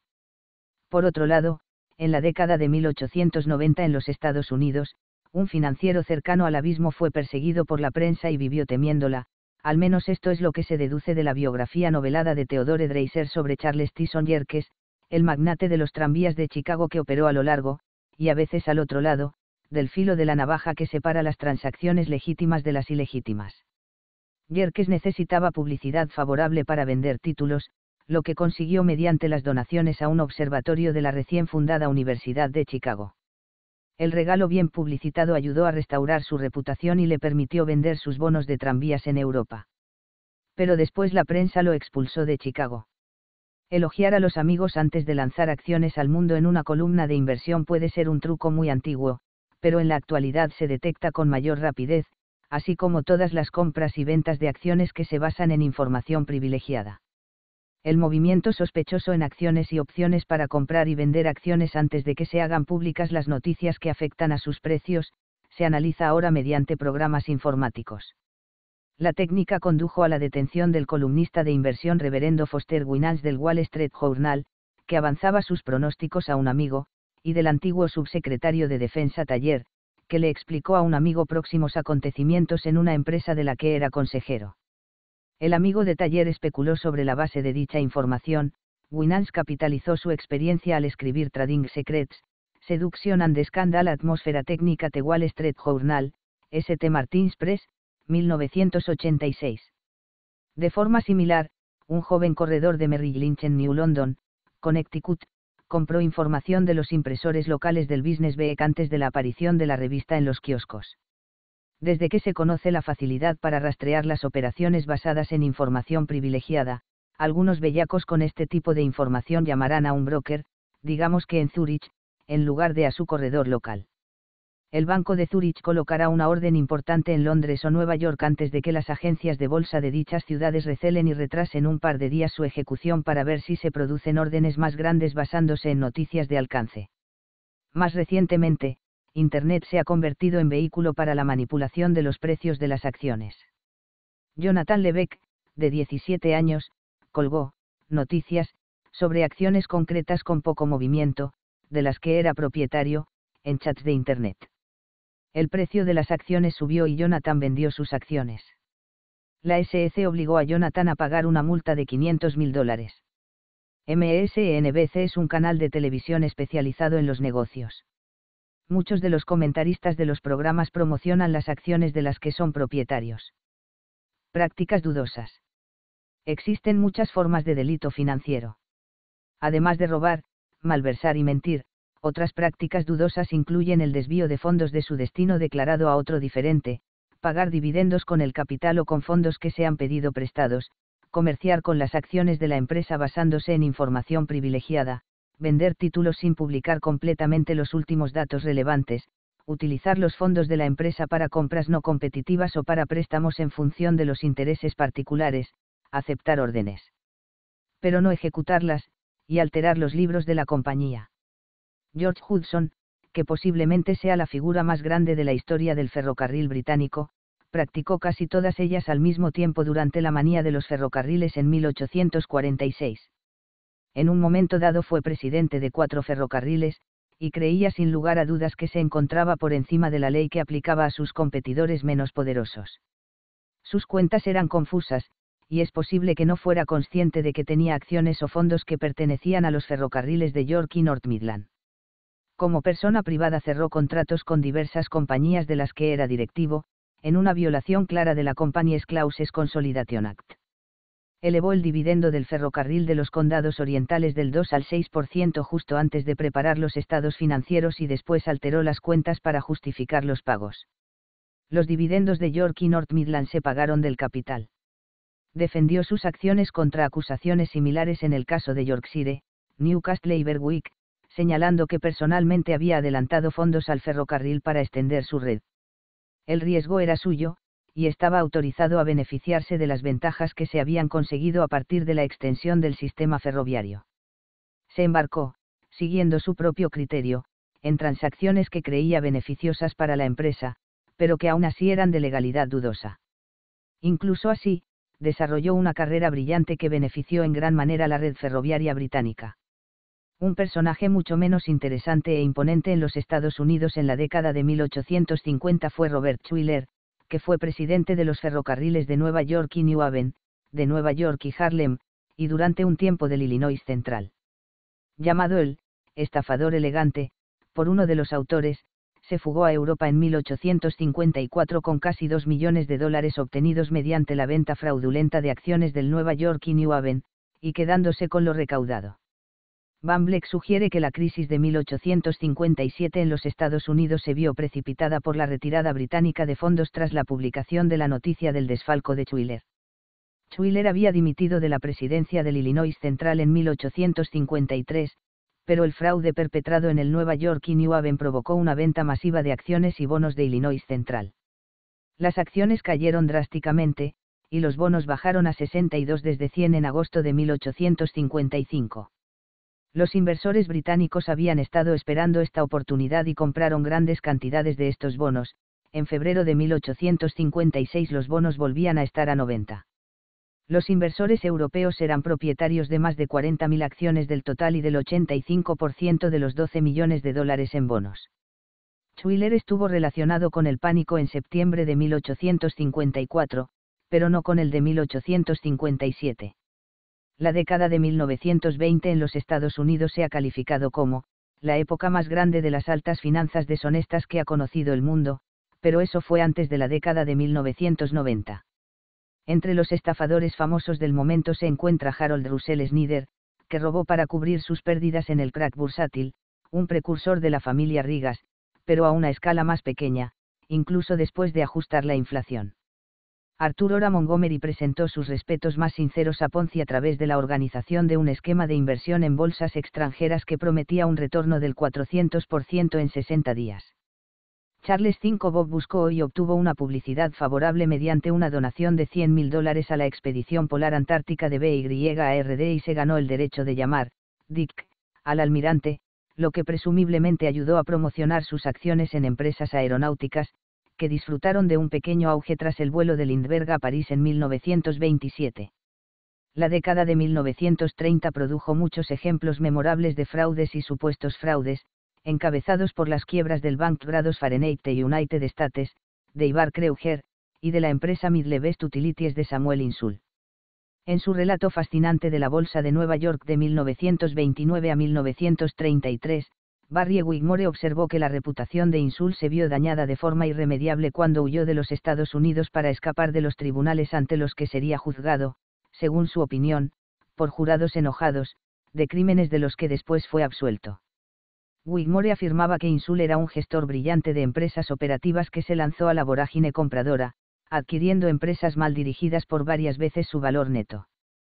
Las compras de Insul lastraron su empresa matriz con una montaña de deudas, y los pagos de intereses por la deuda hicieron desaparecer el valor de aquellos que poseían las acciones comunes cuando las empresas empezaron a tener problemas durante la depresión de la década de 1930. Wigmore trata con cautela el análisis de las prácticas mercantiles de los bancos de Nueva York y de sus filiales bursátiles.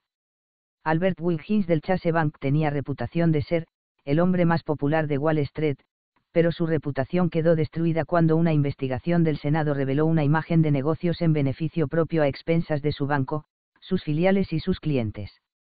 Charles M. Chey, del National City Bank y su filial bursátil, la National City Company, también comercializó títulos con intensidad, aunque tenía la información privilegiada de que los beneficios de las empresas implicadas estaban cayendo con rapidez.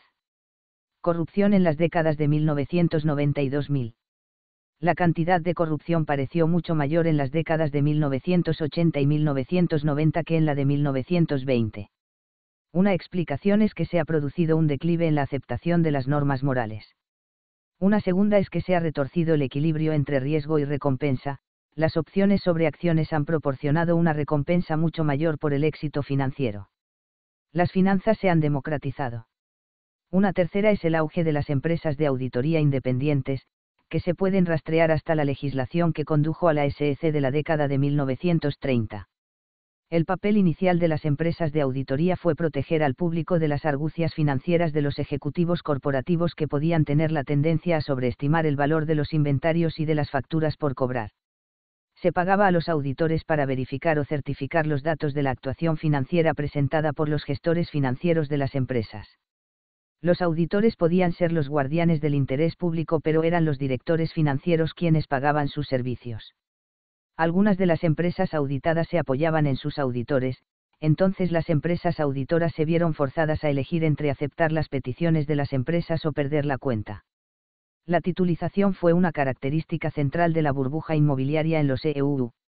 Entre 2002 y 2007, los bancos de inversión emitieron bonos nuevos, que se apoyaban en los ingresos por los intereses y el capital de las hipotecas, las deudas en las tarjetas de crédito y los préstamos a estudiantes, que habían colocado en un fondo. Los nuevos bonos eran mucho más líquidos que los títulos individuales que se habían colocado en el fondo. Los bancos de inversión cobraban comisiones de la titulización, sus ingresos por comisiones se dispararon.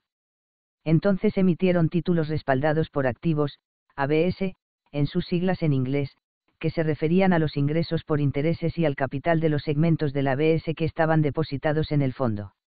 Los bancos de inversión ganaban una segunda ronda de comisión con la creación de estos instrumentos nuevos, que se basaban en, rebanar y recortar, los ABS en tres, cuatro o cinco tramos diferentes, que diferían por sus características de riesgo, una serie de fondos contenían los tramos que tenían el primer derecho sobre los ingresos por intereses de los ABS y por eso eran los menos arriesgados, mientras que otra serie de fondos agrupaban los tramos que tenían los últimos derechos sobre los ingresos por intereses de los ABS, y eran los más arriesgados.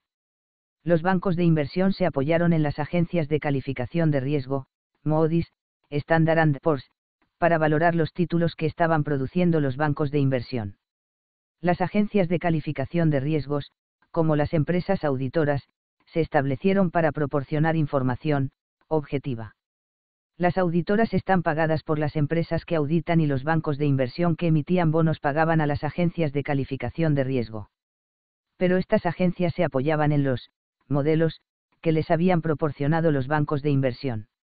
Los bancos de inversión habían indicado a las agencias de calificación de riesgo que si no podían otorgar valoraciones que les ayudasen a vender esos títulos, se llevarían su negocio a cualquier otra agencia que proporcionase calificaciones. Esto era ilegal quién sabe. Era corrupto. Puedes apostar algo. Es posible que alguien de las agencias de calificación de riesgos vaya a la cárcel, estás de broma. Al final se produjo una especie de justicia salvaje, puesto que los bancos de inversión se vieron afectados por la caída en el valor de mercado de sus carteras de títulos respaldados por activos que no pudieron vender. La tentación de los bancos no existe ningún dato sólido que permita la comparación de las argucias financieras y el comportamiento fraudulento a lo largo de varios siglos. El desarrollo del periodismo como una profesión puede significar que en la actualidad es mucho más probable que se descubra cualquier actividad impropia, aunque es posible que las actividades en sí mismas no hayan cambiado. La publicidad indeseada es el lado arriesgado de la ecuación, la recompensa es que el aumento en riqueza puede ser mucho más grande. The de Martin Mayer no trata las salvaguardias contra los desfalcos de la misma forma que hacía James Siglo Gibbons en 1859, es posible que no exista ningún registro de un fraude bancario actual en el que el autor no fuera honrado ayer. Gibbons añadía, con énfasis, al lector se le puede ocurrir que existe una característica peculiar que recorre todo el sistema, y esa es el temor al fraude. Lo que dijo Gibbons en 1859 sigue siendo verdad la tendencia es a creer que los bancos y los banqueros son, ejemplos de integridad, y quizás algunos de ellos lo son. Un gran número de bancos prestaron extensamente a Long Term Capital Management en la década de 1990, en el momento en que creían que era uno de los hedge funds más innovadores. La expresión, hedge funds, es un invento de Madison Avenue, puesto que pretende dar la impresión de que la firma ha formado su cartera para reducir riesgos, mientras que en realidad estas empresas se apoyan extensamente en fondos prestados para aumentar el retorno a sus accionistas e inversores. El ETCM había sido muy rentable al menos hasta su colapso. Los bancos estaban dispuestos a prestar a LTCM porque tenían la esperanza de imitar sus negocios y obtener beneficios acordes. En la primavera y el verano de 1998, LTCM se topó con dificultades financieras la torpe gestión de los derivados y los depósitos no reclamados por parte del Bankers Trust y el lavado de dinero para Rusia por parte del Bank Grados Fahrenheit New York sugieren que los niveles no son en la actualidad mucho más altos de lo que eran en, digamos, la década de 1920. En los años del auge en la segunda mitad de la década de 1990, todo el mundo, bueno, casi todo el mundo, se estaba enriqueciendo los grandes bancos de inversión tenían ingresos muy altos gracias a las comisiones asociadas a la colocación de nuevas emisiones de acciones y bonos, en especial de aquellas empresas asociadas con las tecnologías de la información y la biogenética. La muralla china, tradicional entre las actividades de banca de inversión de dichas firmas y sus actividades de gestión de activos se suponía que seguía en pie después de la derogación de la ley Glass-Steagall, que se había proclamado a principios de la década de 1930 para forzar la separación de las actividades tradicionales de la banca comercial de las firmas, de sus actividades de banca de inversión. La ley se había adoptado en respuesta a los abusos de la década de 1920. Las firmas, prometieron, que mantendrían esta muralla china y que las afirmaciones de sus analistas bursátiles no estarían influidas por el deseo de sus banqueros de inversión de vender más títulos pero consideremos el marcador de Merrill Lynch. La empresa estuvo ampliamente envuelta en los depósitos de intermediación de las instituciones de ahorro insolventes en la década de 1980. Henry Blodgett ofreció información que sabía que era falsa. Con casi total seguridad, los superiores de Blodgett sabían que estaba envuelto en un timo. Merrill ayudó a Enron a falsificar sus ingresos mediante el pago a un precio superior al mercado de las barcazas de Enron en Nigeria. Consideremos el marcador de Citibank barra Citigroup. Ya se ha destacado la historia de los chanchullos de Jack Grubman alrededor de las empresas de telecomunicaciones, Citibank barra Citigroup llegó a un acuerdo de 150 millones de dólares. Citibank se vio obligado a cerrar sus actividades de banca privada en Tokio por la incapacidad de los empleados del banco de tratar con equidad a los clientes, a quienes compraban repetidamente títulos inapropiados para ellos, después de ignorar las advertencias de las autoridades japonesas para que acabaran con dichas prácticas. Muchos de los altos ejecutivos de Citibank, dimitieron, un eufemismo de Park Avenue para designar un despido.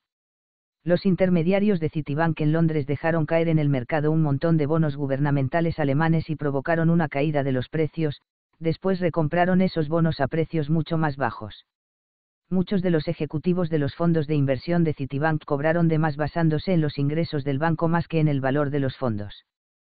¿Qué ocurre cuando se descubre a un estafador? Charles Blunt, el hermano de John Blunt y el mismo miembro de la Sousea Company, a principios de septiembre de 1720 se cortó el cuello, por algún descontento, como lo dijeron los periódicos contemporáneos. Charles Bouchard, el director retirado de Leclerc, un pequeño banco ginebrino que perdió dinero en una inversión inmobiliaria no autorizada, fue encontrado muerto en el lago Lehman, un suicidio aparente, en mayo de 1977. Los psiquiatras sostienen que en estas circunstancias el suicidio es consecuencia de una pérdida intolerable de autoestima, que surge al darse cuenta de la irracionalidad de un comportamiento pasado. La imagen de corredores de bolsa saltando de las ventanas de Wall Street en octubre de 1929 al enfrentarse a la bancarrota, en la actualidad se cree que es un mito. Un aumento de los suicidios también forma parte de la leyenda del crash austríaco de 1873. Aún así, esta respuesta ocurre de verdad, murió por su propia mano, tomando veneno en Hampton Heath, a la temprana edad de 42 años, John Sadleir, uno de los más grandes, si no el más grande, y al mismo tiempo el estafador de más éxito que este país, Gran Bretaña, o cualquier otro país haya producido grandeza y éxito parecen curiosos como características en estas circunstancias. Denfer Trocherau en 1888 e Ibar Kreuger, el rey de las cerillas, de la década de 1920, se suicidaron. Clifford Buster, uno de los altos ejecutivos de Enron, se quitó la vida. Pero es posible que el suicidio sea más habitual en la ficción. El señor Merle se cortó el cuello en un lavabo público con una navaja de bolsillo con caparazón de tortuga en la pequeña Dorrit de Dickens, y Augustus Melmotte, en TV y Belíbeno de Troyope, tomó ácido prúsico en su club. La huida es un final menos definitivo que el suicidio. El caso paradigmático es el de Robert Knight, que manipuló los libros de la Sousea Company y después escapó al continente, donde amasó otra fortuna en París después de fugarse de una cárcel en Amberes. Robert Vesco huyó a Costa Rica y después a Cuba con una fortuna producto de un desfalco. Charles Savary, que estafó al banque de Lyonet de la Loire, murió en Canadá. Eugne Bontox regresó a Francia después de cinco años de exilio autoimpuesto para aprovecharse de un hueco en la ley francesa que establecía que las penas de cárcel que no se hubieran empezado a cumplir durante los cinco años posteriores a la sentencia quedaban sobreseídas. Un caso similar, casi un siglo antes, fue el de Arend Joseph, cuya quiebra en enero de 1763 inició las tensiones financieras que culminaron con la bancarrota de los hermanos de Neufville el 25 de julio, desencadenando el pánico del mismo año. Arend Joseph abandonó Ámsterdam con 600.000 florines en una carreta tirada por seis caballos, en dirección a la ciudad libre de Kruilenburg, en Holanda, donde quedó impune de cualquier persecución. Dejó una deuda de un millón de florines en Ámsterdam. Se pueden realizar comparaciones a lo largo de los ciclos respecto al número de personas que fueron acusadas y cuántas pasaron un tiempo en la cárcel. Consideremos varios episodios, de las décadas de 1920, de 1980, y de 1990. En la década de 1920, dos individuos fueron a la cárcel por promocionar la compra de títulos en un mercado que ya tenía una tendencia bajista. Ocho de los diez participantes en las transacciones con bonos basura en la década de 1980, incluidos Michael Milken, Ivan Boesky, Denis Levine y Charles Keating, fueron encarcelados por cargos de información privilegiada, aparcamiento, de títulos, y conspiración para defraudar, entre los que cumplieron condenas más largas se encontraban los responsables de las instituciones financieras que habían sido grandes compradoras de bonos basura. El número de los que van a cumplir sentencias de cárcel por sus transgresiones en la década de 1990 se sigue ampliando e incorpora a cinco individuos que habían recibido salarios de Enron y dos que habían estado involucrados con WorldCom. La mayor parte de los empleados de Enron que fueron acusados acabaron en la cárcel muchas de las personas implicadas en Haltshows han ido a la cárcel. Dos ejecutivos asociados con Riteid fueron a prisión. Numerosos miembros de la familia Rigas acabaron en la cárcel. Sam Baxal y su buena amiga Marta Stewart han estado en la cárcel. Muy pocos de los banqueros de Wall Street han sido encarcelados. Frank Quatrone, uno de los banqueros de inversiones estrella de Credit Suisse First Boston, fue declarado culpable en un segundo juicio por obstrucción a la justicia al destruir correos electrónicos, pero su apelación tuvo éxito. Uno de los socios de Arthur Andersen implicado en la cuenta de Enron pasó un tiempo en la cárcel. Centenares de socios y antiguos socios de Andersen pagaron implícitamente grandes multas cuando la empresa se vio forzada a cerrar y el valor de su asociación y antigua asociación quedó en nada. Miles de empleados de Enron perdieron sus pensiones y gran parte de su riqueza financiera, así como sus empleos, cuando quebró la empresa. Probablemente la familia Milken tenía 2.000 millones en el banco cuando Michael Milken salió de prisión. Resulta imposible descubrir qué parte de la fortuna ganaron legalmente con las innovaciones y qué parte procedía del comportamiento ilegal. Pero podemos asumir que la mitad de la fortuna familiar se podía remontar a transacciones que eran ilegales. Consideremos cómo podría responder Milken a la acusación. Has estado en la cárcel durante mil días, te graduaste con mil millones de dólares, de manera que te han pagado cien mil dólares por cada día en la cárcel. Los economistas no son los más cualificados para analizar el castigo apropiado para el crimen de cuello blanco de la estafa.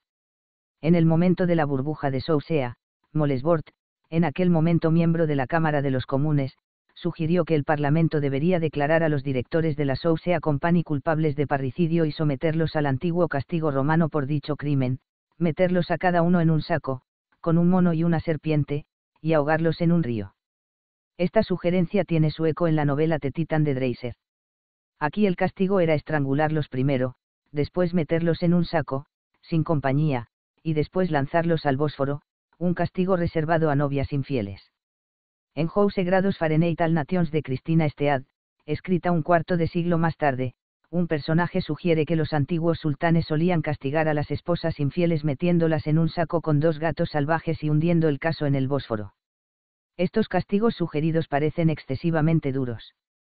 Aún así, los que cometen delitos de cuello blanco parece que se escapan con facilidad, y muchos conservan sus fortunas mal ganadas. Las multas pagadas por las firmas de Wall Street son un impuesto a la riqueza de sus accionistas y no una carga real sobre los malhechores, excepto en el caso de que también sean accionistas. Ya sea que los estafadores acaben castigados o vivan hasta el final de sus días en un lujo ocioso, se trata de un tema más apropiado para la gobernanza corporativa y la ética de los negocios que para la historia financiera. El descubrimiento de estafas, fraudes y desfalcos, y la detención y castigo que aquellos que violaron la confianza son señales importantes de que la euforia económica ha alcanzado un punto demasiado alto y de que se van a producir consecuencias sociales significativas.